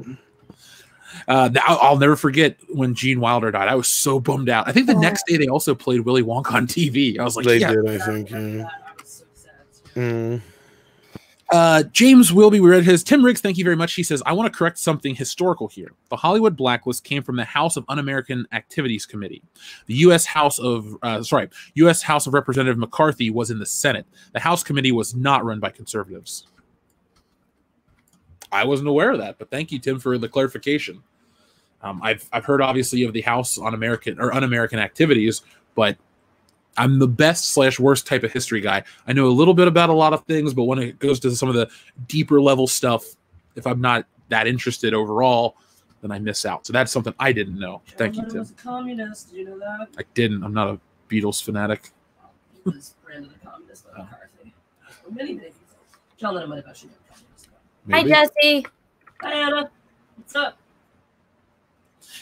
Um, Atomic Portal, thank you very much for your generous super chat. He says, Will the critical drinker ever review Rick and Morty season four? My opinion is the only good Terminator movies are one and two. Uh, G. Smallville, Lex Clark, best. Uh, as have you got uh, post post traumatic stress slash flashbacks? I, pardon? There was a lot there, but I think I got some of it. Yeah, um, we'll go Or with the last super part. Chats. Um, have you have you got uh, as have you got post traumatic stress slash flashbacks? Laughy face, sad emoji. I don't know what they're going on about. Puss All or can- puss? Puss. It says P-U-S, then traumatic. Is it meant to say post-traumatic? Post-traumatic? Oh. But it's, it literally says post-traumatic. P-U-S-T-R-A-M-A-T-I-C. That's the Probably reason I a read it like that. Oh yeah, I've probably got PTSD from watching Batwoman. No problem. Yeah. that thing you can't you can't watch that show in one sitting. You gotta you gotta take multiple sittings to watch an episode.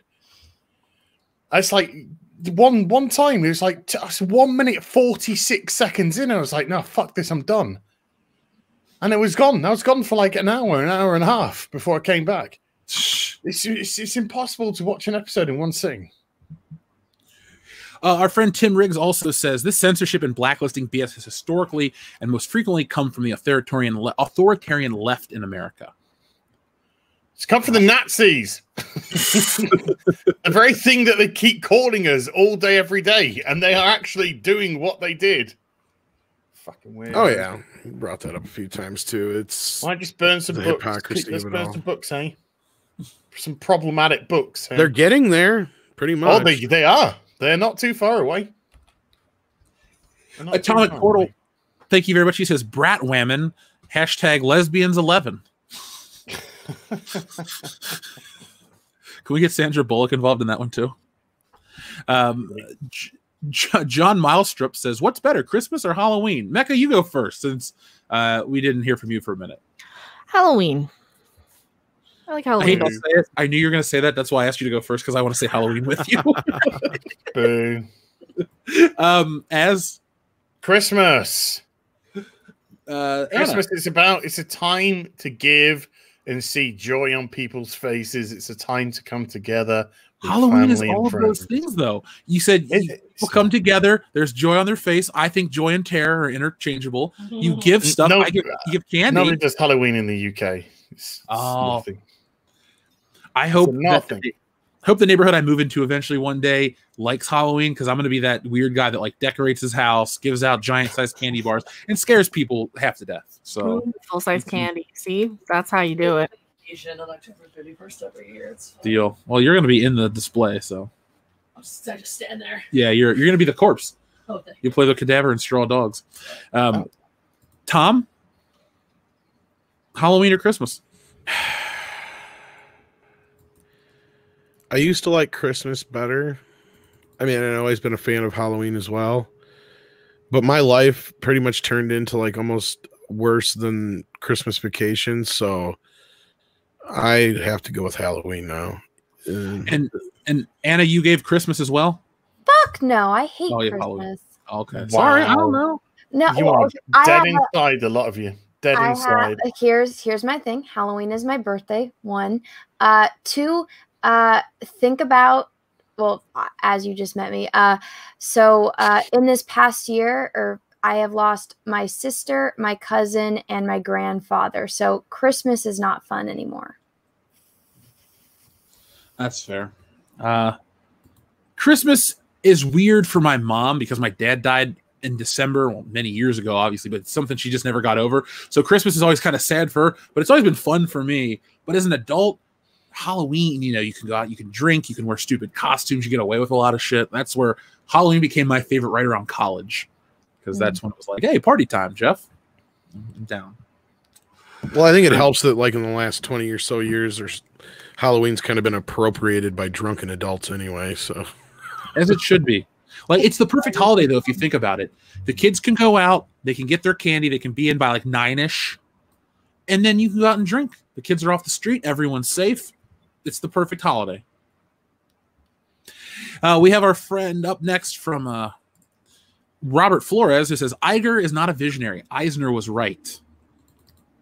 I mean, buying up all the other properties did make them money in the long run, but where's Disney now?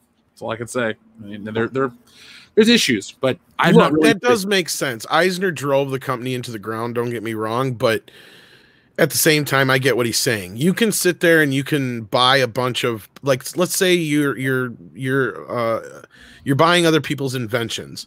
You know, you can buy a dozen doohickeys and what what you call it and all these kind of things. Sooner or later, you're going to have a hit, right? You know, and anybody can almost do that but what he's saying is like you know he didn't have the visionary aspect of it all to to a, he allowed kathleen kennedy and those guys to do that mess and we've seen that from the whole uh, galaxy's edge business because when that shit went down he saw the rushes kk wanted to change shit and he was all for it they were going to give us a star wars land that actually was classic trilogy and prequel trilogy along with the new stuff and it all got changed at the last minute mm-hmm. Damn you, Kathleen Kennedy. That's all I can say. you know it's funny though? Like, even though we've covered Kathleen Kennedy extensively, I'm still not tired of talking about how shitty she is because it's just her crappiness knows no bounds. Uh, up next, we have our friend Straight White Male that says Mezcal Old Fashioned with a worm salt rim at 10 a.m. That sounds like a vacation day right there. Have you guys ever had Mezcal? No. Mm-mm. What is Pretty it? good. No. We drank it in Vegas. Anna, you'll have to try it. Was that was that the, the shot, right? that that tequila. Yeah. Maybe I did. Okay. Oh, it's maybe i did I don't Uh, remember a lot of Vegas. Nor do I. I remember that was like the one night i drank so yeah i don't remember Uh, Lag Ing says Mando is an RPG when you only do the side quests. It's an interesting way to look at it. Now I'm literally imagining a Mandalorian video game as an RPG. Now that you talk, we were talking earlier about uh, you know thinking something else or the way it like was sold to you. You think it's something else, like with Last of Us.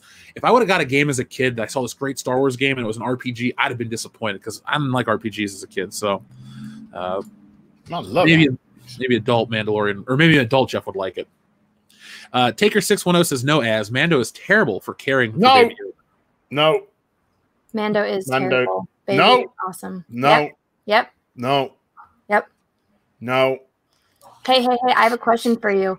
Uh, instead of digging a trench, uh, why didn't they just throw those grenades at the ATST when they were right there with it? I didn't Uh, fucking know. I didn't write it. Well, well, yeah, exactly. Uh, why, why is the Mando so incompetent? Why is he so stupid? What? He's not No. stupid. He's very stupid. He's a male. Well, Anna, there's one. doesn't matter.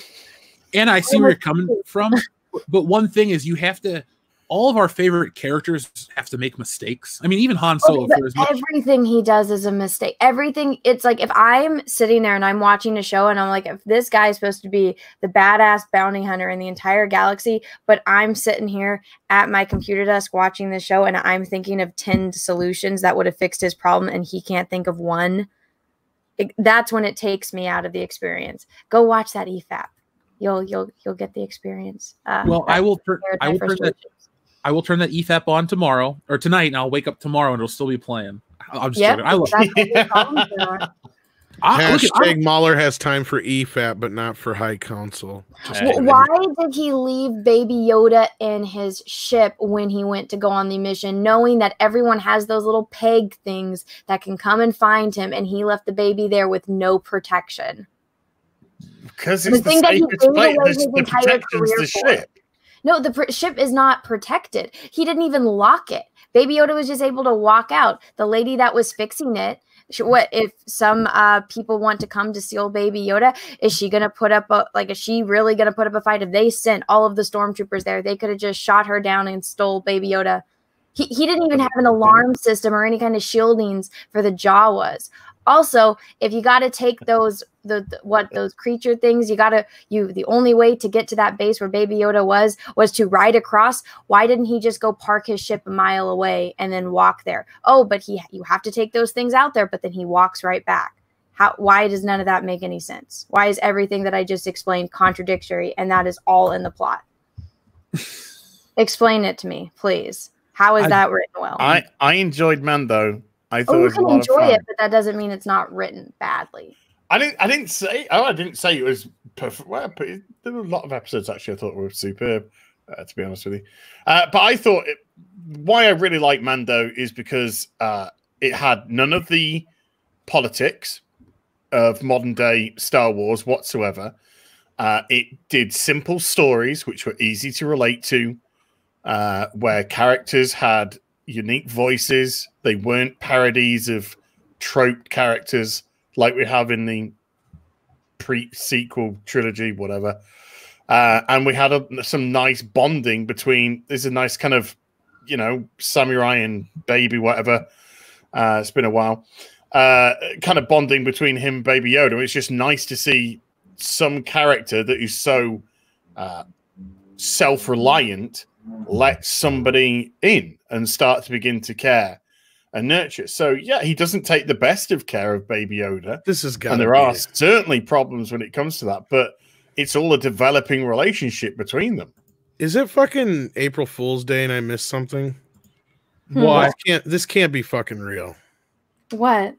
Amber Heard is in talks to Oh, replace it's, no, no, no. It's Rose. It's just Is clickbait. it? But it's Yeah, yeah. the Hollywood Reporter. No, She's it's, not it's, a- lesbian it's a enough. story created a couple of days ago. It's complete. Oh, clickbait. discussing. Oh yeah, they're that fake. Never mind. My bad. I forgot. They got you, fake. Tom. They That's got me. they- What, that Never gonna give chick? you up. Never gonna let you down. I'm the only person on this panel that likes that song, so And then just canceled herself out, or did you do that on accident? it was a mistake. Sorry, She's like, "Fuck, I'm not listening to this shit." I was like, oh never crap! I, gonna give. Never gonna give. I was clicking away from your uh, shared window, and I it, you clicked at the same time. I'm like, sorry shit. about that. No, I why tried to do it to be. Well, I just did to, to be uh to, to be courteous and get it out of your way. So Ah, dude, it's it's all good, man. That's all I can say. Um, up next, we have our friend Logan Drake 15. Sorry, Logan Drake. He says, Drinker, Mauler, in Salvation, Skynet is going through all this trouble to lure out John. Makes no sense because it's implying Skynet knew them. eh, Sorry, knew too much of the importance on John and the Kyle love. Uh, sorry, and Kyle. Love you all and guests Dark Fate Dion. Well, thank you, Logan Drake 15. Sorry that um Mauler and Drinker had to head out before we got to address this. But I'm not as well versed in the Terminator lore. Plus, I don't think I've ever seen Salvation all the way through, so I can't really respond to this. Can you guys say anything or?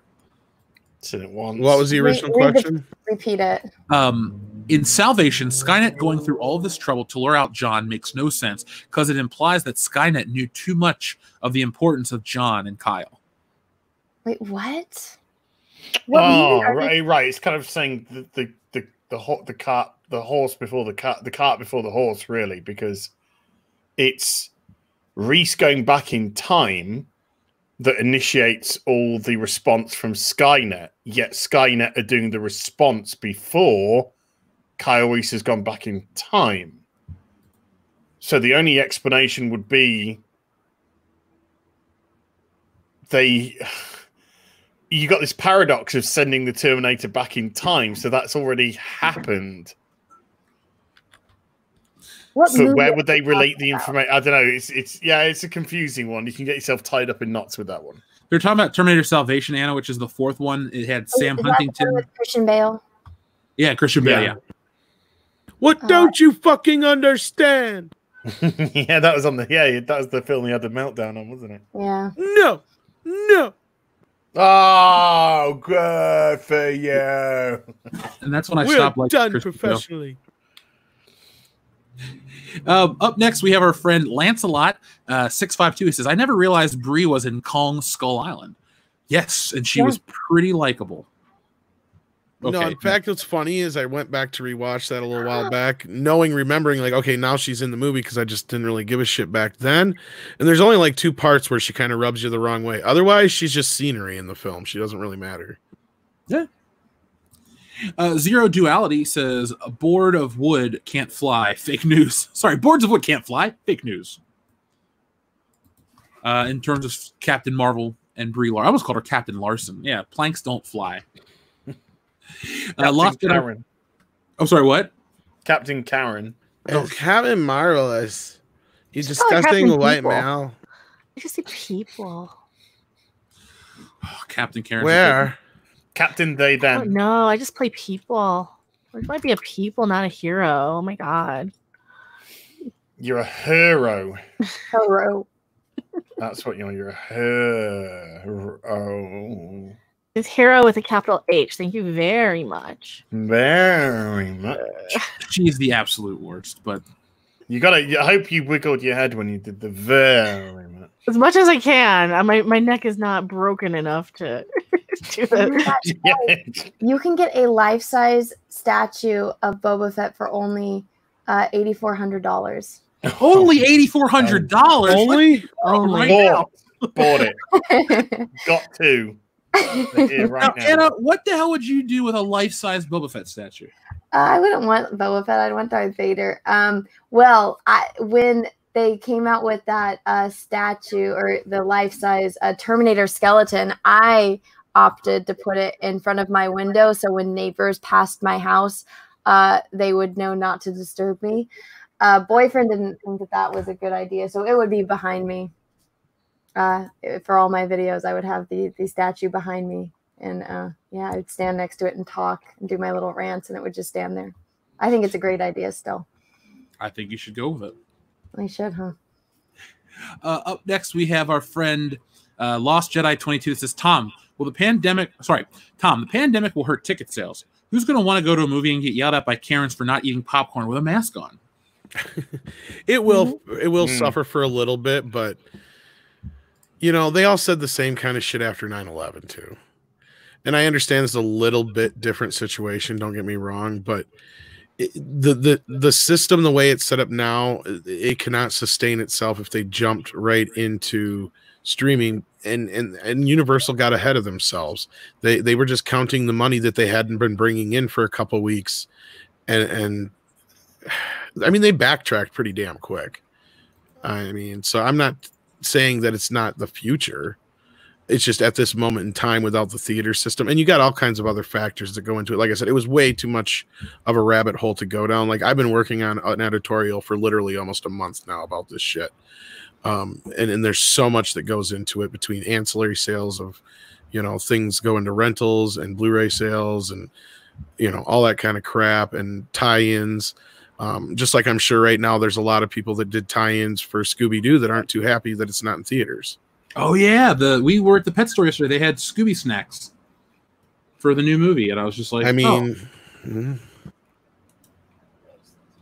i mean even look at uh, the 007 movie they ended up wasting uh, estimated 30 to 40 grand and all the the money that was already spent on advertising for that and then they got to restart the whole advertising campaign up again come next Oh, it was uh, more than 30 to 40 grand. I mean, that thing has been everywhere. That's been in every magazine. i know it's probably more than that What yeah the fuck, guys and gals and kids of all ages? There is an article which has just come out. Mm. Our lovely Disney have decided to feminize Luke Skywalker. Oh, for God's No. sake!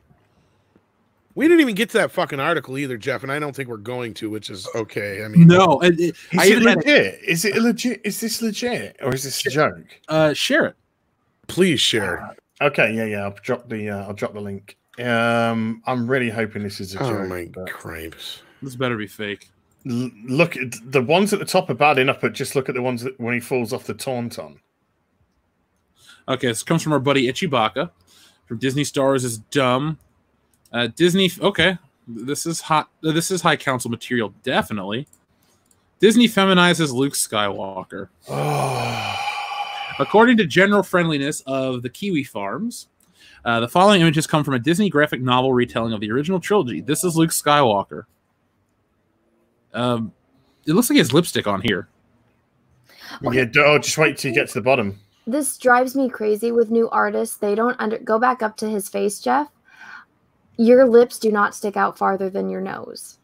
No. They're trying. It's trying to emulate that uh, Rankin Bass kind of look from the It's- it's seventies and eighties. Yeah.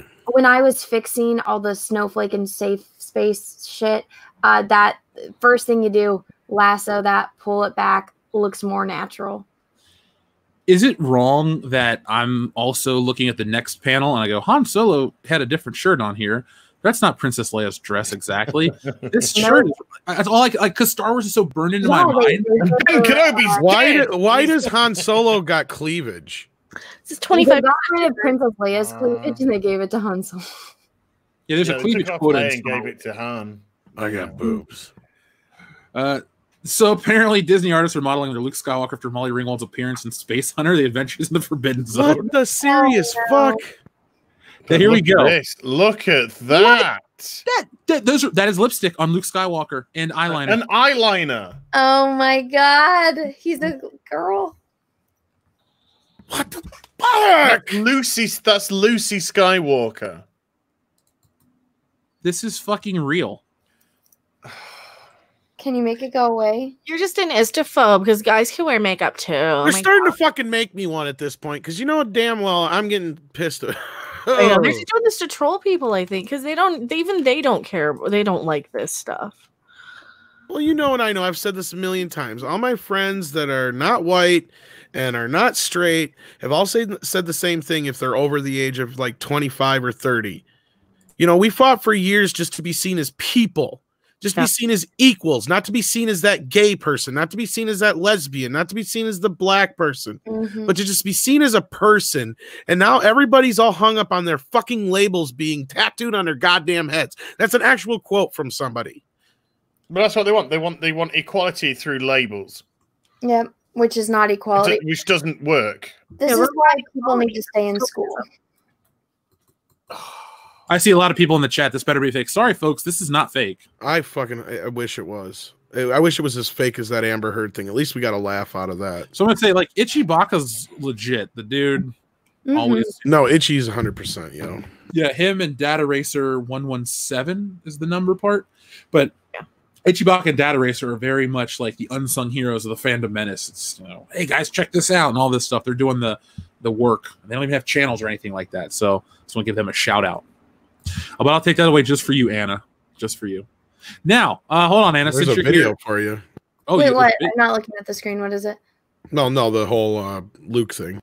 Oh fuck! Oh yeah, I'm definitely gonna make a video. I've been. I, I I feel don't like have to do redesigns, aren't I? uh, let's see. Here you go, Anna. Since you Yeah, brought up you, you just got to redesign it into Luke Skywalker, and then they one. Yeah, I'll, I'll fix it. I'll, I'll do a paint over stream. Uh, you're welcome, everyone. How's this for masculine Luke Skywalker, Anna? Is that buff enough for you? This came. Oh, by the Yeah, way, the uh, Empire. Strikes. the Empire Strikes what uh, back one came out May of last year. Oh, that comic?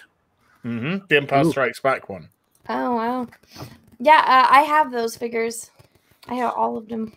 I remember them. That's my first Luke Skywalker. I would say I don't think they're worth a lot. Oh God, no! I I rebought one for four dollars in a box. So Sounds like you overpaid too. By the way, yeah, it was five dollars when it was new. So I know, but I got I know a guy who sells that kind of shit on eBay, and he can't get rid of these fuckers. I'm good friends with a guy who runs a toy store back in Cincinnati. He he Power of the Force two, episode one, and some episode two, and episode seven and eight stuff is in his two dollar bin, brand new in the box. It's the vintage stuff, and it's the vintage collection. I've said it before, and I'll say it again. I still got a box of Jar Jar Binks shit sitting in my closet from when I had a video store that didn't sell. Everything else sold, but the Jar Jar Binks. You know, I think Jar Jar is the only character I don't have an action figure of. Good. You want one? I might have one somewhere. At least I'd have a Jar Jar over a Rose Tico any day. I know I got a Jar Jar fair. Koosh somewhere, unless I gave it to the dog. I can't remember. Now, um, as in the chat, I see somebody asking for a bag board chat. Do you do streams where you bag and board comics? Yes. That's fantastic. Yeah, him Oh and Gary God. do it. Um, well, Yeah. you guys have been doing it almost every damn day, but I, I jump in there too in the chat and listen to you guys when I'm working on stuff. It's Uh, yeah, we're it's really the next one uh, Tuesday. I miss my comics so much because I collect. I probably got ten long boxes. Yeah. And so I, I, I, most of them are boarded and bagged, but that's such a cool concept. Oh, it's a bit different, and it seems to be working. People seem to be really enjoying it. So um, yeah, we're doing it once every two weeks, Gary and I. Well, you used guys to- are doing it for a couple days in a row there. It seemed like to me, but maybe it's Uh, every sometimes day- I do it solo. Okay, that's maybe why. Yeah. I, I always pop on. I everything blends together now. Yeah, every day blends in together. It's Blur's Day, as Rob Blur's- says. It is Blur's Day. Um, let's see. Our friend John Mellistrip says, uh, "Oh, so Mauler has time for the High Council, but he doesn't have time for Super Chat catch up." Ooh. Burn. Um, Keaton Smith sends in a smiley face with sunglasses emoji. Thank you, Keaton. But all serious, before you go on, we got to truly thank Az, Andre, and of course Critical Drinker and Mauler so much for their time. Oh, yeah. for doing this. This was it was amazing of you guys, and of course Anna for coming into it the latter part here, and Lethal Lightning as well for popping in there. But yeah, this has gone way beyond our expectations. I think, Jeff. God, I yeah. just want to thank all you guys for for taking. And the dude, time. Thank you for having us. Tom, you should take a bow, man. This was your baby. So, folks in the chat, if you're enjoying this stream, this is Tom. This is not, oh, Jeff, this was a great concept. Thanks. No, thank Tom. Tom. Smash that like. Yeah, smash the like button. But Tom facilitated this whole thing. He was in contact with Az. He was in contact with Drinker. He was in contact with Lethal Lightning. Uh, obviously, Andre and he are, you know, really close buddies. But I'm saying Tom really put all this together. So if you're having a good time, uh, make sure you guys are subscribed to Tom on Midnight's Edge After Dark. Follow him around on the internet. He's on everybody's channel. And uh, show Tom some love. He's a good dude. You got to. he- He's a clean whore. Thank you so much, Jesse. I love you. Love you too, Tom. Uh and you know, I, I appreciate that, Jeff. It, it means a lot to me. And I do it just because of- for the love of the fandom. I love this shit. I love you guys. I love all you guys in the chat, of course. You guys are so much of what I mean, you guys are my life. I mean, I really that's the truth. So You are my. Everything. I love you so much. Can you give me one? Me. Az can you give me I love you so much? I love you so much. That's from me to you, folks. That's from me to you. um I got seven hours let's let's do what we can to close this up i've never streamed for seven hours you know what the fucked up part is it's gone like that i can't believe it's been seven hours if you didn't I know. I it's know. like it's three o'clock in the afternoon here jesse and i have like a couple things to do and then it's like the weekend so that's exciting and thank you for doing that, as I appreciate that. oh No, no problem. Thank you again. Thank you. Thank you for having us. Uh, it's not. Yeah. Um, our friend Joe Greenmist, uh, 83, Green Misty 83 says Black Widow movie is pointless, just like Rogue One. You know they make it. Where's the suspense? Joe, excellent point. I feel the same way. And and even I'm gonna go back or do you one bigger. I love the first Avengers. It's one of my favorite. It is my favorite theater going experience. It's one of my favorite superhero films. But the scene where Iron Man carried that Stark tech or that that nuclear missile through the wormhole, and you thought he was going to die, I was all in the moment. And then I was like, wait, Iron Man three comes out next year, and I instantly was sucked out of the moment. So it's like suspension of disbelief, Joe. But you know, I, I see where you're coming from, man. It's so difficult. It's like watching a new James Bond movie. It's like he's going to live. So they should have thing- pulled the trigger on her years ago, and why they didn't, I have no idea. Because ScarJo is hot; she's always been hot, and I mean figuratively and box office. I'm with you on both. Uh, so, so why why they didn't do it? That just shows that they don't have the the the um you know the power of their own conviction. They uh, they wanted to play it safe with their males, but you know they always bravado about female characters. You had her, and then you've you've waited too long. Yep, it should have been years ago. Um, I don't know. I think for me personally, I would have liked to have seen it post Civil War, not post Civil War. I would have liked to see it post um, Winter Soldier, pre um, Avengers: Age of Ultron, only because she walks out of that Senate hearing. It would have been cool to see like, oh, now that she's out on the public or the records, she's you know she's on like we're watching Burn Notice, and as soon as they stop protecting him, the police come after him and all these other rogue groups. I'd have liked to see a movie where Black Widow is on the run and she's looking for help, and maybe Captain America takes over for the Black Widow role from the Winter Soldier. We have a nice role reversal, and we still make her the star. I, that could have been a fun movie, but instead we get what we're getting, and I don't know what it is, so I can't critique it yet.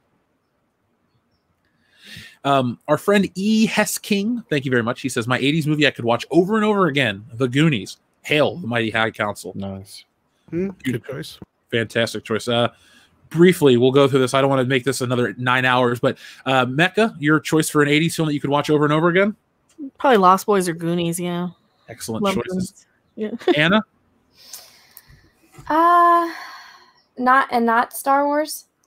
You can pick Empire Strikes Back. It's just got to be an 80s film. Oh yeah, I was gonna say like uh fuck, there's so many.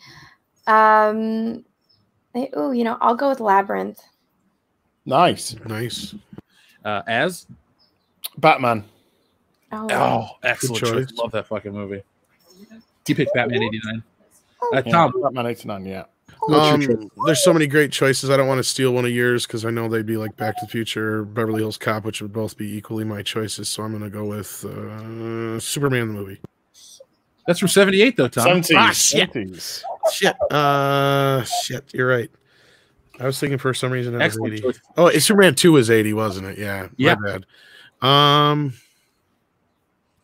I'll go Beverly Hills Cop or Gremlins. I'll go Gremlins since you'll be. Oh, good. That's good. That's a good one. Jesse, what's your ultimate 80s movie that you're going to watch over and over? Indiana Jones. Which one? Nice. Oh, she picks all of them. Okay. Cool. choice. There you go. Fine. You're watching Temple of Doom. All right. I. Nice. Uh, yeah. I mean, I obviously said Back to the Future, Die Hard, and uh, Beverly Hills Cop are three of my favorite movies, but I'll give you a different one besides Fletch as well. If I'm going to watch an 80s flick all the time, I really don't get tired of either Weird Science or Creep Show. Great really don't do choices. I could put Breakfast Club on the list. Breakfast Club's up there. There's too. some great ones in the chat too. Uh, like RoboCop is an I can watch that any I can watch that over and fucking Field like Dreams. Oh, Predator up there too. Terminator, Short Circuit, all Predator, great yeah. movies. Princess Bride, your choice? Princess, I'm changing my choice. Princess Bride. There you go. That's still a good answer. Oh. Die Hard. Yeah. Ah, Princess Bride. Oh. Princess Bride's like the perfect movie though, because it, It you know really is. some movies are oh women like this one, dudes like this one. I think everybody can like Princess Bride. They want to remake it, don't they? They better not. It's perfect. the way it is. They do. No, they'll have They to. Google it. They want to remake it. Well, then you know, it better be with the original cast. Oh no no no no no no no no! So Hollywood. No, you- even to Cary remake Elwes it. said, "Don't remake Princess Bride. It's a perfect movie." I mean, you, you mm. don't you don't remake that one. So do they just if they do it, do they recast Andre the Giant with me and we call it a day? Everybody wins. Yes. Uh, I have given one idea that some people have said yes, that could work as a quasi sequel or whatever you want to call it to Princess Bride. And that is you start the movie off with Fred Savage reading the story to his daughter, but instead of it being the same story, it picks up where the other story left off. And in the story, it's all about their daughter leaving and you know, the kind of a similar story, kind of a same kind of setup, the kind of thing. But that's the only way you could kind of do it and really kind of play with it a little bit. But otherwise, don't do it. Don't touch it. Leave it the fuck alone anyway. I would say the one thing that could be a suggestion is because uh, at the end, Inigo, he's like, I, I fulfilled my life purpose. I've been trying to get revenge my entire life, basically. And then he's like, Do you ever think of becoming a pirate? You could become the next Dread Pirate Roberts. Batwoman's That's got not the a- lesbian pirates coming next season. I'd Do you want that. some of them? Caroline Dry says it's what people have been waiting for. No. Dread Pirate Roberts movie is what Jesse's suggesting, but Mandy Patinkin's got to keep his big beard. Okay. Uh, Well, I was always saying you could have the daughter go off to be the Dread Pirate Roberts. That was the other part of it. I didn't really get into the whole spiel, but yeah. hey, Tom, you might. Or she goes off looking for the Dread Pirate Roberts and it's Inigo Montoya. And That's he a good one too, but he's a little old. But yeah, Well, so what? maybe he has a sexy young son. There you go. Or maybe she's lesbian and he has a sexy young daughter. I don't know. I'm just throwing shit out there. I'm spitballing. Okay. Well, you know what's funny is everything we've just suggested would probably be better than anything they come up I know, with. I know, right? That's what my whole point with it was. Yes, because they'll never think that clever, though, because they're just like, we got to remake it, make it all pro women and this, that, and the other. And Of course they will. we all know that's what's going to happen. Uh, Tom, I found a new name for the High Council from our friend Chuck E. Cheese, the United Nations of Good Taste. that motherfucker, I love him and his names. I am gonna hire him when I can afford it. Our friend uh, Dew Liefeld says, "Hail from the Bounding Team." I assume that is the Bounding into Comics team. Hail! Hail! You guys Yeah, do about great work. the comics guys. I hang out. with stuff, them. Yeah, yeah. they're great guys. Yes. God's work, God's work being done right there. We should have John on the stream again. I, he was on the High Council last year. I think it'd be fun. Oh, yeah, dude. Yeah, he's a he's a good guy. Uh, Channel Dad Brian Late, thanks again, buddy. He says, "How many McMuffins will Mauler need Rey to find to get to the end of the show?" uh, Chan- uh, Lape, you can text me and I'll I'll message him for you and we'll ask. him. Uh, you got a cackle out of that one. I'm yeah. Ironcaster says the Ewok movies are better than the Disney trilogy. Yep, no. I agree. Our, yep, no. our friend Darth Haster says, if anything saves the movie industry, it will be drive-in theaters. Time for a comeback.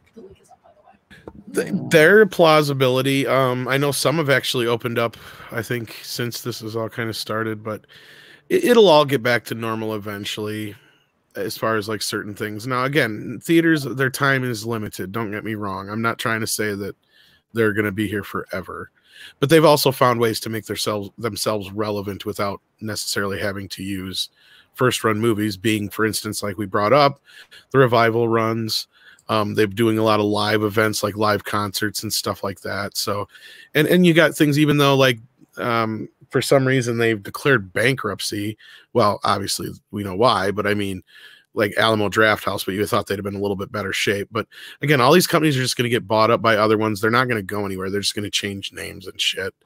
Um, and if and if jeff's right about the point that he brought up that they actually managed to change the law to where the studios can own the theaters, that's just going to wipe away all the obstacles in their way. So, Uh, by the way, folks, if you like this stream, this seven hour and change stream, and you want more of me, I'll be over on Jesse's stream. And what time is your stream today? Seven.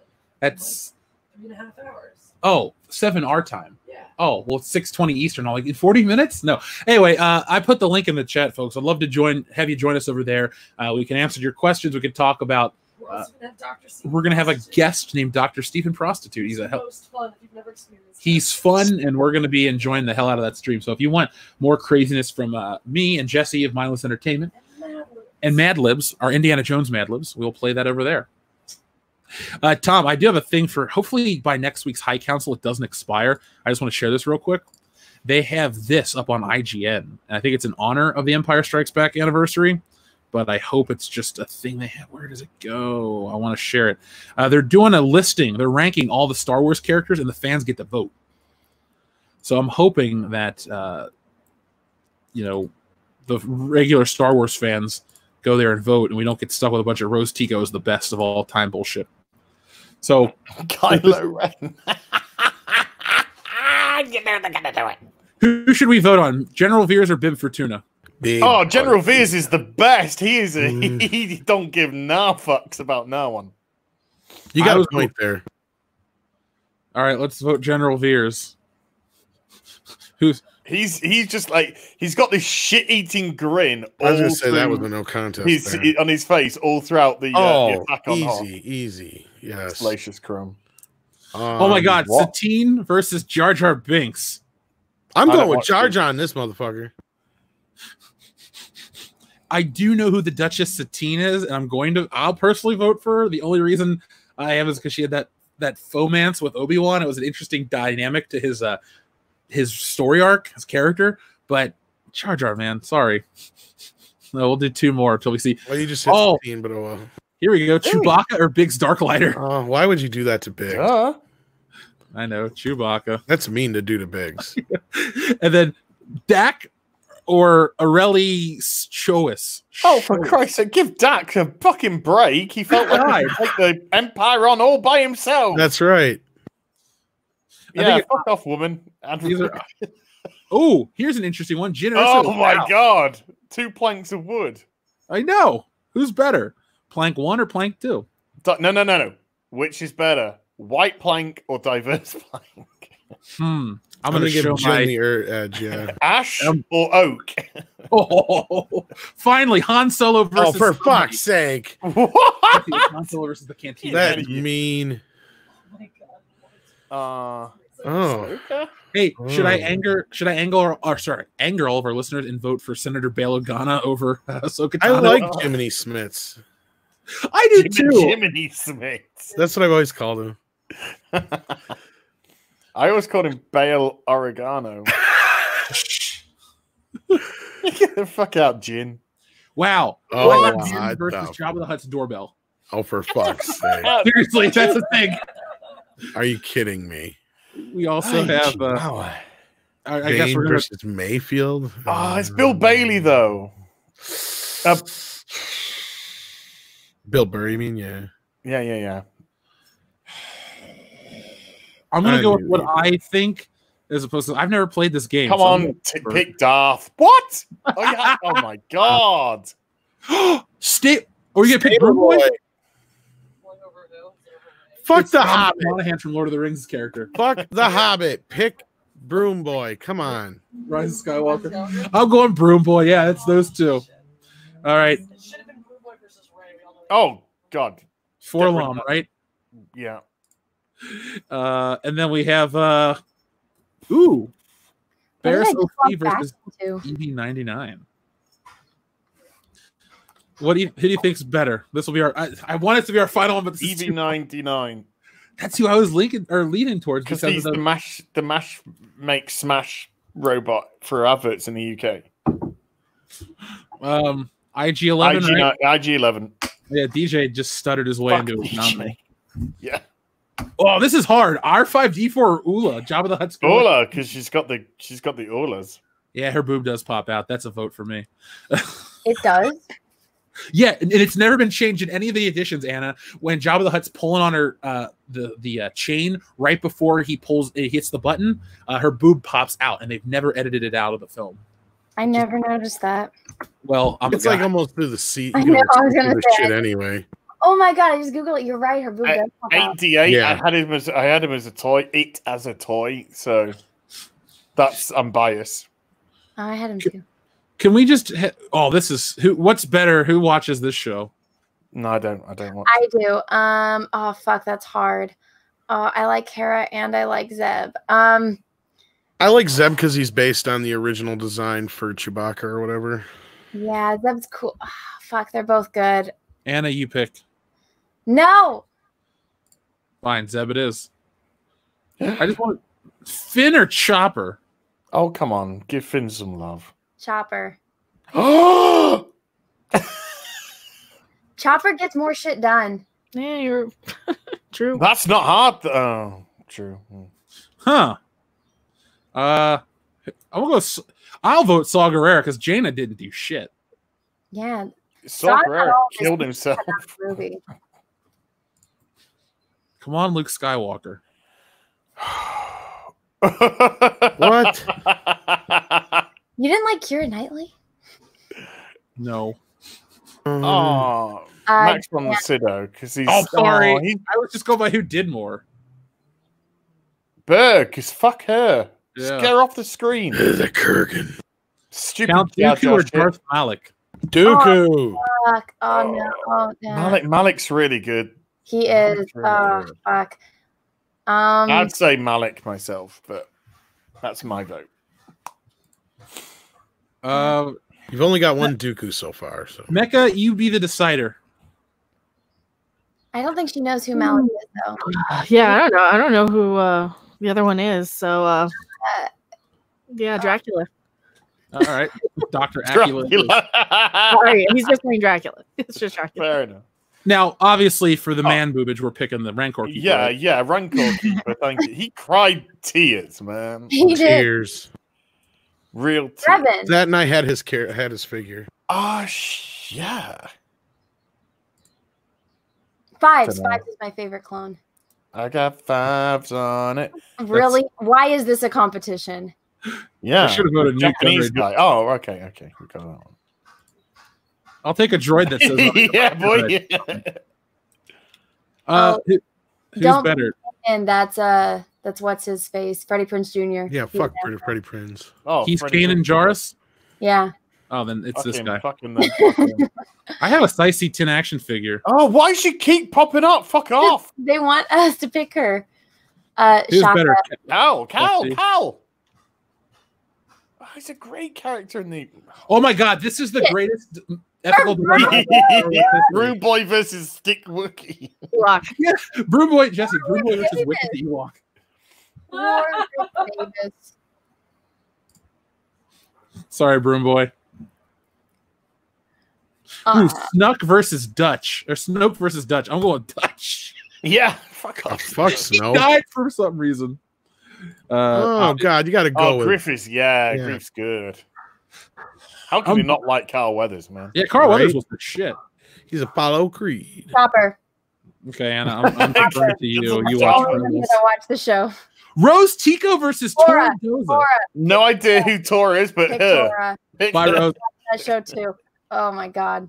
Luke Bear, Skywalker. uh, they put him up against Aunt Beru. Really? It's a family affair, Oh but not really. Jango Fett versus Django. Q90. I'm going Jango Fett. He's cool. Mon Mothma or this? Mon Moth- Yeah, she was good in the original. Uh, let's see. Lando versus Kira. Lando. Kira. 'Cause That's Billy Dee Williams. Lando. Rey versus anybody versus Rey is Yeah, fuck off, Rey. Mary Sue. Uh, Shakti. All right. Uh, let's we'll, we'll get one more good. Oh, Finn. Of course, Wow, that I'm was not Yeah. Uh, Oh, I mean, my we, we all lose. Is there a skip? Well, option? Simon Simon Pegg's Unkar Plutt, so Simon Pegg.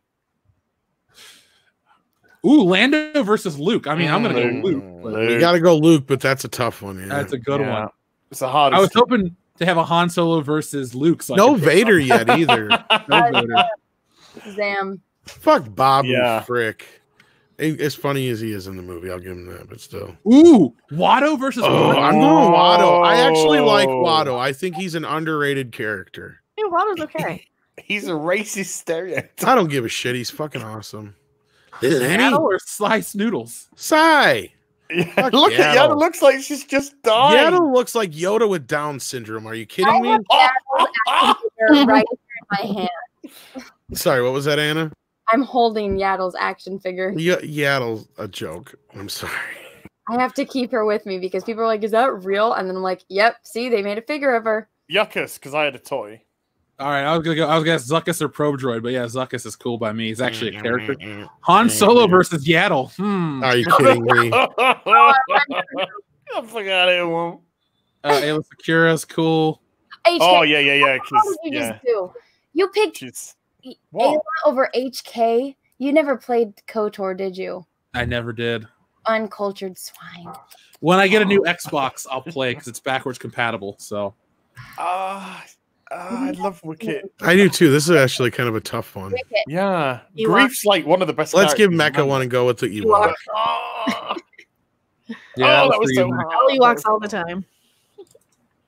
No. yeah, yeah, that was right. Choice. you would want Queel. Misa understood. Dead Ewok, that's Teebo. Are you kidding me? That's Teebo, not Dead Dead Ewok. Ewok. What?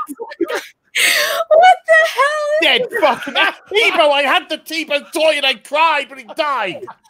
No. Dead Ewok it Dead is. Ewok is of choice. How come they Is just there- put that against Rey? Is there? A, it wouldn't that be amazing if there actually was a figure called Dead Ewok? a I throne. want- In the in the credits at the end, Dead Ewok, Yeah. played by. Ahsoka. Are you sure the cantina bartender were is not a? Droids, they'll have to wait out. Yeah, yeah, Bossk's got to win that. Uh, My Ooh, boy's Poe Dameron versus Plo Koon. Whoa. Plow. Plo make- Koon because he crushed some coon. Mm, Uh, Moff Gideon or Sebulba? Sebulba. Hello. Oh, Moth because it's fucking. No. It's Gus Fring. How can you not pick Gus Fring? No. Because But, uh, he, he's not Gus Fring in this. He's some dude who has like a half an episode. He came out of that Tie Fighter with a fucking chicken leg. I'm telling you right now. Did he come out with half his face blown off again? Then I might. yeah. That was the best part of that show. Oh my God, Rose Oh, Tico versus Matt Rebo. Rebo, Fucking on. Matt Rebo all day, every day. I will say the ultimate pairing will be Rose Tico versus a Dead Ewok. Dead Ewok. A Diagalia. Oh man, this is uh, Bib Fortuna or Jar Jar Bib Binks. Fortuna. Okay, one It's just like never ending. Oh, So Fuck off, Admiral Gender Studies. Get the fuck out of here, you weirdo. Yeah. yeah, I'll I'll have to stop soon because this is How addictive. does this Yeah, we gotta for? get I know. through this. what the hell? The dead There Ewok was no father. Fisto. Oh god damn it, Joe. No, I don't want Kiss Fist. He's Kid Fister. Okay. Uh, It's just never ending. Oh, Greedo versus back! Stable Boy. Why are these options? McClunky. McClunky Greedo, Greedo. At least Greedo had a purpose. and her boob. Oola, pop. oola, bro, oola. Oola, oola. Greef. Definitely go with uh, Apollo Creed, my man. Yeah. Sorry. Yeah, I Don't just be sorry. Item was shit. I just wanted to share that because I was uh so into this. I was like, oh my god, I love these things because IGN will do these and you can spend hours. But luckily, these votes still count because I think this just went live today. So one more for Carl Weathers, and we'll call it. A You day. know who's gonna win this, and it's gonna be the best part of the whole thing. Rey.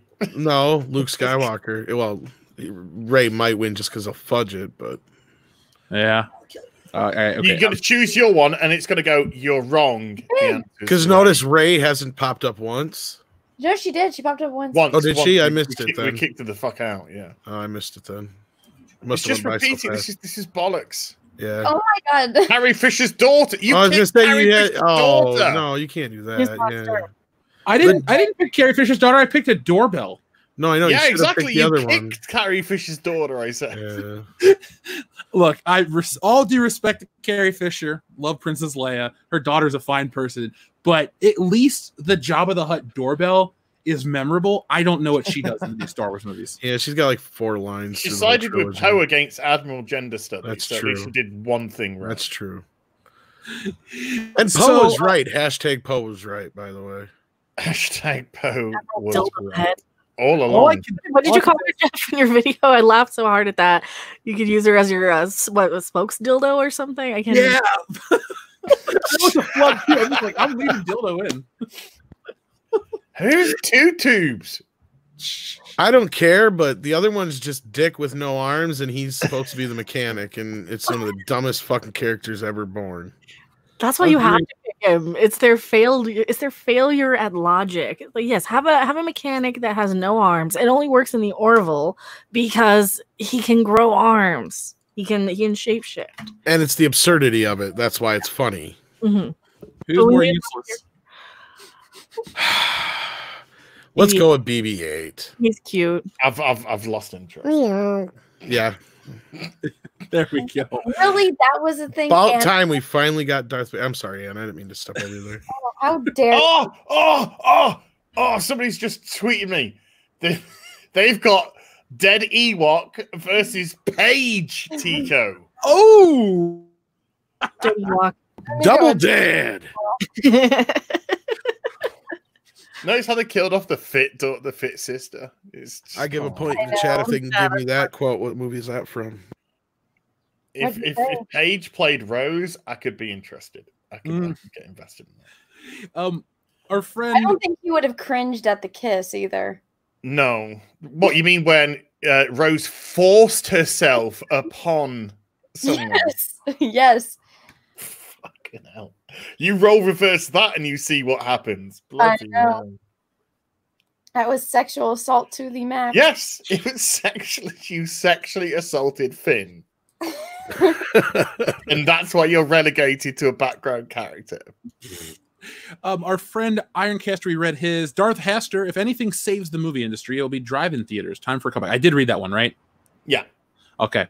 Uh, Joseph Bianowitz, thank you very much. He says, "Hail WCBS! Hail to the High Council." Hail.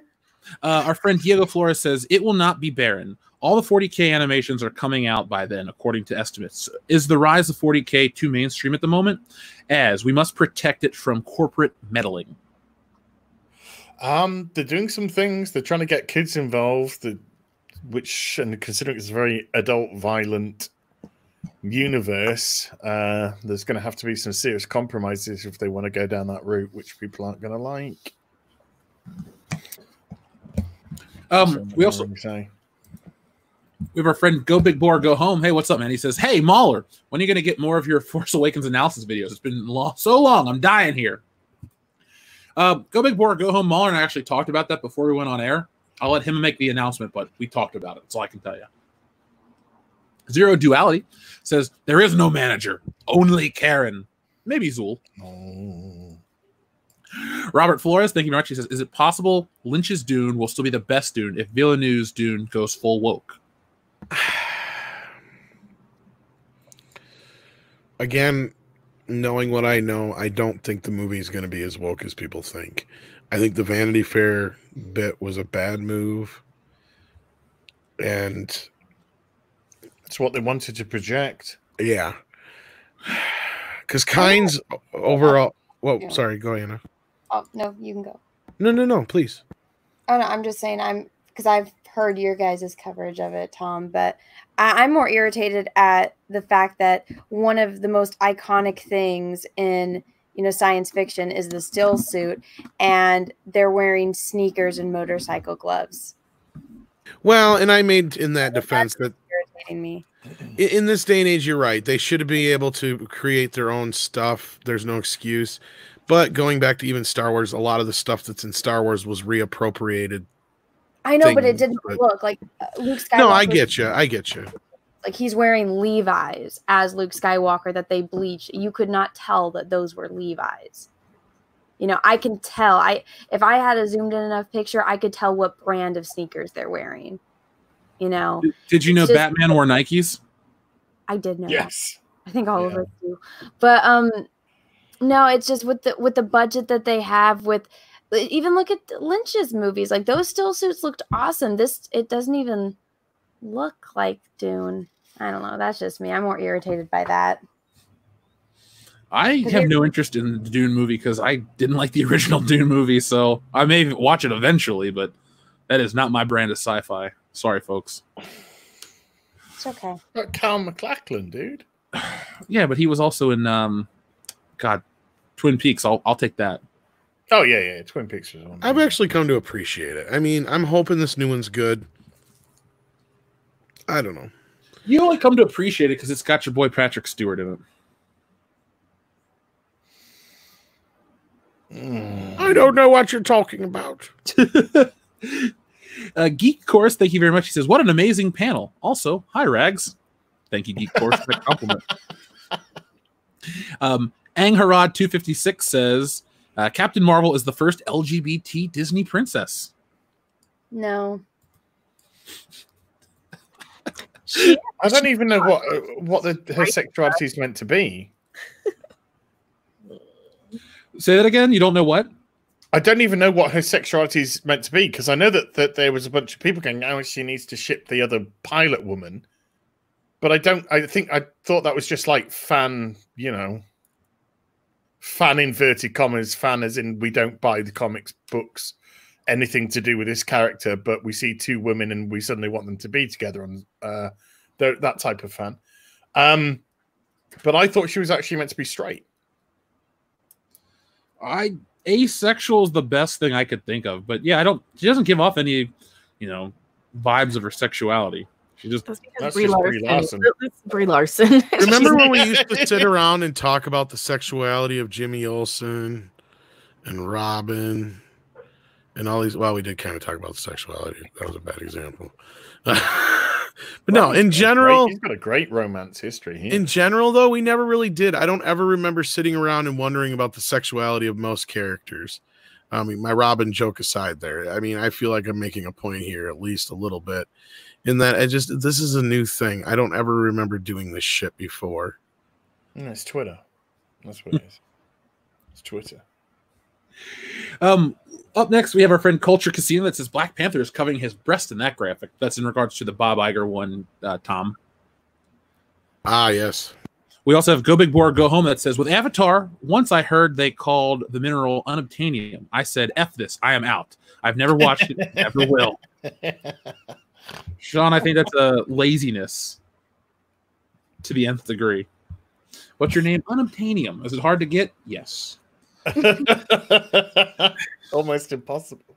Yeah, almost. uh, Master Clockwork says they put Ruby Rose in the fridge. Wait.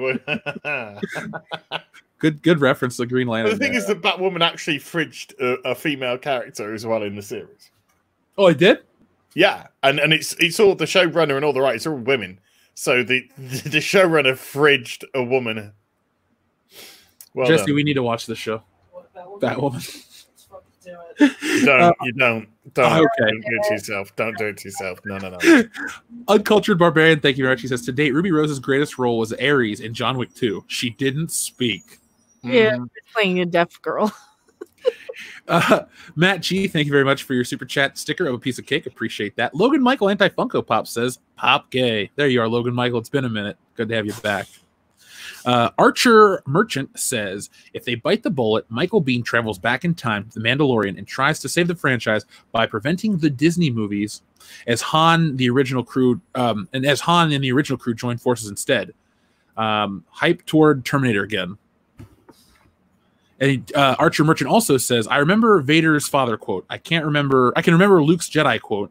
Han's, you'll see me in hell quote. I even remember Palpatine's return, Return of the Jedi firepower quote. I can't remember a single quote from the new movies. They fly So- now. They fly now. They fly now. They fly now.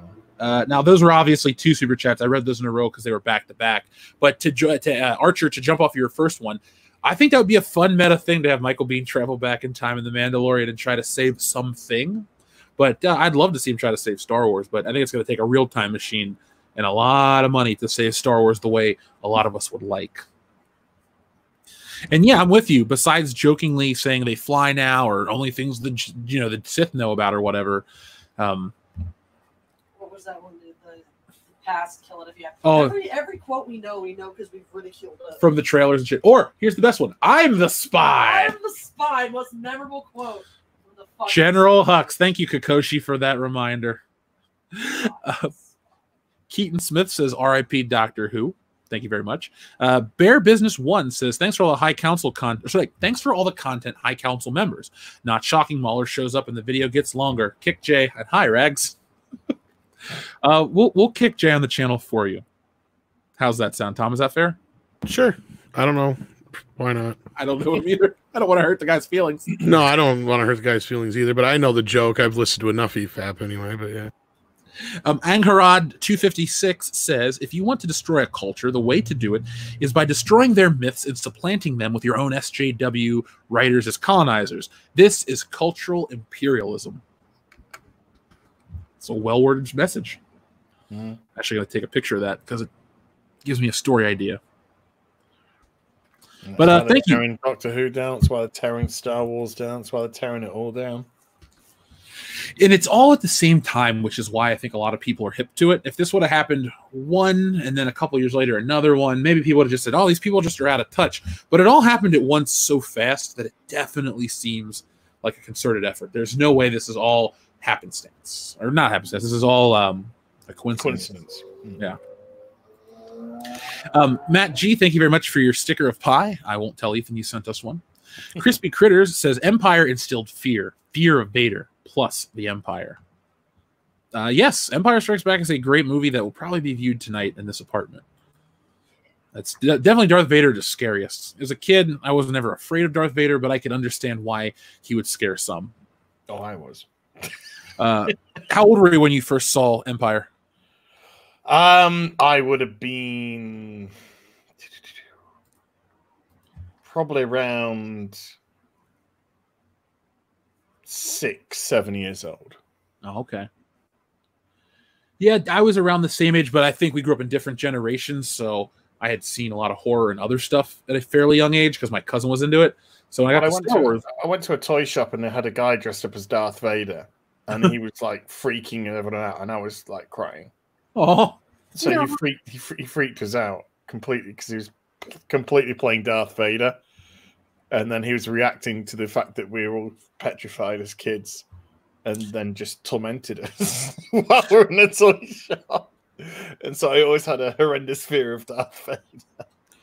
Now, um, speaking of fear, from Wild Qatar, he says, just watch kids' reactions nowadays when they learn Vader is Luke's father. They are entranced, horrified, in denial, and floored by the reveal. It's power of good cinema, folks. It's forever. Gunnar Reneoli, thank you very much. Batwoman is on HBO Nordic, which is free in my cable subscription. Now cast Amber Heard or Idris Elba as the leading lady, and I'm in. yes, uh, Idris Elba for Batwoman. You couldn't get more diverse than that. Uh, thank you for both of these. First off, he says Batman versus Superman did nothing wrong, like The Last Jedi. And then he responds with JK, haha. I almost wish you, like, your JK, haha, wouldn't have come up directly after this one because I'm like, okay. And then JK, haha. Uh, Grandmaster Chris says one of the reasons why the Raimi Spider-Man trilogy is so good because the simple plot allows for complex characters. Coming from a guy who loves those movies, and the third one's, eh, um, I never thought of it like that, but I don't disagree because all of those characters, including Mary Jane, for anyone that wants to say, well, Mary Jane was just played by Kirsten Dunst and she was vapid. If you listen to the dialogue of the stuff with her father, they gave Mary Jane a lot of depth more so than in any other medium. And still to this day, Mary, Mary Jane's never been as explored as she was in that. The insecurity, um, I think it was very well done, especially for the time that it came out when superhero movies were uh, something different. So I'm I'm all about the Raimi trilogy, especially two. Escamanofono says, "As I love you so much." Oh, I love you so much as well. Straight White Male says, "Speaking of torrents, 4K 77 project for Star Wars." Um, I haven't seen it, but I've heard nothing but good things. Michael from Retro Blasting, uh, I believe, has a video out on it. Hail Retro Blasting. Yeah, hail Retro Blasting. Michael's a hell of a dude. Uh, Justin Smith says, listening to the stream while moving and the damn thing was set ablaze. I'm fine, but it's shot. I'm sorry, mowing, not moving, mowing. Listen to the stream while mowing and the damn thing was set ablaze. I'm fine, but it's shot. Hope y'all had more fun in the podcast. Justin, we did because I'm not a yard work fan, and two, I'm glad you're safe because yard work can be dangerous. So my uncle lost a couple of his toes due to a rogue lawnmower. It's not a joke. That's a true story. You met him, Jesse. The one that gave that long speech at my grandma's funeral. Um, Sebastian Anon says an idea for Batwoman season two: make it classic, like Adam West Batman. I like that idea. I'm 100% on board. I'll sign up for a subscription based service just to watch that version. Um, yes. Wow. What the fuck is that? That's a Jetta. Anyway, uh, George George R64 says, Big gay thanks for a fantastic stream. Pride flag, thumbs up hand. Thank you, George. Glad you enjoyed it. Uh, Neil Lawrence says, Love all you guys and girls. Keep doing what you do. Definitely will, Neil. We will, Neil. Thank you very much. Loch Ness Mobster says, Jeff, remember how great Men in Black was? Loch Ness Mobster, I've never forgotten how great the first Men in Black was. And the third one's pretty good too, but uh, forget the second and fourth one. No, thank you. Eden Franklin, thank you very much. Just heard Fraudy Dog is still removing videos. Fraudy Dog. I like that name. Is there any uh, update on anything? Do, do we know anyone else that's been hit? I know Jeremy got hit yesterday with something you said. Uh, was it you? Yeah, Twitter. Oh, okay. I feel like getting hit on Twitter for something is just like, eh, it's Twitter. What do you expect?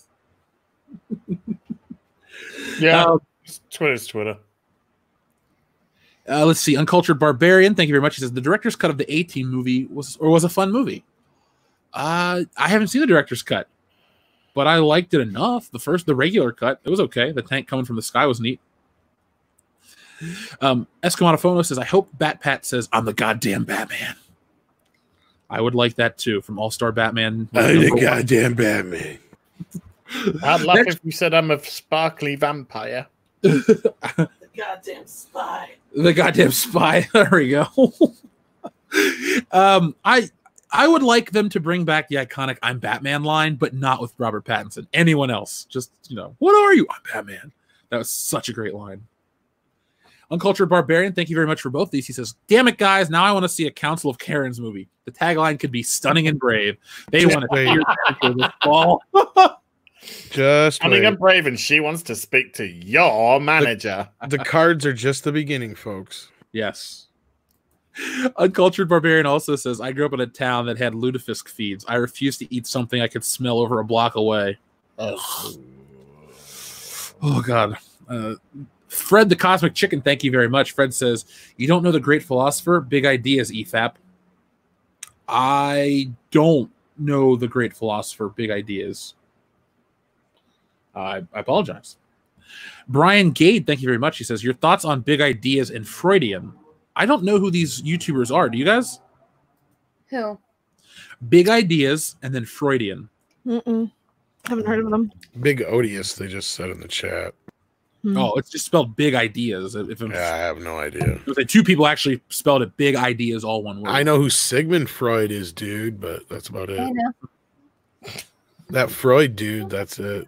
What about um, what's his name? Um, fuck, I can't even think of the joke now. I screwed it up. Never mind. What? Who are they going for in uh, Bill and Ted? Uh, not Aristotle. Socrates. I couldn't think of the damn Socrates. name. I wanted to call him Aristotle the whole damn time.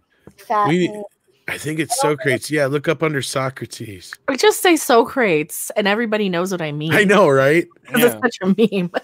I love that in the movie though. He's like, look up Socrates. It's under Socrates. that is there's so many great lines in Bill and Ted. Agreed. Um, Esther 101. Pri- I'd add that to my list of 80 films I can watch a lot. Uh, Esther 101 Prime, or sorry, Ether 101 Prime says Castle Super Beast podcast goes into this stuff all the time. Games as a service is known as gas on the inside. Huh. Well, I'm taking a Mm. picture of your recommendation because I listen to podcasts all the time. Internet gas? Yes, everybody loves that internet gas. It brings us screen time. Gunnar Reneoli, thank you very much. Check the Stranger Things and Flintstone Legos. Tom, will you pull this up while I read some more of these? Uh sure. Stranger Things and what was the other one? Flintstones. Flintstones. Matt G sends in a cheeseburger super chat. Thank you very much for the sticker. Yellow Flash 2, thank you very much and welcome. He says Back to the Future Hey. 2 is safe until the creators pass. Well, let's hope the Bobs live a nice long life. Uh, Genro Genesis says, I would like to see a Darth Bane series true to the books directed by Deborah Chow. Honestly, it would probably be better than the movies. Oh no, you need to fix the books. Two and three. Oh god, they're terrible. I have never read them, so I don't even know. Well, it's it's one of those things where it says it's the Darth Bane trilogy, but uh the s- s- last two books are literally just about Darth Zannah and her uh going from the apprentice role to the master role. The first book is great. The second book uh they I think the author he only had like 6 months to write it and uh the third book is kind of a it's better than the second book, but it's still like a jumble fuck.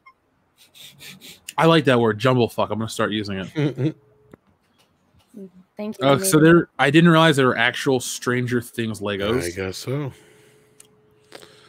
And then, yeah, I last that little Will. What's his name? Will Turner? No, Will Turner's not his name. That's the guy from Pirates of the Caribbean. Will though, the little uh, bull haircut Lego figure is hilarious to me. All right, I Um, hate to do this. I got to take off here. I got I got food coming here, and uh, Oh, that's cool, Mecha. Uh, Yeah. thanks for stopping in. We'll yeah, talk to thanks you. for, a thanks for uh, the invite here. See you guys every. Uh, Thanks and for next being week- like you're part of the show. yeah, I know, I know. It's like, yo, uh, anyway, I'll talk to you Tuesday, Mecha. Um, All right, but see. yeah, see you guys. Bye. See you. Take care. See ya. Sure, sure. Our friend Diego Flores says, Tom and Andre, have you ever thought about doing a series about the weird things that happen That in Hollywood? Flintstones Lego is amazing, by the way. I'm coveting it. The Flintstones one? Yeah, I love it. They look good. Oh. My uncle has the I think they the house and the car are all one set. I could be wrong. I wasn't looking at the pictures, but my uncle has those. He not the one that lost his toes. He is a different uncle, but he has the Flintstones Lego set. He loves Flintstones. I can bring it back up. I'm sorry. Oh no, no, apologize. I was uh just trying to work out a Yeah, I'll few get it. There we go. Uh, up next, we have our friend Diego Flores who says, I already read that one, um, but I'll reread it again because I don't think you, may, you heard the question, Tom. Okay, that's the one he has. Uh, Diego asks, Tom, have you and Andre ever thought about doing a series about the weird happenings in Hollywood, like the cursed history of certain movie franchises? Um, maybe it might dive a little too much into that word. I don't want to say because YouTube doesn't like it. It starts with a C and ends with a Y. Yeah. Um, but um, I think Shutter's got a really great series out right now about that kind of a thing. Um, but you never know. You never know. I never want to say never. Um, unless it's something that's way out of our wheelhouse. So yeah, yeah, it's a, it's a possibility. So like WWE, that'll never happen. Got it. Unless we can find a way to cross it over. I mean, I do love, you know, Suburban Commando, so I do too. there's always a plausibility. Not only Hulk Hogan, but The Undertaker. That's right. Uh, by Steak, thank you very much. He says, Hail the High Council. Man, I don't know what was longer, this live stream or the back to back calls I've been on since you all started. Hope everyone is safe. Can't wait to rewatch this later. you sent that over an hour ago. Sorry about that. for what? No, I mean for them for taking so long to get Oh. to the yeah. All the calls. Yeah, I, I hate. Um, I'll save those stories for another day. Uh, our friend uh, Tizuda off the chart or Zuda off the charts off the cuff sends in twenty dollars no message. Thank you very much. He also sends in a fiver that says uh, the best bad dub was the Big Lebowski. Yes, I was gonna bring this one up where the god where Goodman smashes the window of the vet. You see what happens when you meet a stranger in the Alps. There's a second one. It goes, You see what happens, Larry, when you feed a stoner scrambled eggs? what? That is the censored version of the Big Lebowski. That is the absolute God's honest truth, and I love it. I almost like it more than the real movie. Well, just that specific scene because it's so dumb. You got to look it up, Tom. You got to look it up as and uh, I will now because I didn't even know that That's one existed. bizarre. Yeah. Matt G says this high council is now longer than the submit to the toxic EFAP high council at six hours, 36 minutes. Congratulations. I have to send more food now.